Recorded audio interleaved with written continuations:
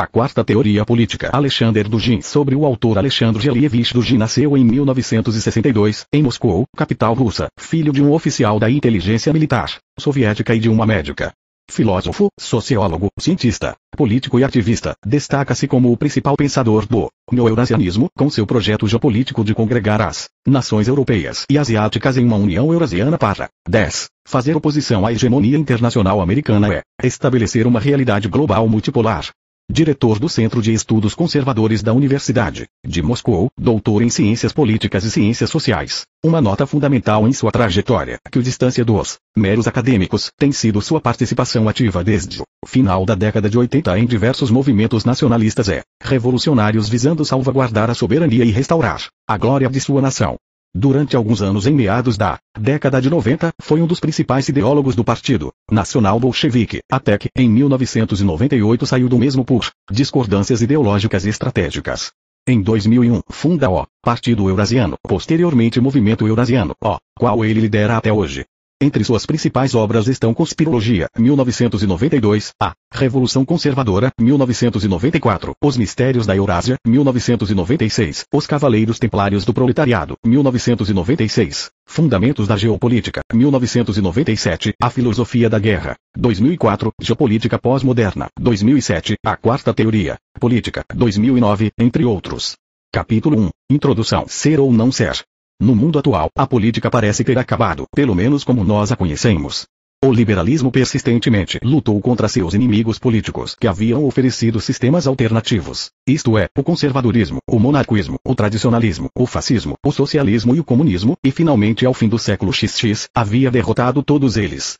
Seria lógico assumir que a política se tornaria liberal, enquanto todos os seus oponentes marginalizados reconsiderariam suas estratégias e formulariam uma nova frente unida segundo a periferia contra o centro, de Alain de Benoist. Mas, ao invés, no início do século XXI tudo seguiu um roteiro diferente. O liberalismo, que sempre havia insistido na minimalização da política, tomou a decisão de abolir a política completamente após seu triunfo.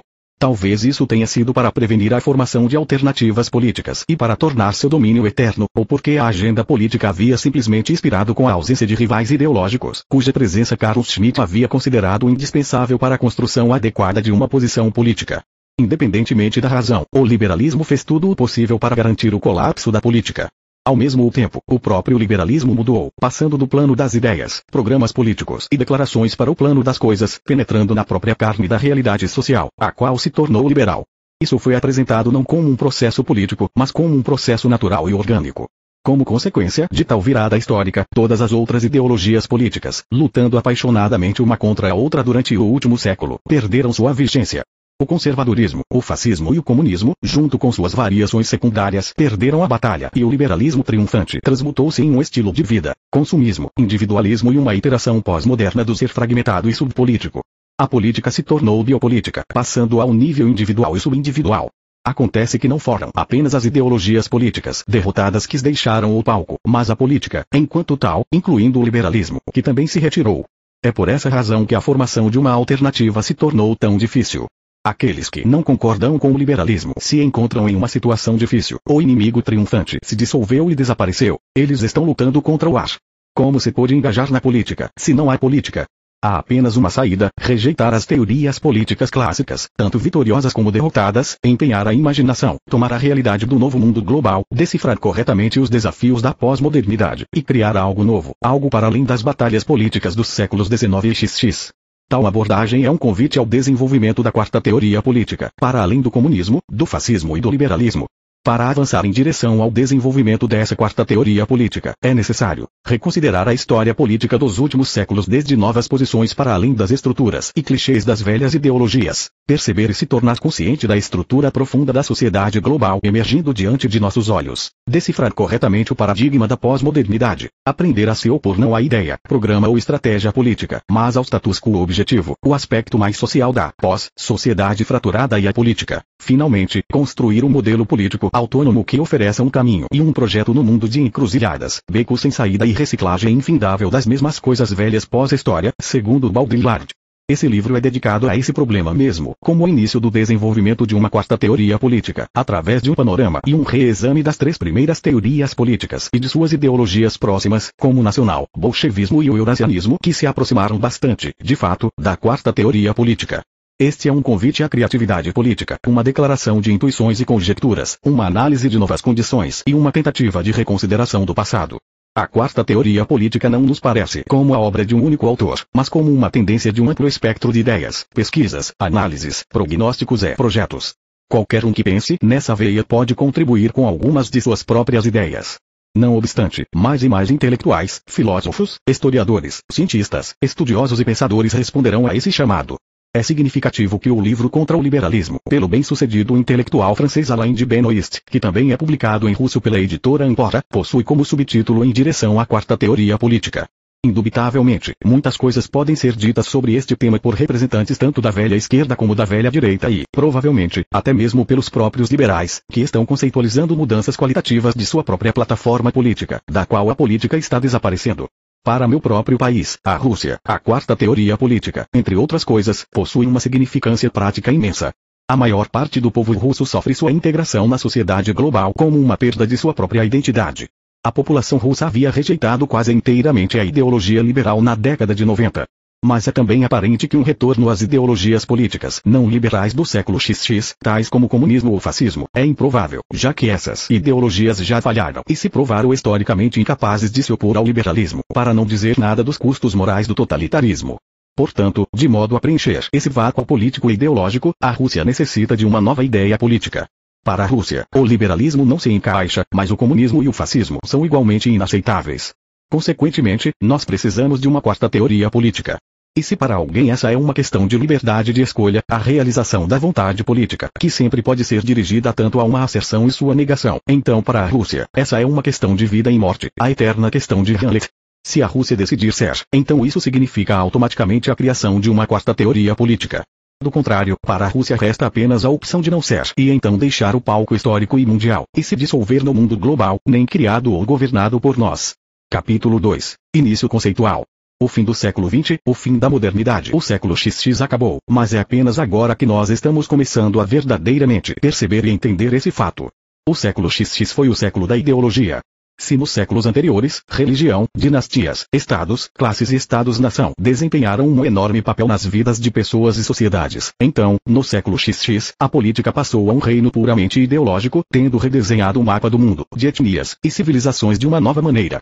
Por um lado, as ideologias políticas representavam tendências civilizacionais primitivas e profundamente enraizadas.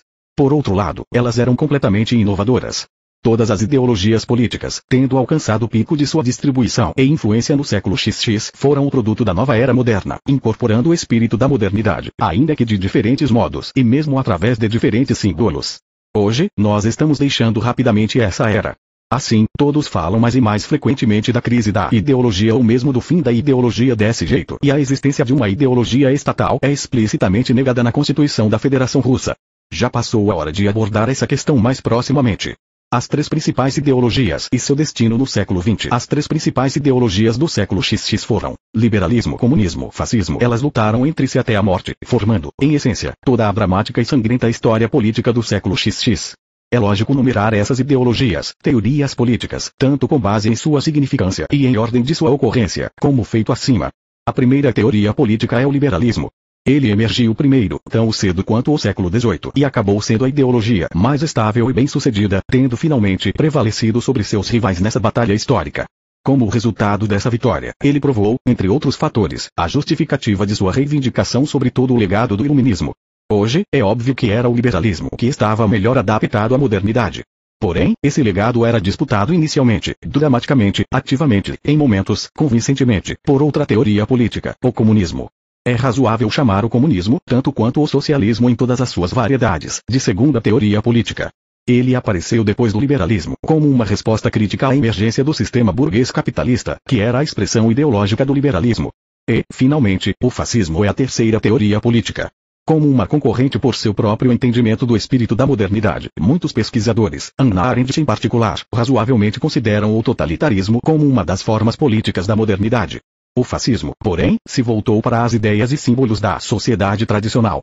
Em alguns casos, isso gerou um ecletismo, em outros, o desejo dos conservadores de liderar uma revolução ao invés de resistir a ela, levando sua sociedade na direção oposta. E Arthur Moeller Vandenbroek, Dmitry Merezkovsky, etc. O fascismo emergiu das outras grandes teorias políticas e desapareceu antes delas. A aliança da primeira teoria política com a segunda teoria política, bem como os equívocos geopolíticos suicidas de Hitler, o derrubaram no meio do caminho. A terceira teoria política foi uma vítima de homicídio ou talvez de suicídio, não vivendo bastante para conhecer a velhice e a decomposição natural, em contraste com a União Soviética. Portanto, esse fantasma vampiresco sangrento, tinindo como uma aura de maldade global, é atraente aos gostos decadentes da pós-modernidade, ainda amedrontando a humanidade em grande medida. Com seu desaparecimento, o fascismo abriu espaço para a batalha entre a primeira e a segunda teoria política. Essa batalha assumiu a forma da Guerra Fria e deu origem à geometria estratégica do mundo bipolar que durou quase meio século. Em 1991, a primeira teoria política, o liberalismo, havia derrotado a segunda teoria política, o socialismo. Isso marcou o declínio global do comunismo. Como resultado, ao fim do século XX, a teoria liberal é a única remanescente das três teorias políticas da modernidade que é capaz de mobilizar as vastas massas por todo o mundo. Porém, agora que ela ficou por conta própria, todos falam em uníssono sobre o fim da ideologia. Por quê? O fim do liberalismo e a chegada do pós-liberalismo acontece que o trunfo do liberalismo, a primeira teoria política, coincidiu com seu fim. Isso apenas parece ser um paradoxo. O liberalismo tem sido uma ideologia desde o início. Ele não era tão dogmático quanto o marxismo, mas não era menos filosófico, gracioso e refinado. Ideologicamente ele se opunha ao marxismo e ao fascismo, não apenas empreendendo uma guerra tecnológica pela sobrevivência, mas também defendendo seu direito de monopolizar sua própria imagem do futuro. Enquanto as outras ideologias competidoras estavam vivas, o liberalismo perdurou e tornou-se mais forte precisamente como ideologia, e um conjunto de ideias, visões e projetos que são típicos para um sujeito histórico. Cada uma das três teorias políticas tinha seu próprio sujeito. O sujeito do comunismo era a classe. O sujeito do fascismo era o Estado no fascismo italiano sob Mussolini, ou raça no nacional-socialismo de Hitler. No liberalismo, o sujeito era representado pelo indivíduo, livre de todas as formas de identidade coletiva e de qualquer pertencimento lapartenance. Enquanto o conflito ideológico possuía oponentes formais, nações e sociedades inteiras, ao menos teoricamente, foram capazes de selecionar seu sujeito de preferência, o da classe, racismo barra estatismo, ou individualismo. A vitória do liberalismo resolveu essa questão. O indivíduo se tornou o sujeito normativo dentro da estrutura de toda a humanidade. É nesse ponto que o fenômeno da globalização emerge, o modelo de uma sociedade pós-industrial se faz conhecido e a era pós-moderna tem início. De agora em diante, o sujeito individual não é mais resultado de escolha, mas um tipo de dado mandatório. O homem está liberto de seu pertencimento e de identidades coletivas, e a ideologia dos direitos humanos se torna amplamente aceita, ao menos em teoria, e é praticamente compulsória. Uma humanidade sob o liberalismo, composta por indivíduos, é naturalmente impelida em direção à universalidade e busca se tornar global e unificada. Assim, os projetos do Estado global, governança global e do governo mundial ou globalismo nascem. Um novo nível de desenvolvimento tecnológico torna possível alcançar a independência em relação à estruturalização classista das sociedades industriais e pós-industrialismo. Os valores do racionalismo, cientificismo e positivismo são reconhecidos como formas veladas de políticas repressivas e totalitárias, ou como a grande narrativa e são criticados. Ao mesmo tempo, isso é acompanhado pela glorificação paralela da liberdade completa e da independência do indivíduo em relação a quaisquer fatores limitantes, incluindo a razão, a moralidade, a identidade social, étnica e até mesmo de gênero, disciplinas, etc. Essa é a condição da pós-modernidade. Nessa fase, o liberalismo deixa de ser a primeira teoria política e se torna a única prática pós-política. O fim da história de Fukuyama chega. A economia na forma do mercado capitalista global substitui a política, e estados e nações são dissolvidas no caldeirão da globalização mundial. Tendo triunfado, o liberalismo desaparece e se transforma em uma entidade diferente, o pós-liberalismo. Ele não mais possui dimensões políticas. Ele não representa a liberdade de escolha, mas ao invés se torna um tipo de destino historicamente determinista. Essa é a fonte da tese sobre a sociedade pós-industrial, economia como destino. Assim, o início do século XXI coincide com o fim da ideologia, ou seja, de todas as três. Cada uma encontrou um fim diferente. A terceira teoria política foi destruída em sua juventude, a segunda morreu de velhice decrépita e a primeira renasceu como outra coisa, como pós-liberalismo e como a sociedade do mercado global. Em qualquer caso, a forma que todas as três teorias políticas assumiram no século XX não é mais útil, efetiva ou relevante. Elas carecem de poder explanatório, da habilidade de nos ajudar a entender eventos atuais e da capacidade de responder a desafios globais. A necessidade da quarta teoria política deriva dessa avaliação. A quarta teoria política como resistência ao status quo. A quarta teoria política não nos será simplesmente dada sem qualquer esforço. Ela pode emergir ou não. O pré-requisito para seu aparecimento é o dissenso. Isto é, o dissenso em relação ao pós-liberalismo como prática universal, contra a globalização, contra a pós-modernidade, contra o fim da história, contra o status quo, contra o desenvolvimento inercial dos principais processos civilizacionais na aurora do século XXI. O status quo e essa inércia não pressupõem quaisquer teorias políticas. O mundo global só pode ser governado pelas leis da economia e pela moralidade universal dos direitos humanos. Todas as decisões políticas são substituídas por decisões técnicas. A maquinaria e a tecnologia substituem todo o resto. O filósofo francês, Alain de Benoist, chama isso de la gouvernance, ou microgerenciamento. Gerentes e tecnocratas assumem o lugar do político que toma decisões históricas, otimizando a logística do gerenciamento. Massas de pessoas são equiparadas à massa singular de objetos individuais. Por essa razão, a realidade pós-liberal, ou, melhor dizendo, a virtualidade cada vez mais deslocando a realidade para longe de si mesma, leva diretamente à abolição completa da política. Alguns poderiam arguir que os liberais mentem quando eles falam sobre o fim da ideologia. Este foi o tema meu debate com o filósofo Alexandr Zinoviev. Em realidade, eles permaneceriam crentes em sua ideologia e simplesmente negariam a todas as outras o direito de existir. Isso não é exatamente verdade. Quando o liberalismo se transforma de ser um arranjo ideológico para ser o único conteúdo da existência tecnológica e social subsistente, então ele não é mais uma ideologia, mas um fato existencial, uma ordem objetiva de coisas, cujo desafio não é apenas difícil, mas tolo. Na era pós-moderna, o liberalismo se move da esfera do sujeito para a esfera do objeto.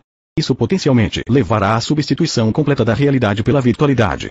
A quarta teoria política é concebida como uma alternativa ao pós-liberalismo, mas não como um arranjo ideológico em relação a outro. Ao invés, é como uma ideia incorpórea oposta à matéria corpórea, como uma possibilidade entrando em conflito com a atualidade, como aquilo que ainda está para vir a ser atacando aquilo que já está em existência. Ao mesmo tempo, a quarta teoria política não pode ser a continuação, seja da segunda teoria política ou da terceira. O fim do fascismo, muito como o fim do comunismo, não foi apenas um mal entendido acidental, mas a expressão de uma lógica histórica bastante lúcida. Elas desafiaram o espírito da modernidade. O fascismo o fez quase abertamente. O comunismo, de modo mais encoberto. Ver a resenha do período soviético como uma versão escatológica especial da sociedade tradicional por Mikhail S. Agorskin ou Sergei Kara, Murza, e perderam. Isso quer dizer que o conflito com a metamorfose pós-moderna do liberalismo sob a forma da pós-modernidade e da globalização deve ser qualitativamente diferente, deve ser baseada em novos princípios e propor novas estratégias. Não obstante, o ponto de partida dessa ideologia é precisamente a rejeição da própria essência da pós-modernidade. Esse ponto de partida é possível, mas nem garantido, fatal ou predeterminado, porque ele emerge do livre-arbítrio do homem, de seu espírito, ao invés de um processo histórico impessoal.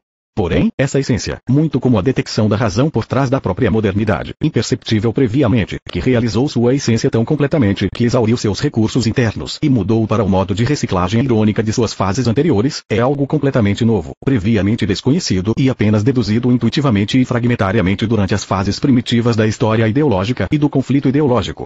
A quarta teoria política é uma cruzada contra. Se a terceira teoria política criticou o capitalismo a partir da direita e a segunda, a partir da esquerda, então a nova fase não mais destaca essa topografia política. É impossível determinar onde a direita e a esquerda estão localizadas em relação ao pós-liberalismo.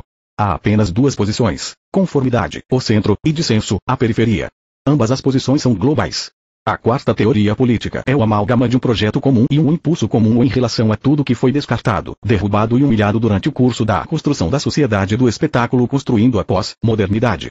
A pedra que os construtores rejeitaram veio a tornar-se pedra angular Marcos 12:10. O filósofo Alexander Sikatsky corretamente apontou a significância da marginalia na formação de um novo ion filosófico, sugerido termo metafísica dos escombros como metáfora. A batalha pela pós-modernidade. A quarta teoria política lida com a nova reencarnação de um velho inimigo. Ela desafia o liberalismo, muito como a segunda e terceira teorias políticas do passado, mas ela o faz sob novas condições. A principal novidade dessas condições está no fato de que de todas as três grandes ideologias políticas, apenas o liberalismo garantiu o direito a possuir o legado por trás do espírito da modernidade e obteve o direito de criar o fim da história baseado em suas próprias premissas. Teoricamente, o fim da história poderia ter sido diferente. O reis planetário, se os nazistas tivessem vencido, ou o comunismo global, se os comunistas estivessem certos. Porém, o fim da história acabou sendo precisamente liberal.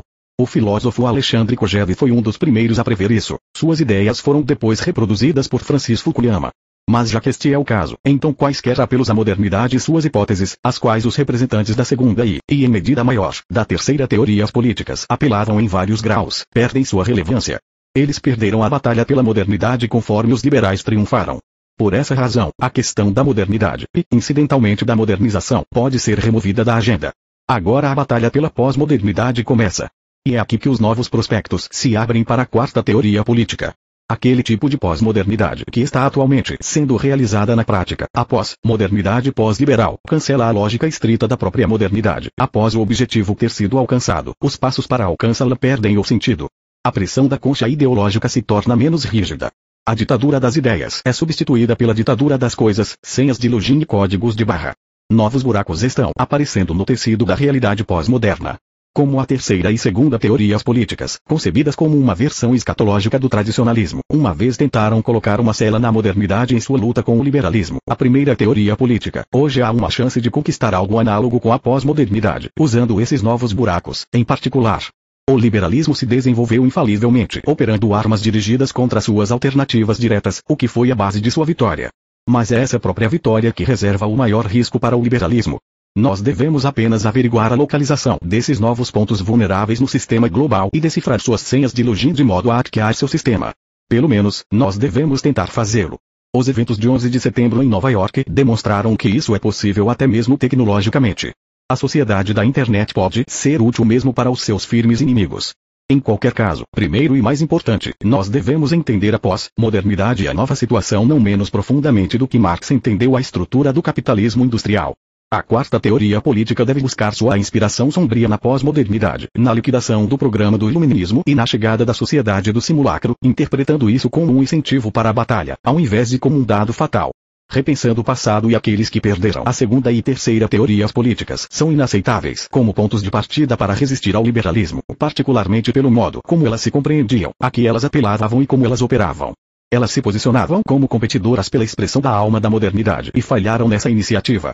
Porém, nada nos impede de repensar o próprio fato de sua derrota como algo positivo, seus vícios remodelados como virtudes.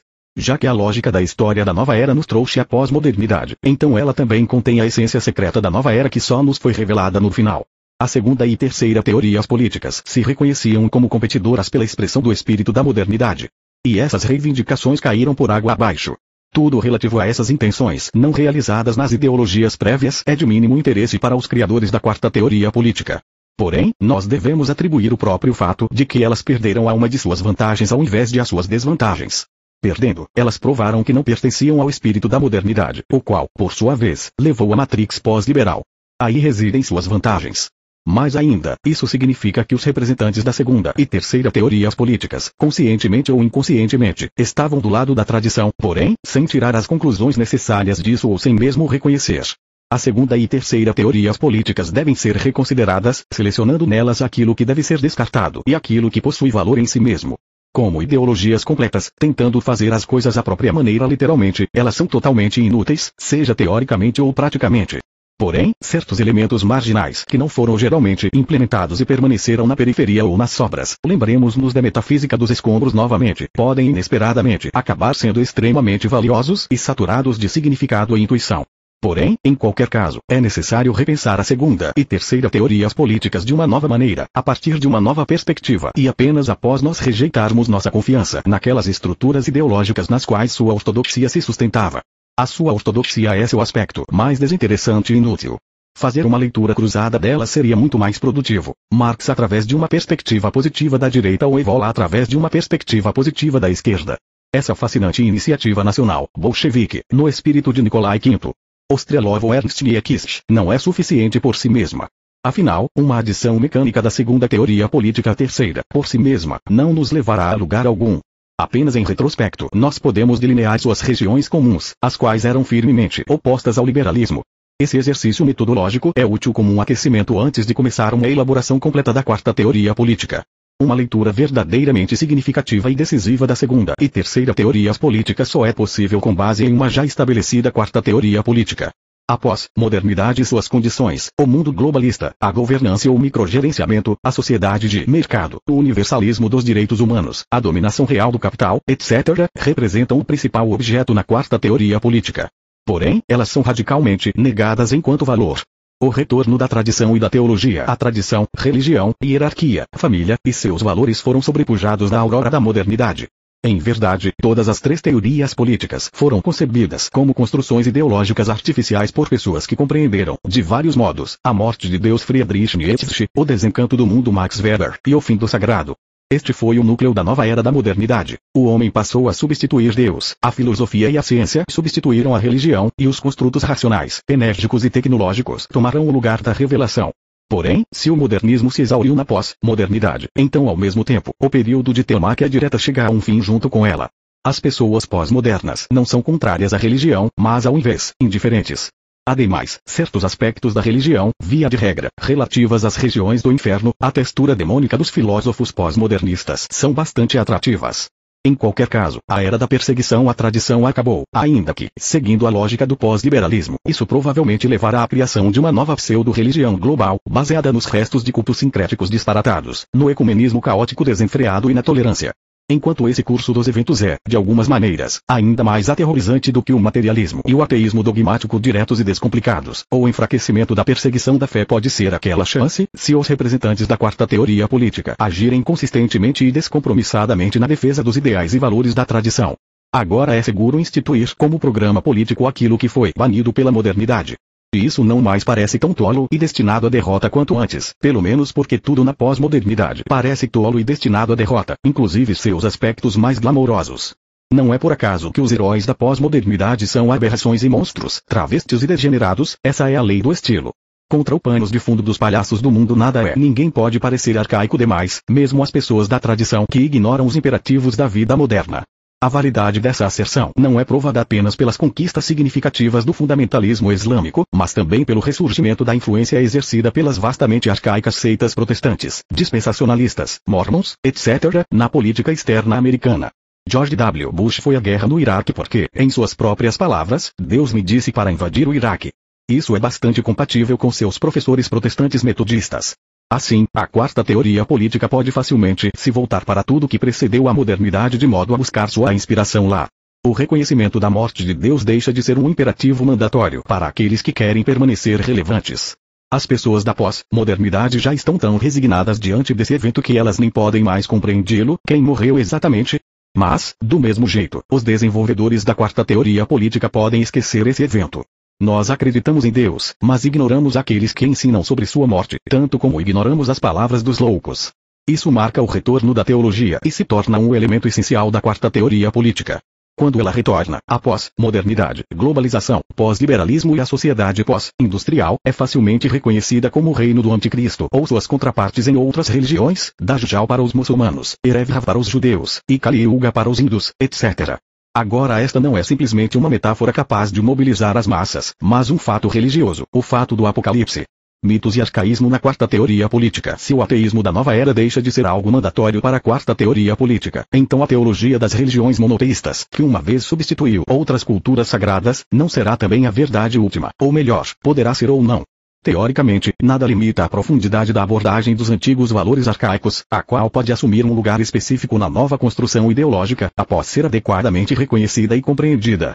Eliminando a necessidade de ajustar a teologia ao racionalismo da modernidade, os portadores da quarta teoria política estão livres para ignorar aqueles elementos teológicos e dogmáticos que foram afetados pelo racionalismo nas sociedades monoteístas, principalmente nas últimas fases. Estas levaram ao aparecimento do deísmo sobre as ruínas da cultura europeia cristã, seguido do ateísmo e do materialismo, durante um desenvolvimento escalonado dos programas da era moderna. Não apenas os mais altos símbolos supramentais da fé podem ser colocados a bordo novamente como um novo escudo, mas também podem aqueles aspectos irracionais dos cultos, ritos e lendas que têm deixado perplexos os teólogos das fases prévias. Se nós rejeitamos a ideia de progresso inerente à modernidade, que como nós vimos, acabou, então tudo que é antigo ganha valor e credibilidade simplesmente por ser antigo. Antigo significa bom e quanto mais antigo, melhor. De todas as criações, o paraíso é a mais antiga. Os portadores da quarta teoria política devem lutar para descobri-lo novamente no futuro próximo. Heidegger e o evento era ignis. E finalmente, nós podemos identificar a mais profunda, ontológica fundação para a quarta teoria política. Aqui, nós devemos prestar atenção não apenas em teólogos e mitologias, mas também na experiência filosófica reflexiva de um pensador particular que fez uma tentativa única de construir uma ontologia fundamental, o estudo mais resumido, paradoxal, profundo e penetrante do ser. Eu estou me referindo a Martin Heidegger. Uma breve descrição do conceito de Heidegger é como segue. Na aurora do pensamento filosófico, as pessoas, mais especificamente os europeus e, ainda mais especificamente, os gregos, levantaram a questão do ser como ponto focal de seu pensamento. Mas, pela sua tematização, elas se arriscaram a se confundir pelas nuances do relacionamento complicado entre ser e pensamento, entre puro ser, ser, e sua expressão na existência, um ser, sede, entre ser no mundo, dazer, ser aí, e ser em si, sem. Essa falha já ocorreu no ensinamento de Heráclito sobre a psis e o logos. Logo, ela é óbvia na obra de Parmênides e, finalmente, em Platão, que colocou as ideias entre o homem e a existência e quis definir a verdade como sua correspondência, a teoria referencial do conhecimento. Essa falha alcançou sua culminação. Isso deu origem a uma alienação que eventualmente levou ao pensamento calculista das Rechtsdenken, e então ao desenvolvimento da tecnologia. Pouco a pouco, o homem perdeu de vista o pur ser e entrou no caminho do niilismo. A essência da tecnologia, baseada no relacionamento técnico com o mundo, expressa esse niilismo continuamente acumulativo. Na nova era, essa tendência alcança seu pináculo. O desenvolvimento técnico, gesteu, finalmente substitui o ser e coroa o nada. Heidegger odiava amargamente o liberalismo, o considerando uma expressão da fonte calculista que reside no coração do niilismo ocidental. A pós-modernidade, que Heidegger não viveu para ver, e, em todos os sentidos, o esquecimento último do ser, é aquela meia-noite, quando nada, niilismo, começa a escorrer de todas as rachaduras. Porém essa filosofia não era desesperançosamente pessimista. Ele acreditava que o próprio nada é o outro lado do puro ser, o qual, de modo tão paradoxal, lembra a humanidade de sua existência, se nós decifrarmos corretamente a lógica por trás do desdobramento do ser, então a humanidade pensante poderá salvar a si mesma com máxima rapidez no momento de maior risco. Onde está o perigo, lá também cresce a oportunidade de salvação. Heidegger cita a poesia de Friedrich Hölderlin. Heidegger usa um termo especial, eregnis, o evento, para descrever esse retorno súbito do ser. Ele ocorre exatamente à meia-noite da noite do mundo, no momento mais escuro da história. O próprio Heidegger constantemente vacilava quanto a esse ponto já ter sido alcançado ou, ainda não. O eterno ainda não. A filosofia de Heidegger pode provar ser aquele eixo central conectando tudo ao seu redor, da segunda e terceira teorias políticas, reinterpretadas ao retorno da teologia e da mitologia. Assim, no coração da quarta teoria política, em seu centro magnético, está a trajetória da Eregnis, o evento iminente, que incorporará o retorno triunfante do ser no exato momento em que a humanidade o esquece de uma vez por todas ao ponto de que seus últimos traços desaparecem. A quarta teoria política e a Rússia. Hoje muitas pessoas intuitivamente entendem que a Rússia não tem lugar no admirável mundo novo da globalização, da pós-modernidade e do pós-liberalismo. Primeiro, o Estado global e o governo mundial estão gradualmente abolindo todos os Estados-nação em geral.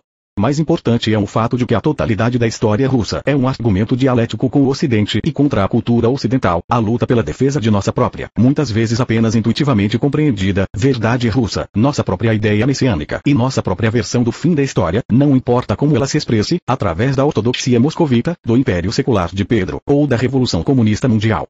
As mentes russas mais brilhantes viram claramente que o Ocidente estava se dirigindo para o abismo. Agora, olhando para onde a economia neoliberal e a cultura pós-moderna levaram o mundo, nós podemos ter certeza de que essa intuição, impulsionando gerações do povo russo a buscar por alternativas, era completamente justificada. A atual crise econômica global é apenas o começo. O pior ainda está por vir. A inércia dos processos pós-liberais é tamanha que uma mudança de curso é impossível. Para salvar o Ocidente, a tecnologia emancipada e restrita, Oswald Spengler, buscará por meios tecnológicos mais eficientes, porém meramente técnicos. Essa é a nova fase na chegada da Gesteu, espalhando a mancha nihilista do mercado global por todo o planeta. Movendo de crise em crise e de uma bolha para a próxima, milhares de americanos realizaram um protesto em um tempo de crise com o seguinte slogan: Nos deem uma nova bolha. Dá para ser mais cego. A economia globalista e as estruturas da sociedade pós-industrial tornam a noite da humanidade mais e mais negra. Ela é tão negra, na verdade, que nós gradualmente esquecemos que está de noite. O que é luz? Se perguntam as pessoas jamais a tendo visto. É claro que a Rússia precisa seguir um caminho diferente. O seu próprio. Aqui está a questão e o paradoxo. Escapar da lógica da pós-modernidade em um único país não será tão simples. O modelo soviético tentou e caiu. Depois desse ponto, a situação ideológica mudou irreversivelmente bem como a balança estratégica de poder. Para que a Rússia possa salvar a si mesma e a outros, criar algum tipo de milagre tecnológico ou uma jogada enganosa seria insuficiente. A história mundial tem a sua própria lógica. E o fim da ideologia não é uma falha aleatória, mas o início de uma nova fase, aparentemente, a última. Nessa situação, o futuro da Rússia depende diretamente de nossos esforços para desenvolver a quarta teoria política. Nós não iremos longe e apenas estenderemos nosso tempo se localmente selecionarmos as opções que a globalização nos oferece corrigindo o status quo de um jeito superficial. O desafio da pós-modernidade é tremendamente significativo. Ele está enraizado na lógica do esquecimento do ser e no distanciamento da humanidade em relação às suas raízes existenciais, ontológicas e espirituais, teológicas. Responder a isso com inovações tiradas do chapéu ou substitutos de relações públicas é impossível. Portanto, nós devemos nos referir às fundações filosóficas da história e fazer um esforço metafísico de modo a resolver os problemas atuais, a crise econômica global, contrapor o mundo unipolar, bem como a preservação e fortalecimento da soberania, etc. É difícil dizer como o processo de desenvolver essa teoria acabará. Uma coisa é clara: não pode ser um esforço individual ou um que seja restrito a um pequeno grupo de pessoas. O esforço deve ser compartilhado e coletivo. Dessa maneira, os representantes de outras culturas e povos, tanto na Europa como na Ásia, poderão verdadeiramente nos ajudar, já que eles sentem a tensão escatológica do momento presente de um jeito igualmente agudo e estão tão desesperadamente procurando por um caminho para fora do beco sem saída global.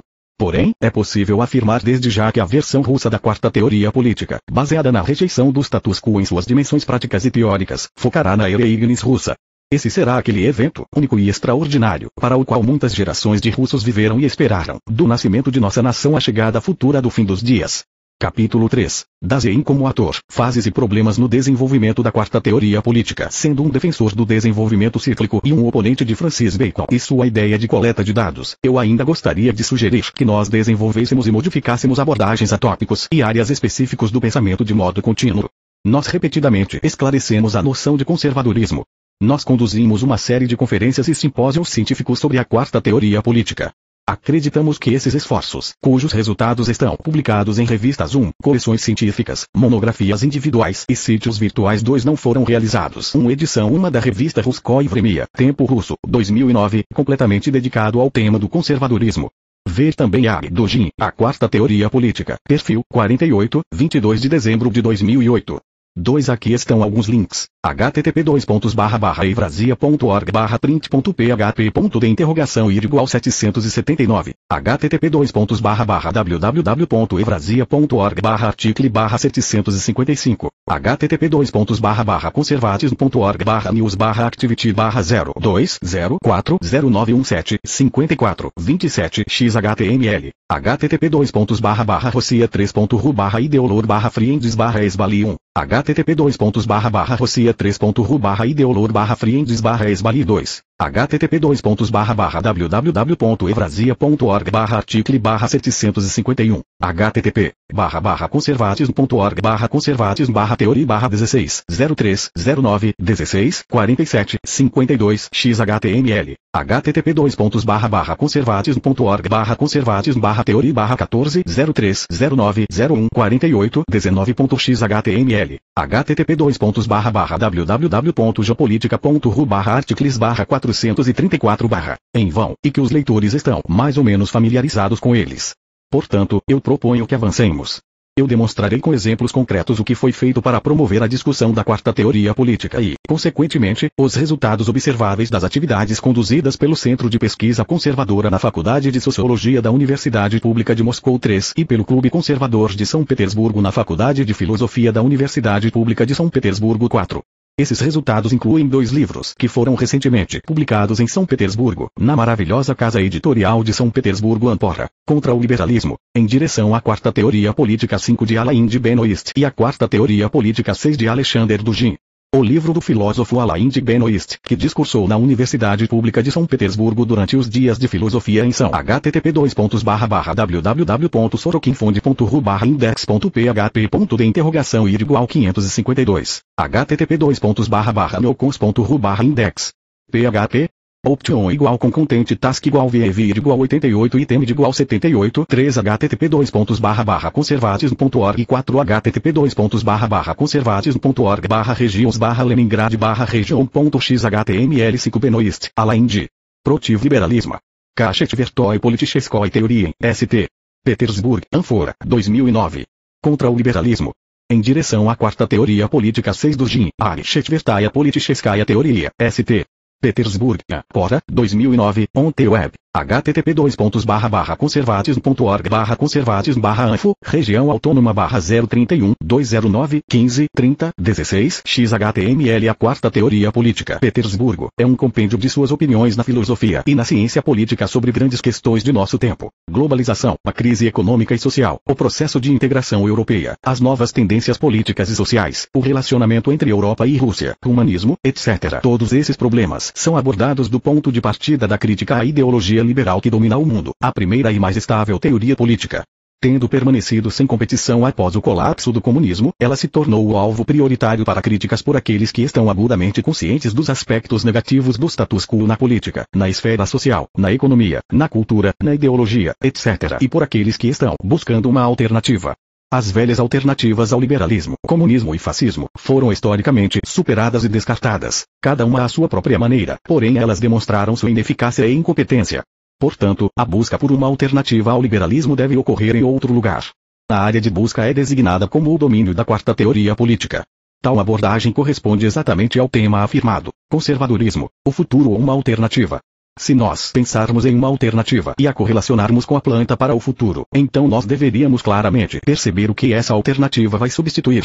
A resposta é simples: o liberalismo como o discurso global dominante.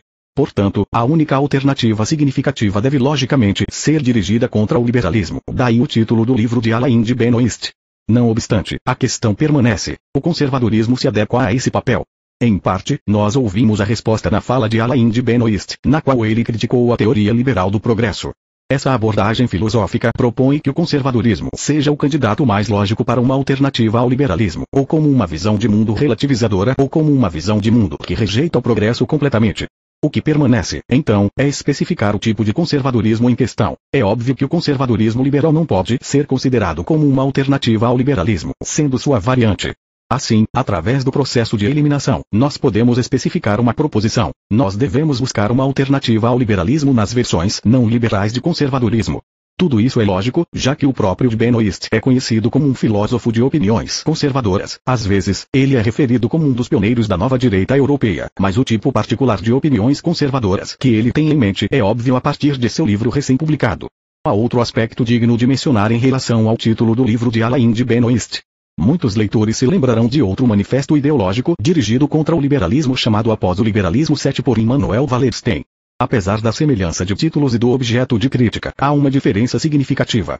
Wallerstein criticou o liberalismo desde o ponto de vista da esquerda, a partir da posição neomarxista. E, como qualquer marxista, ele viu o liberalismo, democracia burguesa, capitalismo, como uma fase do desenvolvimento histórico, o qual é progressivo em comparação com as fases precedentes de desenvolvimento, como o feudalismo ou a escravidão, mas é inferior ao que deve vir após ela, socialismo, comunismo, etc. Nós estamos falando sobre a crítica a partir da esquerda e, de algumas maneiras, do ponto de partida do futuro, que é expresso no título do livro de Wallerstein, Após o Liberalismo. Essa é uma sete Wallerstein, Immanuel. Pós-liberalismo. Moscov, 2003. Após o liberalismo característica típica do marxismo. Para de Benoist, nem a superioridade do liberalismo sobre os tipos históricos prévios de sociedade, nem as vantagens de um futuro comunista são óbvias.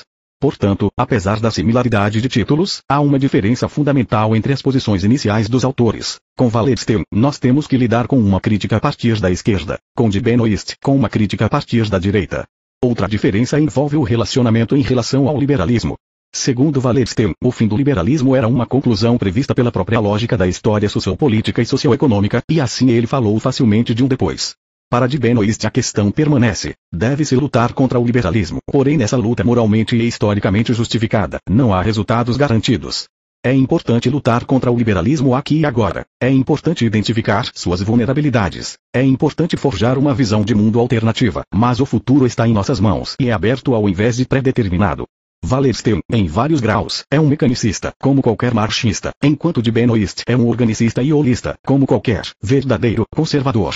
O último item ao qual eu gostaria de chamar atenção em relação às ideias de Alain de Benoist e sua relevância é a compreensão do conceito do quarto nomos da Terra 8 de Carl Schmitt, isto é, o relacionamento entre ciência política e teologia política com geopolítica e o novo modelo da organização política do espaço. De minha parte, no livro A Quarta Teoria Política 9, eu havia feito uma resenha das três principais teorias políticas do passado: liberalismo, marxismo, socialismo e fascismo, nacional-socialismo, avaliado seu equilíbrio geral e tentado identificar os horizontes para o desenvolvimento da quarta teoria política para além de todas as três ideologias. Isso, é claro, está extremamente distante de qualquer dogmatismo ou de uma proposta para uma resposta completa para o problema apontado. Mas, não obstante, esses são passos razoavelmente específicos em direção à preparação de uma abordagem próxima da questão. Sem repetir o que foi dito em meu livro e no livro de Alain de Benoist, eu tentarei fazer um certo número de observações sobre o desenvolvimento deste tema. 8 Schmidt, Carlo, Nomos in Lee, St. Petersburg, 2008. O Nomos da Terra 9 do Jin, a G. Chetvertaya Politicheskaya Teoria, e Biden, a quarta teoria política. O que é a quarta teoria política em termos de negação agora está claro. Ela não é nem fascismo, nem comunismo, nem liberalismo. Em princípio, esse tipo de negação é razoavelmente significativo. Ele incorpora nossa determinação de ir além dos paradigmas ideológicos e políticos usuais e fazer um esforço de modo a superar a inércia dos clichês internos ao pensamento político. Isso por si só é um convite extremamente estimulante para um espírito livre e uma mente crítica. Eu realmente não compreendo por que certas pessoas, quando confrontadas com o conceito de quarta teoria política, não correm imediatamente para abrir uma garrafa de champanhe e não começam a dançar e se regozijar, celebrando a revelação de um novo horizonte. Afinal, este é um tipo de um ano novo filosófico, um excitante salto no desconhecido. O ano velho testemunhou a luta das três ideologias políticas, uma que foi sangrenta e que clamou milhões de vidas. Toda crítica ao liberalismo era ou fascista ou comunista. Essa crítica foi deixada no passado, mas a mais antiga dessas ideologias, liberalismo, ainda está aqui. O liberalismo é o remanescente do ano velho. É um resíduo, um passado incerto que não foi adequadamente enviado para o esquecimento. Ele já passou, mas não quer ir embora permanentemente de qualquer jeito. Em resumo, é uma quimera, o dragão que engoliu o sol ou os espíritos diabólicos que raptaram a donzela de neve antes do ano novo. Em certo sentido, o liberalismo incorpora tudo o que estava no passado. A quarta teoria política é o nome para uma descoberta, para um novo começo. Ressaltando a relevância da crítica e especialmente destacando o fato de que essa é uma rejeição radical de todas as três teorias políticas, liberalismo, comunismo e fascismo, e suas variantes, eu sugiro que nós contemplemos o conteúdo positivo da quarta teoria política. O fato de que nós identificamos o conteúdo negativo é em si mesmo notável e requer um entendimento meticuloso. A própria ideia de pôr um fim ao fascismo, ao comunismo e ao liberalismo é uma coisa extremamente estimulante. O programa negativo da quarta teoria política soa assim: diga não ao fascismo, não ao comunismo e não ao liberalismo. O liberalismo não vai funcionar. Ele não passará. Não passará. Assim como o fascismo outrora falhou, no passado. O muro de Berlim também caiu. Apenas poeira permanece da única manifestação visível do comunismo, separando os comunistas dos capitalistas, liberais. Os comunistas não passaram também. Agora, o que resta é que os liberais não passem e eles não passarão. Não passará. Mas para que eles não passem, os fragmentos do muro de Berlim são insuficientes para nós, como o próprio muro foi insuficiente. O muro existia, mas eles ainda passavam. Ainda de menos úteis são as sombras escuras do terceiro Reich, seus cadáveres independentes 10, inspirando apenas a brutal juventude punk e os sonhos perturbadores e pervertidos de adeptos do sadomasoquismo. Consequentemente, nós sugerimos avançarmos de modo a sairmos da fase nihilista da quarta teoria política em direção à positividade. Descartando as três teorias políticas como um todo sistematizado, nós podemos tentar olhar para elas a partir de uma perspectiva diferente. Elas estão sendo rejeitadas precisamente como sistemas ideológicos completos, cada um com base em argumentos separados. Mas eles, como qualquer sistema, consistem de elementos que não pertencem a eles. As três ideologias políticas possuem seus sistemas filosóficos, grupos, metodologias explanatórias, sua totalidade, únicas, uma estrutura de seu círculo 10 nota da tradução. Cadáveres independentes. O autor usa a palavra Nezalesny em referência à Revolução Laranja na Ucrânia e às simpatias nazistas entre certos ucranianos do Oeste. Hermenêutico, suas epistemes fundamentais. Elas são o que elas são como um todo.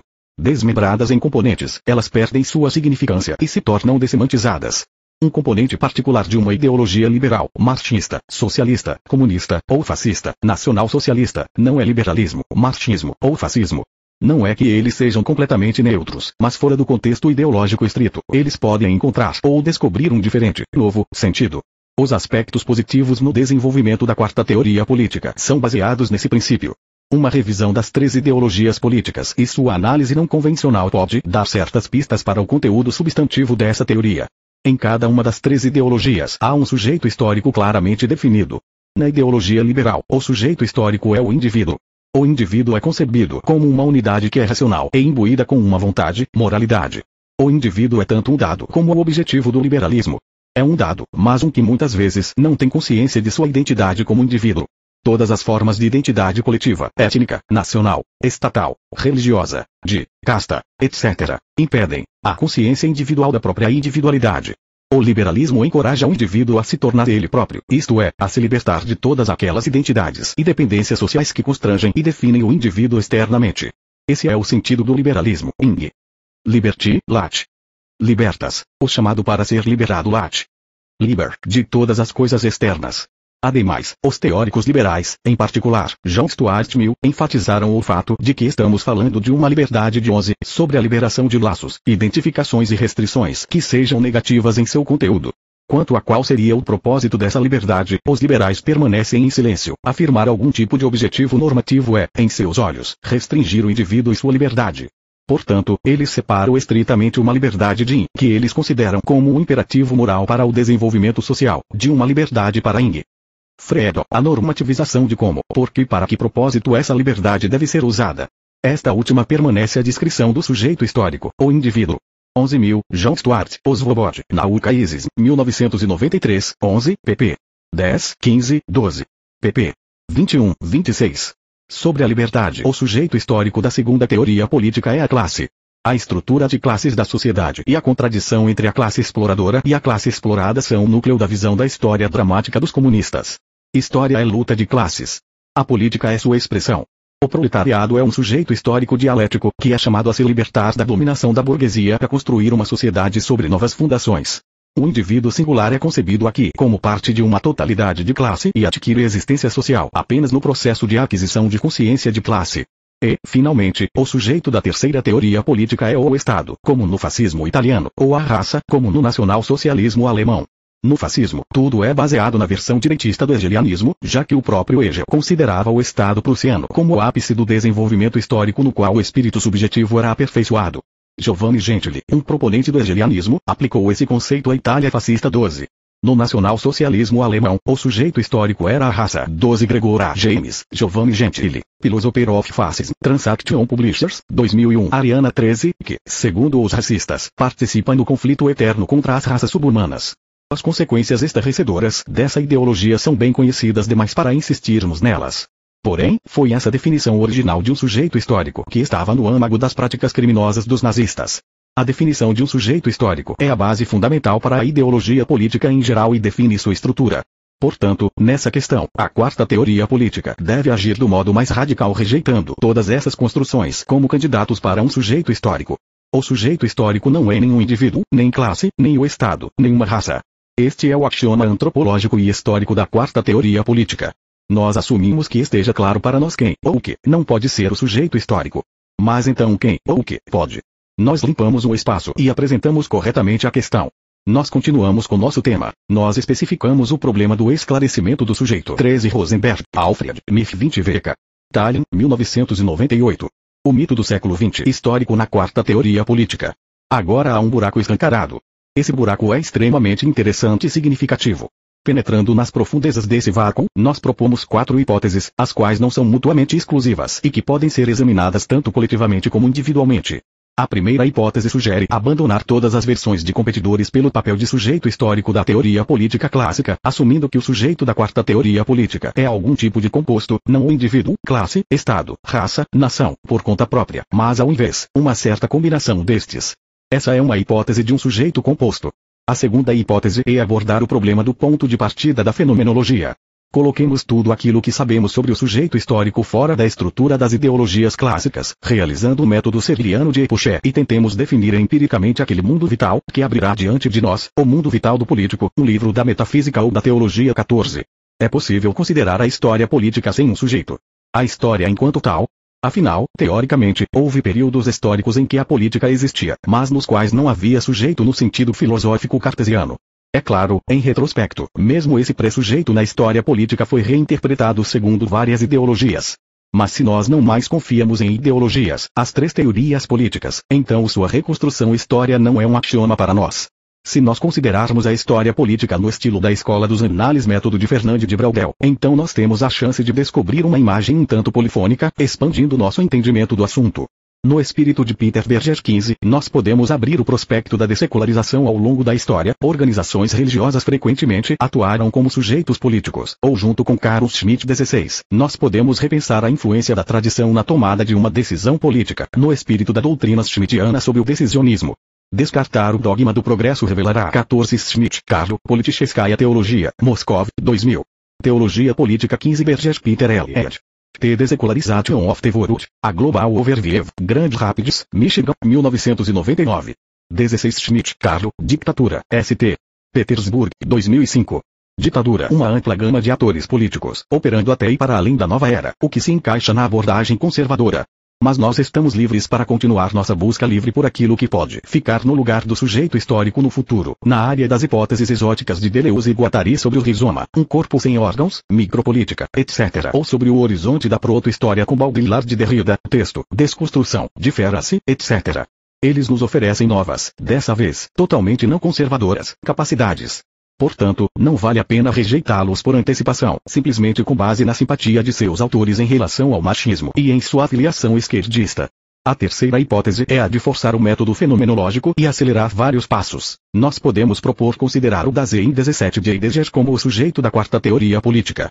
Dasein é descrito na filosofia de Heidegger amplamente através de sua estrutura existencial, o que torna possível construir um modelo holístico complexo sobre sua base, cujo desenvolvimento levará, por exemplo, a um novo entendimento da política.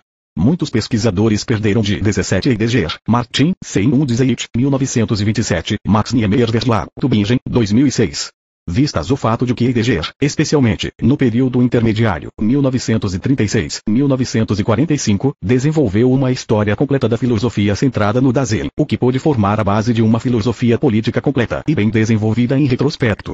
Assim, aceitar a hipótese do Dasein imediatamente nos dá um amplo sistema de coordenadas de modo a navegar a construção histórica necessária para uma teoria política.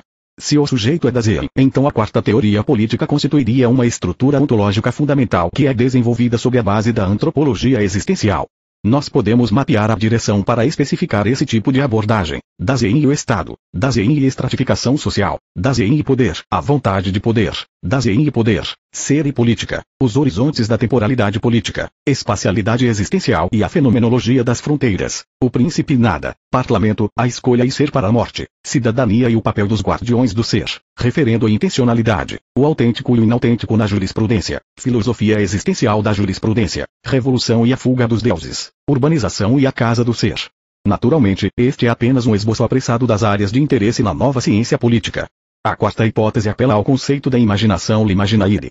Esse tópico é coberto em detalhes nas obras de Gilbert Durand 18, cujas ideias básicas eu discuto em minha 18 Durand, Gilbert, Les Structures Anthropologiques de l'Imaginaire, Paris, 1960. Nova obra Sociologia da Imaginação 19. A imaginação como uma estrutura precede o indivíduo, o coletivo, classe, cultura e raça, se a raça existe como fenômeno sociológico, o que é incerto, bem como o Estado. Segundo Durand, que desenvolveu as ideias de Carl Gustav Jung e Gaston Bachelard, a imaginação, l'imaginaire, forma o conteúdo da existência humana baseada nas estruturas internas, originais e independentes que estão integradas nela. A interpretação dos processos políticos na história a posteriori não é difícil para a sociologia da imaginação e produz resultados impressionantes. Se nós interpretarmos a imaginação, l'imaginaire, como um ator autônomo na esfera política, incluindo o componente projetivo e um tipo de status legal, então nós acabamos com uma trajetória extraordinariamente fascinante e totalmente não desenvolvida. Apesar de os estudantes de 1968 terem demandado liberdade de imaginação, naquele momento era improvável que eles reconhecessem a imaginação como uma competidora para uma subjetividade política especial. Eles permaneceram presos no indivíduo, como parte do liberalismo, mesmo que 19 do GIN, AG, Sociologia Vobrazenia. E Sociologio, Moscov, 2010. Sociologia da Imaginação. Introdução à Sociologia Estrutural de Esquerda, e na classe, e, machismo, ainda que estritamente considerado com base na psicanálise. Em busca do sujeito da quarta teoria política, nós devemos ousadamente adentrar um novo círculo hermenêutico. A quarta teoria política é o todo que, naturalmente, ainda é insuficientemente descrito e definido. Suas partes são o sujeito, que também é estabelecido como uma sugestão preliminar. Mas, nos movendo constantemente entre a incerteza do todo e a incerteza de suas partes e de volta, nós gradualmente começamos a esclarecer os contornos mais precisos do que está em jogo. Esse processo, começando a partir da base da credibilidade negativa, a rejeição dos velhos círculos hermenêuticos, liberalismo com o indivíduo, marxismo com a classe, fascismo barra nazismo com o Estado barra raça, levará à clarificação de uma estrutura um tanto positiva mais cedo ou mais tarde. Essa estrutura será ainda mais esclarecida quando a hermenêutica atingir as fronteiras de contradições explicitamente absurdas, que não podem ser resolvidas, ou deixe de combinar dados empíricos.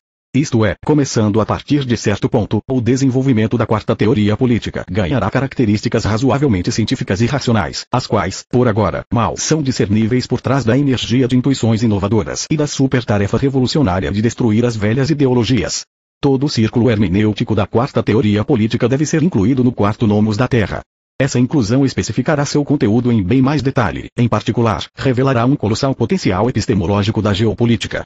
Esta, em adição a seus objetivos puramente práticos e aplicados, pode ser vista como um convite amplo a pensar espacialmente em um cenário pós-moderno, quando o pensamento histórico, que dominava a era moderna, está se tornando irrelevante. Em numerosas ocasiões, eu escrevi sobre o potencial filosófico e sociológico da geopolítica em minhas obras 20. A espacialidade é um dos componentes existenciais mais importantes do Dasein. Assim o apelo ao quarto nomos da Terra pode ser ligado à hipótese do terceiro sujeito da quarta teoria política. 20 do Jin, A. G. Mislit Prostranstvom. Osnovir Geopolitik. Moscov, 2000 Pensando a espacialidade. As origens da geopolítica New Edition. Sociologia Prostranstva. Sociologia Vobrazenia.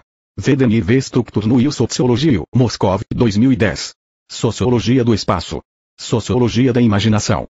Introdução à Sociologia Estrutural. Agora nós podemos abordar o problema da formação de conteúdo da quarta teoria política a partir de outra direção e examinar os competidores para a inclusão nessa teoria dos três modelos clássicos. Porém, antes de determinar os aspectos das três velhas ideologias que podem ser emprestados delas tendo neutralizado-as e retirado-as de contexto, arrancando-as de seu próprio círculo hermenêutico, é importante mencionar brevemente que aspectos devem ser firmemente descartados. Se começarmos com o fascismo e o nacional-socialismo, então aqui nós devemos definitivamente rejeitar todas as formas de racismo. O racismo é o que causou o colapso do nacional-socialismo no sentido histórico, geopolítico e teórico. Este não foi somente um colapso histórico, como também filosófico. O racismo é baseado na crença na superioridade objetiva e inata de uma raça humana sobre outra. Foi o racismo e não alguns outros aspectos do nacional-socialismo que gerou as consequências, que levaram a sofrimento imensurável, bem como ao colapso da Alemanha e das potências do eixo e à destruição de toda a construção ideológica da terceira via. A prática criminosa de varrer grupos étnicos inteiros, judeus, ciganos e eslavos, com base na raça estava precisamente enraizada na teoria racial, é isso que nos enfurece e choca em relação ao nazismo até hoje. Ademais, o antissemitismo de Hitler e a doutrina de que os eslavos são subhumanos e devem ser colonizados, é o que levou a Alemanha a entrar em guerra contra a União Soviética, pelo que nós pagamos com milhões de vidas, bem como ao próprio fato de que os próprios alemães perderam sua liberdade política e o direito de participar na história política por um longo tempo, senão para sempre agora resta para elas apenas a economia e, na melhor das hipóteses, a ecologia. Os apoiadores da terceira via foram deixados na posição de párias e marginais ideológicos. Foi o racismo, na teoria e na prática, que criminalizou todos os outros aspectos do nacional-socialismo e do fascismo, fazendo dessas visões de mundo políticas o objeto de insultos e vilificação.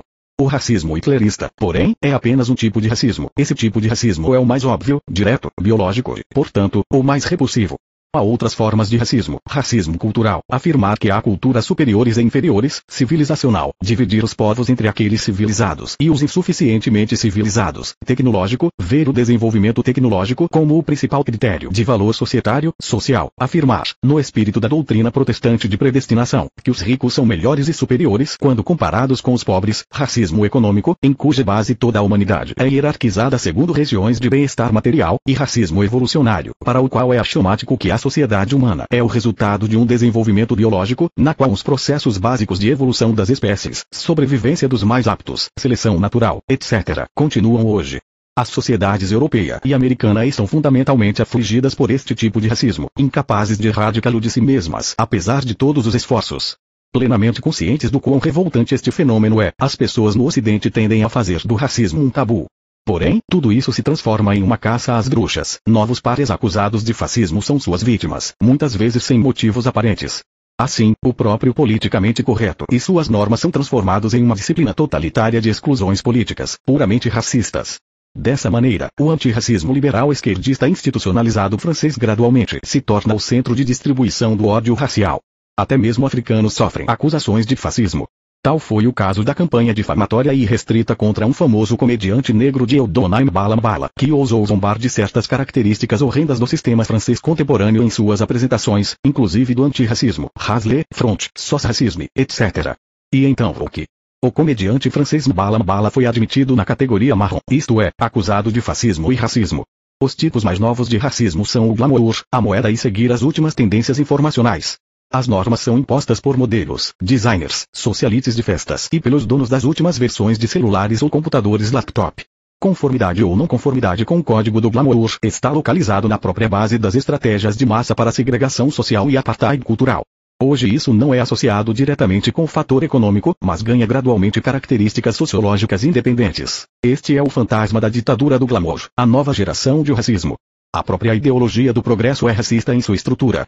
A asserção de que o presente é melhor e mais gratificante do que o passado e a garantia de que o futuro será ainda melhor do que o presente representa a discriminação do passado e do presente, a humilhação daqueles que vivem no passado e um insulto à honra e dignidade das prévias gerações, e um certo tipo de violação dos direitos dos mortos. Em muitas culturas, os mortos desempenham um importante papel sociológico. Eles são considerados como estando vivos em certo sentido, presentes nesse mundo e participando em sua existência. Assim são todas as culturas e civilizações antigas. Bilhões de habitantes dessa terra acreditam nesse conceito até hoje. Na civilização chinesa, construída sobre o culto dos mortos e sobre a reverência a eles junto aos vivos, estar morto é considerado como um elevado status social, de algumas maneiras superiores ao status dos vivos. A ideologia do progresso representa um genocídio moral das gerações passadas, em outras palavras, o racismo real. Igualmente questionável é a ideia de modernização, quando tomada como um valor em si. É fácil detectar os óbvios sinais de racismo nela. Indubitavelmente racista é a ideia da globalização unipolar. Ela é baseada no fato de que a sociedade ocidental, especialmente a americana, equipara sua história e seus valores à lei universal e artificialmente tenta construir uma sociedade global baseada nesses valores locais e historicamente específicos: democracia, o mercado, parlamentarismo, capitalismo, individualismo, direitos humanos e desenvolvimento tecnológico ilimitado. Esses valores são locais e a globalização está tentando impô-los sobre toda a humanidade como algo que é universal e tomado como garantido. Essa tentativa implicitamente mantém que os valores de todos os outros povos e culturas são imperfeitos, subdesenvolvidos e sujeitos à modernização e padronização com base no modelo ocidental. A globalização então não é nada mais que um modelo de etnocentrismo euro-ocidental, ou melhor, anglo-saxão, globalmente distribuído, o qual é a manifestação mais pura da ideologia racista. Como uma de suas características essenciais, a quarta teoria política rejeita todas as formas e variedades de racismo e todas as formas de hierarquização normativa de sociedades com base em fundamentos étnicos, religiosos, sociais, tecnológicos, econômicos ou culturais. Sociedades podem ser comparadas, mas nós não podemos afirmar que uma delas é objetivamente melhor do que as outras. Tais avaliações são sempre subjetivas e qualquer tentativa de elevar uma avaliação subjetiva ao status de uma teoria é racismo. Esse tipo de tentativa é não científico e anti-humano. As diferenças entre sociedades em qualquer sentido não podem, de qualquer forma ou jeito, implicar na superioridade de uma sobre a outra. Este é um axioma central da quarta teoria política. Ademais, se o antirracismo diretamente atinge a ideologia do nacional-socialismo e a terceira teoria política, então ele também diretamente alcança o comunismo, com seu ódio de classe e o liberalismo, com seu progressivismo, bem como seu racismo econômico, tecnológico e cultural inerentes. Ao invés de um mundo unipolar, a quarta teoria política insiste em um mundo multipolar e ao invés do universalismo, no pluriversalismo, o que Alain de Benoist brilhantemente indicou em seu livro 21 claramente destacando a principal trajetória para a rejeição de todas as formas e variedades de racismo, incluindo as formas biológicas inerentes no nacional-socialismo. Nós podemos identificar o que a quarta teoria política pode herdar dele. Rejeitando fortemente qualquer sugestão de racismo, nós, de fato, destruímos o círculo hermenêutico da ideologia nacional socialista e neutralizamos seu conteúdo. 21 Benoist, Alain Din, Protiv Liberalismo, e Biden contra o liberalismo solapando sua integridade e fundações basilares. Sem o racismo, o nacional-socialismo não é mais nacional-socialismo, seja teórica ou praticamente, ele é neutralizado e descontaminado.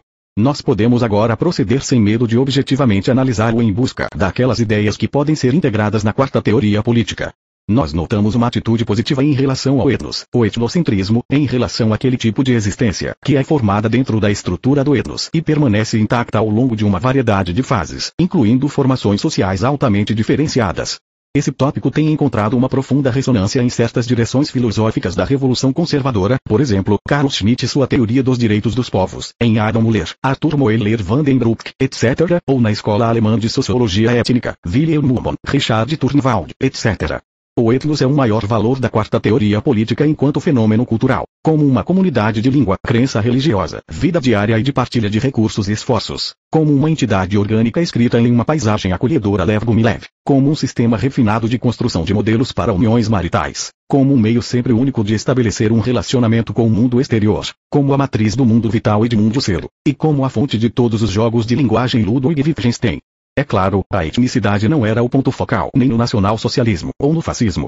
Porém, o liberalismo como ideologia, clamando pela liberação em relação a todas as formas de identidade coletiva em geral, é inteiramente incompatível com o etnos e o etnocentrismo, e é uma expressão de etnocídio teórico e tecnológico sistemáticos.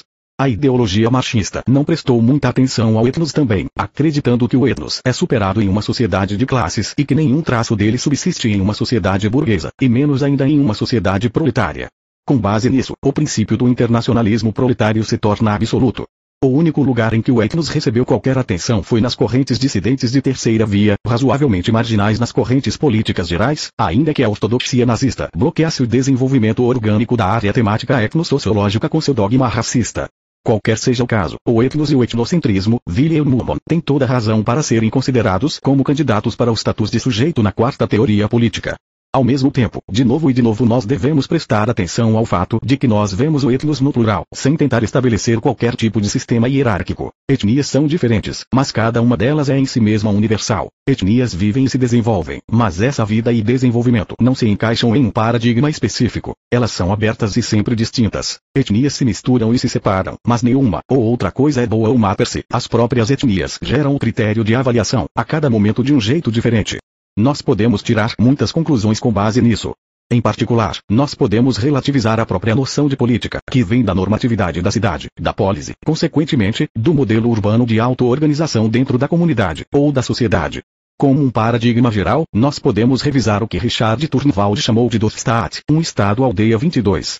O Estado-aldeia é uma visão alternativa da política a partir da 22 Turnwald, Richard, de Messliche Gesellschaft, um Band, Berlim 1 de Leipzig, 1931 perspectiva do etnos vivendo naturalmente em equilíbrio com o meio ambiente. Essa visão não reflete a perspectiva da cidade, projetando sua estrutura sobre o resto do interior, mas é aquela da aldeia, da província. Ela vem do ponto de partida daquelas regiões que têm sido periféricas na política clássica, mas se tornam o centro da quarta teoria política. Porém, isso é só um exemplo de todas aquelas possibilidades que se abrem caso aceitemos o etnos como o sujeito histórico. Porém, mesmo isso mostra a natureza séria de se transformar os conceitos políticos mais básicos e quão drástica a revisão de um dogma estabelecido pode ser. Agora discutamos o que pode ser tomado do comunismo, a segunda teoria política. Primeiro, porém, decidamos o que deve ser descartado de modo a demolir seu círculo hermenêutico. Primeiro e mais importante, as ideias comunistas do materialismo histórico e a noção do progresso unidirecional são inaplicáveis a nossos propósitos. Nós falamos previamente sobre o elemento racista, que está implícito na ideia de progresso. Ela parece particularmente revoltante dentro do materialismo histórico, que não apenas coloca o futuro à frente do passado, brutalmente violando os direitos dos ancestrais, mas também equipara a sociedade humana vivente, Richard Turnwald, com um sistema mecânico operando independente do homem da humanidade, segundo leis que são monotônicas e uniformes para todos. O reducionismo materialista e o determinismo econômico compreendem o aspecto mais repulsivo do machismo, na prática, ele se expressou pela destruição da herança espiritual e religiosa daqueles países e sociedades nos quais o machismo venceu historicamente.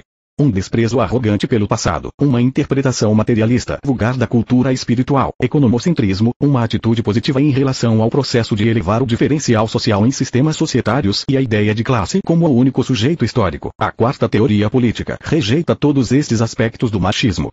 Porém, sem estes componentes, o marxismo, e, mais geralmente, o socialismo, deixa de ser ele próprio e, consequentemente, é tornando inofensivo como ideologia completa, se desintegrando em componentes separados que não representam uma só totalidade.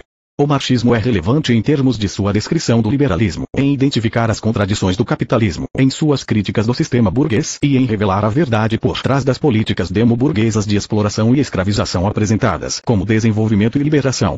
A crítica potencial do machismo é extremamente útil e aplicável. Ela pode bem ser incluída no arsenal da quarta teoria política. Mas, nesse caso, o marxismo não aparece como uma ideologia que fornece respostas a uma gama completa de questões emergentes, respostas que são racionais e axiomáticas em sua fundação, mas como um mito expressivo ou como um método sociológico espirituoso. O marxismo que podemos aceitar é o marxismo sociológico mítico. Como um mito, o marxismo nos narra a história de um estado paradisíaco original, comunismo primitivo, o qual é gradualmente perdido, a divisão primitiva do trabalho e a estratificação da sociedade primitiva. Então, as contradições aumentaram, chegando ao ponto em que, no fim do mundo, elas foram reencarnadas na forma mais paradigmaticamente pura do confronto entre trabalho e capital. O capital, a burguesia e a democracia liberal personificava o mal global, exploração, alienação, mentiras e violência. O trabalho incorporava um grande sonho e uma antiga memória do bem comum, cuja aquisição, a mais-valia, por uma maligna minoria deu origem a todos os problemas da vida. O trabalho, o proletariado, deve reconhecer os paradoxos dessa situação e se erguer contra seus mestres de modo a construir uma nova sociedade, um paraíso na Terra, o comunismo. Mas este não será o comunismo inicial de origens naturais, mas um tipo artificial, científico, no qual o diferencial, acumulado por séculos e milênios de alienação, servirá à comuna, à comunidade. O sonho se tornará realidade. Esse mito se encaixa completamente na estrutura da consciência escatológica, que ocupa um lugar significativo nas mitologias de todos os tipos de tribos e povos, sem mencionar as religiões altamente diferenciadas.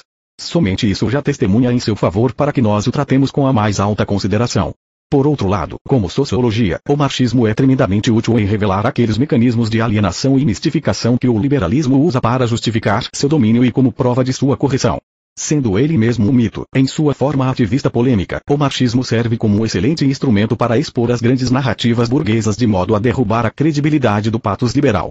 E nessa capacidade, contra o liberalismo, ele pode ser efetivamente usado sob novas condições. Afinal, nós continuamos a existir sob o capitalismo e, portanto, a crítica marxista do mesmo e a luta contra ele permanecem na agenda, ainda que as velhas formas dessa luta tenham se tornado irrelevantes. O marxismo está normalmente correto quando descreve seu inimigo, especialmente a burguesia. Porém, suas próprias tentativas de entender a si mesmo levaram ao erro. A primeira e mais proeminente contradição é a previsão não cumprida de Marx sobre o tipo de sociedades que são as mais aptas para as revoluções socialistas. Ele estava confiante de que essas ocorreriam nos países industrializados europeus com elevado nível de manufatura e um alto percentual de proletariado urbano. Tais revoluções eram excluídas de ocorrer em países agrários e países com modo asiático de produção devido à sua falta de desenvolvimento. No século XX, tudo ocorreu exatamente ao contrário.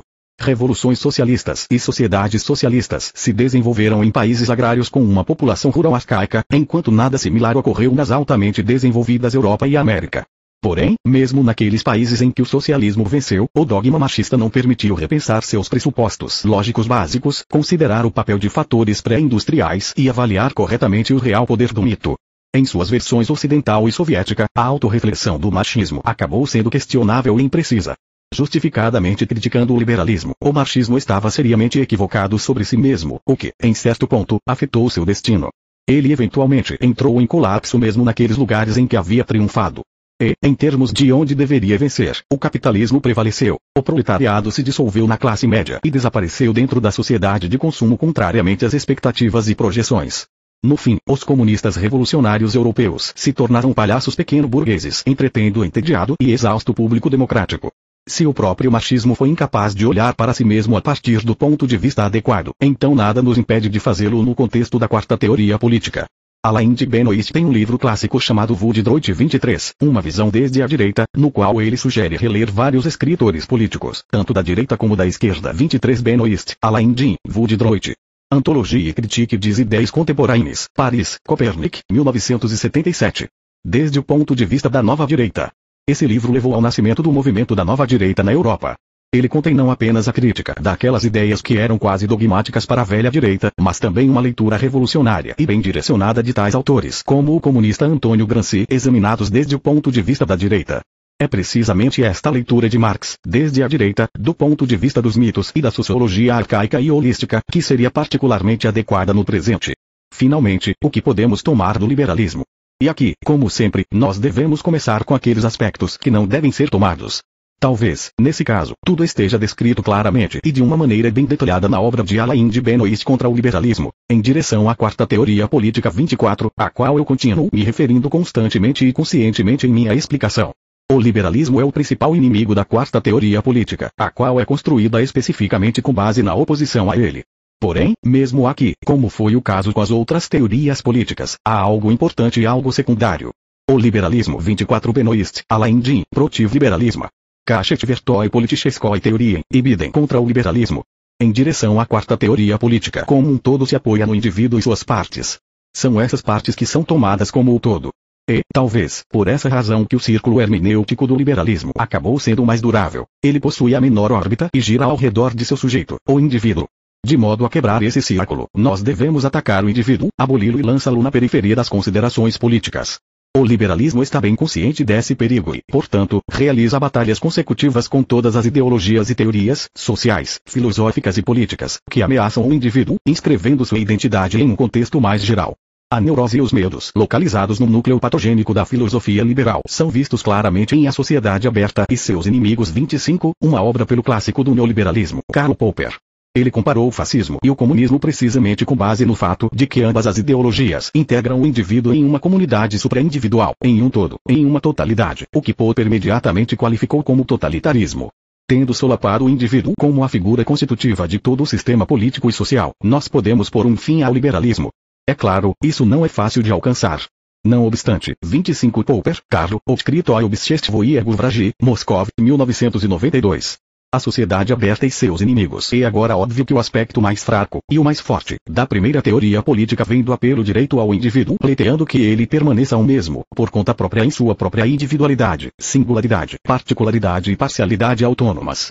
Em qualquer caso, a quarta teoria política pode interpretar as fobias de Popper, que o levaram e a seus seguidores a conclusões anedóticas, bastantes reveladoras. São suas críticas patéticas a Hegel no espírito de relações públicas negativas e as acusações de fascismo dirigidas a Platão e Aristóteles. A seu favor. Compreendendo que o inimigo mais teme, nós propomos a teoria de que cada identidade humana é aceitável e justificada exceto aquela do indivíduo. O homem é qualquer coisa menos um indivíduo. Nós devemos olhar cuidadosamente para um liberal quando ele lê ou ouve um axioma desse tipo. Eu acho que este será um espetáculo impressionante. Toda sua tolerância instantaneamente evaporará, enquanto direitos humanos serão distribuídos para qualquer um, menos para os que ousem proferir algo desse tipo. Isso, porém, eu descrevi em mais detalhes em meu ensaio Humanismo Máximo 26 bem como em meu livro, A Filosofia da Política 27. O liberalismo deve ser derrotado e destruído, e o indivíduo deve ser derrubado do pedestal. Porém, há algo que nós poderíamos pegar do liberalismo, do liberalismo que foi hipoteticamente derrotado e perdeu seu eixo. Sim, há. É a ideia de liberdade. E não apenas a ideia de liberdade para a mesma liberdade substantiva rejeitada por Mill em seu programa liberal concentrando na liberdade em relação a. Nós devemos dizer sim à liberdade em todos os seus sentidos e todas as suas perspectivas. A quarta teoria política deveria ser a teoria da liberdade absoluta, mas não como no machismo, na qual ela coincide com necessidade absoluta. Essa correlação nega a liberdade em sua própria essência. Não, liberdade pode ser de qualquer tipo, livre de qualquer correlação ou falta dela, encarando qualquer direção e qualquer objetivo. Liberdade é o maior valor da quarta teoria política, a qual coincide com seu centro, com seu núcleo dinâmico, energético. 26 do Jin, Ag, Maximal Humanism, Ruskayevich, Moscov, 2001. Humanismo Máximo 27 do Jin, A, Filosofia Politique, Moscov, 2004. A filosofia da política. Mas, essa liberdade é concebida como liberdade humana, não liberdade de um indivíduo, como a liberdade do etnocentrismo e a liberdade do Dasein, a liberdade da cultura e a liberdade da sociedade, a liberdade para qualquer forma de subjetividade exceto aquela de um indivíduo. Movendo-se na direção oposta, o pensamento europeu chegou a uma conclusão diferente. O homem, como indivíduo, é uma prisão sem muros 28, Jean-Paul Sartre. Isto é, a liberdade de um indivíduo é uma prisão. De modo a alcançar a verdadeira liberdade, nós devemos ir além dos limites do indivíduo. Nesse sentido, a quarta teoria política é uma teoria de liberação, de ir além dos muros da prisão em direção ao mundo exterior, o qual começa onde a jurisdição da identidade individual termina. A liberdade está sempre carregada de caos e aberta para oportunidades. Colocada na estrutura estreita da individualidade, a quantidade de liberdade se torna microscópica e, ultimamente, fictícia. O indivíduo pode receber liberdade porque ele não pode lidar com ela apropriadamente. Ela permanecerá contida dentro do sistema de sua individualidade e sua ordem. Este é o outro 28 Sartre J. P. Laje de Raizo, Paris, Gallimard, 1945. Lado do liberalismo. Em seu âmago, ele é totalitário e intolerante em relação a diferenças e à implementação de uma grande vontade. Ele só está preparado para tolerar pessoas pequenas. Ele protege não tanto os direitos do homem, mas, ao invés, os direitos de um homem pequeno. A esse homem pequeno se pode permitir tudo, mas ele, apesar de todo o seu desejo, não será capaz de fazer nada. Porém, além do homem pequeno, do outro lado do humanismo mínimo 29 tudo apenas começa a revelar o primeiro horizonte de liberdade. Porém, é também aqui que o grande risco e os perigos sérios nascem. Tendo deixado os limites da individualidade, o homem pode ser esmagado pelos elementos da vida, pelo caos perigoso. Ele pode querer estabelecer ordem. E isso está inteiramente em seu direito, o direito de um grande homem, como Maximus, um homem real de ser e tempo Martin Heidegger. E, como qualquer ordem, essa possível ordem, a ordem vindoura será incorporada em formas individuais. Não obstante, isso não é individualidade, mas individuação, não rotações vazias ao redor do que está dado e que é insignificante, mas a execução de tarefas tão bem quanto 29 do Jin, Ag, Maximal Ning Humanism, Ibidem Humanismo Máximo, Domesticação dos Inquietos e os Horizontes Excitantes da Vontade. O portador da liberdade nesse caso será o Dazen. As ideologias anteriores, cada uma à sua própria maneira, alienaram o Dazen de seu significado, tornando-o restrito, aprisionado de uma maneira ou outra, tornaram-no inautêntico. Cada uma dessas ideologias colocou um boneco infeliz, Dasman 30, no lugar do Dasein. A liberdade do Dasein se encontra em implementar a oportunidade de ser autêntico, isto é, na realização do Sein mais do que do Da. Ser aí consiste em aí em ser. De modo a compreender onde este aí está localizado, nós deveríamos apontá-lo e fazer o gesto básico, fundacional. Ainda, de modo que o ser flua para o aí como uma fonte, nós devemos colocar tudo isso junto, colocar todo esse círculo hermenêutico no domínio da liberdade completa. Portanto, a quarta teoria política é, ao mesmo tempo, uma teoria ontológica fundamental que contém a consciência da verdade do ser em seu âmago. Sem liberdade, nós não podemos forçar ninguém a existir. Ainda que construamos a sociedade ótima e mesmo que forcemos todos a agirem apropriadamente e a operar dentro da 30 IDGER, Martin, Seymour Dizeit e Biden estrutura do paradigma correto, nós jamais poderíamos garantir este resultado. Este resultado é a liberdade de um homem escolher o ser. É claro, na maioria das vezes, o homem tende para a existência inautêntica do Dasein, tentando se esquivar da questão, para sucumbir à fofoca, gerede, e à auto-zombaria. O Dasein liberado pode não escolher o caminho para o ser, pode se ocultar em um esconderijo, pode, novamente, desarrumar o mundo com suas alucinações e medos, suas preocupações e intenções. Escolher o Dasein pode corromper a própria quarta teoria política, transformando-a em uma autoparódia. Este é um risco, mas será um risco, também. A única questão é quem arrisca o quem, ou a quem. Você arrisca tudo, ou tudo, todos, arrisca você. Porém, apenas o multiplicador de liberdade fará da escolha do ser autêntico uma realidade. Apenas então as apostas serão verdadeiramente grandes, quando o perigo for infinito. Diferentemente de outras teorias políticas, a quarta teoria política não quer mentir, abrandar ou seduzir. Ela nos invoca a viver perigosamente, a pensar de modo arriscado, a liberar e soltar todas as coisas que não podem ser levadas de volta para dentro. A quarta teoria política confia no destino do ser e confia ao destino ao ser. Qualquer ideologia construída estritamente é sempre um simulacro e é sempre inautêntica, isto quer dizer, é sempre a falta de liberdade. Portanto, a quarta teoria política não deve se apressar de modo a se tornar um conjunto de axiomas básicos. Talvez seja mais importante deixar algumas coisas por dizer, encontradas em expectativas e insinuações, em alegações e premonições. A quarta teoria política deve ser completamente aberta, Capítulo 4. A crítica dos processos monotônicos. A ideia de modernização é baseada na ideia de progresso. Quando usamos o termo modernização, nós certamente queremos dizer progresso, acumulação linear e um certo processo contínuo. Quando falamos em modernização, nós pressupomos desenvolvimento, crescimento e evolução. Este é um mesmo sistema semântico. Assim, quando nós falamos das conquistas incondicionalmente positivas da modernização, nós concordamos com um paradigma básico muito importante. Nós concordamos com a ideia de que a sociedade humana está se desenvolvendo, progredindo, evoluindo, crescendo e se tornando melhor e melhor. Isto quer dizer, nós compartilhamos de uma visão particular de otimismo histórico. Esse otimismo histórico pertence às três ideologias políticas clássicas: liberalismo, comunismo e fascismo. Ele está enraizado na visão de mundo científica, societária, política e social das ciências humanas e naturais dos séculos 18 e X, quando a ideia de progresso, desenvolvimento e crescimento foi tomada como um axioma que não estava sujeito a dúvida. Em outras palavras, todo o conjunto de axiomas, toda a historiografia e análises de previsão do século XIX nas ciências humanas e naturais foram construídas sob a ideia de progresso. Nós podemos facilmente traçar o desenvolvimento desse tema, a ideia de progresso, nas três ideologias políticas. Vamos nos voltar para o liberalismo clássico do sociólogo Herbert Spencer.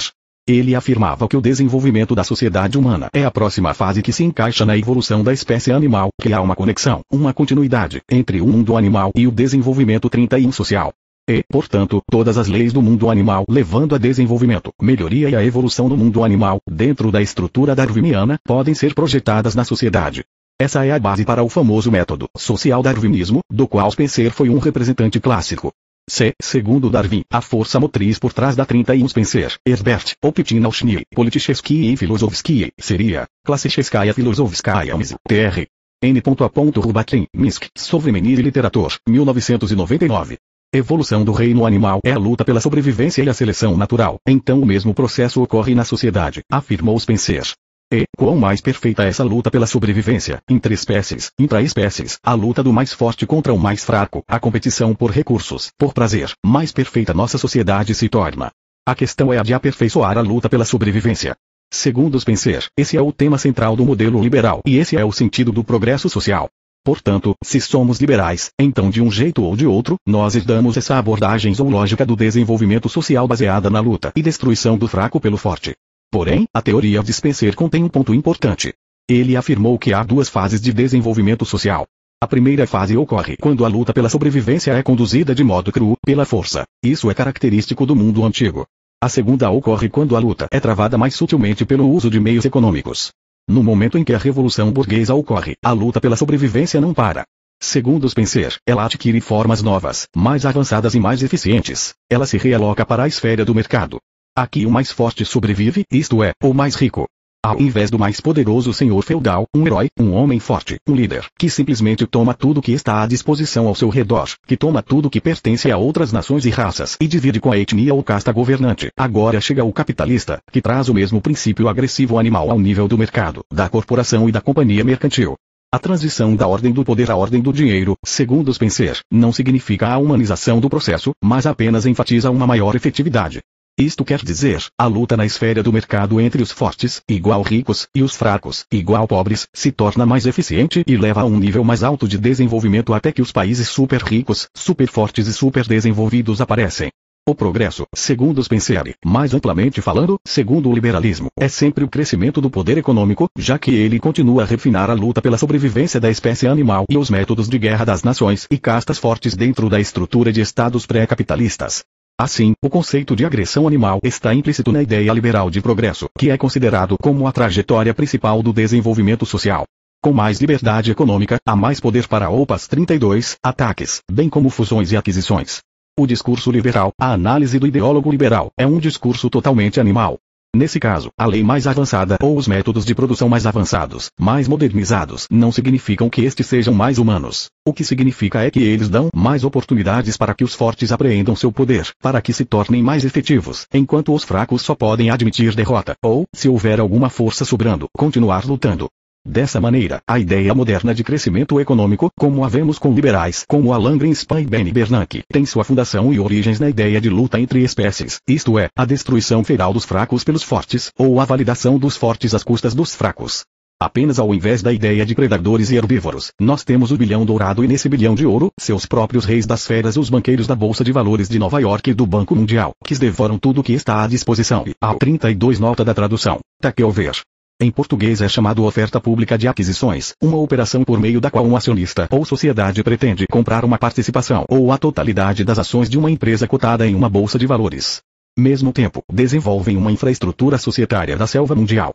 Portanto, quando nós falamos de modernização no sentido liberal, nós necessariamente queremos dizer a melhoria do cenário social, político, cultural, espiritual e informacional dentro do qual a agressão total dos fortes contra os fracos pode ser implementada. A liberal americana Ayn Rand, Greenspan foi um de seus maiores admiradores. Criou toda uma filosofia, objetivismo, 33 baseada na seguinte ideia brusca. Se alguém for rico, então ele é bom. Ela alcançou os limites da ideia weberiana sobre a origem do capitalismo na ética protestante e disse que o rico é sempre e necessariamente o bom, sempre o santo, enquanto o pobre é mau, preguiçoso e corrupto, um pecador. Ser pobre, segundo Ayn Rand, é como ser um vilão pecaminoso, enquanto ser rico é ser um santo. Ela propôs estabelecer a conspiração dos ricos, igual os fortes, inteligentes, sagrados e poderosos capitalistas, contra qualquer tipo de movimento trabalhista, camponeses, contra todos os que defendam justiça social, ou aqueles que sejam 33 Rand, Ein, Apologia Capitalismo, Moscov, Novo Literatur Noel Bosnini, 2003. Capitalismo, o ideal desconhecido simplesmente pobres. Tal cruzada dos ricos contra os pobres é a base da ideologia objetivista. Pessoas como Greenspan e o atual presidente da Reserva Federal Americana, Bernanke, são objetivistas, isto é, aqueles que interpretam a modernização, o progresso, o crescimento econômico e o desenvolvimento, seguindo a veia liberal. Se nós entendermos a modernização como os democratas liberais, então isso significa que nós somos convidados a nos unir nessa terrível luta pela sobrevivência em seu ápice, isto é para nos tornarmos como eles e tomar um lugar no comedouro da globalização. A globalização, nesse caso, é o novo caminho na luta pela sobrevivência, a luta dos ricos contra os pobres. Naturalmente, a premissa ideologicamente filosófica e moral dessa versão da modernização é inteiramente estranha ao povo russo em termos de nossa história e nossa cultura. Nós rejeitamos esse tipo de modernização incondicionalmente e aqueles que possam tentar impô-la sobre nós pagarão caramente por fazê-lo. No comunismo, a ideia do progresso unidirecional também está presente. Marx afirmou que a mudança de formações, que leva à melhoria e ao desenvolvimento de sociedades e economias, mais cedo ou mais tarde, resultará na revolução proletária comunista, redistribuindo os produtos acumulados como resultado das tecnologias de alienação em desenvolvimento. A expropriação dos expropriadores ocorrerá. Não obstante, enquanto isso não haja ocorrido, os machistas dizem que tudo ocorra como deve no desenvolvimento do capitalismo. Marx também viu a história positivamente, como desenvolvimento. Ele viu a história como crescimento e melhora, do menos para o mais, do simples ao complexo. É revelador que a maior parte do Manifesto Comunista 34 de Marx e Engels seja devotada a criticar especificamente aquelas filosofias políticas antiburguesas que diferiam do marxismo, primeiro e mais importantemente, aquelas que eram feudais, reacionárias e nacionalistas. Ao fazê-lo, Marx e Engels buscavam enfatizar que seu comunismo era dirigido contra a burguesia de uma maneira diferente da crítica dos anticapitalistas de direita. Na realidade, comparados com 34 Marx, Carlo, Engels, Friedrich, Manifest Kommunistische Partie, em Marx, Carlo, Engels, Friedrich, Watkins, 2 ND Edition, Vol. 4. Moskov, Gosudastvennoes da Teustvo Politicheskoy Literature, 1955, pp. 419-459. O Manifesto Comunista. Todos os outros projetos reacionários e conservadores, os machistas ficam ao lado da burguesia e buscam tornar sua vitória mais próxima, já que isso se traduz em progresso histórico e na lógica da modernização. Por essa razão, o marxismo rejeita o conservadorismo em todas as suas formas. As contradições entre os comunistas e os capitalistas adquirem um caráter particularmente agudo conforme o trunfo do capitalismo se torna irreversível e completo. É aqui que os comunistas entram para a história como a vanguarda do proletariado e impulsionam o progresso histórico mais adiante, em direção ao socialismo e o comunismo. Uma vez mais, nós vemos darwinismo no marxismo, incluindo a aceitação total das ideias evolucionárias e a crença no poder miraculoso do progresso científico e da evolução tecnológica. Nós vivemos esse tipo de modernização no século XX, pagamos por ela mais do que completamente. O povo claramente não tem o menor desejo de repetir tais experimentos.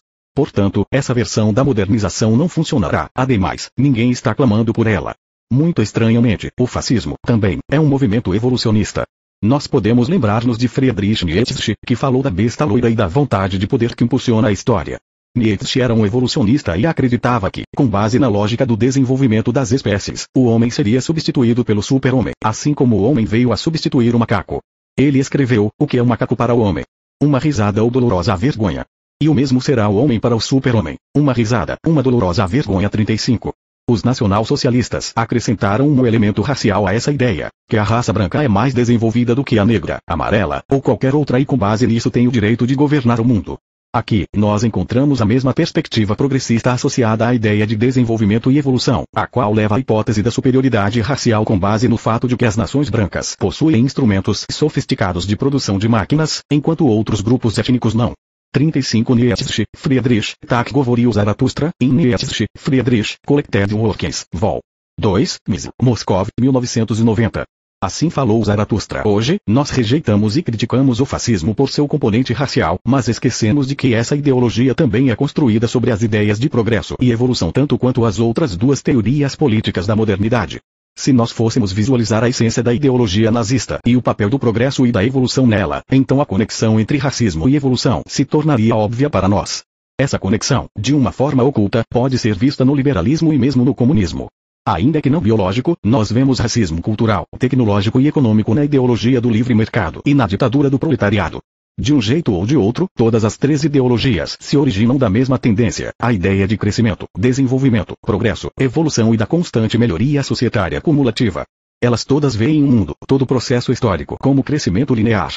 Elas diferem em sua interpretação do processo. Elas atribuem diferentes sentidos a ela, mas elas todas aceitam a irreversibilidade da história e seu caráter progressivo. Assim, a modernização é um conceito que diretamente nos envia de volta para as três ideologias políticas clássicas. Ademais, nós podemos ver a base comum que une as três ideologias na ideia de progresso e na valoração positiva do próprio conceito da modernização. Atualmente, todas as três dessas ideologias estão sendo gradualmente descartadas. Isso é evidente em relação ao fascismo e ao comunismo, e é um tanto menos óbvio em relação ao liberalismo. Mas mesmo o liberalismo gradualmente deixa de satisfazer a maioria da população mundial e, simultaneamente, se torna algo diferente do que era durante a era clássica da modernidade. Consequentemente, já é tempo de apresentarmos a questão da busca pela quarta teoria política 36 para além das três primeiras. E a rejeição radical das três teorias clássicas reflete nossa atitude em relação ao que é comum a todas elas, isto é, nossa atitude em relação à modernização, ao progresso, à evolução, ao desenvolvimento e ao crescimento.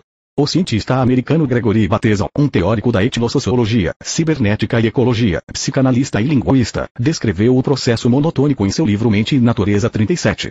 O processo monotônico é a ideia de crescimento 36 do Jin, A. G. Chetvertaya Politicheskaya Teoria, ST. Petersburg, Anfora, 2009. A quarta teoria política. Benoist, Alain Jin, Protiv Liberalismo. Kachet Vertoy Politicheskoy Teoria, ST. Petersburg, Anfora, 2009. Contra o liberalismo. Em direção à quarta teoria política 37 Batezal, Gregory, Razum e Triroda, Moscov, Konkniga, 2007. Mente e natureza constante, acumulação constante, desenvolvimento, progresso estável e de elevação de um indicador particular. Na matemática, isso é associado com a noção do valor monotônico, e, o valor que sempre aumenta, daí as funções monotônicas. Processos monotônicos são tipo de processos que sempre ocorrem em uma direção. Por exemplo, todos os seus indicadores consistentemente aumentam sem flutuações cíclicas e oscilações estudando o processo monotônico em três níveis, ao nível da biologia, vida, ao nível da mecânica, motores a vapor, motores de combustão interna, e ao nível do fenômeno social. Bateson concluiu que quando esse processo ocorre na natureza, ele imediatamente destrói a espécie. Se estivermos falando de um aparato artificial, ele quebra, explode, entra em colapso. Se falamos de uma sociedade, a sociedade deteriora, degenera e desaparece. O processo monotônico, na biologia, é incompatível com a vida, é um fenômeno antibiológico. Processos monotônicos estão completamente ausentes da natureza. Todos os processos de acumulação de algo em particular, de um traço em particular, resultam na morte de outras coisas. Processos monotônicos não existem em qualquer espécie biológica, das células aos organismos mais complexos. Assim que esse tipo de processo monotônico se inicia, desviados, gigantes ou anões e aberrações da natureza aparecem, eles são incapacitados, incompatíveis com a vida, não produzem prole e a própria vida os expulsa. Resolver o problema dos processos monotônicos foi o principal objetivo que surgiu no desenvolvimento dos motores a vapor. Acontece que a sutileza mais importante nos motores a vapor é o feedback de retransmissão. Quando o processo alcança velocidade de cruzeiro, é necessário reiniciar o abastecimento de combustível, senão o processo monotônico tem início, tudo começa a ressonar e a velocidade do motor se eleva causando sua explosão. Foi precisamente essa solução de evitar o processo monotônico na mecânica que foi o principal problema teórico, matemático, físico e de engenharia durante a primeira fase da industrialização. Acontece que o processo monotônico não apenas é incompatível com a vida, mas também com o próprio funcionamento mecânico de um aparato. A tarefa de projetar um aparato funcional é a de evitar o processo monotônico, isto é, a prevenção do progresso, evolução ou desenvolvimento unidimensional e a disposição do crescimento em um sistema fechado. Analisando a sociologia, Bateson demonstrou que não há processos monotônicos em sociedades reais. Processos monotônicos, tais como o crescimento populacional, em casos normais, levam a guerras, via de regra, o que corta o crescimento populacional pela metade. Em nossa sociedade, hoje nós vemos um nível sem precedentes de progresso tecnológico automatizado junto com uma inacreditável degradação moral. Se olharmos para toda essa evidência sem o preconceito evolucionista, então perceberemos que processos monotônicos existem apenas nas mentes das pessoas, e eles são modelos puramente ideológicos. Bateson demonstrou que eles não existem na realidade biológica, mecânica e social. Marcel Mauss, um conhecido sociólogo francês, criticou o processo monotônico também.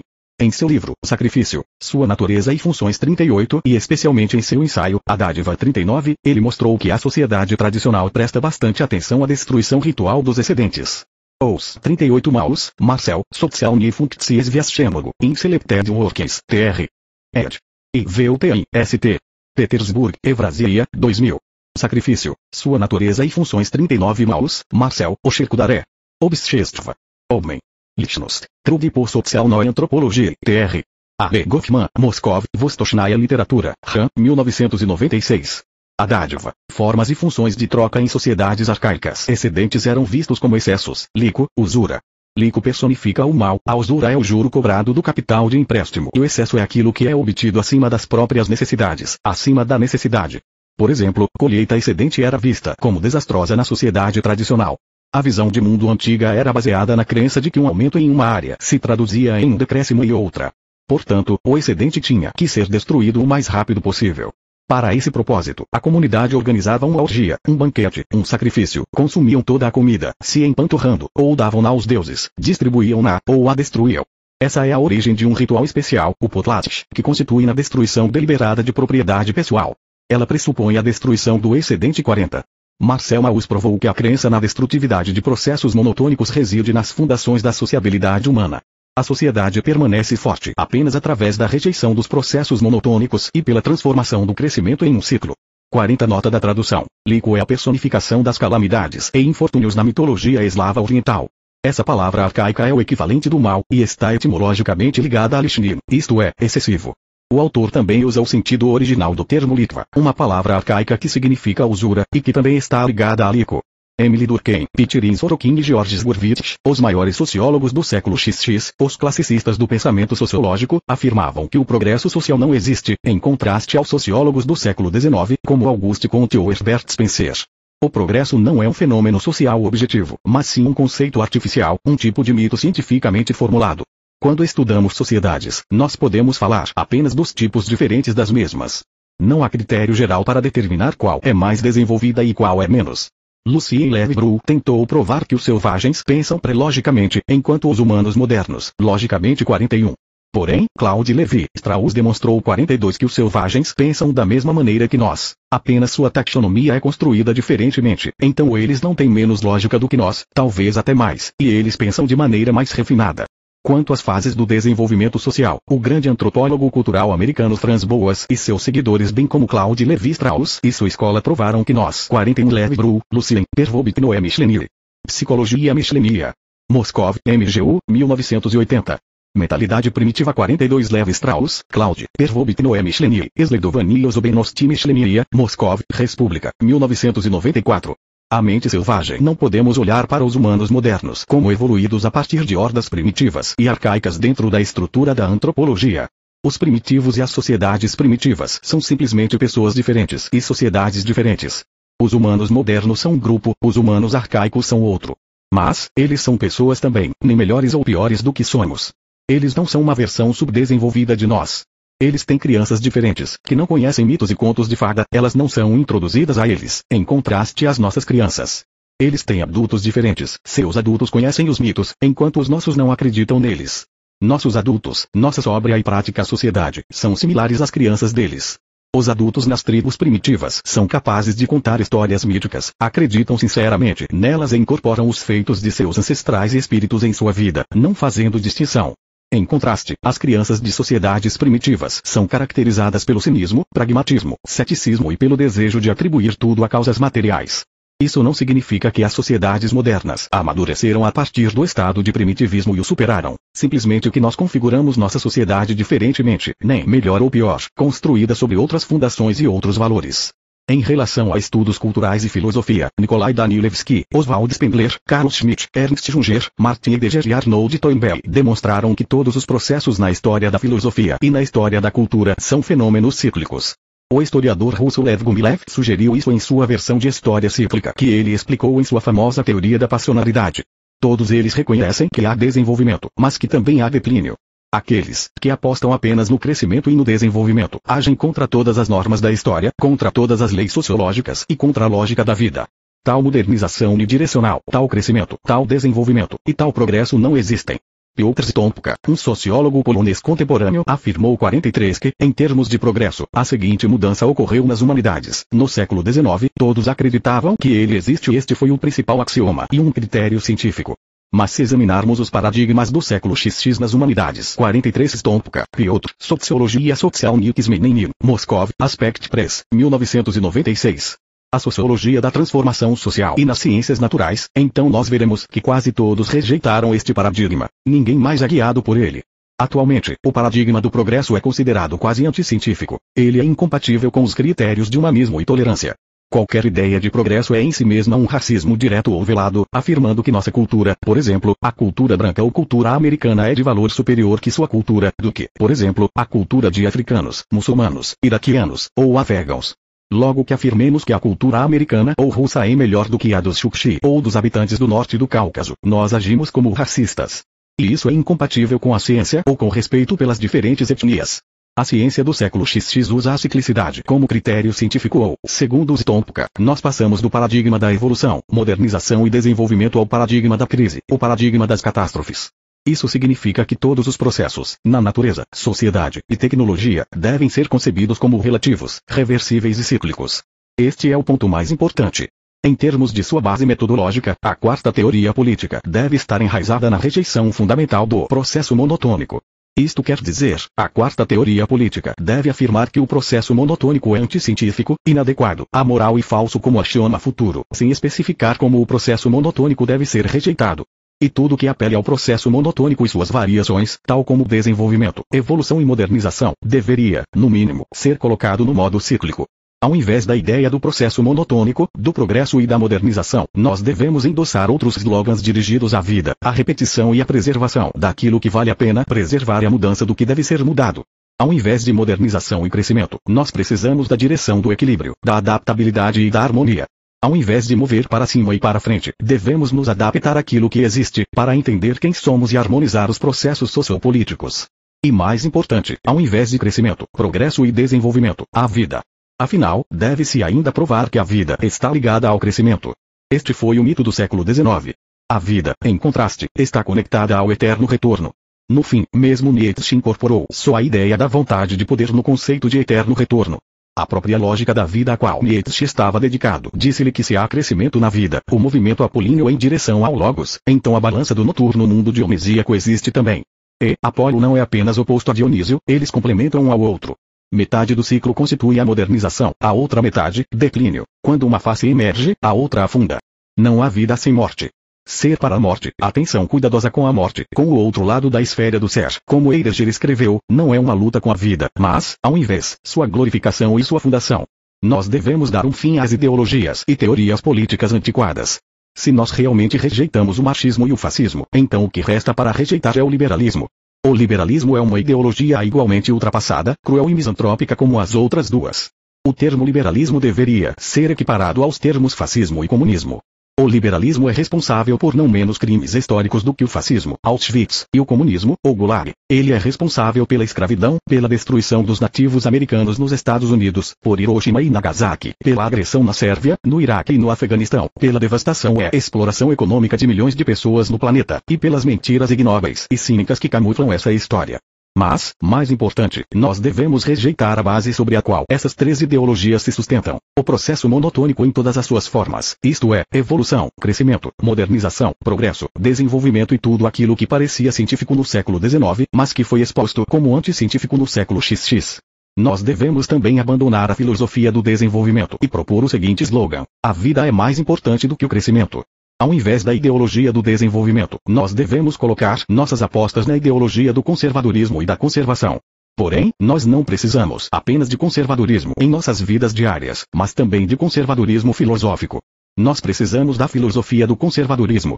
Olhando para o futuro do sistema político russo, se ele vai estar baseado em processos monotônicos, então ele está destinado à falência.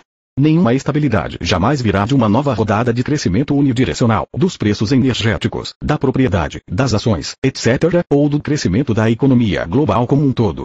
Se essa ilusão persistir, então ela pode se tornar fatal para nosso país. Hoje, nós nos encontramos em um estado de transição. Nós mais ou menos sabemos do que nós estamos nos afastando, mas nós não sabemos em direção a que estamos indo. Se nós nos movermos em direção àquilo que diretamente ou indiretamente implica a presença dos processos monotônicos, então nós nos depararemos com um beco sem saída. A quarta teoria política deve dar um passo em direção à formulação de uma crítica coerente do processo monotônico. Deve desenvolver um modelo alternativo de um futuro conservador, um amanhã conservador, baseado nos princípios da vitalidade, das raízes, das constantes e da eternidade. Afinal, como Arthur Moeller Vandenbroek uma vez disse, a eternidade está ao lado do conservador.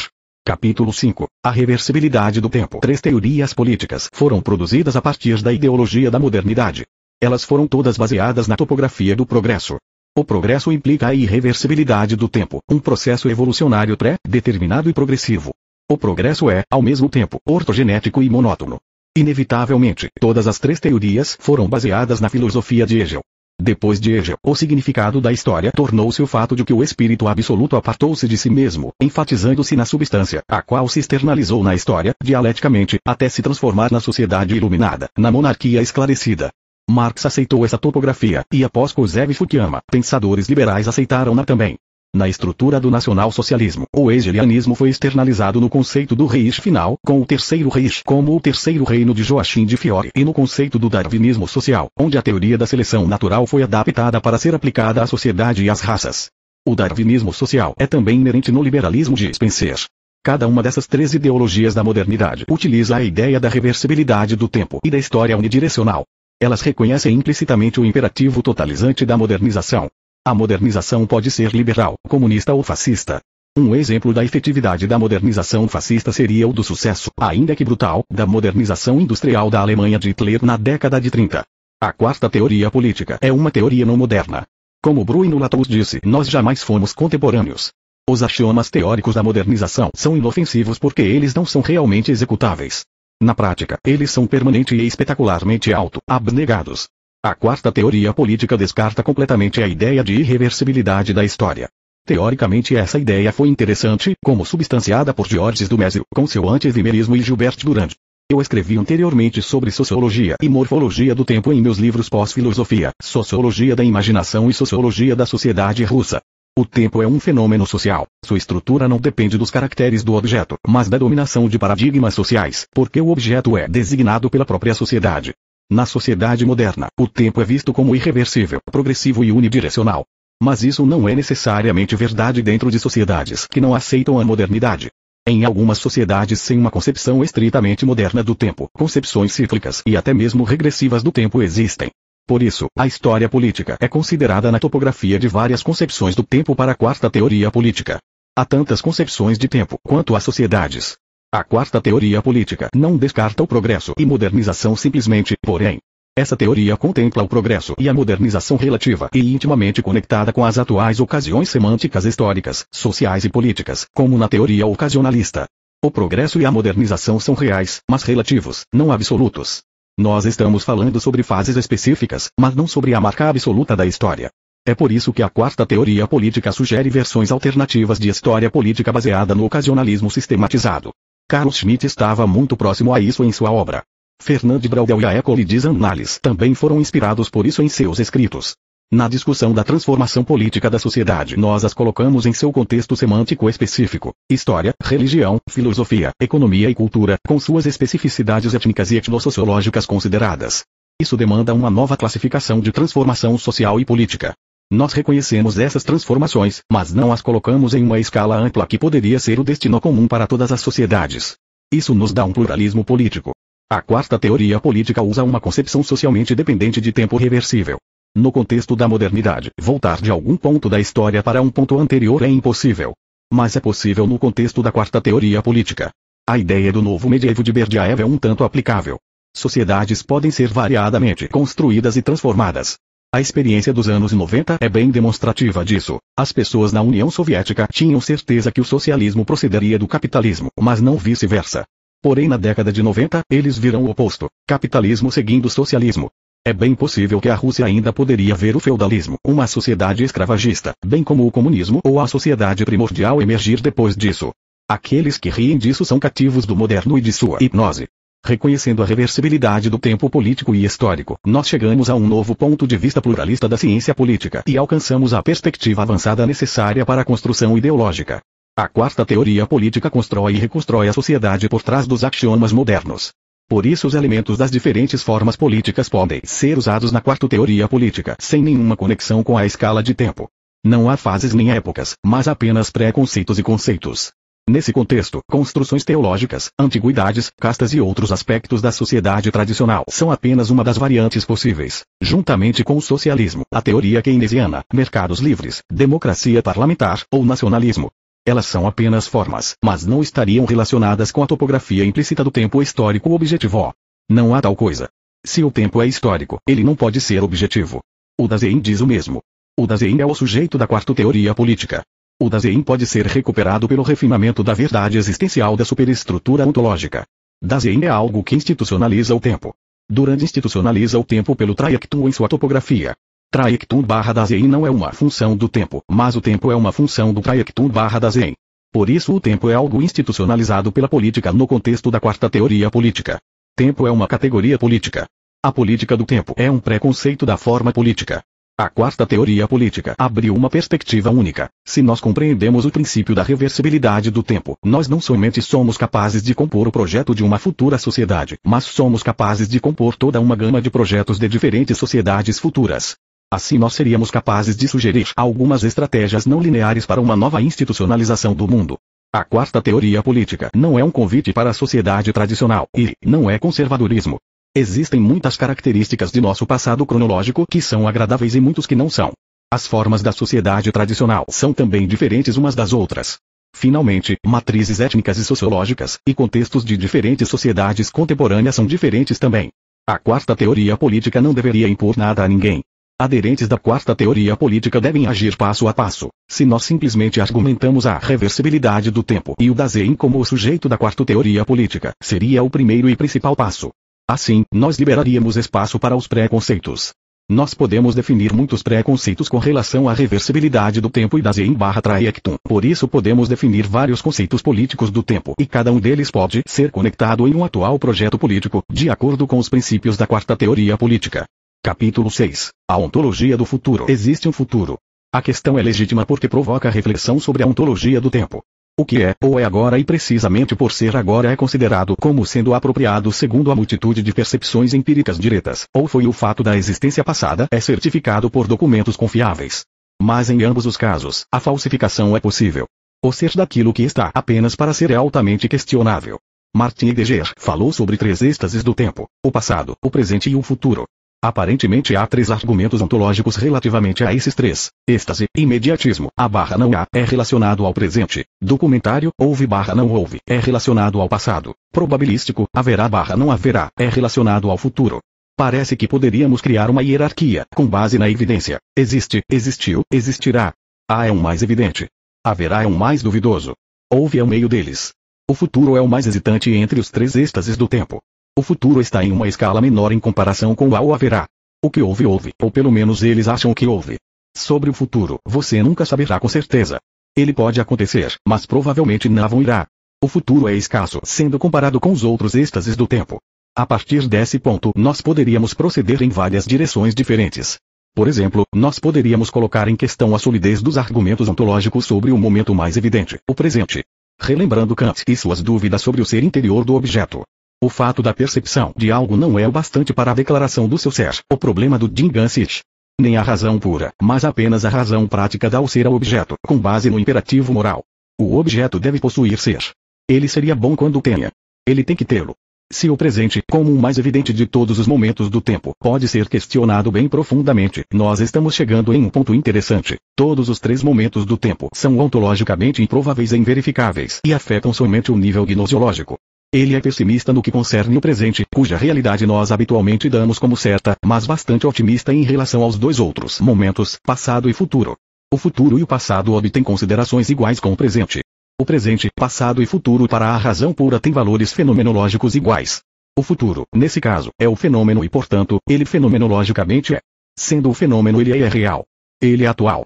Kant, analisando as formas de sensibilidade a priori, coloca o tempo mais perto do sujeito e o espaço mais perto do objeto.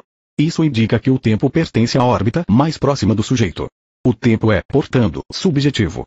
É o sujeito transcendental que instala o tempo na percepção do objeto. Agora, vamos mudar a perspectiva e considerar o tempo de forma fenomenológica. O Serro propôs estudar o tempo com o exemplo da música. A consciência de ouvir uma peça musical não é baseada na estrita identificação das notas soando em um momento concreto e discreto. Ouvir música é algo diferente de ouvir uma nota que soa agora, no presente. A consciência da música é acessada relembrando as notas passadas também, que estão se dissolvendo pouco a pouco no nada, mas sua ressonância, o eco continua na consciência e dá frase musical senso estético. O Serro chama isso de a instância contínua. O passado está presente no presente. O presente assim torna-se contínuo e inclui o passado como presença evanescente. Essa é a chave metodológica para o entendimento da história. História é a consciência da presença do passado no presente. O evento de esvaecimento continua a soar na lembrança deles. Clio e Polínia são irmãs. Essa lembrança é necessária para dar ao presente o sentido. A anamnese de Platão tinha a mesma função. A alma deveria relembrar o passado oculto de sua existência passada de modo a reconstruir a completude da melodia do destino. Somente assim ela poderia ser tocada de forma harmoniosa. Por isso, o futuro deveria ser colocado nesse contexto. Ele é continuo no presente. Não o momento do novo 44, mas o processo de esvaecimento do presente, que é agora. O futuro é a cauda do presente, sua ressonância. Nós vivemos o futuro agora, já agora, quando nós tocamos as notas da melodia da vida. O futuro é o processo de morte do presente, a atenção da dissolução da melodia na estrutura principal da harmonia. O novo aparece no futuro somente quando a harmonia é perdida, quando nossa atenção adormece, e então de repente nós acordamos e não conseguimos identificar os 44 nota da tradução. Coisa nova, em latim. Sons que ouvimos. Momentaneamente, eles simplesmente não fazem sentido. Isso é o novo incompreensão espontânea do que está acontecendo. É a natureza dos eventos discretos descontinuados. O momento de ser sem história, portanto sem o senso de percepção. O ser está cavando muito mais fundo na fenomenologia do tempo. Ele descobre a nova instância da consciência subjacente quando a história musical do tempo é percebida. De acordo com Cero, debaixo desse nível há outro, o último que é responsável pela nossa percepção do que está agora com a força da evidência e o gosto da realidade muito mais intenso do que no caso da recordação do passado sempre agonizante. Essa instância é a própria consciência, a consciência enquanto tal que precede a intencionalidade e o tópico dualista de apreensão, sendo necessariamente dividido em duas partes, o percebido e o percebedor. No presente, a consciência percebe a si mesmo e nada mais. Essa é a experiência máxima da última fonte da realidade. Segundo o ser a base de tudo é a subjetividade transcendental, donde concebe a si mesma, é um tipo de curto-circuito. Essa é uma experiência autorreferencial. Nisso há a percepção de puro ser como a presença da subjetividade da consciência. Esse curto-circuito faz com que todo tipo de dualidades surjam, as lógicas e as temporais. A necessidade de parar esse trauma é manifesto na criação do tempo, a articulação dos três momentos do tempo. O tempo é necessário para ocultar o presente, que é a experiência traumática da autorreferência da consciência pura. A intencionalidade e os juízos lógicos estão ambos enraizados nessa evasão da consciência em relação à dor do vazio presente no qual a consciência se apresenta a si mesma. Tal atitude para os níveis de consciência explica a gênese do tempo como a evasão da tensão presente e insuportável da presença pura para o mesmo. A tensão é imediatamente aliviada pela expansão em todos os tipos imagináveis de dualidades que constituem as texturas dos processos contínuos. O modelo de todo esse processo é o tempo de três momentos. A simetria lógica e espacial segue os casais sim barra não, verdadeiro barra falso, alto barra baixo, direito barra esquerdo, aqui barra lá e assim por diante. Antes barra depois pertence ao mesmo ritmo. A consciência constitui o tempo correndo do insuportável encontro consigo. Mas esse encontro é inevitável, então o presente e sua alta precisão de percepção existencial nascem. O que é mais importante nessa interpretação da morfologia do tempo? A ideia de que o tempo precede o objeto e ele enraiza o tempo. Nós devemos buscar profundamente no interior da consciência, não nas coisas exteriores constituídas por procedimentos subjetivos de autoexperiência traumática. O mundo ao nosso redor se torna aquilo que é pela ação fundamental do presenciamento realizada pela mente. Se uma mente adormece a realidade carece do gosto da existência presente. Ela está completamente imersa no contínuo e ininterrupto sonho. O mundo é criado pelo tempo, e o tempo por sua vez é a manifestação da subjetividade auto-encontradora. Estas observações nos levam ao tópico científico do estudo do futuro, o prognóstico, projetando a análise do futuro. Seguindo do homem para a sociedade, da antropologia à sociologia, nós poderíamos afirmar o futuro como algo absolutamente subjetivo na natureza, então em nosso contexto como algo social. O futuro é social porque ele é a característica histórica e não imanente à qualidade inerente do objeto. O objeto não tem futuro. A terra, os animais, as pedras, as máquinas, não têm futuro. Somente aqueles que estão inclusos no contexto social humano podem indiretamente fazer parte do futuro. Sem a consciência autorreferente não pode haver tempo. O tempo é o que está dentro de nós que faz com que sejamos quem somos. O tempo é a identidade final do homem. Essa subjetividade do tempo não quer dizer que qualquer prognóstico será uma profecia autorrealizável. R. Merton, nem que qualquer projeto é realizável a priori. O futuro é estritamente determinado e não é algo voluntário. O tempo sendo histórico é pré-definido precisamente por seu conteúdo histórico. O sujeito não é livre de sua estrutura, mais do que é absolutamente escravizado por ele. O tempo necessita do futuro como o espaço vazio para o contínuo desaparecimento do presente e parcialmente do passado. Se falta o futuro, o sujeito não terá o espaço de se evadir, de fugir do encontro impossível consigo mesmo, do curto-circuito mencionado acima. O momento congelado do presente sem o futuro é o da morte. A sociedade necessita do futuro para fugir de si mesma para cada vez mais longe. A crônica dessa fuga é o sentido da história. Para torná-la efetiva, nós precisamos dos restos dos episódios passados. O futuro é pré-definido pela estrutura do sujeito. É por isso que ele é estritamente definido. O sujeito não pode deixar de implementar as cadeias do raciocínio, deixar de pensar, deixar de constituir as cadências temporais. O futuro está na mesma medida que o presente e o passado. Onde o tempo está, o futuro também está. O futuro faz sentido. Ele possui sentido mesmo antes de se tornar presente. Mais do que isso, o futuro faz sentido mesmo que jamais ocorra. É o valor semântico da profecia ou da prognose. Se ele não acontecer, ele também é algo carregado com sentido e auxílio para explicar o que se passa. As profecias e os prognósticos estão trabalhando para discernir o sentido do futuro. Quando o futuro refuta as expectativas, o fato da refutação dá sentido ao que realmente ocorre, porque o seu sentido consiste parcialmente naquilo que não se deu. A profecia não realizada possui exatamente a mesma importância que a realizada. O futuro pode ser analisado com a mesma precisão que o presente e o passado.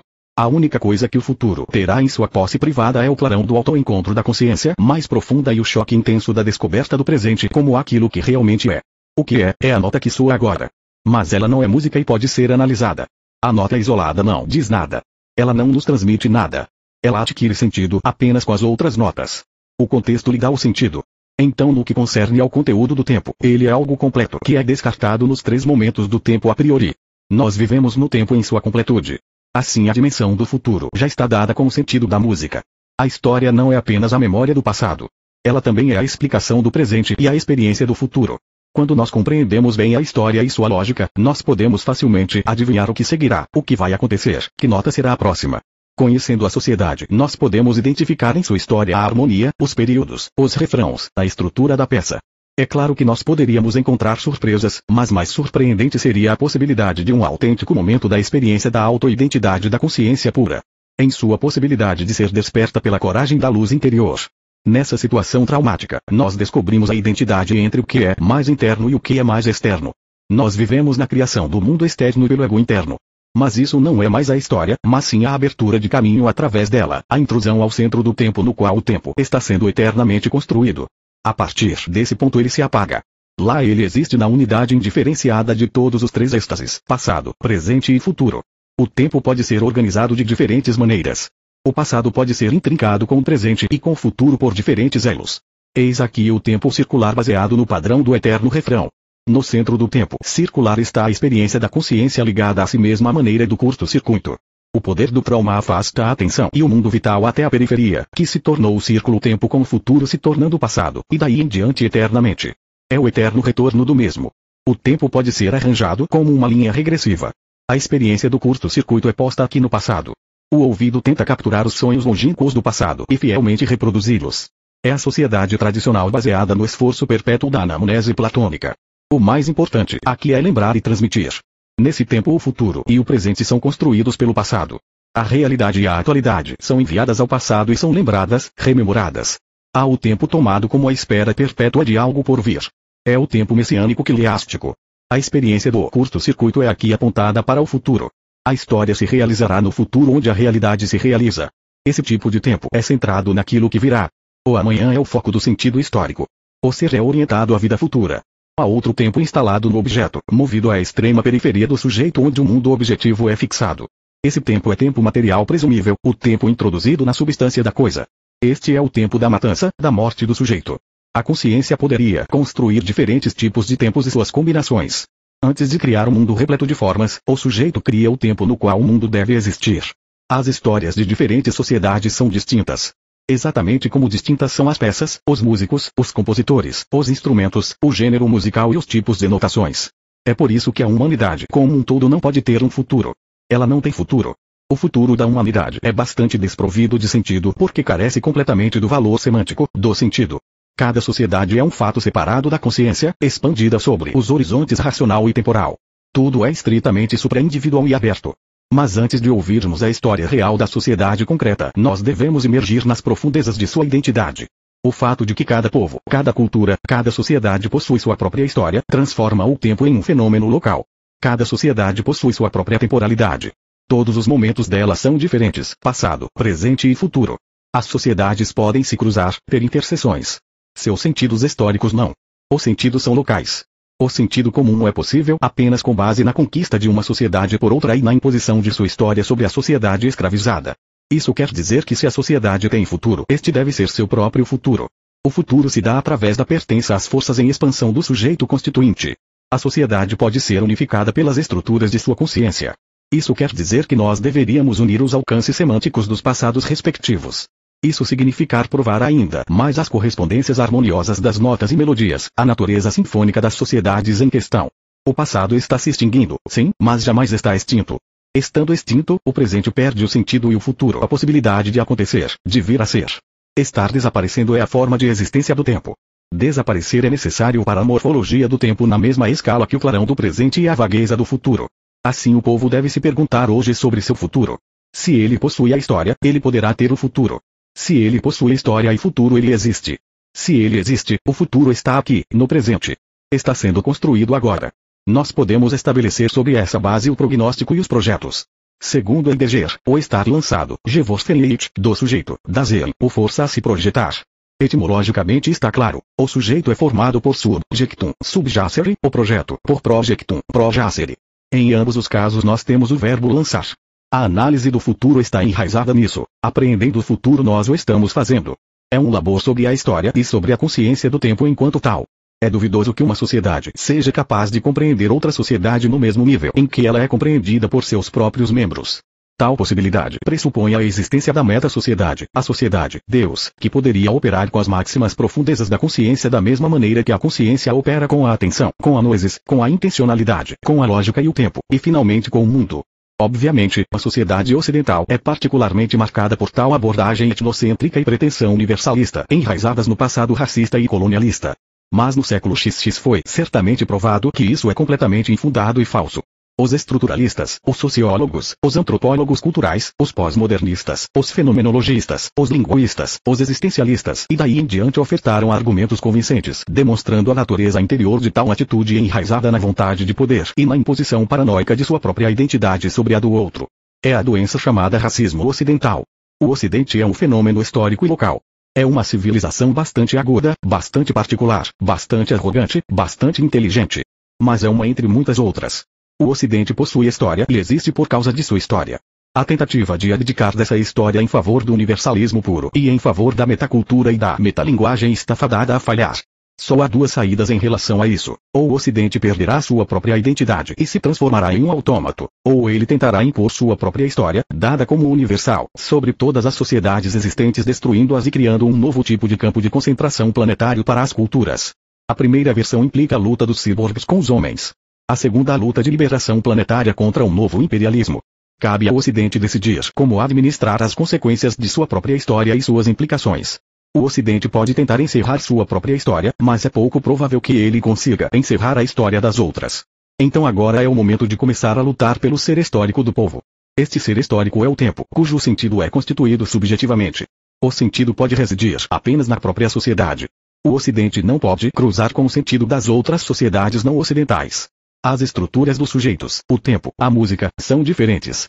O passado, o presente e o futuro das sociedades históricas não podem ser expostos por qualquer metacultura. Elas jazem fundo demais e são defendidas dos olhos estrangeiros pelo poder destrutivo do momento autorreferencial, pela coragem da máxima atenção.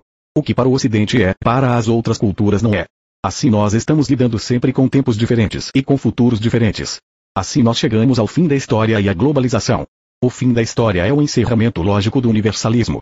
O fim da história é a abolição do futuro. A história prossegue e alcança seu estado terminal. Não há mais espaço para continuar. Então com o futuro toda a estrutura do tempo é abolida, não apenas o futuro, mas também o passado e o presente. Como isso pode ser possível? Nós poderíamos compará-lo com o toque simultâneo de todas as notas, sons e melodias existentes, o que nos dará cacofonia, bater e ranger de dentes. Ao mesmo tempo, provocará silêncio absoluto, surdez e acidez. Por isso não haverá espaço para a temporalização da tensão interior da subjetividade transcendental. O curto-circuito crescerá exponencialmente sem possibilidade de ser dissipado. Isso significa a inflamação, a ignição e o fogo. O mesmo fogo vai geralmente em par com a espada. De modo a prevenir a ignição e o golpe potencializado pelo encerramento da perspectiva temporal e lógica do alívio, o mundo global tentará aprisionar a consciência nas redes e na virtualidade, na qual ela poderia fugir da pressão interna do autoencontro sem problemas. Se tiver sucesso, o novo mundo do reino das máquinas será criado. A rede global e o ciberespaço digital são adequados apenas para a existência de pós-humanos, da pós-sociedade, da pós-cultura. Ao invés de fogo nós teremos eletricidade. Algumas pessoas acreditam que Fukuyama já é um robô. A globalização é o mesmo que o fim da história. Ambos caminham de mãos dadas. estão semanticamente conectados. As diferentes sociedades possuem histórias distintas. Isso implica futuros diferentes. Se nós vamos fazer o amanhã comum a todas as sociedades existentes no planeta, se nós vamos propor um futuro global, nós precisamos antes destruir a história dessas sociedades, deletar seus passados, aniquilar o momento contínuo do presente, virtualizando a realidade consistindo a partir do conteúdo do tempo histórico. O futuro comum significa deletar as histórias particulares. Mas isso significa que história alguma, incluindo o seu futuro, sobrará. O futuro comum não é futuro. A globalidade cancela o tempo. A globalidade cancela a subjetividade transcendental de o ser ou das Índia e deger. Não há mais tempo, nem ser. Assim nós temos que lidar com a bifurcação de construções temporais. É o momento de pôr essa questão com todo o peso implícito. Agora estando na aurora da entrada na zona do fim da história, na pós-história, nós poderíamos tomar a decisão e dar diferentes respostas ontológicas. Quando nós queremos ter o futuro, ele não deve ser global. Ele não pode ser um futuro único. Nós teremos que ter muitos futuros.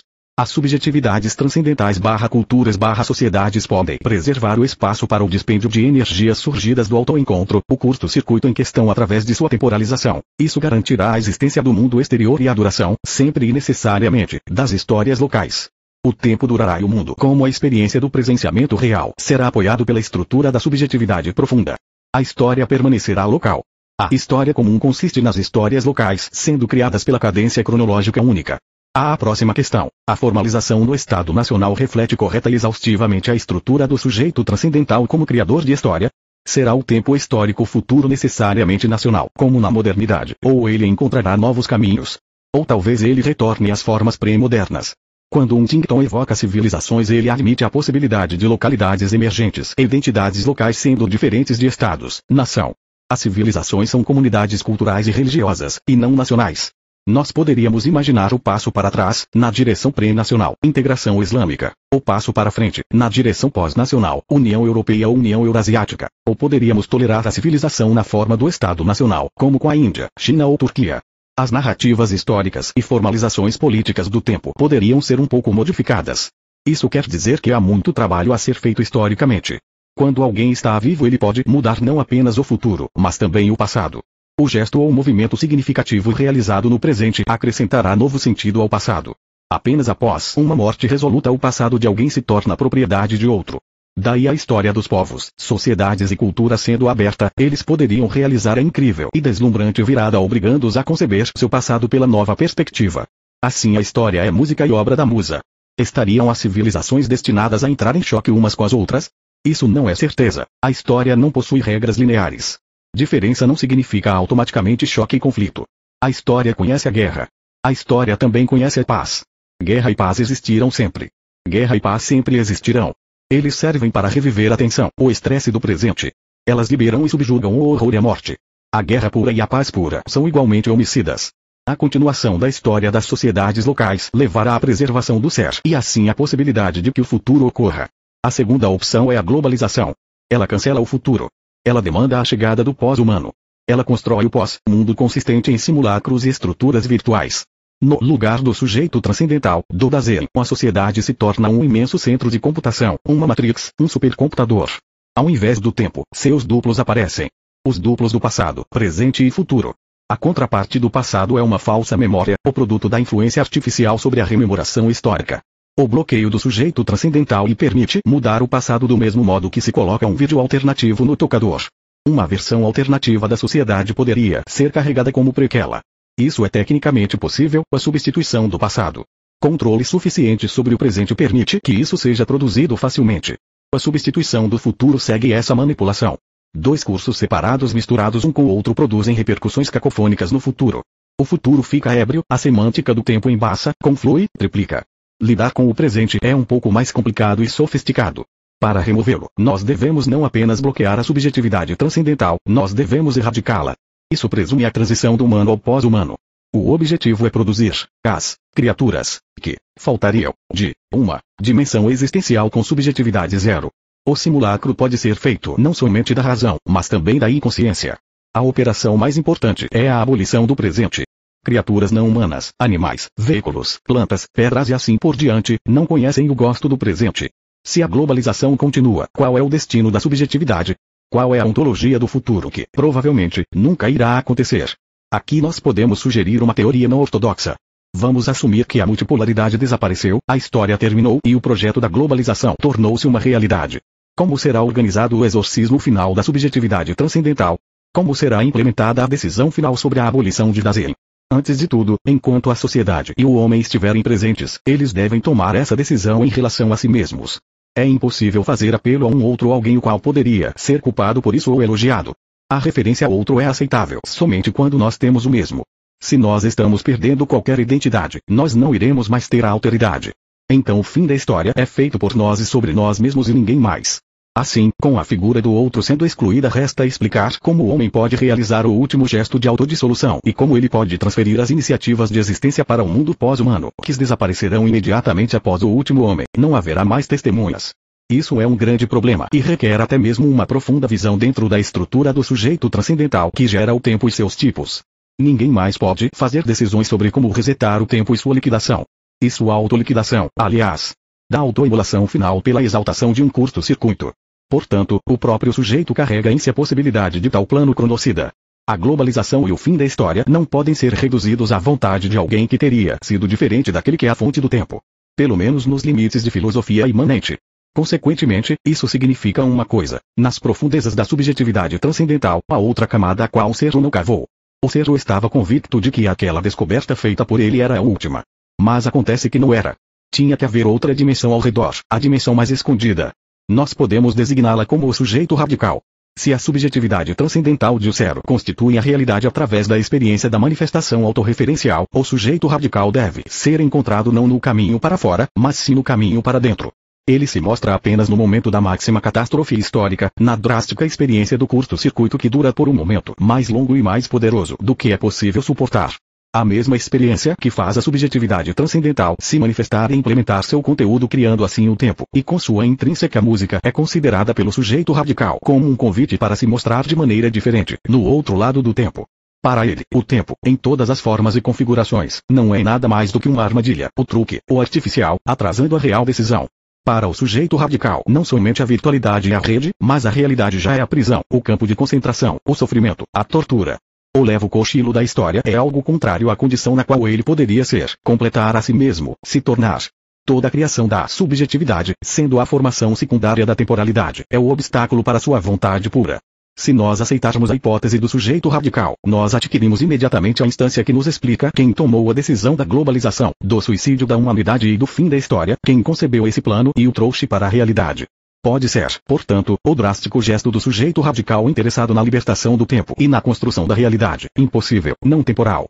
O sujeito radical é incompatível como todos os tipos de tempo. Ele, veementemente, demanda o antitempo, baseado no fogo exaltado da eternidade transfigurada na luz radical. Quando todo mundo se foi, restarão somente aqueles que não puderam ir. Talvez essa seja a razão da grande provação. Capítulo 7 Transição global e seus inimigos. Quais são fatores e atores históricos, políticos, ideológicos e econômicos que agora definem a dinâmica e configuração do poder no mundo e qual é a posição dos Estados Unidos no que é conhecido como a nova ordem mundial? A ordem mundial questionada. A nova ordem mundial, não, como um conceito foi popularizado num momento histórico concreto, precisamente quando a Guerra Fria terminou no fim dos anos 80 e a genuína cooperação global entre os Estados Unidos da América e a União Soviética foi considerada não apenas possível, mas muito provável. A base da não era presumidamente a realização da teoria convergente, predizendo a síntese das formas políticas do socialismo soviético e do capitalismo ocidental e a cooperação próxima entre União Soviética e Estados Unidos no caso de questões regionais, por exemplo, a Primeira Guerra do Golfo no início de 1991. Porém, como a União Soviética entrou em colapso logo depois disso, o projeto da NOM foi naturalmente anulado e esquecido. Depois de 1991, outra ordem mundial foi considerada como algo em formação diante de nossos olhos, um mundo unipolar como uma aberta hegemonia global dos Estados Unidos. Ela é bem descrita na utopia política de Fukuyama, o fim da história. Essa ordem mundial ignorou todos os outros polos de poder, exceto os Estados Unidos, com seus aliados, Europa e Japão. Ela foi concebida como uma universalização de economia de livre mercado, da democracia política e da ideologia de direitos humanos como um sistema global aceito por todos os países no mundo. Os céticos, no entanto, pensavam que isso era bastante ilusório e que as diferenças entre os países e os povos reapareceriam em outras formas, por exemplo, na infame tese do choque de civilizações, de Samuel Huntington, ou em conflitos étnicos ou religiosos. Alguns especialistas, em particular John Mearsheimer, considerou a unipolaridade não como uma propriedade da ordem mundial, mas bem como um momento unipolar. Em qualquer caso, o que é questionado em todos esses projetos é a ordem existente de Estados-nação e soberania nacional. O sistema westfaliano não mais corresponde ao atual balanço global de poderes. Novos atores de escala transnacional e subnacional estão afirmando sua crescente importância e é evidente que o mundo tem necessidade de um novo paradigma de relações internacionais. Então, o atual mundo contemporâneo não pode ser considerado como uma realização adequada da nova ordem mundial. Não há nenhuma ordem mundial definitiva de qualquer tipo. O que nós temos em vez é a transição da ordem mundial que nós conhecemos no século XX para outro paradigma, cujas características ainda estão para ser totalmente definidas. O futuro será realmente global, ou as tendências regionalistas irão dominar. Haverá uma única ordem mundial. Ou em vez disso, haverá várias ordens locais e regionais. Ou talvez o que nós estamos fazendo para lidar com o caos global. Não está claro ainda. A transição não está realizada. Nós estamos vivendo no meio disso. Se a elite global e primeiro de tudo a elite econômica e política dos Estados Unidos tem uma visão clara do futuro, o que é bem duvidoso, circunstâncias permitem e podem prevenir a realização dele na prática. Se, porém, a elite global carece de um projeto consensual, a questão se torna muito mais complicada. Então somente o fato da transição para algum novo paradigma é certo. O paradigma como tal, pelo contrário, é bastante incerto. Ordem mundial do ponto de vista dos Estados Unidos. A posição dos Estados Unidos durante esse deslocamento é absolutamente garantida, mas seu futuro em longo prazo está em questão. Os Estados Unidos estão, agora, realizando o teste de seu domínio global imperial e têm de lidar com muitos desafios, alguns deles inteiramente novos e originais. Isso poderia proceder em três formas diferentes. Criação de um império americano stricto sensu como uma área central consolidada e tecnicamente e socialmente desenvolvida, ou um núcleo imperial com a periferia mantida dividida e fragmentada, no estado de agitação permanente, próxima do caos. Os neocons, ao que parece, estão a favor de tal padrão, a criação da unipolaridade multilateral onde os Estados Unidos cooperariam com outras potências amigáveis, Canadá, Europa, Austrália, Japão, Israel, aliados árabes e possivelmente outros países, na solução de problemas regionais e colocando pressão em estados párias, como Irã, Venezuela, Bielorrússia e Coreia do Norte, ou prevenindo outras potências de alcançarem a independência regional e a hegemonia, China, Rússia, etc. Parece que os democratas e o presidente Obama são inclinados a essa visão, a promoção da globalização acelerada com a criação de um governo mundial e a rápida dessoberanização dos Estados-nação em favor da criação de um Estados Unidos do mundo governado pela elite global em termos legais, por exemplo, o projeto CRIE 45 representado pela estratégia de George Soros e suas fundações. As revoluções coloridas são vistas aqui como a arma mais efetiva para desestabilizar e finalmente destruir estados. 45 Nota da tradução. CRE, Conselho de Relações Exteriores, em inglês CFR, Council on Foreign Relations. Os Estados Unidos muitas vezes parecem estar simultaneamente promovendo todas as três estratégias ao mesmo tempo, como parte de uma política estrangeira multivetorial. Essas três direções estratégicas dos Estados Unidos criam o contexto global em relações internacionais, os Estados Unidos sendo ator-chave em uma escala global.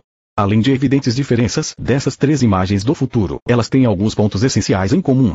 Em todo caso, os Estados Unidos estão interessados em afirmar sua dominação estratégica, econômica e política, no fortalecimento do controle ou de outros atores globais e enfraquecê-los, na gradual ou acelerada dessoberanização do que são agora estados mais ou menos independentes, na promoção de valores supostamente universais refletindo os valores do mundo ocidental e democracia liberal, parlamentarismo, livre mercado, direitos humanos e assim por diante. Por isso nós estamos diante de um mundo contemporâneo em um arranjo geopolítico forte e aparentemente permanente onde os Estados Unidos são núcleo e onde os raios de sua influência estratégica, econômica, política, tecnológica, informacional, ética penetram todo o resto do mundo, dependendo da força da sua vontade de aceitá-la ou rejeitá-la no caso de diferentes países, particularidades étnicas ou religiosas. É o tipo de rede imperial global operando em escala planetária. Esse arranjo geopolítico global centrado dos Estados Unidos pode ser descrito em vários níveis diferentes. Historicamente, os Estados Unidos se consideram a conclusão lógica e o ápice da civilização ocidental. Uma vez ele foi apresentado nos termos do Destino Manifesto dos Estados Unidos e então da doutrina Monroe. Agora eles falam em termos de execução das normas dos direitos humanos universais, promoção da democracia, tecnologia, instituições de livre mercado e daí em diante. Mas em essência nós simplesmente lidamos com uma versão atualizada e continuada do universalismo ocidental que foi transmitido desde o Império Romano, ao cristianismo medieval, à modernidade com iluminismo e colonização, até o atual pós-modernismo e ultra-individualismo. A história é considerada como sendo um processo unívoco e monótono de progresso tecnológico e social, o caminho da libertação crescente dos indivíduos de todos os tipos de identidades coletivas. Tradição e conservadorismo são assim considerados como obstáculos para a liberdade e devem ser rejeitados. Os Estados Unidos estão na vanguarda desse processo histórico e têm o direito, obrigação e missão histórica de mover a história cada vez mais adiante. A existência histórica dos Estados Unidos coincide com o curso da história humana. Então, americano significa universal. As outras culturas ou têm um futuro americano ou não têm futuro algum. Politicamente, há tendências muito importantes na política global que definem a transição. O ápice do pensamento político da modernidade foi a vitória do liberalismo sobre as doutrinas políticas alternativas da modernidade, fascismo e socialismo. O liberalismo foi global e se tornou o único sistema político possível. Está progredindo agora em direção ao conceito pós-moderno e pós-individual de política, geralmente descrito como pós-humanismo. Os Estados Unidos novamente desempenham aqui o papel fundamental. A forma de política promovida globalmente pelos Estados Unidos é democracia liberal. Os Estados Unidos apoiam a globalização do liberalismo, assim preparando o próximo passo para o pós-modernismo político, como descrito em Império, o famoso livro de Negri e Art. Subsiste alguma distância entre o ultra-individualismo liberal e o pós-humanismo propriamente pós-moderno, promovendo a cibernética, modificações genéticas, clonagem e as quimeras. Mas a periferia do mundo, nós, ainda enfrenta o processo universalizante, a destruição acelerada de qualquer entidade social holística, a fragmentação e atomização da sociedade inclusive através da tecnologia, internet, telefones móveis, redes sociais, onde o principal ator é estritamente o indivíduo, divorciado de qualquer contexto social natural e coletivo. Um importante testemunho do uso dúplice da promoção de democracia foi explicitamente descrito em um artigo pelo especialista político e militar americano T.P.R. Mann 46, quem afirmou que a democracia pode trabalhar como um vírus autogerador, fortalecendo as sociedades democráticas existentes e historicamente maduras, mas destruindo e emergindo no caos sociedades tradicionais não preparadas adequadamente para isso. Assim a democracia é pensada como sendo uma arma eficaz para criar caos e governar as culturas em dissipação do mundo a partir do núcleo que emula e instala os códigos democráticos em todo lugar. A evidência desse processo pode ser vista na sequência caótica de eventos estimulantes da chamada Primavera Árabe. Depois de realizar a fragmentação completa das sociedades para a individualização e atomização, a segunda fase começará. A 46. Human STPR 1992. Chaos Theory and Strategic Thought, Parameters 2 ou 3, Autumn divisão e dissolução inevitáveis do próprio indivíduo humano através da tecnologia e experimentos genéticos para criar uma pós-humanidade. Essa pós-política pode ser vista como o último horizonte do futurismo político. Ideologicamente, há uma tendência para os Estados Unidos vincularem cada vez mais ideologia e política em suas relações com a periferia. Antes, a política externa dos Estados Unidos agia com base em puro realismo pragmático. Se os regimes fossem pró-Estados Unidos, eles eram tolerados sem consideração por seus princípios ideológicos. A duradoura aliança entre os Estados Unidos e a Arábia Saudita representa o exemplo perfeito desse realismo na política externa na prática.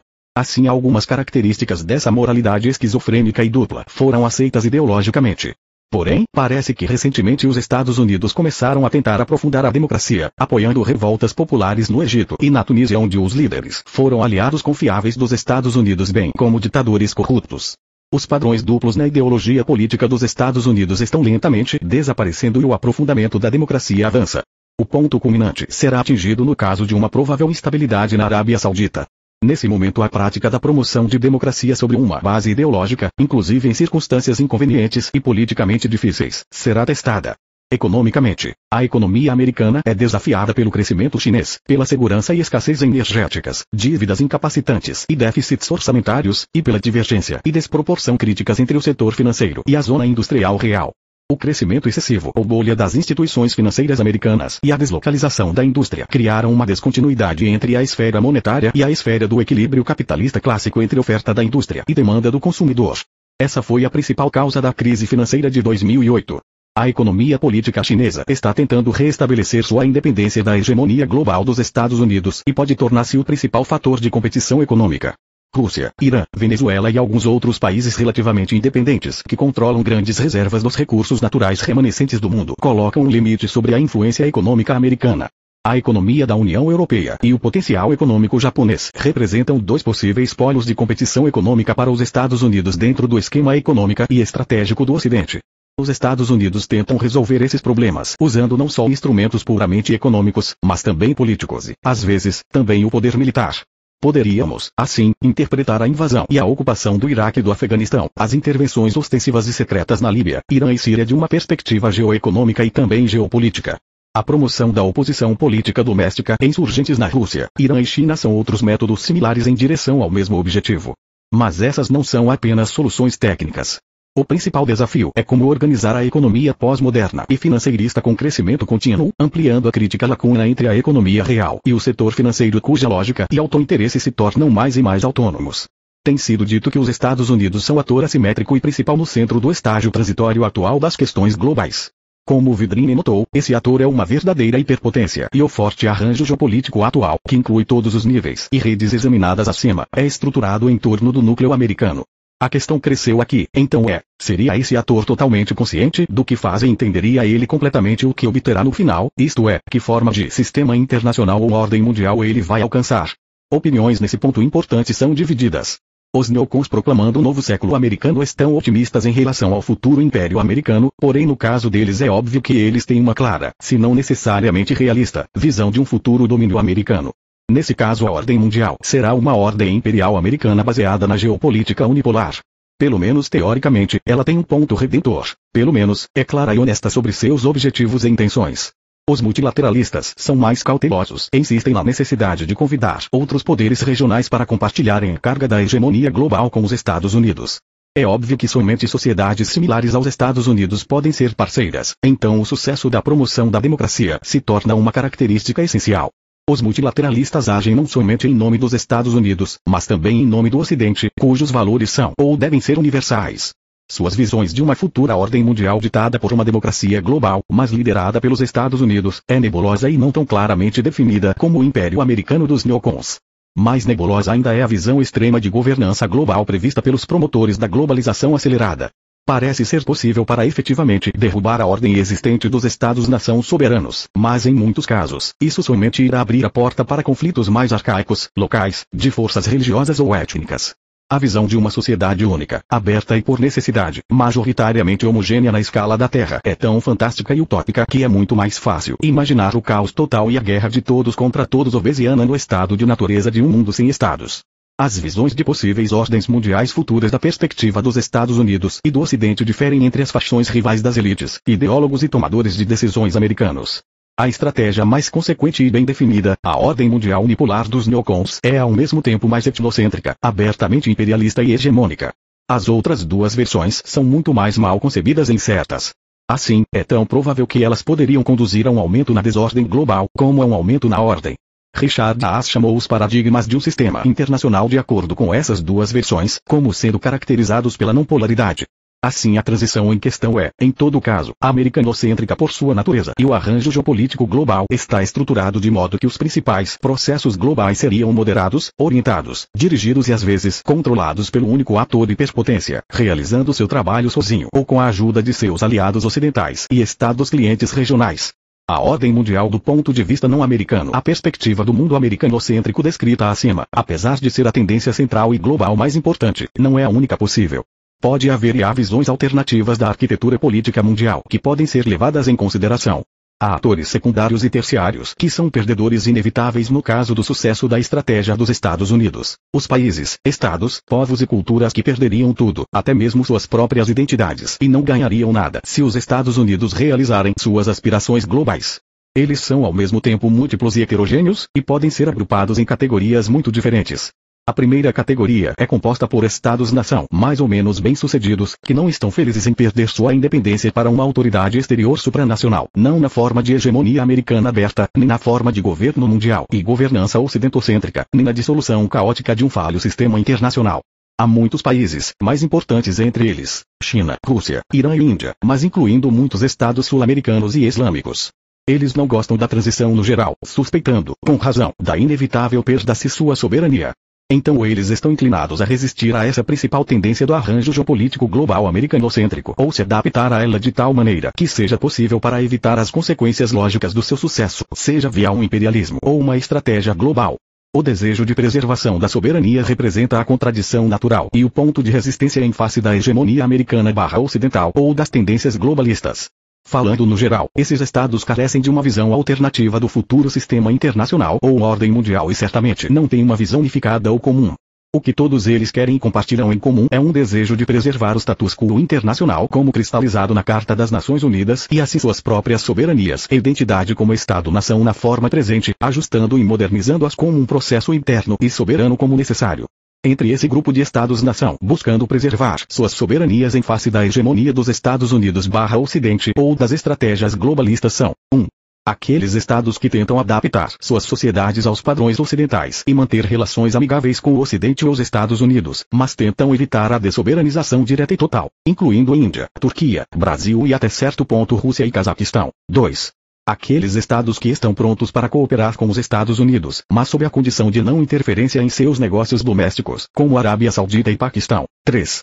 Aqueles estados que, enquanto cooperam com os Estados Unidos, estritamente observam a particularidade de suas sociedades pela filtragem permanente do que é compatível na cultura ocidental com suas culturas domésticas e o que não é, e, ao mesmo tempo, tentando usar os dividendos recebidos por essa cooperação para fortalecer sua independência nacional, como a China e às vezes, Rússia. 4. Aqueles estados que tentam se opor aos Estados Unidos diretamente, rejeitando os valores ocidentais, a unipolaridade e hegemonia ocidental e americana, incluindo Irã, Venezuela e Coreia do Norte. Porém, todos esses grupos carecem de uma estratégia global alternativa que poderia ser simetricamente comparável com as visões americanas do futuro, mesmo que sem consenso ou um objetivo claramente definido. Todos esses estados geralmente agem individualmente no plano global e em direção a seus próprios interesses. A diferença na política exterior entre eles constitui somente na quantidade de radicalismo em suas rejeições da americanização. Suas posições podem ser definidas como reativas. Essa estratégia de oposição reativa, variando da rejeição à adaptação, algumas vezes é efetiva, outras não. Em suma, não dá nenhum tipo de visão alternativa do futuro. Em vez disso, o futuro da ordem mundial ou do sistema internacional é considerado como eterna conservação do status quo e modernidade, estados, nação, o sistema westfaliano de Estado soberano e estrita interpretação e preservação da Carta das Nações Unidas e da configuração da ONU existentes. A segunda categoria de atores que rejeitam a transição consiste em grupos, movimentos e organizações subnacionais que se opõem ao domínio americano de estruturas do arranjo geopolítico global por razões ideológicas, religiosas e barra ou culturais. Esses grupos são bastante diferentes uns dos outros e variam de estado para estado. Muitos são baseados na base de uma interpretação da fé religiosa incompatível com a doutrina secular da americanização, ocidentalização e globalização. Mas eles podem também ser motivados pelas considerações ou doutrinas étnicas ou ideológicas, por exemplo, socialista é comunista. Outras podem até agir por razões regionalistas. O paradoxo é que no processo da globalização, que objetiva universalizar e tornar uniformes todas as particularidades e identidades coletivas com base em uma identidade puramente individual, tais atores subnacionais se tornam facilmente transnacionais. As mesmas religiões e ideologias geralmente são presentes em diferentes nações e atravessam fronteiras estatais. Assim, entre esses atores não estatais nós podemos potencialmente encontrar alguma visão alternativa da futura ordem mundial ou do sistema internacional que pode fazer oposição à transição americana barra ocidental e suas estruturas. Podemos resumir as ideias mais ou menos diferentes de alguns grupos subnacionais ou transnacionais mais importantes, como a seguir. A mais reconhecida é a visão global islâmica, que representa a utopia de um Estado global islâmico ou califado mundial. Esse projeto é tão oposto à arquitetura transicional liderada pelos Estados Unidos como ao status quo vigente dos Estados-nação modernos. Osama Bin Laden permanece simbólico é arquetípico de tais ideias, e os ataques que derrubaram as torres do World Trade Center em Nova York em 11 de setembro e que supostamente mudaram o mundo, são prova da importância dessas redes e da seriedade com a qual se deve lidar com elas. Outro desses projetos pode ser definido como o Plano Neossocialista Transnacional representado na esquerda sul-americana e pessoalmente por Hugo Chávez. Este é aproximadamente uma nova edição da crítica machista do capitalismo, fortalecida pela emoção nacionalista e, em alguns casos, como com os zapatistas e na Bolívia, por sentimentos étnicos ou críticas ecológicas ambientalistas. Alguns regimes árabes, como até há pouco tempo a Jamairia Árabe Líbia sob Gaddafi, podem ser consideradas na mesma linha. A visão da futura ordem mundial aqui é apresentada como uma revolução socialista global precedida por campanhas de liberação anti-americanas em cada país ao redor do mundo. A transição liderada pelos Estados Unidos e pelo Ocidente é vista por esse grupo como uma encarnação do imperialismo clássico criticado por Lenin. Um terceiro exemplo pode ser encontrado no projeto eurasianista, vulgo multipolaridade, grandes espaços ou grandes potências, propondo um modelo alternativo de ordem mundial baseada no paradigma das civilizações e grandes poderes. Ele pressupõe a criação de diferentes políticas, estratégias e entidades econômicas transnacionais unidas regionalmente pela comunidade de áreas civilizacionais comuns e valores compartilhados, em alguns casos religiosos e em outros seculares e barra ou culturais. Eles deveriam consistir em estados integrados em linhas regionalistas e representar os polos do mundo multipolar. A União Europeia é um exemplo, a nascente União Eurasiana proposta pelo Vladimir Putin da Rússia e o presidente do Cazaquistão Nursultan Nazarbayev, outro. A União Islâmica, a União Pan-Pacífica são outras possibilidades. O grande espaço norte-americano, cobrindo a NAFTA de hoje, seria reconhecida como a única entre muitas outras mais ou menos em polos iguais, nada mais. Não é uma lista totalmente inclusiva de tais atores ou teorias não estatais com visões alternadas da ordem mundial. Há outras, mas elas estão em escala menor e assim além do escopo desse trabalho.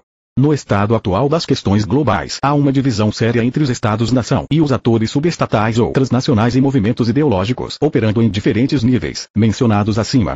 Os estados-nação carecem de visão e ideologia, e os movimentos carecem de infraestrutura e recursos suficientes para colocar suas ideias em prática. Se em alguma circunstância fosse possível superar essa fenda, levando em consideração o crescente peso demográfico, econômico e estratégico do mundo não ocidental ou o resto, uma alternativa para a transição liderada pelos Estados Unidos e pelo Ocidente poderia obter forma realista e ser considerada seriamente como um paradigma de ordem mundial alternativa consequente e teoricamente fundada. Capítulo 8 A nova antropologia política. O homem político e suas mutações. O homem como função da política. O que o homem é, é derivado não dele, mas da política. É a política sendo o dispositivo da violência e do poder legítimo que define o homem. É o sistema político que nos dá a forma. Além disso, o sistema político tem um poder intelectual, conceitual e uma mudança de forma potencial que pode se tornar a ser qualquer coisa. A resposta à questão antropológica está na configuração do poder na sociedade. O poder em si consiste de dois elementos. É o poder de moldar o paradigma, integrado na sociedade através das instituições estatais, e o dispositivo de violência, que serve como um meio de integrar este paradigma na sociedade em todo caso concreto. Consequentemente, o primeiro, controlando o poder e sua estrutura, controla nosso conceito do homem. A esfera da antropologia política emerge aqui, a esfera da visão política do homem. Mas há também o conceito de homem político. A diferença entre essas duas categorias é que o conceito político do homem é o conceito do homem como tal, que está instalado em nós pelo Estado ou pelo sistema político. Enquanto o homem político é um meio particular, proposto, para correlacionar com esse Estado. Primeiramente o Estado ou o sistema político nos instala e depois nos dá ou tira os direitos. No entanto, em nível preconceitual, no nível da antropologia política, nos toma para nos dar, ou tirar, nossos direitos, para acrescentar, ou remover, um status político. Nós acreditamos que somos causa sui 47 e somente então encontramos a nós mesmos na esfera política. Na verdade, é a política que nos compõe. Se nascermos em uma maternidade ou em um campo aberto, se somos levados a uma enfermaria elétrica ou a uma cabana escura e suja, depende da política. A política nos dá o status político, nosso nome, nossa estrutura antropológica. A estrutura antropológica do homem muda quando um sistema político muda.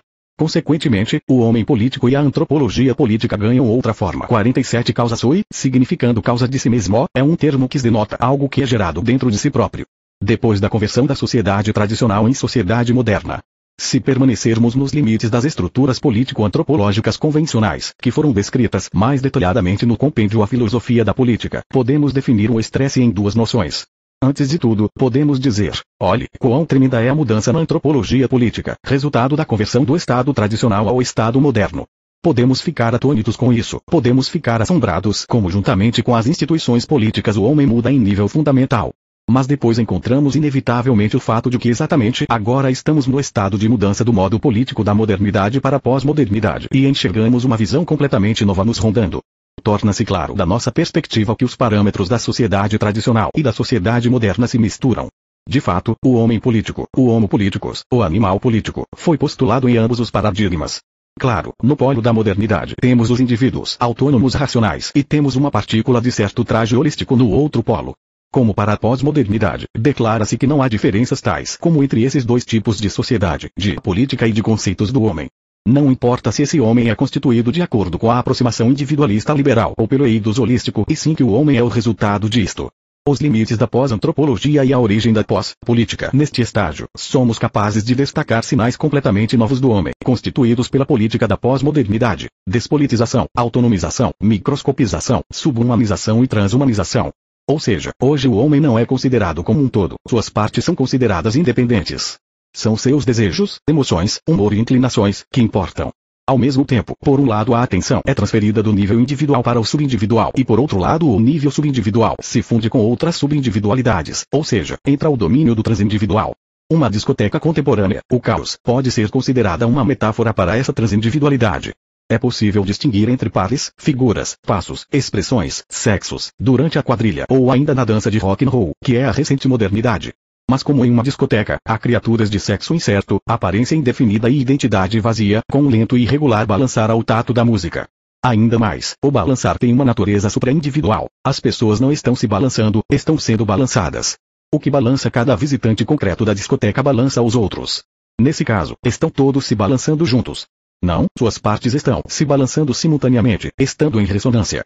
Algo como isso está acontecendo na política. A desindividualização do indivíduo e a subindividualização e transindividualização das instituições e estruturas políticas. Assim, confrontamos uma política completamente nova, cuja essência é a negação da política como uma certa linha autoritária política distinta. Não importa o quanto sanemos a questão do poder, como a quem ele pertence, se a elite, a casta, aos padres, aos guerreiros, ou ao parlamento democrático, será sempre uma formalização das relações políticas. Os interesses, posições, níveis, status, funções, são sempre visíveis. Estamos tratando com uma sociedade política, moderna ou tradicional, mas se alguém propuser remover a questão do poder, se alguém disser que não existe tal conceito, se estivermos ordenados a retirar esta questão, se a noção do sujeito do processo político for esquecida, será deposto por uma entidade rizomática, a qual Negri e Ardip chamaram de multidão. Essas multidões agem tanto pelo sujeito quanto pela autoridade. Consequentemente, o conceito do Estado é substituído pelo conceito do pós-Estado. O que é o pós-Estado? É a noção da abolição do Estado. O processo de demonização do Estado começa, cuja base é a tese de que o Estado interfere na propriedade privada. O Estado se torna um palavrão, algum atraso, e sua abolição se torna uma medida óbvia. Depois disso, tudo que interfere na liberdade absoluta é abolido. No fim, todas as formas de simetria vertical, as orientações de cima para baixo, hierárquicas, estão sujeitas à destruição e se tornam horizontais. Similarmente, a linha vertical de poder e o Estado se tornam horizontais e assim a antropologia política, empregando essa ou aquela constituição do indivíduo, se dissipa e se dispersa no espaço da poeira rizomática. Pode-se chamar isto de apoliteia. Mas se for realmente a politeia, observaríamos um desvanecimento gradual da política, sua entropia. Mas não estamos falando sobre a politeia ou indiferença em relação à política. Nós encontramos uma tendência deliberada e axiológica, seria a liquidação das estruturas políticas, ou da estrutura da política, se incluirmos as estruturas tanto da pré-modernidade quanto da modernidade aqui. Isto é, enquanto confrontamos a pós-modernidade, ambas são rejeitadas. Ao mesmo tempo, para denunciar ativamente a política, a vontade política é necessária. Isso revela que a pós-modernidade está carregada de significado político. E que está carregada com uma obsessão epistemológica e imperiosa pelo significado político da politização. Isto é, não é pura entropia da estrutura política, é um contraprojeto revolucionário, um esquema teórico da pós-antropologia política.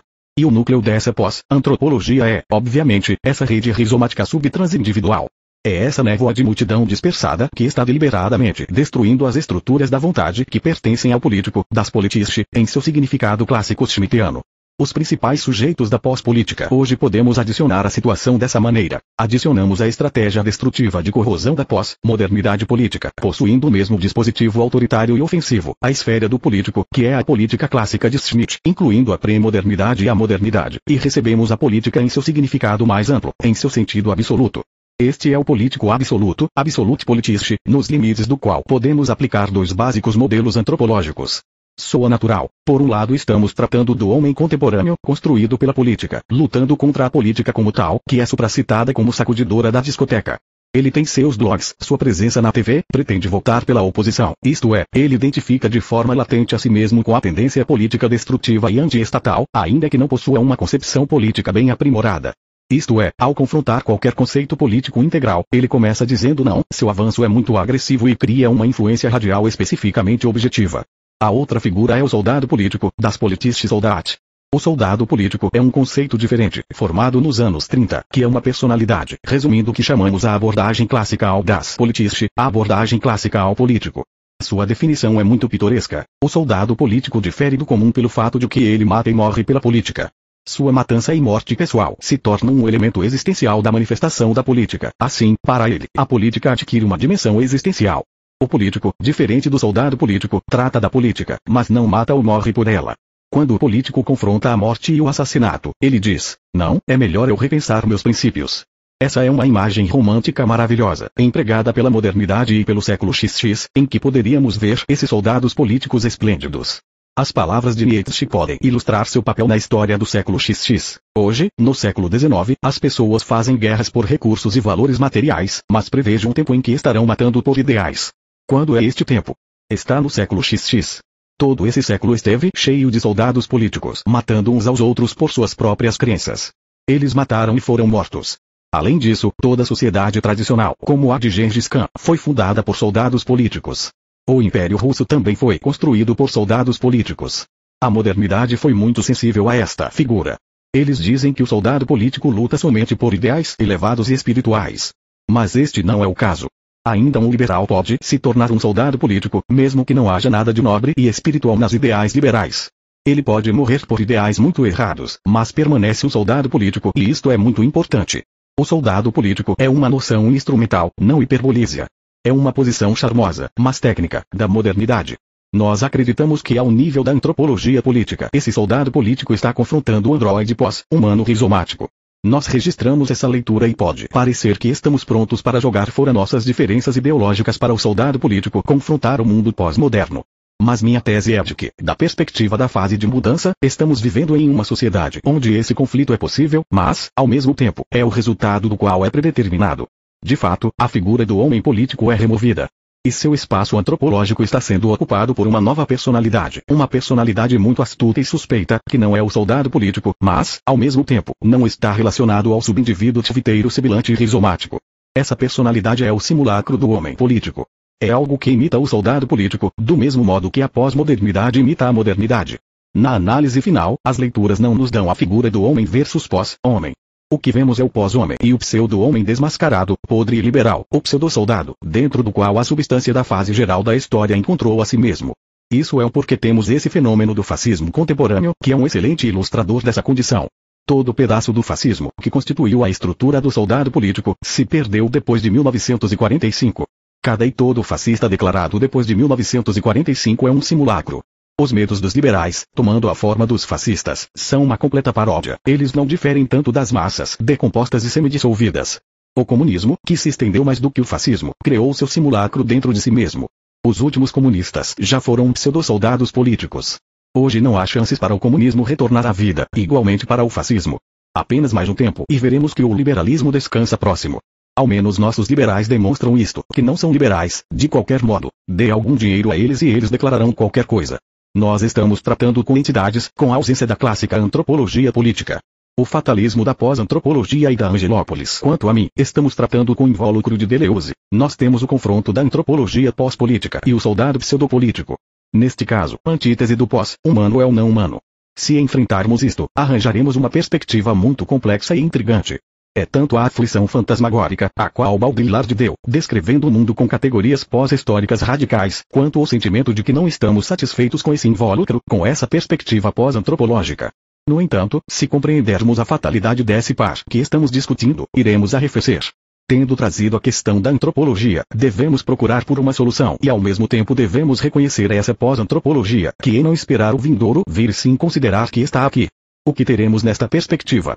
Eu penso que Schmidt, que criou a abordagem clássica do político, deve nos dar algumas dicas. Ele fala sobre teologia política. Schmidt disse que todas as ideologias e sistemas políticos são modelos teológicos integrais com religiões, dogmas, instituições e ritos próprios. Esse é o porquê de compreender a política como um certo fenômeno religioso. Mas a teologia política pressupõe a existência do telos político, que pode ser feito por humanos, como o Leviatã de Hobbes, ou por não humanos, como um modelo católico do Imperium, que estava próximo ao coração de Schmidt. Naturalmente, na estrutura pós-antropológica, na pós-modernidade, esse apelo ao telos como fator político que manifesta o sistema em uma estrutura integral não seria de muita ajuda, pois já cruzamos os limites da teologia política. É impossível falar sobre antropologia política enquanto se descreve o modelo pós-antropológico da política atual. Estamos nos esquecendo de falar sobre uma teologia política integral porque testemunhamos essa mutação fundamental sem envolvermos. Quem somos nós para falar sobre? Porque vocês sabem, temos processos políticos, fontes de poder e dispositivos da influência. Nós observamos epistemas paradigmáticos que são empurrados e promovidos do mesmo modo como foram em quadros da política clássica. Eles permanecem aqui, estão ficando e isso significa que a política em seu sentido mais amplo está aqui, não é apenas que nem mesmo o homem ou sequer Deus estejam lá. Quem é o ator da pós-política?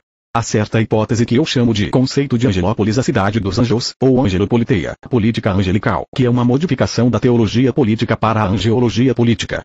O que queremos dizer é que a esfera da política está começando a ser controlada por está começando a aterrar em confronto das entidades supra-humanas. Não é o homem, nem o divino, ou não completamente divino. A Angelópolis possui uma potência enorme para distribuir funções políticas sem tomar humanoides e pós-humanoides em conta. Você certamente pensa que o homem manda um SMS, mas é o SMS que manda a si mesmo. Considerando o nível crescente da padronização e do estereótipo dessas mensagens, é uma essência supra-individual que está se tornando mais e mais evidente. Realmente há um centro de comando na pós-política, há atores, há decisões, mas eles estão todos desumanizados na pós-modernidade, estão além dos quadros da antropologia. Podemos encontrar certa comprovação dessa hipótese nos ensinamentos tradicionais, nas escatologias tradicionais, que estabelecem que o fim dos tempos não será trazido por mãos humanas, que irá ficar para a hora final. O resto não dependerá do homem, que será uma guerra de anjos, uma guerra de deuses, um confronto de entidades, não amarradas pelas leis e padrões históricos e econômicos, que não se identificam com certas elites políticas ou religiões. E essa guerra angélica pode ser pensada politicamente. É a Angelópolis, ou Politische Angelologia, que eu trago como um conceito, desprovido de misticismo e esoterismo, que tem o mesmo sentido e a mesma natureza que a metáfora da teologia política de Schmidt. A angelologia política deve ser pensada como uma metáfora que é também científica e racional. A Angelópolis é um método para compreender, para interpretar e executar decifrações hermenêuticas dos processos contemporâneos que nos rodeiam e são considerados como alienados da antropologia política, do humano como espécie, uma noção constituída e institucionalizada politicamente. Capítulo 9 Quarta Prática Política Tendo escolhido este tema de um seminário, imaginei um plano muito simples. O plano é baseado na seguinte ideia: se tivéssemos a quarta teoria política como um conceito, conjunto de conceitos e definições teóricas, devemos ter a realização dessa teoria política, porque toda construção teórica pode ser trazida à vida, ou não, devido a algumas circunstâncias. Então, concebi uma ideia simples e primitiva, se teorizamos e falamos sobre a quarta teoria política, devemos também pensar sobre como poderíamos realizá-la na prática. No entanto, quando eu quase havia chegado em torno da necessidade de enunciar algumas propostas na realização da quarta teoria política surgiu uma trava. Isso aconteceu pois a quarta teoria política empenha-se para acabar com a topografia política da modernidade e com tudo implícito escondido ali nos modelos dualistas em conformidade. Fiz um esquema representando a correlação entre a teoria e a prática em diferentes áreas do conhecimento, ciência, metafísica, religião, filosofia, tecnologias e senso comum. Temos aqui duas colunas termo 1 e termo 2. A primeira coluna contém tudo o que concerne à teoria, e a outra se refere à prática. Campo ciência termo 1 teoria, contemplação, termo 2 prática, coisas, metafísica princípio manifestação religião mito ritual filosofia mentalidade atividade, movimento, tecnologia ideia, projeto, realização, implementação, senso comum pensamento ação. Claro que a contemplação dessas colunas por si só nos oferece conclusões muito interessantes, começando com a questão o que é teoria nos termos da ciência, e contemplação, visão, e o que é praxis, o termo, formado depois do grego pragma, e objeto, objetivação, atuação. Quando o problema do que é coisa res, eriot reality, surgiu alguns anos atrás, as tentativas de se deparar com a contraparte desse termo básico na filosofia contemporânea levou à revelação de que não há adequação aceitável dessa palavra latina em grego, afinal. Existe a palavra pragma como ação e o ato ao mesmo tempo, é um objeto ativo, mas não concluído como nós consideramos ser. E há um existente após Aristóteles, que é exposta como res em outras traduções latinas. Portanto, não há uma palavra como coisa em grego, e isso é muito importante, porque significa que o conceito de realidade é também ausente. Realidade é formada pela base res, realidade é uma propriedade de res, realidade é, de quem? O que? Alguma coisa referente a coisa, coisificação coisidade. Portanto, existem as palavras gregas pragma, existente e prática para o latim res. Pragma é a ação e o objeto ao mesmo tempo. É muito interessante. A totalidade da metafísica grega evolui entre teoria como contemplação e ação praxis, mantendo distância da grave subjetividade latina, coisificação escondida no termo res. Se ampliarmos a mencionada dualidade do gráfico supracitado nos depararíamos com um modelo kenoniano de princípio, manifestação. Notadamente essa manifestação é mais próxima da prática, mas não para alguma coisa manifestada. Podemos ver a atividade no segundo termo. Se fizéssemos algo mais profundo na história e sociologia da religião nos depararíamos com funcionalismo e sociologia humana de Malinowski, onde é mencionada a diferença existente entre mito e ritual. Vamos relembrar a definição grega original de mito. Mito é uma história contada durante o ritual. A dualidade mito e ritual é um dos itens básicos tanto da história da religião quanto da antropologia social e é amplamente discutida. Então vamos para a filosofia e vemos mentalidade e atividade. Esse par de termos é muito semelhante à teoria prática. E finalmente, a tecnologia é bastante simples, está é a dualidade do projeto e sua realização. Então, temos duas colunas. Se a quarta teoria política expande a primeira coluna termo 1, provavelmente deveríamos encontrar algum conceito específico na quarta prática, política, para expandir a coluna termo 2, em conformidade com ela. Se a quarta teoria política fosse uma variação ideal ou alguma combinação de elementos das teorias políticas modernas, deveríamos ter feito isso estritamente. Quero dizer, se criamos um conceito adicional feito dos mesmos elementos e baseado na mesma topografia que as ideologias políticas da modernidade são, devemos falar sobre a coluna termo 2. E geralmente, seria interessante fazer isto, porque falar sobre campos semânticos associados com a quarta teoria política em conexão com a coluna termo 2 poderia ser muito engenhoso. Porém, eu deixo este problema para outra pessoa e sugiro outro caminho. O ponto está nesse fato, que se falarmos sobre o cerne da quarta teoria política e seus problemas fundamentais, compreenderíamos que a ideia principal da quarta teoria política é se afastar do dualismo entre sujeito e objeto, entre intenção e realização e da topografia dual em que se baseiam a filosofia moderna, a ciência moderna e politologia moderna. Não é por acaso que falamos sobre Dasein como o assunto da teoria política. Dasein é o exemplo, sugerido e proposto por Heidegger como uma aspiração para superar o dualismo sujeito-objeto, que é uma aspiração para encontrar a raiz da ontologia. Vamos lembrar que Heidegger mencionou Zwischen, ou seja, entre, ao falar sobre a existência do Dasein. O personagem principal do Dasein é ser entre. Dasein e Zwischen. Não devemos usar o sistema de dualismo político clássico, a topografia científica tanto nova como do tempo de Aristóteles ao falar sobre a quarta teoria política e presumir este fato de que o sujeito e o núcleo, o exemplo básico do polo da quarta teoria política é Dasein. Falando sobre a quarta teoria política, devemos atuar de outra forma, considerando as críticas de Heidegger de formar uma ontologia não fundamental, e ontologia como é. Heidegger disse que se queremos compreender o Dasein, devemos perceber e formar a ontologia fundamental, que seria não perder contato com as raízes ônticas do Dasein e não acender ou sublimar, cedo ou tarde, a qualquer coisa relacionada com a construção filosófica geral de dois mil anos atrás, se seguirmos o caminho de Platão ou os mais recentes filósofos pré-socráticos até Nietzsche, em que o tempo moderno se baseia. Devemos centralizar o Dasein como centro e polo da quarta teoria política. O que isto significa no contexto da prática? Isso significa que não devemos qualificar Dasein nem como construção teórica, nem como princípio. Devemos usá-lo como um mito, como uma narrativa. Pode ser assim porque isto é muito próximo, porém, deve ser cuidadosamente pensado. Não devemos usar isto como uma mentalidade, pelo menos como mentalidade ontológica. Nós não podemos usá-lo exatamente como uma ideia ou qualquer coisa acerca do sujeito mantendo este status universal e pré-dualístico do Dasein dentro da filosofia de Heidegger quero sugerir para referência alguma raiz, algo que antecede este dualismo para definir a prática da quarta teoria política. Em outras palavras, onde está algo interessante, qual é o centro da quarta prática política? É alguma coisa entre as colunas, entre termo 1 e termo 2.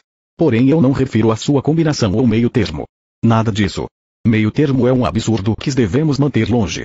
Não devemos olhar para o meio termo ou acordo da polaridade da coluna 1 e coluna 2, mas devemos encontrar a raiz da qual estes pares crescem, sua raiz comum.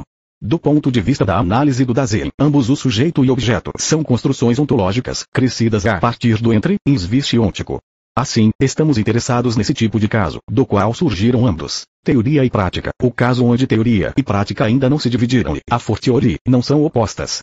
Estamos interessados neste tipo de caso onde ambos, princípio e manifestação, têm uma raiz comum, eles nunca poderiam ter raiz comum, nem por um momento, e isto é o mais interessante para nós. Este tipo de caso onde mito e ritual não estão ramificados ainda, este tipo de caso onde mentalidade e atividade são comuns, onde ideia significa realização e realização é ideia, e onde pensar e agir têm uma mesma fonte. Estamos interessados neste nível deveras intermediário, não alcançado pela atitude horizontal para com estes pares, mas apenas por uma dimensão não horizontal. Ao contrário do hegelianismo, do machismo, teoria comunicacional e toda a estrutura moderna em princípio, não estamos interessados em qualquer coisa sobre a linha entre teoria e prática. Estamos à procura de algo que não pertence ao subespaço horizontal ou alguma configuração proporcional das colunas ou para a linha entre teoria e prática. Estamos interessados em alguma coisa escondida sob a teoria e a prática, em algum lugar na sua raiz comum de onde ambas surgiram. Partindo deste ponto de vista, a questão da prioridade tanto da consciência como da matéria durante o período soviético é completamente idiota. A prioridade para nós é o problema da raiz comum e devemos germinar a quarta teoria política e prática dessa raiz. Depois de ter deduzido este caso como base, podemos dizer que a quarta teoria política é a teoria ao mesmo nível que é a prática e a prática ao mesmo nível teoria. Em outras palavras, se conseguíssemos sentir o entre relacionado com profundidade sobre estas colunas, se conseguíssemos aproveitar a geometria desse vetor político, isto é, é claro, realmente vetor filosófico e metafísico, veríamos que essas duas árvores crescem de uma mesma raiz. Se nos fixarmos sobre o sujeito da quarta teoria política, o Dasein, ou Keyneswischen, nós entenderemos que este não pertence à disposição horizontal entre estas duas colunas. Porque falamos sobre raízes, mas não de cabeças, este é um momento profundo e sério, pois devemos perceber a redução.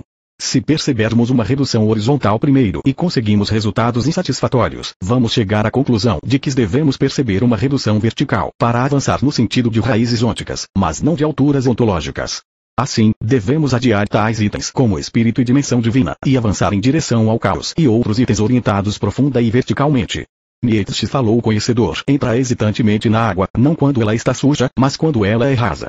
De acordo com isto, como podemos tentar formar uma visão clara do que é a quarta prática política? Revertendo, pelo menos, a ordem dessas duas colunas. Devemos obter a prática como teoria, tomar princípio como manifestação, mentalidade como atividade e pensamento como ação. O que é a quarta prática política? É uma contemplação. O que é a manifestação da quarta prática política? É um princípio a ser revelado. Em que aspecto um mito é percebido como ritual? Isto se torna um fato teúrgico, vamos reconhecer que a teurgia neoplatônica é a vivificação das estátuas. O que é atividade como mentalidade? É uma sugestão de que os pensamentos são mágicos, que pensamentos podem mudar a realidade. Isto é uma sugestão que pensamentos substituem a realidade de fato. A quarta prática política brinda-nos com a natureza de um mundo encantado, com a antítese da metáfora de Weber na realização deste aspecto tecnológico do projeto. O que o mundo encantado é? É um mundo onde não há barreira entre ideia e realização. É um princípio de atitude mágica para o próprio mundo baseado na ideia de que o imaginável é o único com que nos deparamos e tudo com que nos deparamos não é nada mais que um pensamento. Que tipo de pensamento é este? O pensamento puro. O veículo da quarta teoria e prática política vive no mundo encantado. O que é metatividade? É uma transubstância, um espírito que vai de corpo em corpo em transformação espiritual, sendo este o principal problema do hermetismo. Então, nos deparamos com este fato, que a quarta prática política não é uma realização áspera da quarta teoria política em algum espaço sugerido para ser diferente do espaço da quarta prática política. Não há mais espaço, nem mais topos e nem mesmo topologia na quarta prática política além da teoria. Tínhamos aniquilado quaisquer outros espaços antes de declararmos, não na consumação, mas logo no início, antes de declararmos no contexto pré-ontológico. Em outras palavras, não devemos olhar para frente, isto nunca será mudado, ou para trás, se queremos realmente mudar essa sujeira onde vivemos, porque todas estas migalhas que fizeram esta última forma de degeneração possível é existente apareceram e foram armazenadas aí. Estas raízes não são mero acaso. Esse monte de sucata que tem se manifestado não é acidental e possui uma lógica profunda. Metafísica primordial, primordialidade expressa nas técnicas, modernas e pós-modernas. De acordo com isso, a única forma de luta política real é atrair para a quarta prática política as raízes, livres do processo evolutivo da concepção até o último ponto onde estamos agora, porque ou nossa luta política é soteriológica e escatológica ou não faz sentido. E a última. Levar ao conhecimento, o que faz com que pareça, o mundo evitando qualquer dualidade? Claro, isto parece pós-moderno, como a virtualidade. O mundo contemporâneo, virtual e conectado, diz assim: isto não é uma teoria e não é prática, não é um princípio e nenhuma manifestação, não é um mito e nenhum ritual, não é um pensamento e nenhuma ação. A virtualidade é apenas uma paródia na quarta teoria e prática política. É contraintuitivo o suficiente, porém esta realidade pós-moderna é mais próxima de nós que todas as topologias anteriores, incluindo a teológica e prototeológica. A virtualidade é mais próxima do modelo, mais que original da quarta teoria e prática política, que qualquer outro elemento. E de acordo com isto podemos levantar a questão de como é que um nosso tradicionalismo ou nova metafísica se relaciona com o pós-moderno. Eu os considero muito próximos. A virtualidade tenta misturar campos semânticos das colunas no nível horizontal até a indistinção. Podemos dizer que o rizoma de Deleuze é uma paródia pós-moderna e pós-estruturalista do Dasein e Heidegger. Eles são iguais e são descritos, muitas vezes, com as mesmas palavras. Porém prestemos atenção ao fato de como faz o pós-modernismo para resolver o problema, invertendo a ordem da coluna resolve o problema através da atração para a superfície, sendo esta a ideia principal que vemos em Deleuze. Lembremos-nos de sua interpretação do corpo sem órgãos de Artaud, da sua interpretação da necessidade da destruição, do nivelamento das estruturas e sua interpretação da capa epidérmica do homem, a pele, como base para uma tela onde as imagens são projetadas. Isto é um ponto de paródia onde a quarta teoria política e o pós-moderno se encontram. Se misturarmos as colunas horizontalmente, algo demencial aparece, o que significa loucura. Podemos usar a tese de que o Homo integros, ou seja, o homem completo e integral consiste do Homo sapiens e Homo demens. Deleuze disse, libertem o Homo demens. Ele diz que a loucura deve escapar do Homo sapiens e realizar a transgressão entre estas duas colunas na esfera política. Aí vem a máquina de desejo, o processo rizomático, com ideias iônicas e temporalmente crônicas. Esta demência pós-moderna é muito parecida com a quarta teoria política, distinguindo-se apenas pelo seu princípio horizontal e nivelado. Assim, o principal problema do pós-modernismo é a eliminação de qualquer orientação vertical, tanto as profundas como as elevadas. Finalmente, quero dizer que o fim dos tempos e o significado escatológico da política não vão acontecer sozinhos. Vamos esperar pelo fim em vão. O fim nunca virá se esperarmos por ele e ele nunca virá se não o fizermos.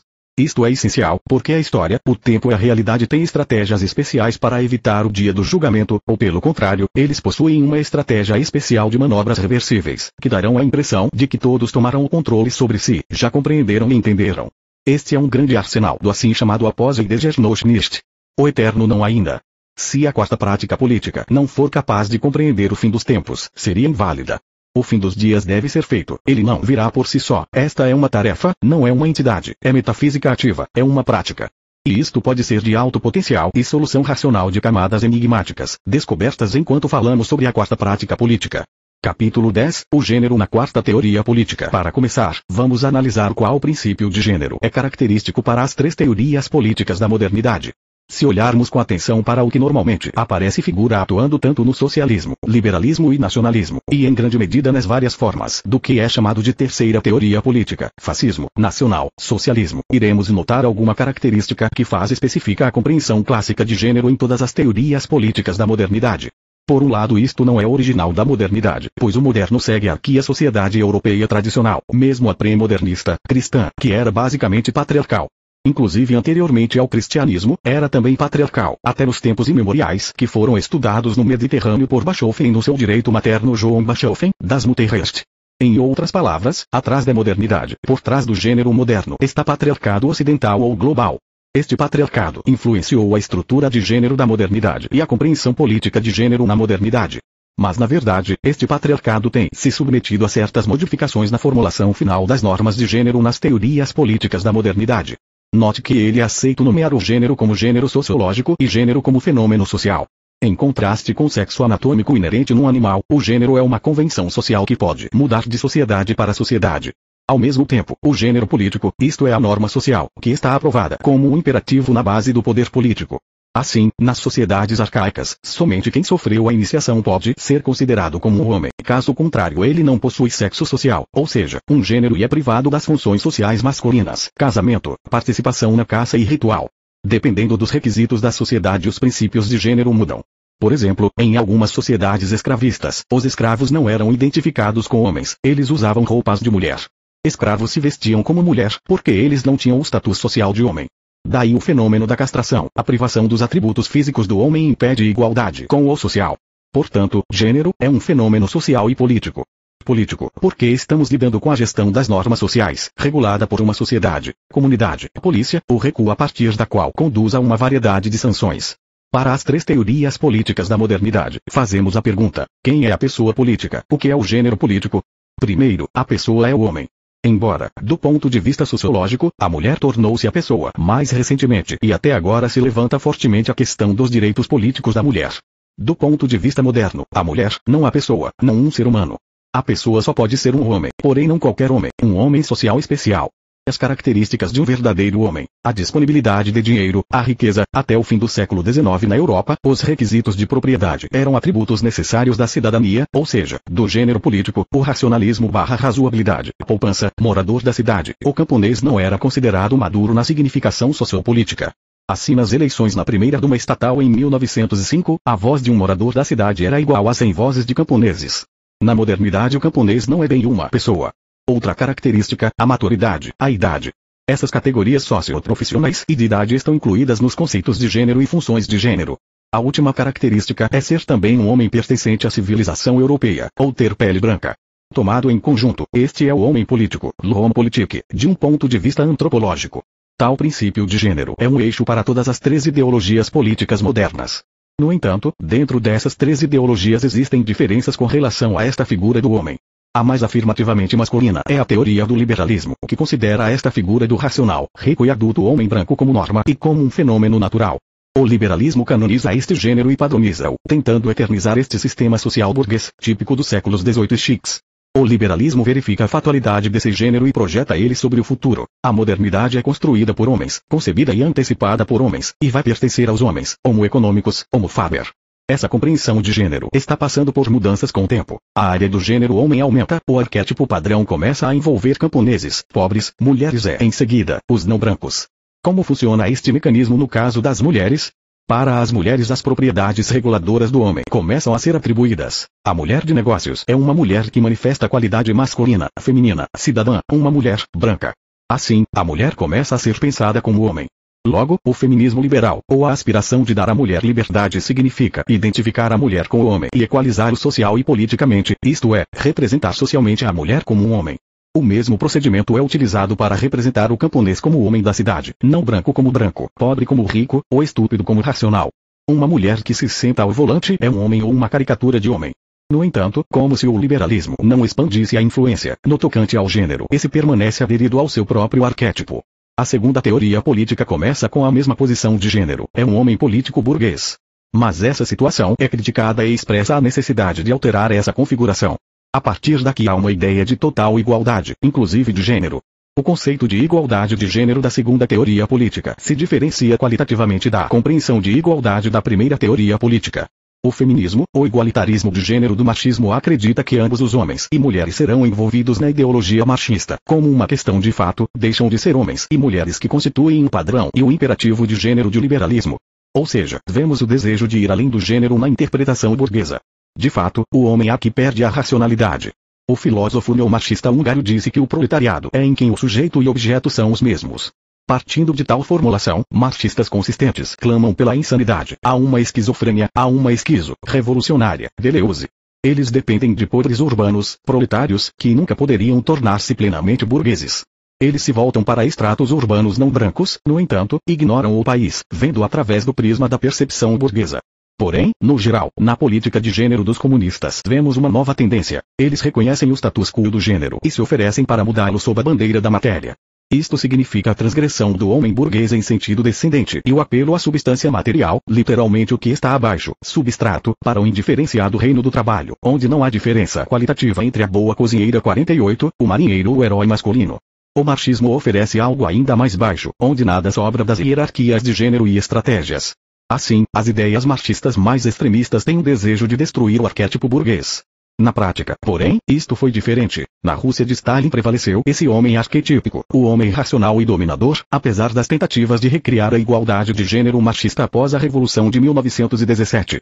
Mas a ideia de superação do homem através da referência ao corpo, para a máquina de desejos, é uma característica do marxismo. O fascismo aceita o conhecido modelo dos citadinos, brancos, europeus, sensatos, ricos, e o exalta. Se o liberalismo aceita este modelo como norma, o fascismo começa a preencher o homem com propriedades adicionais. Ele não deve ser um simples branco nórdico, não apenas racional, mas unicamente racional, da forma em que somente os germânicos possuem racionalidade. Isto é similar à posição de Levi Bru, que postulou que apenas os europeus têm logos e os outros seguiam por estruturas sociais pré-lógicas. 48 Vladimir Lenin uma vez disse, sob o socialismo, qualquer boa cozinheira poderia com a mesma facilidade governar um estado. Além disso, a masculinidade é exaltada e as mulheres eram incitadas a se envolver com Kinder, Kirchen, Kuchen. Na periferia do fascismo também foram oferecidos outros princípios de gênero. Por exemplo, Julius Evola em seu A Metafísica do Sexo, onde a questão é a superioridade do masculino sobre o feminino, argumenta o fato de que os homens são potenciais deuses adormecidos e as mulheres são potenciais deusas adormecidas que permanecem, porém, um pouco abaixo na hierarquia dos sexos. No que diz respeito à terceira teoria política, também deve ser mencionada a direção marginal associada com um matriarcado nórdico. Houve uma ontologia do feminino. Hermann Wirth, um discípulo de Bachofen, argumentou que o ser supremo é uma mulher, porém uma mulher é completamente diferente do homem, uma mulher na sua ontologia, V.I. Frau. No entanto, na terceira teoria política uma imagem criada anteriormente no liberalismo permanece como corrente principal. A quarta teoria política representa uma aspiração para a superação das três teorias políticas. Neste caso, qual é sua estratégia de gênero? Quais são os seus imperativos? Primeiramente, a quarta teoria política coloca de fora dos colchetes o homem, ou seja, aquele homem com os requisitos de gênero que conhecemos na modernidade. Este último homem a quarta teoria política não aborda, pois ele representa o arquétipo fechado da modernidade. Fora do espaço do gênero da modernidade a quarta teoria política apalpa os contornos de seu homem. Se virmos razão, riqueza, responsabilidade, cidade, pela branca, sacamos uma arma e atiramos. Este homem precisa morrer, ele não tem chance de sobreviver, pois é fechado num impasse histórico moderno. Ele reproduz hierarquias pequenas e não pode ir além de suas próprias fronteiras. Este homem é imortal, na sua autorreflexão ele cria realidades permanentes, espelhos que olham espelhos. O mesmo vale para todos aqueles a quem o homem moderno incluiu, a mulher de negócios, a criança, não brancos, etc. Atributos positivos do homem, para além do paradigma moderno, não adulto. O sujeito da quarta teoria política é um macho não adulto. Por exemplo, Le Grange é o nome do grupo literário próximo ao surrealismo, de Gilbert Leconte e René Dalmal, que se ofereceram para construir uma vida sem amadurecimento, para permanecerem crianças brincando. Isto pode ser considerado como um convite para desenvolver os princípios de gênero da quarta teoria política, sistema de estética e filosofia política. Ao homem não branco se remetia ao mundo dos sistemas prelógicos de Levi-Bru, onde o logos não é o único meio de organização social. Aqui usamos da antropologia social e da etnologia de Levi-Strauss, isto é, a partir da análise das experiências de muita sociedade não brancas. Além disso, a loucura são todas formas de transgressão intelectual, a prática da insanidade voluntária de Friedrich Hölderlin Nietzsche até Bataille, Ataúd. Loucura é o arsenal do gênero na quarta teoria política. Em geral, não, branco, insano, não urbano ou inserido em uma paisagem. Por exemplo, o ecologista, o representante de uma comunidade, isto é, uma pessoa que não rompeu com a natureza, como o Redfield em seu The Folk Society. Assim, criamos uma comitiva de busca tecida desses elementos que são ignorados pela modernidade. Estes elementos formam um campo enorme de existência em metafísica, um campo do ser intensivo da quarta teoria política. Complementando a quarta teoria política, devemos recusar todos os princípios de gênero que o liberalismo carrega em si mesmo. No sentido de gênero oriundo da segunda teoria política seria possível pegar emprestada a ideia de máquina de desejos, ideia de superar o homem através do igualitarismo global, dentro dos limites da matéria a partir do clássico modelo fascista de gênero da terceira teoria política, assim como o liberalismo, não há nada para aprender, enquanto as áreas marginais podem ser muito interessantes, nomeadamente a autologização do sexo, evola, e o matriarcado nórdico. Qual é o sujeito da quarta teoria política? O sujeito da quarta teoria política é o Dasein ou Zwischen, o entre no espaço entre o sujeito e o objeto que é possível de identificar com o trajeto de Gilbert Durand. E aqui Dasein, trajeto, l'imaginaire, ele tem um sexo. E qual é o gênero do Dasein? Vamos descrever o gênero normativo e imperativo da quarta teoria política. O gênero da quarta teoria política é o mesmo que o sexo do Dasein, isto é, explicamos um desconhecido através de outro. O Dasein de alguma forma pode ser sexualizado, mas este sexo que ele tem, não pode ser nem de homem, nem de mulher no sentido de gênero.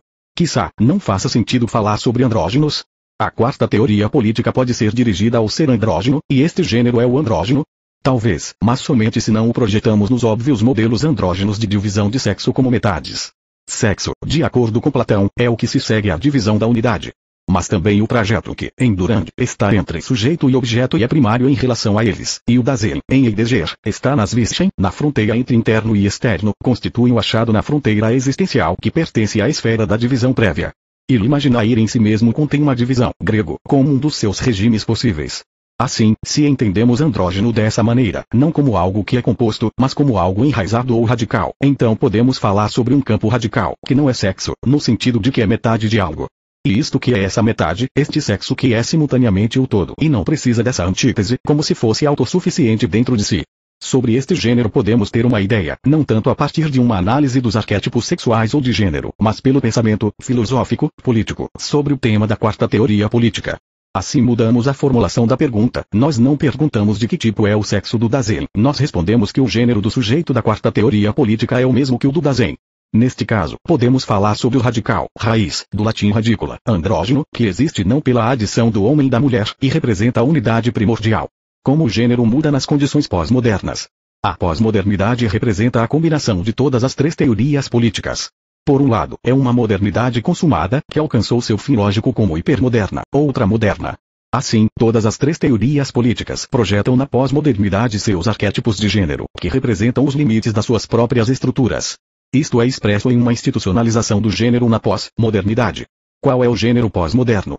Ele é a maximização do homem liberal, o arquétipo que se aplica a toda a sua antítese, o burro, o pobre, não branco, pequeno, ele também é o gênero da globalização, quando as propriedades de certo tipo estendem-se como padrões sociais em todos os outros tipos. Daí a ideia de que os proletários são os burgueses que não enriqueceram ainda, os negros são brancos não modernizados, mulheres são homens liberais não completos. Isto é, vemos que este arquétipo que tudo consome se torna sem sentido. A reextensão dos modelos sexuais de gênero pode levar ao hipermoderno, vai explodir como fungo apodrecido e o arquétipo de gênero irá falhar. Agora estamos no momento de uma reextensão e ruptura final de um gênero. Etapas dessa ruptura são o feminismo, o homossexualismo e a operação de mudança de sexo. A segunda teoria política no Ocidente teve grande influência nas elites, nas profissões criativas, atores, filósofos. Esta é a máquina dos desejos, feminismo de esquerda com estas ideias de liberdade do sexo, Dona Haraway, feminista, indistintamente uma neomachista e pós-modernista. Nas palavras de Dona Haraway, como uma mulher livre, seria na melhor das hipóteses seria um homem todos. Por isso, é necessário superar ambos, o homem e a mulher, através de um ciborgue. Segundo ela, o sexo pode ser superado, somente tendo superado a pessoa. Mais uma maneira, Foucault seu conceito de sexualidade, isto é, sexualidade antes do sexo, o corpo sem órgãos um conceito adotado por Deleuze a partir de Artaud. Essa pansexualidade, que é uma superfície lisa de despertares sexuais obscuros os quais são sem razão e mais importantes, não importa qual orientação e direção. Como um todo, para a erosão, para a destruição do gênero da modernidade, o pensamento machista introduz contribuição considerável. Elementos do fascismo na pós-modernidade são representados pela prática do BDSM, Além disso, o fascismo contemporâneo, que é sadomaso e pervertido vem para a pós-modernidade como um atributo essencial, juntamente com o feminismo, cyborgs, um corpo sem órgãos, etc. Eventualmente nos encontramos em uma situação interessante. O gênero predominante na modernidade está exposto a uma reextensão, erosão e, em certo sentido, está prestes a explodir, ou talvez já tenha mesmo explodido. Estamos na transição entre o hipermoderno e o pós-moderno, e não sabemos onde está a verdade e onde está a realidade. Assim, na pós-modernidade o gênero não será nenhum homem, Vamos imaginar esta situação. O arquétipo do macho voa em pedaços, que não constituem mais as partes de um todo, mas simbolizam apenas a si mesmos. Forças conservadoras podem levantar-se por este arquétipo, demandar o retorno ao homem, esta pessoa racional, rica e branca, mas, assim, eles só tentarão continuar o moderno. Esta posição parece carecer de esperança, aqui novamente a quarta teoria política, em nossa opinião, vai além. Sugerimos dar um passo em direção ao gênero que pertence ao Dasein, sem representantes notórios, que iremos receber. Indo além dos limites de gênero que se conhece, chegamos ao domínio da incerteza, androgenia, sexo dos anjos. Na mesma esfera, é necessário procurar por um gênero da quarta teoria política, nomeado na esfera do, tanto quanto possível, risco absoluto por trás de um limite da quimera em colapsos da modernidade. Nós podemos apenas traçar linhas. Sabemos que é o gênero do Dasein, trajeto, que este gênero representa uma realidade raiz, que pertence ao Imaginaire. Estender a cadeia de nossas reflexões, podemos levantar a questão sobre o gênero do eu radical, que está além dos paradigmas básicos. Capítulo 11 Conservadorismo e pós-modernidade Estamos na pós-modernidade Um processo que possui uma natureza realmente global é o processo da modernidade prevalecida, se transformando em pós-modernidade. Há centros, assentos, locais, regiões, nas quais esse processo avança logicamente e sequencialmente. Esses centros são o Ocidente, a Europa Ocidental e especialmente os Estados Unidos. Os Estados Unidos tiveram uma oportunidade histórica para criar em condições laboratoriais uma sociedade moderna ideal com base em princípios que foram desenvolvidos pelo pensamento ocidental. Foi uma oportunidade de criar uma sociedade com a virada de uma página, sem os fardos das tradições europeias, começando a partir do zero. Os índios americanos, como se sabe, não eram entendidos como pessoas.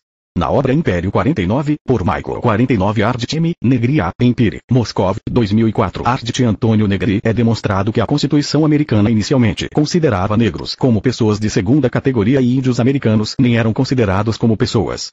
Assim, um sistema americano específico tem sido um lugar ideal para a implementação do máximo de liberdade, mas apenas para brancos e às custas da exclusão definida de todos os outros. De qualquer maneira, os Estados Unidos da América estão na vanguarda da liberdade e são a locomotiva da transição para a pós-modernidade. O polo da liberdade e a liberdade de escolher o canal. Nós falamos sobre um polo que a civilização europeia ocidental parece ser, mas no espaço do pensamento, na filosofia e na geografia do espírito humano, o polo do mundo unipolar é algo diferente dos Estados Unidos ou da Europa como simples formações geopolíticas. É exatamente a ideia da máxima liberdade. O movimento para o alcance dessa liberdade é o sentido da história humana no entendimento da humanidade europeia ocidental. A sociedade europeia ocidental foi bem sucedida em impor esse entendimento do sentido da história sobre todo o resto da humanidade. Assim, há um polo do mundo unipolar, o polo da liberdade, que veio da modernidade e agora está chegando a uma nova fase, a pós-modernidade, onde um homem começa a se libertar de si mesmo. Porque ele é um obstáculo no caminho de si mesmo, ele perturba e incomoda a si mesmo. Um homem cai diante de esquizomanias individuais, como foi retratado por Deleuze em Anti-Édipo. As pessoas se tornaram contempladoras da televisão, elas aprenderam como mudar de canal melhor e mais rápido. Muitas delas nem a um menos param, elas clicam no controle remoto e já não é mais importante o que está na TV, sejam atores ou noticiários. Os espectadores da pós-modernidade não compreendem em princípio nada do que está passando. É apenas uma corrente de imagens impressionantes. O espectador se acostuma a microprocessos. Ele se torna um subespectador que assiste não aos canais ou programas, mas a segmentos separados, a sequências de programas. Nesse caso o filme ideal é Pequenos Espiões 2 de Rodrigues. Ele é construído como se não houvesse qualquer sentido.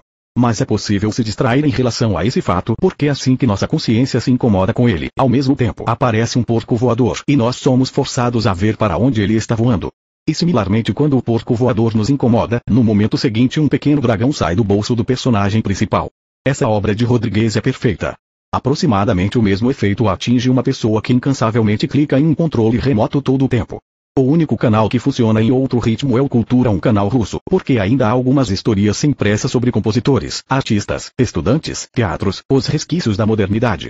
Se você seguir a lista, você pode continuar calmamente trocando de canais sem esperar se deparar com algo que não é mostrado no ritmo no qual é necessário viver.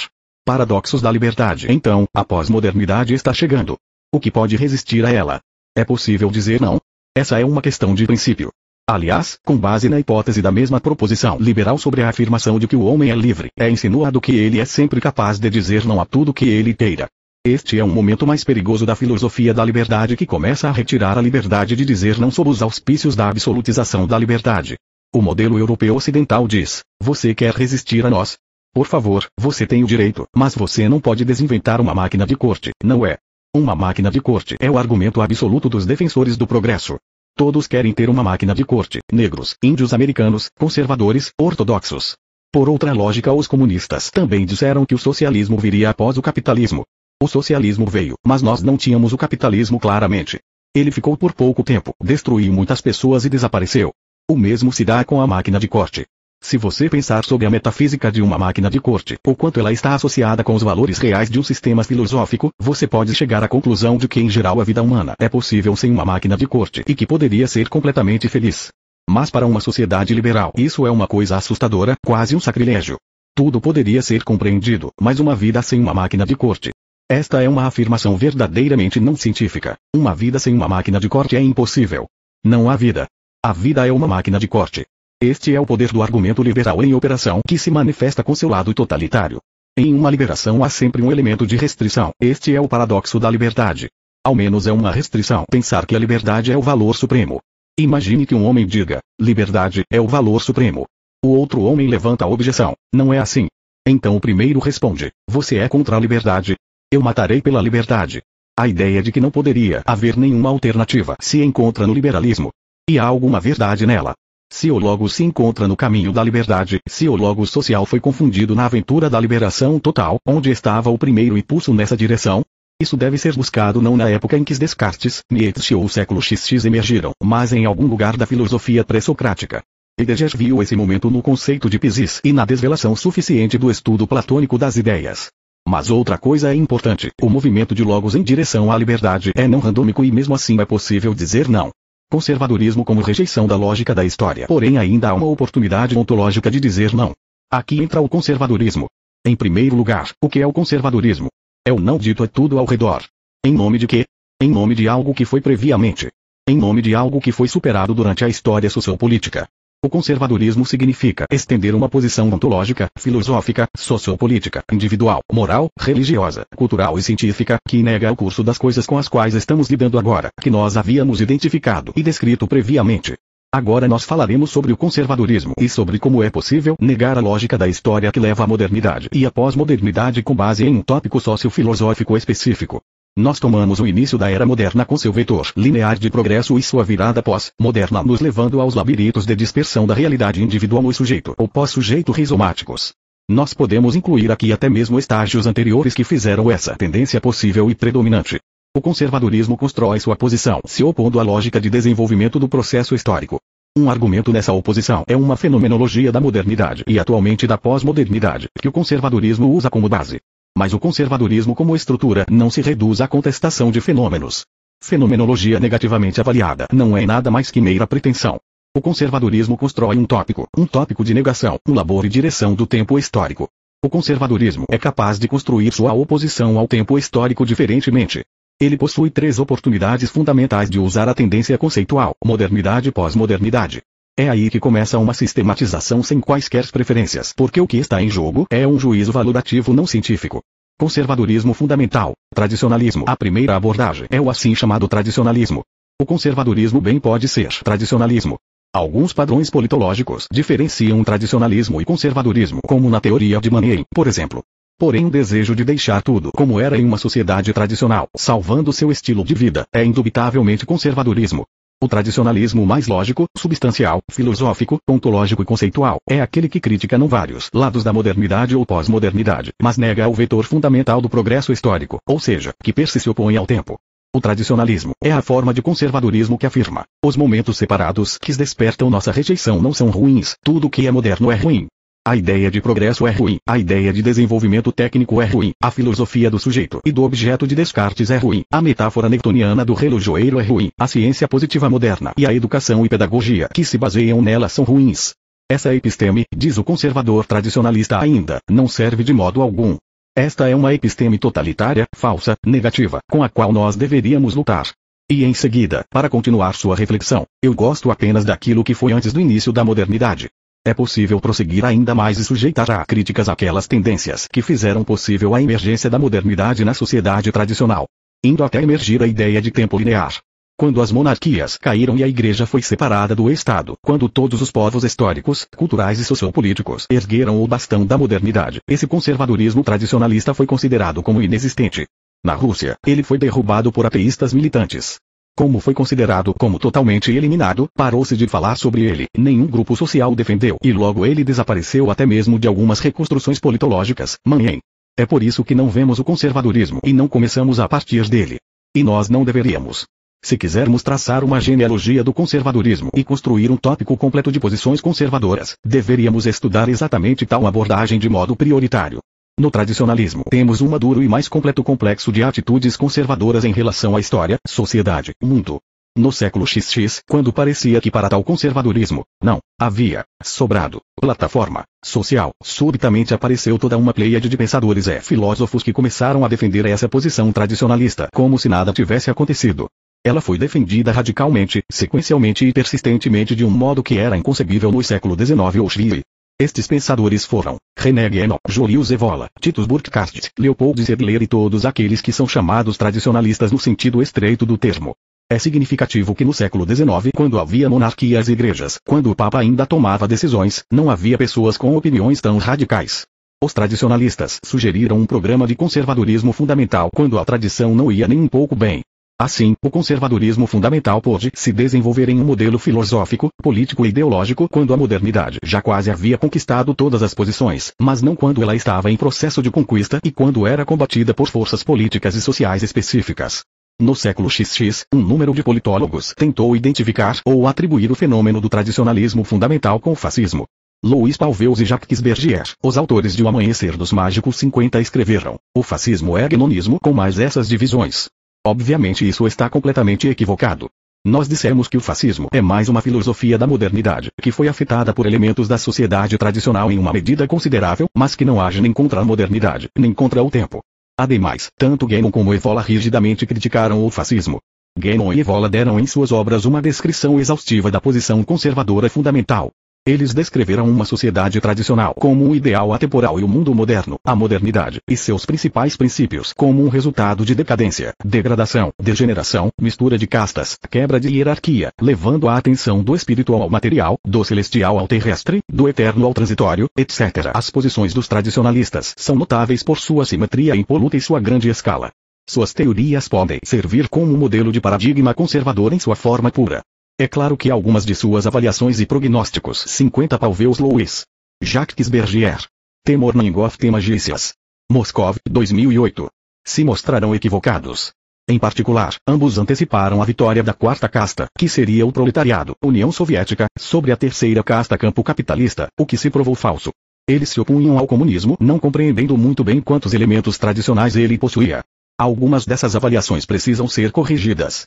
Em um dos congressos em Roma, dedicados ao vigésimo aniversário da morte de Evola, eu dei uma palestra a Evola, visto da sinistra Evola, uma visão desde a esquerda, na qual eu sugeria examinar Evola desde posições esquerdistas, ainda que ele se considerasse de direita, até mesmo de extrema direita.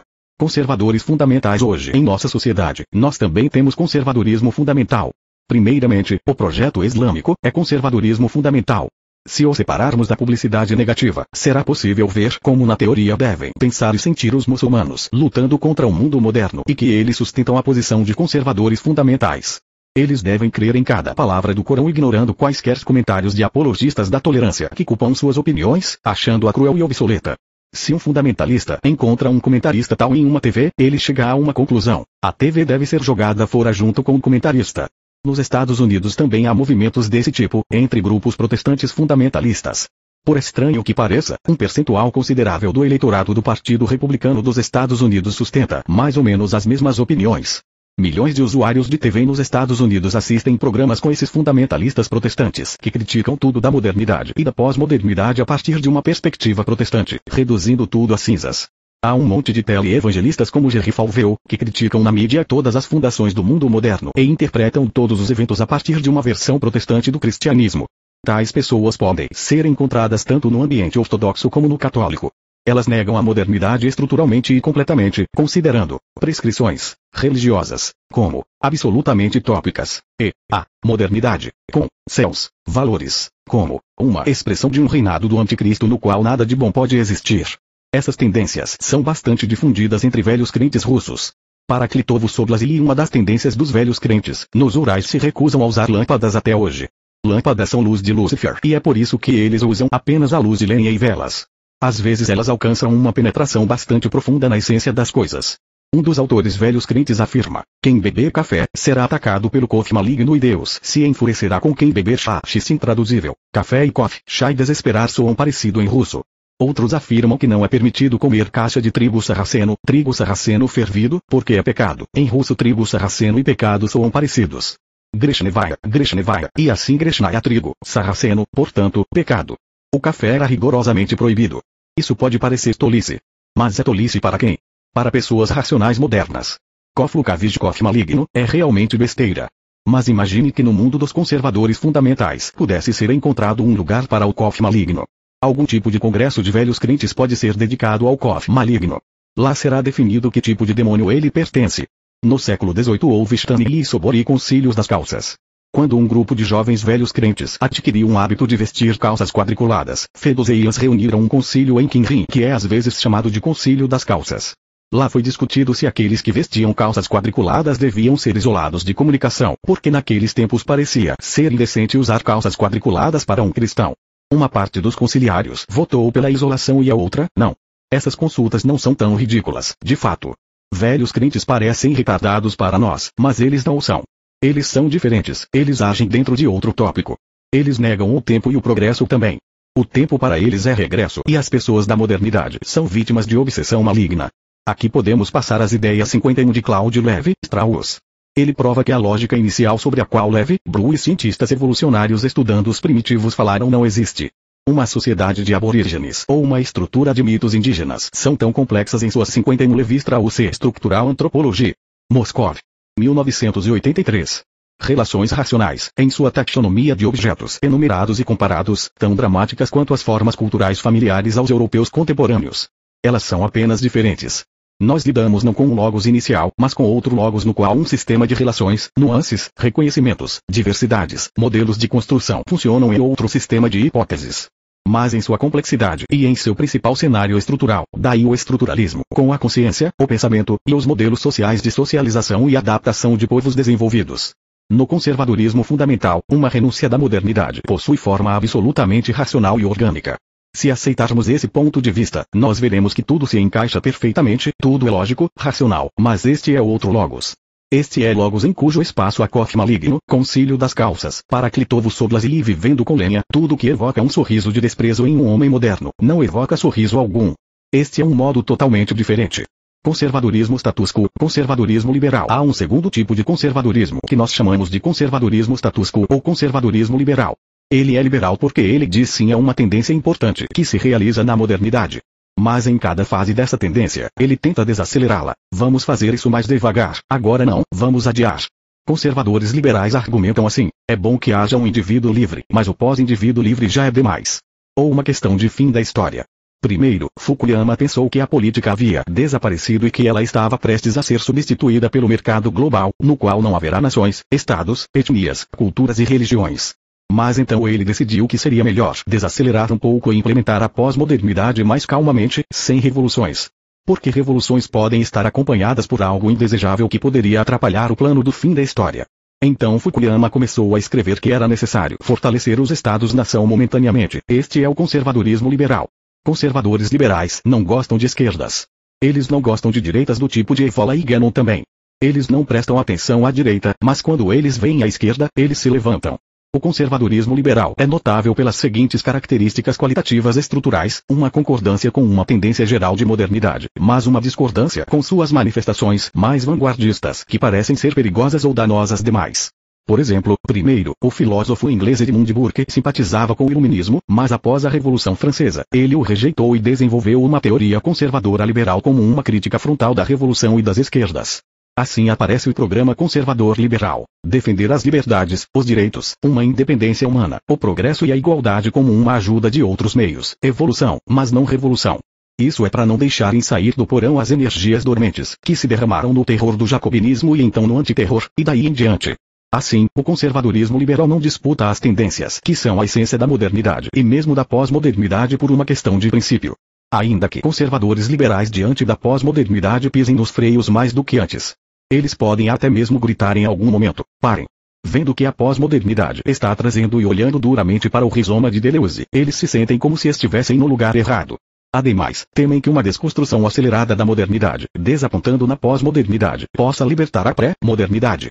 É sobre isso que eles francamente escrevem. Por exemplo, o liberal Habermas 52, outrora da esquerda, diz que se nós não salvarmos um rígido espírito do iluminismo agora, uma fidelidade aos ideais do sujeito livre, uma liberação moral, se não segurarmos a humanidade na margem, não apenas cairemos no caos, mas também voltaremos à sombra da tradição, cujo meio de enfrentamento é a própria modernidade. Em outras palavras, ele teme que cheguem os conservadores fundamentais. Bin Laden como símbolo. A figura de Bin Laden, quer ele exista na realidade ou 52 Habermas J. Modernity, a um Finished Project, 1992 tenha sido inventado em Hollywood, possui uma significância filosófica fundamental. Ela é uma perspectiva de transição da pós-modernidade à pré-modernidade repleta com grotesco. Ela é um alerta sinistro de que a pré-modernidade, tradição, como fé nos valores que foram empilhados e levados ao ferro, velho no início da modernidade podem se levantar e vir à superfície. A face de Bin Laden, seus gestos e aparência em nossas telas e revistas de moda, é um sinal filosófico. É um sinal de alerta dos conservadores liberais à humanidade. Simulacro de C.H. Guevara. Normalmente, conservadores liberais não fazem uma análise da correlação entre liberalismo e comunismo como a que fizemos, e assim eles continuam a temer o comunismo. Nós já dissemos que os eventos de 1991, o fim da União Soviética, possuem uma significância filosófica e histórica enorme que possuem poucos análogos. Há apenas um punhado de eventos como este na história porque em 1991 o liberalismo provou seu direito excepcional para o legado ortodoxo de um paradigma da modernidade. Todas as outras versões, e acima de tudo, o comunismo, se mostraram desvios no caminho da modernidade, seus galhos levando a outro objetivo. Os comunistas pensavam que eles estavam trilhando a estrada da modernidade em uma direção de progresso, mas ficou claro que eles estavam seguindo em direção a algum outro objetivo que estava localizado em outro espaço conceitual.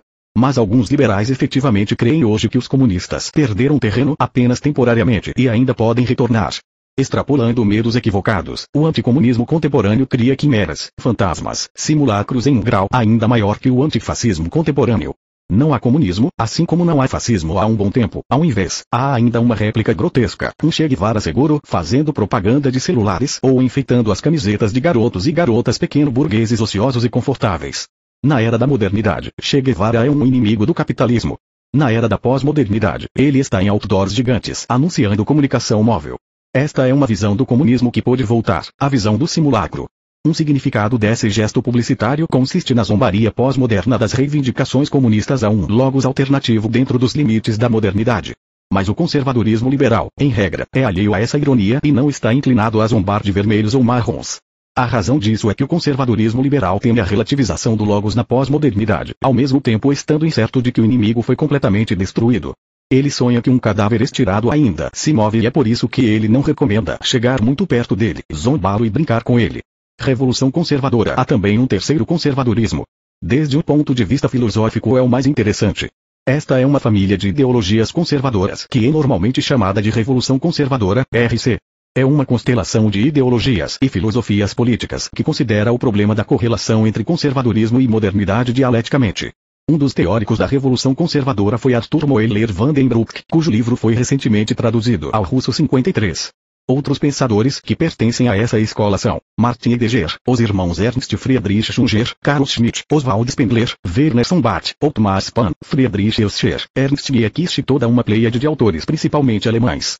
Algumas vezes, eles são chamados de os dissidentes do nacional-socialismo, porque a maioria deles em algum período de tempo apoiou o nacional-socialismo, mas logo partiram em migração ou imigração e alguns até foram para a prisão. Muitos deles participaram em atividades antifascistas subterrâneas e ajudaram judeus a fugir. Particularmente, Friedrich Elscher, um conservador revolucionário de primeira linha e apoiador do renascimento nacional alemão, ajudou o famoso filósofo judeu Martin Buber a escapar. Os conservadores devem liderar uma revolução. É possível descrever um paradigma geral da visão de mundo da revolução conservadora do seguinte modo. Há um processo de degradação do mundo. Não é apenas uma 53 Moeller Vandenbroek, Pepir de Reich, Moscov, 2009. Aspiração das forças malignas a fazer truques, são as forças da fé e do destino que levam a humanidade no caminho de degeneração. Do ponto de vista conservador revolucionário, o ápice da degeneração é a modernidade. Nesse momento tudo se encaixa com os tradicionalistas. Em oposição a eles, os conservadores revolucionários começam a pensar, porque ocorreu de que a fé no Deus que criou o mundo, na divina providência, no sagrado, no mito em certo período começou a se voltar em sua própria oposição. Porque ela enfraquece e porque os inimigos de Deus se fortalecem? Então eles têm uma suspeita. Talvez aquela maravilhosa idade de ouro defendida pelos conservadores fundamentais continham algum tipo de gene de perversão. Talvez nem tudo fosse bom na religião também. Talvez aquelas formas religiosas, sacrais, sagradas da sociedade tradicional que podemos discernir antes da chegada da modernidade mantinham um elemento específico de decadência nelas. E então os conservadores revolucionários dizem aos conservadores fundamentalistas: vocês sugerem voltar ao estado no qual os primeiros sintomas de um homem doente se revelaram, quando o primeiro talho apareceu. Hoje este homem está às portas da morte e vocês falam do quão bem ele se sentia antes. Vocês opõem uma pessoa cortada e uma pessoa agonizante. Já nós queremos descobrir de onde vem a infecção, porque ele começou a tossir. E o fato de que ele não morre tossindo e de que ele sai para trabalhar não nos convence de sua saúde. O vírus deve ter tido sua origem em algum lugar no passado. Nós acreditamos, continuam os conservadores revolucionários, que na fonte mesmo, na divindade, em uma causa verdadeiramente inicial, se encontra uma intenção de organizar esse drama escatológico. Nesse ponto de vista, a modernidade adquire um tipo paradoxal. Essa não é apenas uma doença hoje, no presente negado. Essa é uma revelação em um mundo de hoje do que foi preparado no mundo de ontem, tão valioso para tradicionalistas. A modernidade não se torna melhor por causa disso, mas a tradição, aliás, perde sua positividade definitiva. Uma das principais fórmulas de Arthur Moeller Vandenbroek foi: os conservadores tentaram deter uma revolução anteriormente, mas nós devemos liderá-la. Isso quer dizer que expressando solidariedade com tendências destrutivas da modernidade, parcialmente por razões práticas, é necessário revelar e discernir os bacilos que deram causa às tendências de degeneração progressiva, isto é, a modernidade, inicialmente. Os conservadores revolucionários querem não apenas desacelerar o tempo, como os conservadores liberais, ou retornar ao passado, como os tradicionalistas, mas arrancar a raiz do mal da estrutura do mundo, abolir o tempo como característica destrutiva da realidade pela realização de algum plano secreto, paralelo, não óbvio da divindade. E Gestel A história da filosofia de Heidegger é construída com o mesmo modelo. No amanhecer da filosofia, o Dasein como realidade objetiva finita e localizada do homem assumiu o caminho de apresentar uma questão sobre a realidade objetiva, ou seja, sobre si mesmo e seus arredores. Um dos primeiros de tais conceitos, expressando essa apresentação da questão foi o conceito de Pisis, assimilando uma realidade objetiva com a natureza e compreendendo-a como uma cadeia de insurreições. O segundo conceito foi uma metáfora agrária do logos, um conceito formado do verbo legem, isto é colheita e que depois obteve o sentido de pensar, ler, falar, Segundo Heidegger, o Parpsis Logos, definindo a realidade objetiva a incluíram em fronteiras estreitas demais. Essas fronteiras se estreitaram ainda mais no estudo platônico sobre as ideias.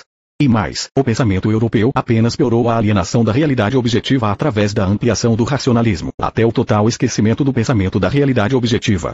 Esse esquecimento na virada dos séculos XIX, XX se desenvolveu no niilismo, um termo geral na filosofia heideggeriana descrevendo a essência do crescente domínio da técnica é gesteu, isto é a construção de modelos cada vez mais alienantes e nihilistas. Mas para Heidegger, gesteu não é um acaso. É uma expressão de que o lado oposto da realidade objetiva é o nada, como sua perspectiva interna. No Dasein, a realidade objetiva e o nada devem coexistir. Mas se um homem acentua a realidade objetiva como um universal coimon, apenas sobre o que existe, ideia de Pisis, ele perde vistas do nada que o lembra a si mesmo, levando a filosofia ao niilismo, através de Gesteu. Assim, o niilismo contemporâneo não é apenas maligno, mas é também a notícia da realidade objetiva invertida para o Dasein e dada de maneira tão complicada. Portanto, um objetivo dos conservadores revolucionários não é apenas administrar o nada e o niilismo da modernidade, mas desembaraçar o emaranhando da história da filosofia e decifrar a mensagem contida na Gesteu. Assim, o niilismo da modernidade não é apenas um mal, como para os tradicionalistas, mas também um sinal indicando estruturas profundas da realidade objetiva e paradoxos subjacentes nela.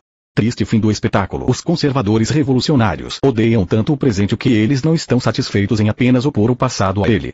Eles dizem, o presente é terrível, mas ele deve ser vivido, levado até o fim.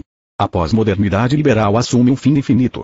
O fim da história de Fukuyama não é apenas desaparecimento. Transações econômicas e mercados continuam a operar, hotéis, bares, discotecas continuam a cintilar em convites, bolsas continuam a funcionar, dividendos de valores mobiliários continuam a ser pagos, telas de computador e TV continuam a brilhar, valores mobiliários continuam a ser produzidos. Não a história, mas a TVS. Os conservadores revolucionários fazem de um jeito diferente. No fim da história, eles pretendem aparecer no lado oposto do Dasein, do espaço turvo do outro lado, e transformar o jogo da pós-modernidade em não jogo. O espetáculo, a sociedade do espetáculo de Guy Debord, acabará de modo bem desagradável para espectadores e atores. No devido tempo, essa lógica foi seguida por um grupo de surrealistas dadaístas, Arthur Cravan, Jacques Rigaud, Jolim Torma, Jacques Vaché, que glorificaram o suicídio. Mas os críticos consideravam isso uma basófia vazia. Em um momento, eles cometeram suicídio publicamente, o que provou que arte e surrealismo eram algo tão grande para eles, que eles deram suas vidas por isso. Aqui podemos nos lembrar de Kirillov de Os Possuídos de Dostoiévski, título original russo Bezi, para quem o suicídio se tornou uma expressão da liberdade completa que foi revelada após a morte de Deus. Houve eventos não menos aterrorizantes na Rússia recentemente, por exemplo, Nordjost. Um ator cômico obsceno e desarrumado, Sasha Sikalo, apresenta um espetáculo ao qual compareceu uma imponente audiência de Moscou. Aqui terroristas chechenos apareceram e, inicialmente, as pessoas pensaram que isso era uma parte da performance. E então, perceberam com horror que há algo errado no palco e logo começa uma verdadeira e horrível tragédia. Aproximadamente os mesmos conservadores revolucionários imaginam. Deixemos que a pantomima da pós-modernidade siga seu curso, que ela dilua os paradigmas definidos, o ego, superego, logos, que o rizoma, esquizomas e consciências divididas entrem, que um nada carregue consigo todo o conteúdo do mundo, para que então as portas secretas sejam abertas e antigos e eternos arquétipos ontológicos venham à superfície e acabem de vez com o jogo. Conservadorismo de esquerda, social, conservadorismo há mais uma orientação, ou assim chamado conservadorismo de esquerda, ou social conservadorismo. Um típico representante do social conservadorismo é George Sorel, sua obra Reflexões sobre a Violência 54. Ele aderiu a 54 Sorel Georges, Reflections on Violence, 1906. Opiniões de esquerda, mas em um certo período ele descobriu que esquerdistas e direitistas, monarquistas e comunistas, lutam contra um inimigo comum, a burguesia. O conservadorismo de esquerda é próximo ao nacional bolchevismo russo de Nikolai Strelov. Sob a ideologia marxista pura, ele descobriu mitos nacionais russos. Ainda mais distintamente, isso é recontado no nacional-socialismo de esquerda de Strasser e no nacional-bolchevismo alemão de Mierkist. Tal conservadorismo de esquerda poderia ser atribuído à família da Revolução Conservadora ou descoberto como uma orientação separada. Interessantemente, o Partido Rússia Unida adotou o social-conservadorismo como parte de sua ideologia. Essa orientação está sendo desenvolvida hoje por Andrei Zaev. No outro polo da Rússia Unida está o conservadorismo liberal de Pligin. Eurasianismo como episteme. O eurasianismo é tanto uma filosofia política e uma episteme.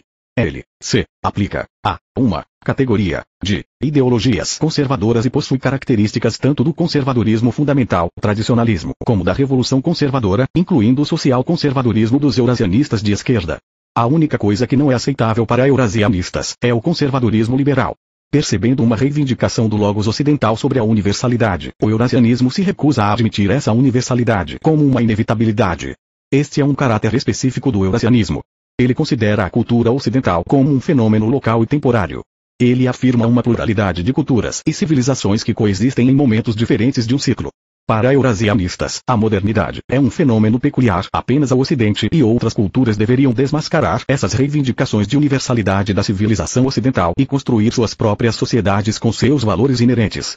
Não há processo histórico unificado. Cada povo tem seu modelo histórico que se move em um ritmo diferente e às vezes em direções diferentes. O eurasianismo é per si pluralismo gnoseológico. Uma pluralidade de epistemes construídas com base em cada civilização existente. Episteme eurasiana para a civilização russa, chinesa, para a chinesa, islâmica, para a islâmica, hindu, para a hindu, etc., se opõe a uma episteme unitária da modernidade, incluindo ciência, política, cultura, antropologia. E apenas com base nessas epistemes purificadas da não opcionalidade ocidental deveriam ser construídos outros projetos sociopolíticos, culturais e econômicos. Nós vemos uma forma específica de conservadorismo nele, diferido de outras versões conservadoras próximas, excluindo o conservadorismo liberal, pela tomada de uma alternativa à modernidade não no passado, ou em um golpe conservador revolucionário único. Nós a tomamos em sociedades que coexistem historicamente com a civilização ocidental e diferem culturalmente dela. Aqui os eurasianistas parcialmente se aproximam dos tradicionalistas de Guénon, que também consideraram que a modernidade é um conceito ocidental, quando ainda há formas de sociedade tradicional no Oriente. Coincidência nenhuma que o primeiro entre os autores russos que se referiu ao livro de Gaiman Oriente e Ocidente foi o eurasianista N.N. Alexeyev.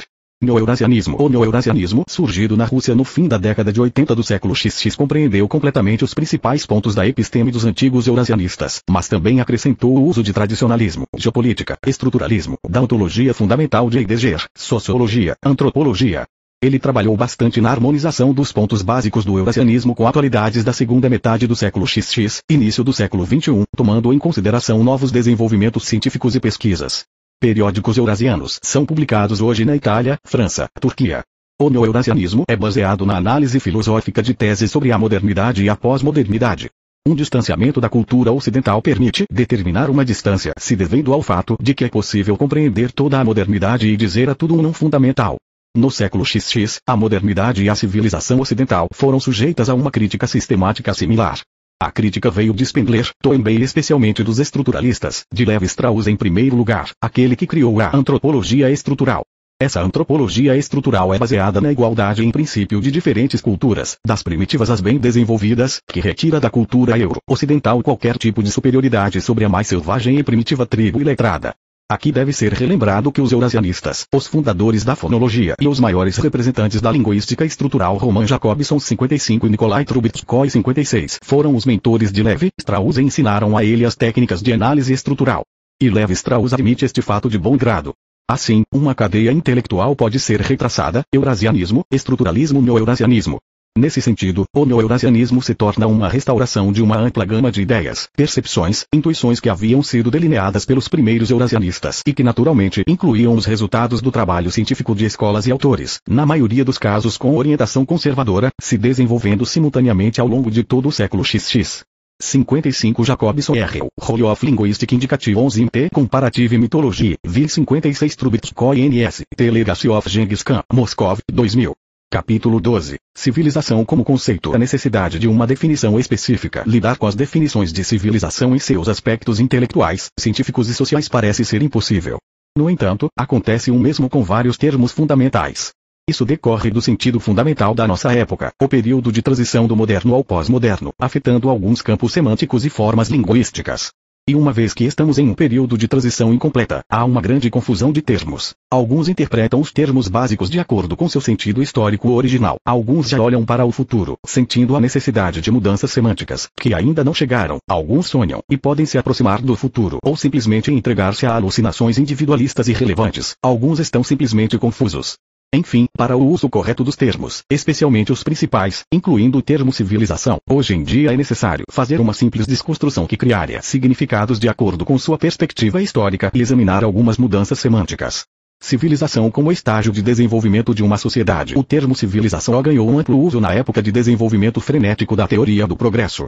E esta teoria é o resultado de dois axiomas paradigmáticos da modernidade, a progressiva e unidirecional natureza do desenvolvimento humano, de menos a mais, e a universalidade do homem como fenômeno. Nesse contexto, o americano G. L. Morgan define civilização como o estágio no qual a humanidade no SEC. Chics todos acreditavam cegamente na óbvia existência de algo como a humanidade, chega depois do estágio de barbarismo que, por sua vez, substitui o estágio de selvageria. Os machistas tomam facilmente essa interpretação, colocando-a na teoria da mudança das formações econômicas. De acordo com Morgan, Taylor e Engels, selvageria caracteriza as tribos que caçam de maneira primitiva. Barbarismo se refere a sociedades não letradas baseadas em formas simples de agricultura e pecuária, sem clara divisão do trabalho e desenvolvimento de instituições políticas e sociais.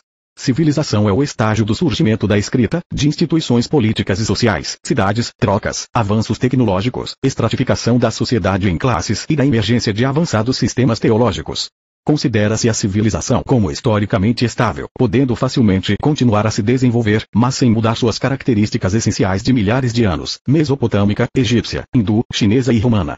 Civilização e império, no entanto, juntamente com o conceito histórico de civilização ainda que menos claramente, foi atribuído um sentido territorial a ele.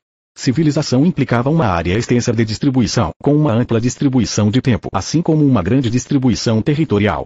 Neste sentido, os limites territoriais do termo civilização, em parte, coincidiram com o significado da palavra império, poder mundial. Império no sentido civilizado não se refere às características de uma estrutura político-administrativa e ao fato dessa ativa e intensiva disseminação de influências emanando de centros de civilização ao território circundante, habitado por supostos bárbaros ou selvagens. Em outras palavras, o termo civilização já pode ser identificado como a natureza da expansão e exportação de influência que são comuns ao Império Antigo e Moderno. Civilização e o tipo universal. A civilização criou um novo tipo genérico, completamente diferente dos modelos das sociedades bárbaras e selvagens. Este tipo é construído principalmente na globalização das bases etnotribais e religiosas, que se situavam nas origens desta civilização. Mas no decorrer desta globalização, e nomeadamente através de igualar uma particular imagem étnica, social, política e religiosa de um padrão universal, veio o importantíssimo processo de transcender o grupo étnico, a transformação de seu natural e orgânico, às vezes transmitido inconscientemente, para o nível de tradições feitas pelo homem e sistemas racionais conscientes. Um cidadão de Roma, mesmo nos estágios iniciais do império, diferia significativamente do residente médio da época de seu desenvolvimento e a diversidade de muçulmanos orando em árabe está longe das tribos beduínas da Arábia e seus descendentes étnicos diretos. Assim, a transição para a civilização tem uma antropologia social qualitativamente diferente. Uma pessoa pertencente à civilização tinha uma identidade coletiva, encarnada em um corpo fixo de cultura espiritual, a qual ele foi obrigado a dominar, em certa medida. Civilização implicava que essa pessoa devia fazer um esforço racional e vigoroso, e no sec. Schwinn, que os filósofos após Descartes chamaram de sujeito.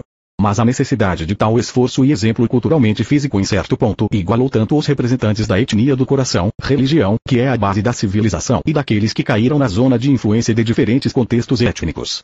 Foi mais fácil aprender as bases da civilização do que ser aceito na tribo, pois não era exigido aprender grandes quantidades de arquétipos inconscientes, mas sim realizar um número racional de operações lógicas. Civilização e cultura em alguns aspectos, dependendo do país ou do autor, no SEC. Chix o termo civilização era identificado com o conceito de cultura. Em outros casos, algumas relações hierárquicas eram estabelecidas, mais frequentemente a cultura era considerada como a base espiritual para a civilização e a própria civilização significava uma estrutura formal da sociedade que responde a certos pontos da definição. Oswald Spengler em seu famoso livro O Declínio do Ocidente, opôs civilização e cultura, considerando a última como uma expressão do espírito vital orgânico da humanidade e a primeira como o esfriamento desse espírito nas formas mecânicas e tecnológicas.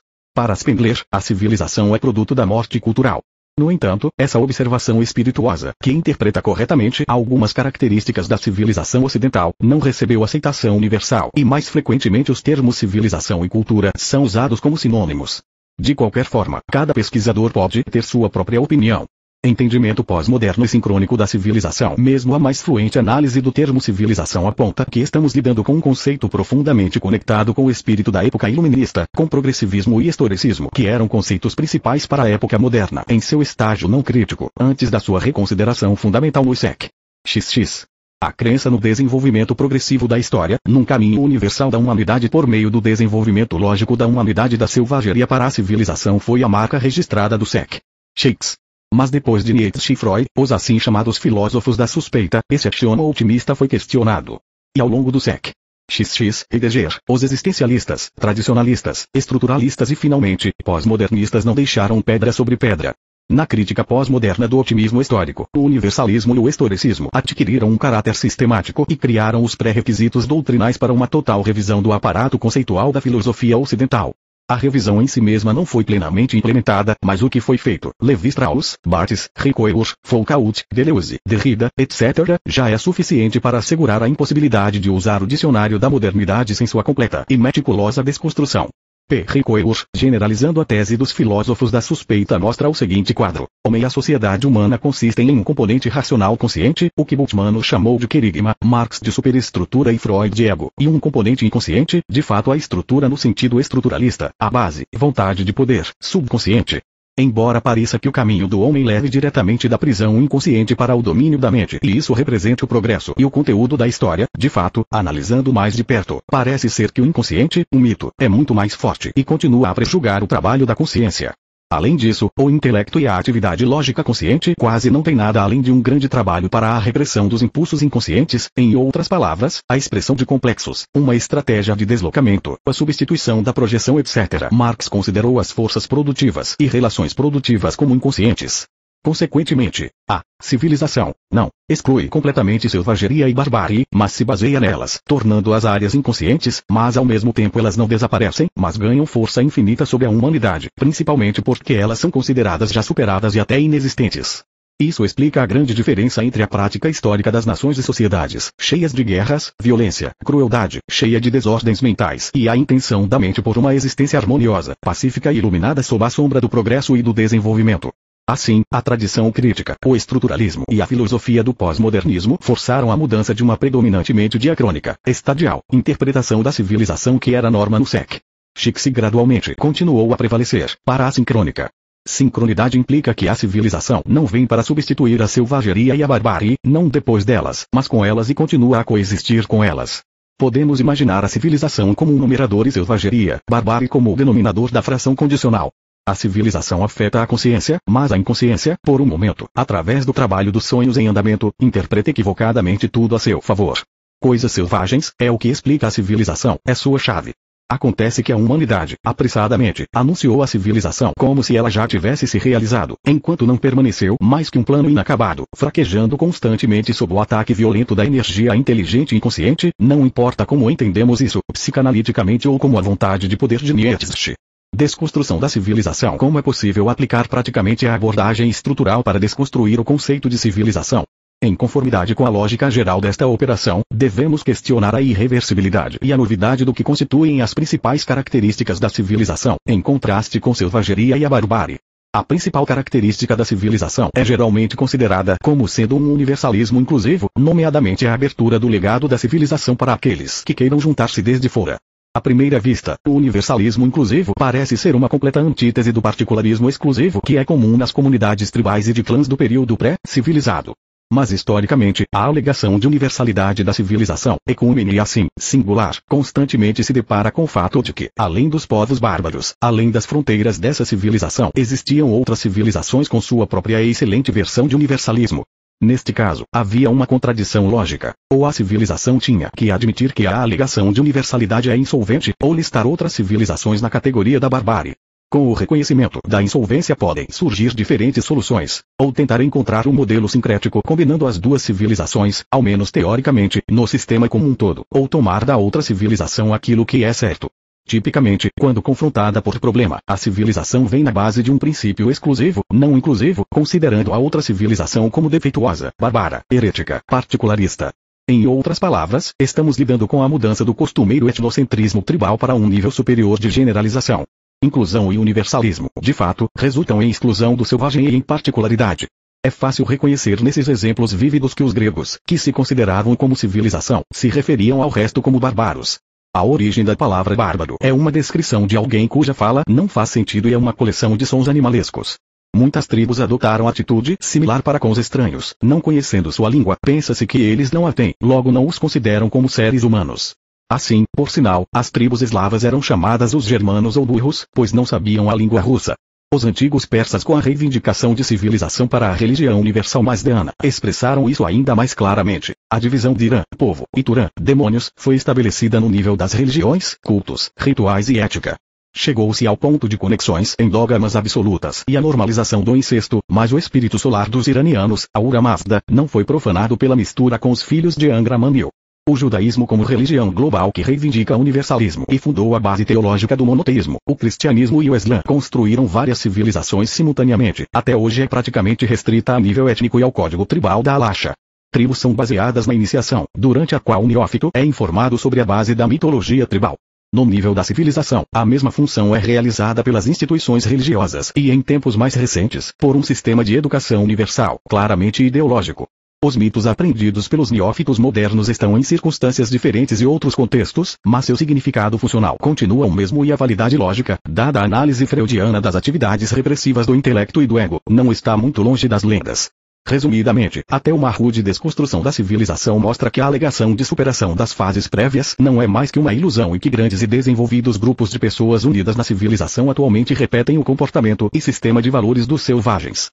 Daí as crescentes e inacabáveis guerras, padrões duplos na política internacional, paixões desenfreadas na vida privada, sempre quebrando os códigos ético-normativos da sociedade moderada e racional, aparecem.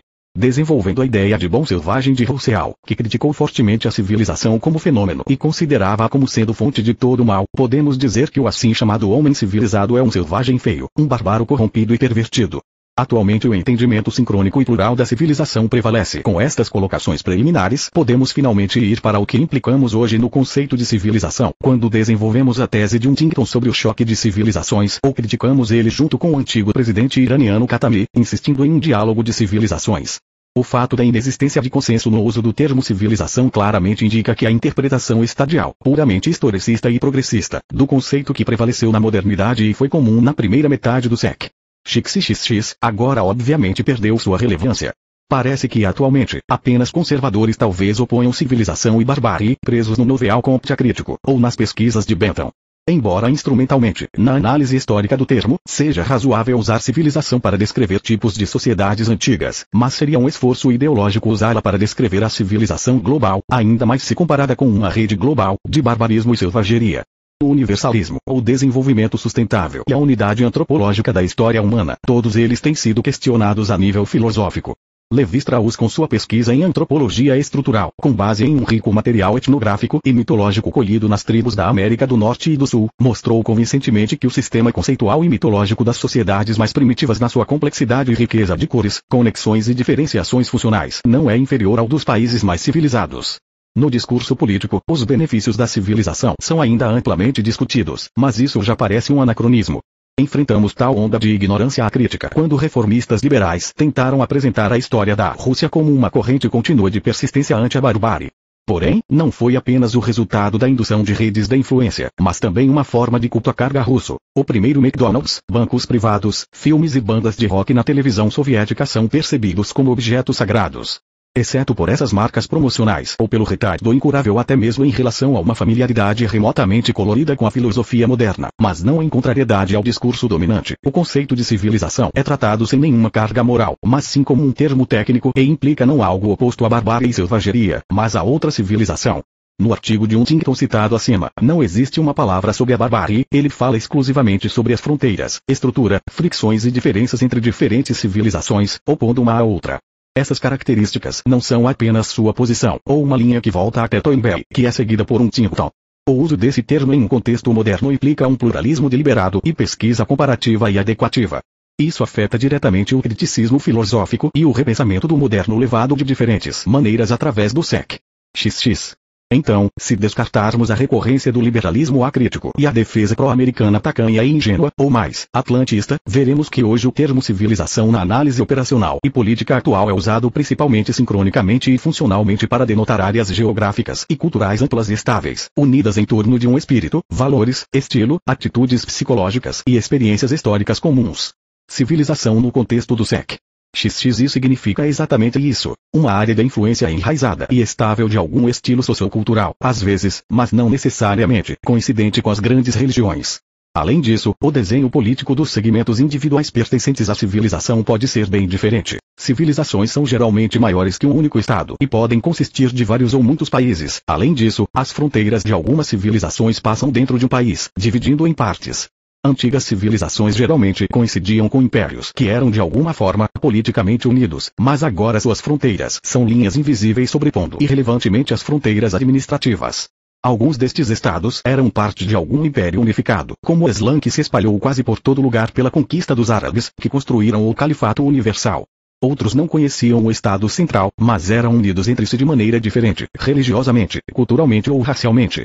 A crise dos modelos clássicos da análise histórica, classe, econômica, liberal, racial. Então estabelecemos que no uso do termo civilização no SEC. XX e na crítica da modernidade houve uma mudança qualitativa na direção de uma pluralidade sincrônica. Mas podemos dar mais um passo e tentar entender por que, de fato, esse uso se tornou tão relevante atualmente. De fato, anteriormente o conceito de civilização não foi sujeito de problematização deliberada e apenas classes acadêmicas humanitárias poderiam pensar por meio dessas categorias. Na ciência e no discurso político, outras atitudes dominaram, como a econômica, nacional, racial, de classe social. Hoje, observamos que pensar economicamente, falar sobre Estado nacional e interesses nacionais, e mais ainda colocar no centro da análise atitudes classistas ou raciais, é cada vez menos aceito. Por outro lado, raramente qualquer discurso de um político é feito sem mencionar a palavra civilização, e certamente em todo texto analítico este termo é talvez o mais comum. Huntington tentou civilizar a principal característica da análise política, histórica e estratégica. Vamos obviamente pensar civilizadamente. Aqui devemos prestar atenção para o fato do que significa verdadeiramente a palavra civilização nas versões clássicas do discurso político. Falar seriamente sobre raça não é provável depois da trágica história do fascismo europeu. Análise de classe se tornou irrelevante depois do colapso do bloco soviético e da União Soviética. Pode parecer que o único paradigma da ciência política é o liberalismo. Isso criou a impressão de que as fronteiras dos estados homogêneos, essencialmente liberal-democratas, não mais enfrentam nenhum outro sistema que possa alegar uma alternativa global, depois da queda do machismo, e logo seriam abolidas, para que fossem criados um governo global e um Estado mundial, uma economia de mercado homogênea, com democracia parlamentar, parlamento mundial, sistema liberal de valores, informação tecnológica e de infraestrutura comuns. Uma imagem do maravilhoso novo mundo foi feita em 1990 por Francis Fukuyama, no livro programático, e seu primeiro artigo Fim da História. Fukuyama pôs fim ao desenvolvimento da interpretação estadial do conceito de civilização. O fim da história, de acordo com sua versão, significa que a barbárie foi finalmente derrotada pela civilização em todas suas formas e variações. Foi Fukuyama quem discutiu com Tinton, sugerido como argumento principal que o fato do fim do conflito entre as duas claramente definidas ideologias da modernidade, marxismo e liberalismo, não significa automática integração da humanidade em uma utopia liberal unificada, pois as estruturas formais dos estados nacionais e dos campos ideológicos estavam fundados sobre profundas placas tectônicas, como em um tipo de continentes do inconsciente coletivo, os quais, como se deu, de modo algum foram superados pela modernização, colonização, ideologia e educação, e continuam a predeterminar os aspectos mais mais importantes da vida, incluindo a política, a economia e a geopolítica, em um segmento particular da sociedade, dependendo do pertencimento a uma civilização. Em outras palavras, Huntington propôs introduzir o conceito de civilização como conceito ideologicamente fundamental, designado para substituir não apenas a análise de classe, mas também a utopia liberal, seriamente e acriticamente absorvendo a propaganda demagógica da Guerra Fria, e por sua vez, se tornando sua vítima. Capitalismo, liberalismo de mercado, democracia parecem universais e comuns apenas em aparência. Cada civilização interpreta erroneamente o conteúdo de seus modelos inconscientes, onde religião, cultura, língua, psicologia jogam um papel importante, às vezes considerável. Neste contexto, a civilização ganha central importância na análise política, movendo-se para o primeiro plano, substituindo a vulgata de clichês liberais. O desenvolvimento dos anos 90 mostrou que um Tinton estava mais perto da verdade e Fukuyama foi forçado a revisar suas visões reconhecendo que ele obviamente se apressou. Mas esta revisão da tese de Fukuyama sobre o fim da história requer uma consideração mais cuidadosa. Utópicos liberais voltam atrás. Construção do Estado. O fato é que Fukuyama, analisando as inconsistências de suas previsões sobre o fim da história através do prisma da vitória global do liberalismo, ainda tentou ficar dentro da lógica que ele originalmente criou. Consequentemente, ao mesmo tempo ele teve de checar a realidade, reconciliação com a realidade, evitando reconhecer que seu oponente, um Tinton, estava certo, e por todas as aparências a previsão de um Tinton estava mais perto da verdade. Fukuyama então fez a seguinte abordagem conceitual. Ele propôs adiar o fim da história por tempo indefinido e fortalecer as estruturas sociopolíticas, que eram um núcleo da ideologia liberal em estágios anteriores. Fukuyama colocou então sua nova tese, construção do Estado, como um estágio intermediário do movimento para o Estado global e governo mundial, ele sugeriu fortalecer os Estados com economia liberal e sistema democrático, de modo a preparar o terreno para a vitória final do liberalismo global e da globalização. Esta não é uma rejeição da perspectiva, mas simplesmente um adiamento com uma proposta concreta sobre um estágio relativo. Fukuyama não fala quase nada sobre o conceito de civilização, mas tendo sempre em mente a tese de um Tinton, indiretamente responde. O desenvolvimento sustentável dos estados nacionais, que foi esmagado na era do colonialismo, e na era dos movimentos de liberação nacionais, e na era de confrontação ideológica entre dois campos, agora deve seguir propriamente. Isso levará gradualmente ao fato de que diferentes sociedades, que tomarão o mercado, democracia e direitos humanos, acabarão com os remanescentes do inconsciente, e prepararão um caminho mais seguro, que agora, para a globalização. O Mundo como Rede, por Thomas Barnett. Há uma nova edição de uma teoria puramente globalista, apresentada pelos trabalhos de Thomas Barnett em Ciência Política Americana e Análise de Política Internacional. O significado desse conceito apela para o fato de que o desenvolvimento tecnológico cria uma divisão zonal de todos os territórios do mundo em três regiões: a zona central, centro, a zona de conectividade, zona de conexão, e a zona desconectada, zona sem conexão. Barnett acredita que os processos de rede penetram livremente através das fronteiras dos estados e civilizações, e de algum modo estruturam o espaço estratégico do mundo. Os Estados Unidos e União Europeia formam o centro, onde todos os códigos de novas tecnologias e centros de decisão estão concentrados. Na zona de conexão, está a maioria dos outros países, condenados a uma atitude de usuários das redes, eles são forçados a consumir tecnologias prontas e a se adaptar às regras produzidas pelo centro. Países e forças políticas que estão em direta oposição aos Estados Unidos, ao Ocidente e à globalização pertencem à zona sem conexão. Para Thomas Barnett, IBB tecnologia é destino e ela incorpora a quintessência da civilização, entendida tecnicamente, quase como Spengler fez, mas com sentido positivo. A visão americana da ordem mundial. Três versões na análise política americana, e devemos admitir que eles ditam o tom nessa área. Coexistem três conceitos de seleção de sujeitos no mapa mundial globalismo e civilização singular, no espírito do Fukuyama inicial, são refletidas na construção de Burnett. Aqui o sujeito é centro, o resto é sujeito de administração externa, isto é, de subjetificação e de soberanização. O próprio Fukuyama, analisando criticamente suas anteriores colocações otimistas, ocupa uma posição intermediária, insistindo que o sujeito deveria continuar nos estados nacionais, que o desenvolvimento deve preparar uma base mais sólida para o futuro da globalização. Finalmente, Huntington e seus apoiadores acreditam que as civilizações são realidades muito profundas e severas que podem ser atores globais em uma situação em que os velhos modelos ideológicos entraram em colapso e o Estado-nação está rapidamente perdendo sua real substância de soberania sob a influência de algumas dimensões efetivas da globalização. Mas a própria globalização, quebrando as velhas barreiras, não consegue penetrar profundamente em sociedades tradicionais com componentes estáveis. É significativo que a tese de Huntington captura aquela força que procura escapar da globalização, ocidentalização e hegemonia americana, de modo a preservar e reforçar as identidades tradicionais. Mas em vez do catastrófico discurso de choque e conflito de civilizações de Huntington, eles começam a falar sobre diálogo. Mas este nuance moralista não deve nos enganar sobre a tarefa daqueles que geralmente adotam o modelo de Huntington. Antes de tudo, eles são como o Katami iraniano, Choque ou diálogo é uma questão secundária e o consenso principal de que civilização é agora o principal sujeito da análise da política internacional é muito mais importante. Em outras palavras, diferente dos globalistas e maximalistas, como Barnett, e de liberais estatistas moderados, apoiadores do método civilizado explicitamente ou implicitamente tomam posição em abordagens filosóficas estruturalistas para entender o processo global. Declarar a civilização como sujeito principal e atriz da política mundial é o curso ideológico mais promissor para aqueles que querem estimar o estado real das coisas na política mundial, para aqueles que buscam encontrar uma ferramenta adequada para generalizações da ciência política de uma nova era, a era do pós-modernismo, para aqueles que buscam defender sua própria identidade em tempos de confusão progressiva, assim como de ataques do mundo real, da rede da globalização, em outras palavras, apelar para a civilização permite preencher organicamente o vácuo criado depois da crise histórica de todas as teorias que se opunham ao liberalismo e depois da crise interna do próprio liberalismo, incapaz de lidar com a tutela do espaço mundial moderno. Isso pode ser provado pela desafortunada experiência da utopia de Fukuyama. Civilização como conceito, interpretada no contexto filosófico contemporâneo, é o centro de uma nova ideologia.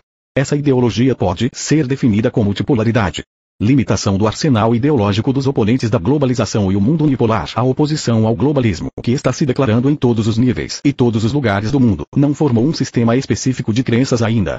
E esta é a fraqueza do movimento anti-globalização. Ele não é sistematizado. Falta harmonia ideológica. Nesse sistema elementos fragmentários e caóticos dominam e geralmente representam uma vaga mistura de anarquismo e esquerdismo irrelevante, ecologismo e até outras ideias mais extravagantes e marginais os perdedores da isma ocidental estariam marcados para desempenhar o papel principal.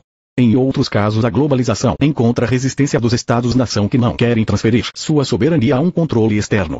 Finalmente, representantes das religiões tradicionais, defensores de identidades regionais e étnicas, especialmente no mundo islâmico, resistem ativamente ao globalismo e a seu código atlantista ocidental liberal democrata com sua rede e sistema de valores, individualismo, hedonismo, laicismo, Os três níveis existentes de oposição ao globalismo e à hegemonia americana não podem liderar uma estratégia comum e uma ideologia coerente que uniria as várias e espalhadas forças, geralmente diferentes em tamanho.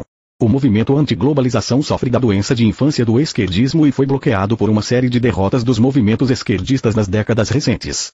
Os Estados-nação geralmente não têm escala suficiente para desafiar o poder altamente tecnológico do Ocidente, e suas elites políticas e econômicas estão muitas vezes envolvidas em projetos transnacionais. Ainda que algumas vezes movimentos locais, étnicos e religiosos possam enfrentar a globalização efetivamente, ao mesmo tempo estão muito desarticulados para mudar a tendência básica do mundo ou mesmo mudar seu rumo. O significado do conceito civilização como oposição ao globalismo. Em tal situação, a civilização parece ser uma verdadeira panaceia e uma categoria fundamental para a organização de um projeto alternativo pleno no mundo. Se colocarmos esse conceito nos holofotes, podemos encontrar a base para uma união harmoniosa de forças governamentais, públicas, sociais e políticas em um sistema. Levando a pluralidade de civilizações em conta, podemos unir povos, comunidades religiosas e étnicas vivendo em diferentes estados, para oferecer a eles uma ideia geral centralizada, dentro de uma civilização particular, e deixando uma vasta possibilidade de seleção para encontrar aí a própria identidade, permitindo uma existência consistente de outras civilizações que diferem em pontos-chave. E essa perspectiva não leva necessariamente ao conflito de civilizações, contrariando um Timpton. Conflitos e alianças são possíveis aqui, o mundo multipolar que surge nesse caso criará pré-requisitos reais para a continuidade da história política da humanidade, adotando uma diversidade regulatória de sistemas religiosos, econômicos, culturais, sociopolíticos e de valores. De outro modo, uma simples e esporádica resistência ao globalismo no nível local ou por parte da massa anti-globalização ideologicamente amorfa, no melhor dos casos, vai simplesmente adiar o fim, mas não será uma alternativa viável. Para o grande espaço fazer da civilização um sujeito na política mundial do SEC, XXI permitirá a globalização regional, uma união de países e nações pertencendo à mesma civilização. Isso levará à vantagem da inclusão social, mas não com respeito a todos sem distinção, mas primeiramente para aqueles que pertencem ao tipo comum da civilização. Um exemplo dessa integração em uma nova entidade política é a União Europeia. Ela é o protótipo de uma globalização regional que inclui os países e culturas que compartilham a uma cultura, história e sistema de valores comum. Mas, reconhecendo o direito dos europeus formarem uma nova entidade política baseada em suas diferenças civilizacionais, é natural assumir processos similares na civilização islâmica e na China, Eurásia, América Latina e África. Na ciência política posterior a Carl Schmitt, é comum chamar todos os projetos similares de integração como integração de grandes espaços. Na economia, Friedrich von List, ainda antes de Schmitt, compreendeu teoricamente e com grande sucesso na prática, sendo criador do modelo de união aduaneira alemã. O grande espaço é outro nome para o que chamamos de civilização no seu sentido geopolítico, cultural e espacial. O grande espaço difere dos atuais estados-nação precisamente porque é construído na base de um sistema de valores e relações históricas comuns, e combinam vários ou mesmo muitos diferentes estados com um destino comum. Em vários grandes espaços, o fator de integração pode variar. Em alguns será a religião, outros uma origem étnica comum, outros uma forma cultural comum, em outros o tipo sociopolítico ou a localização geográfica. O seguinte precedente é importante. A criação da União Europeia mostra que a incorporação do grande espaço na prática, a transição do Estado para uma educação supranacional, construído na base de uma comunidade civilizada, é possível e se desenvolve positivamente na realidade. Lista de civilizações. Diferentemente dos Estados-nação, ainda podemos discutir sobre o número e fronteiras das civilizações. Huntington identifica as seguintes: 1. Ocidental. 2. Confuciana, chinesa. 3. Japonesa. 4. Islâmica. 5. Hindu. 6. Eslavo-ortodoxa. 7. Latino-americana e possivelmente 8. Africana. Porém, várias ideias são questionadas. Na civilização ocidental, Huntington inclui os Estados Unidos, com o Canadá, e a Europa. Historicamente isso é verdade, mas atualmente, de um ponto de vista geopolítico, eles formam na relação entre si dois grandes espaços diferentes e seus interesses estratégicos, econômicos e até geopolíticos divergem mais e mais. A Europa tem duas identidades, atlantista que pode ser definida com a Europa e a América do Norte, e continental que tende, pelo contrário, a não ser somente o trampolim militar do grande irmão norte-americano, mas a conduzir uma política independente e voltar a fazer da Europa um ator independente. O euroatlantismo tem sua base no Reino Unido e nos países da Europa Oriental, direcionados pela russofobia, e o eurocontinentalismo tem sua base na França e Alemanha, com apoio da Espanha e Itália, a clássica velha Europa. A civilização em todos os casos é uma, nomeadamente a ocidental, mas falando de grande espaço, devemos admitir que possa ser organizado de forma diferente. É razoável relacionar a civilização eurasiana com a civilização eslavo-ortodoxa, que organicamente, historicamente e culturalmente incluem não somente os eslavos, e não apenas ortodoxos, mas também outros grupos étnicos, incluindo turquicos, caucásicos, siberianos étnicos e uma considerável parte da população que professa o Islã. O mundo islâmico, claro, unido religiosamente e com uma crescente consciência de sua identidade, no entanto, é dividido em vários grandes espaços: o mundo árabe, a zona continental do Islã, Irã, Afeganistão e Paquistão, e a região do Pacífico com influência muçulmana. Um lugar especial nessa situação pertence à África muçulmana, assim como as crescentes comunidades muçulmanas na Europa e América. E ainda, Islã é civilização, mais e mais consciente de suas peculiaridades e distinções das outras civilizações, e primariamente da civilização ocidental liberal, que está ativamente atacando o mundo islâmico no curso da globalização. É difícil estabelecer as fronteiras entre as zonas de influência das civilizações chinesa e japonesa no Pacífico, cuja identidade civilizacional continua aberta. E claro, é difícil falar da consciência geral dos habitantes da África, ainda que o futuro essa situação possa mudar, pois este processo tem pelo menos dois precedentes históricos: a Liga das Nações Africanas e os ideais pan-africanos. A reaproximação dos países latino-americanos é evidente, mas dada a pressão norte-americana nos últimos anos, não podemos falar em nenhum processo de integração ali.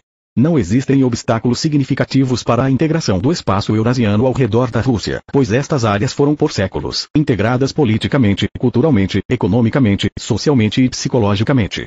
A fronteira ocidental da civilização eurasiana é em algum lugar ao leste da fronteira ocidental da Ucrânia, fazendo esse estado ser frágil e insustentável. A enumeração de civilizações, de fato, nos dá uma ideia do número de polos em um mundo multipolar. Todas elas, exceto o Ocidente, estão em estado potencial, mas ao mesmo tempo, cada uma destas civilizações tem condições sérias de se mover em rumo à integração e à formação de grandes atores na história do SEC. XXI.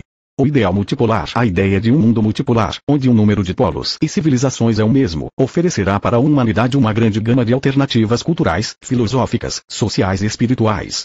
Teremos um modelo com a presença de um universalismo regional em um grande espaço particular que dará um grande número e segmentos significativos da humanidade e as dinâmicas sociais necessárias, isso é típico para a globalização e abertura, mas desprovido dos defeitos que o globalismo trouxe em escala planetária. Porém, o regionalismo também pode se desenvolver nesta situação, assim como em comunidades locais, étnicas e religiosas, desde que a pressão unificadora inerente aos Estados-nação se enfraqueça significativamente. Vemos na UE, onde a integração contribuiu substancialmente para o desenvolvimento das comunidades locais e das assim chamadas euroregiões. Além de tudo isso, podemos finalmente resolver a contradição fundamental entre exclusivismo e inclusivismo da identidade imperial. O planeta não aparece como uma única ecumene com a unidade deste racismo cultural na distribuição de títulos de nações civilizadas, e pelo contrário, bárbaras e selvagens, mas como vários ecúmenes, vários universos, que vivem segundo seu próprio passo, no seu contexto, com seu tempo, sua consciência e seu inconsciente durante várias gerações. É impossível dizer agora que relações existirão entre elas. Talvez tanto o diálogo como o confronto terão lugar. Mas uma coisa tem grande importância. A história vai continuar e removeremos o impasse histórico fundamental, onde fomos trazidos pela crença cega no progresso, na racionalidade e no desenvolvimento progressivo da humanidade. Com o tempo algo está mudando no homem, mas algo é eterno e imutável. A civilização pode seriamente diluir tudo em seu lugar. A razão e seus sistemas filosóficos, político, social e econômico se desenvolverão de acordo com suas leis, e o inconsciente coletivo será capaz de manter seus arquétipos e sua base intocável. E em toda civilização, racionalidade e inconsciente são livres para afirmar seus próprios padrões, mantê-los fiéis, fortalecê-los ou modificá-los. Não existirá padrão universal, nem material nem espiritual. Cada civilização finalmente proclamará que ela própria é uma medida das coisas. Em alguns lugares a medida será o homem, em outros, religião, em outros, ética, em outros, a matéria. Mas para realizar este projeto temos que enfrentar muitas brigas. Antes de tudo, é necessário enfrentar o principal inimigo, globalismo e o desejo do polo ocidental atlantista de mais uma vez impor a todos os povos e culturas do mundo sua hegemonia. Apesar das observações profundas e verdadeiras dos melhores intelectuais, muitos do establishment político nos Estados Unidos usam o termo civilização no singular, implicando civilização americana. Este é o verdadeiro desafio para o qual todos nós, todas as nações do mundo e especialmente a russa, devem dar uma resposta adequada. Capítulo 13 A transformação da esquerda no século XXI Filosofia da esquerda em crise O dia atual não dá oportunidade para falar de qualquer espaço estritamente definido para qualquer projeto esquerdista, social, socialista ou comunista, se comparado com o contraste da situação que por um século predominou no campo das ideias e projetos políticos. O caso é que o movimento esquerdista, as ideias esquerdistas, a filosofia esquerdista e a política de esquerda viram uma crise fundamental de expectativas. Primeiramente, ela foi causada pelo colapso da União Soviética e pela desintegração do campo socialista bem como pelo declínio da influência e prestígio do machismo europeu, que virtualmente se tornou por certo período de tempo uma ideologia suplente na Europa Ocidental. Porém, o projeto de esquerda mesmo em seus melhores dias não era uniforme universal. O destino da implementação das ideias de esquerda em uma prática política específica de diferentes nações demonstrou que mesmo a partir de um ponto de vista puramente teórico, há diversas tendências principais dentro da própria filosofia de esquerda que devem ser estudadas separadamente.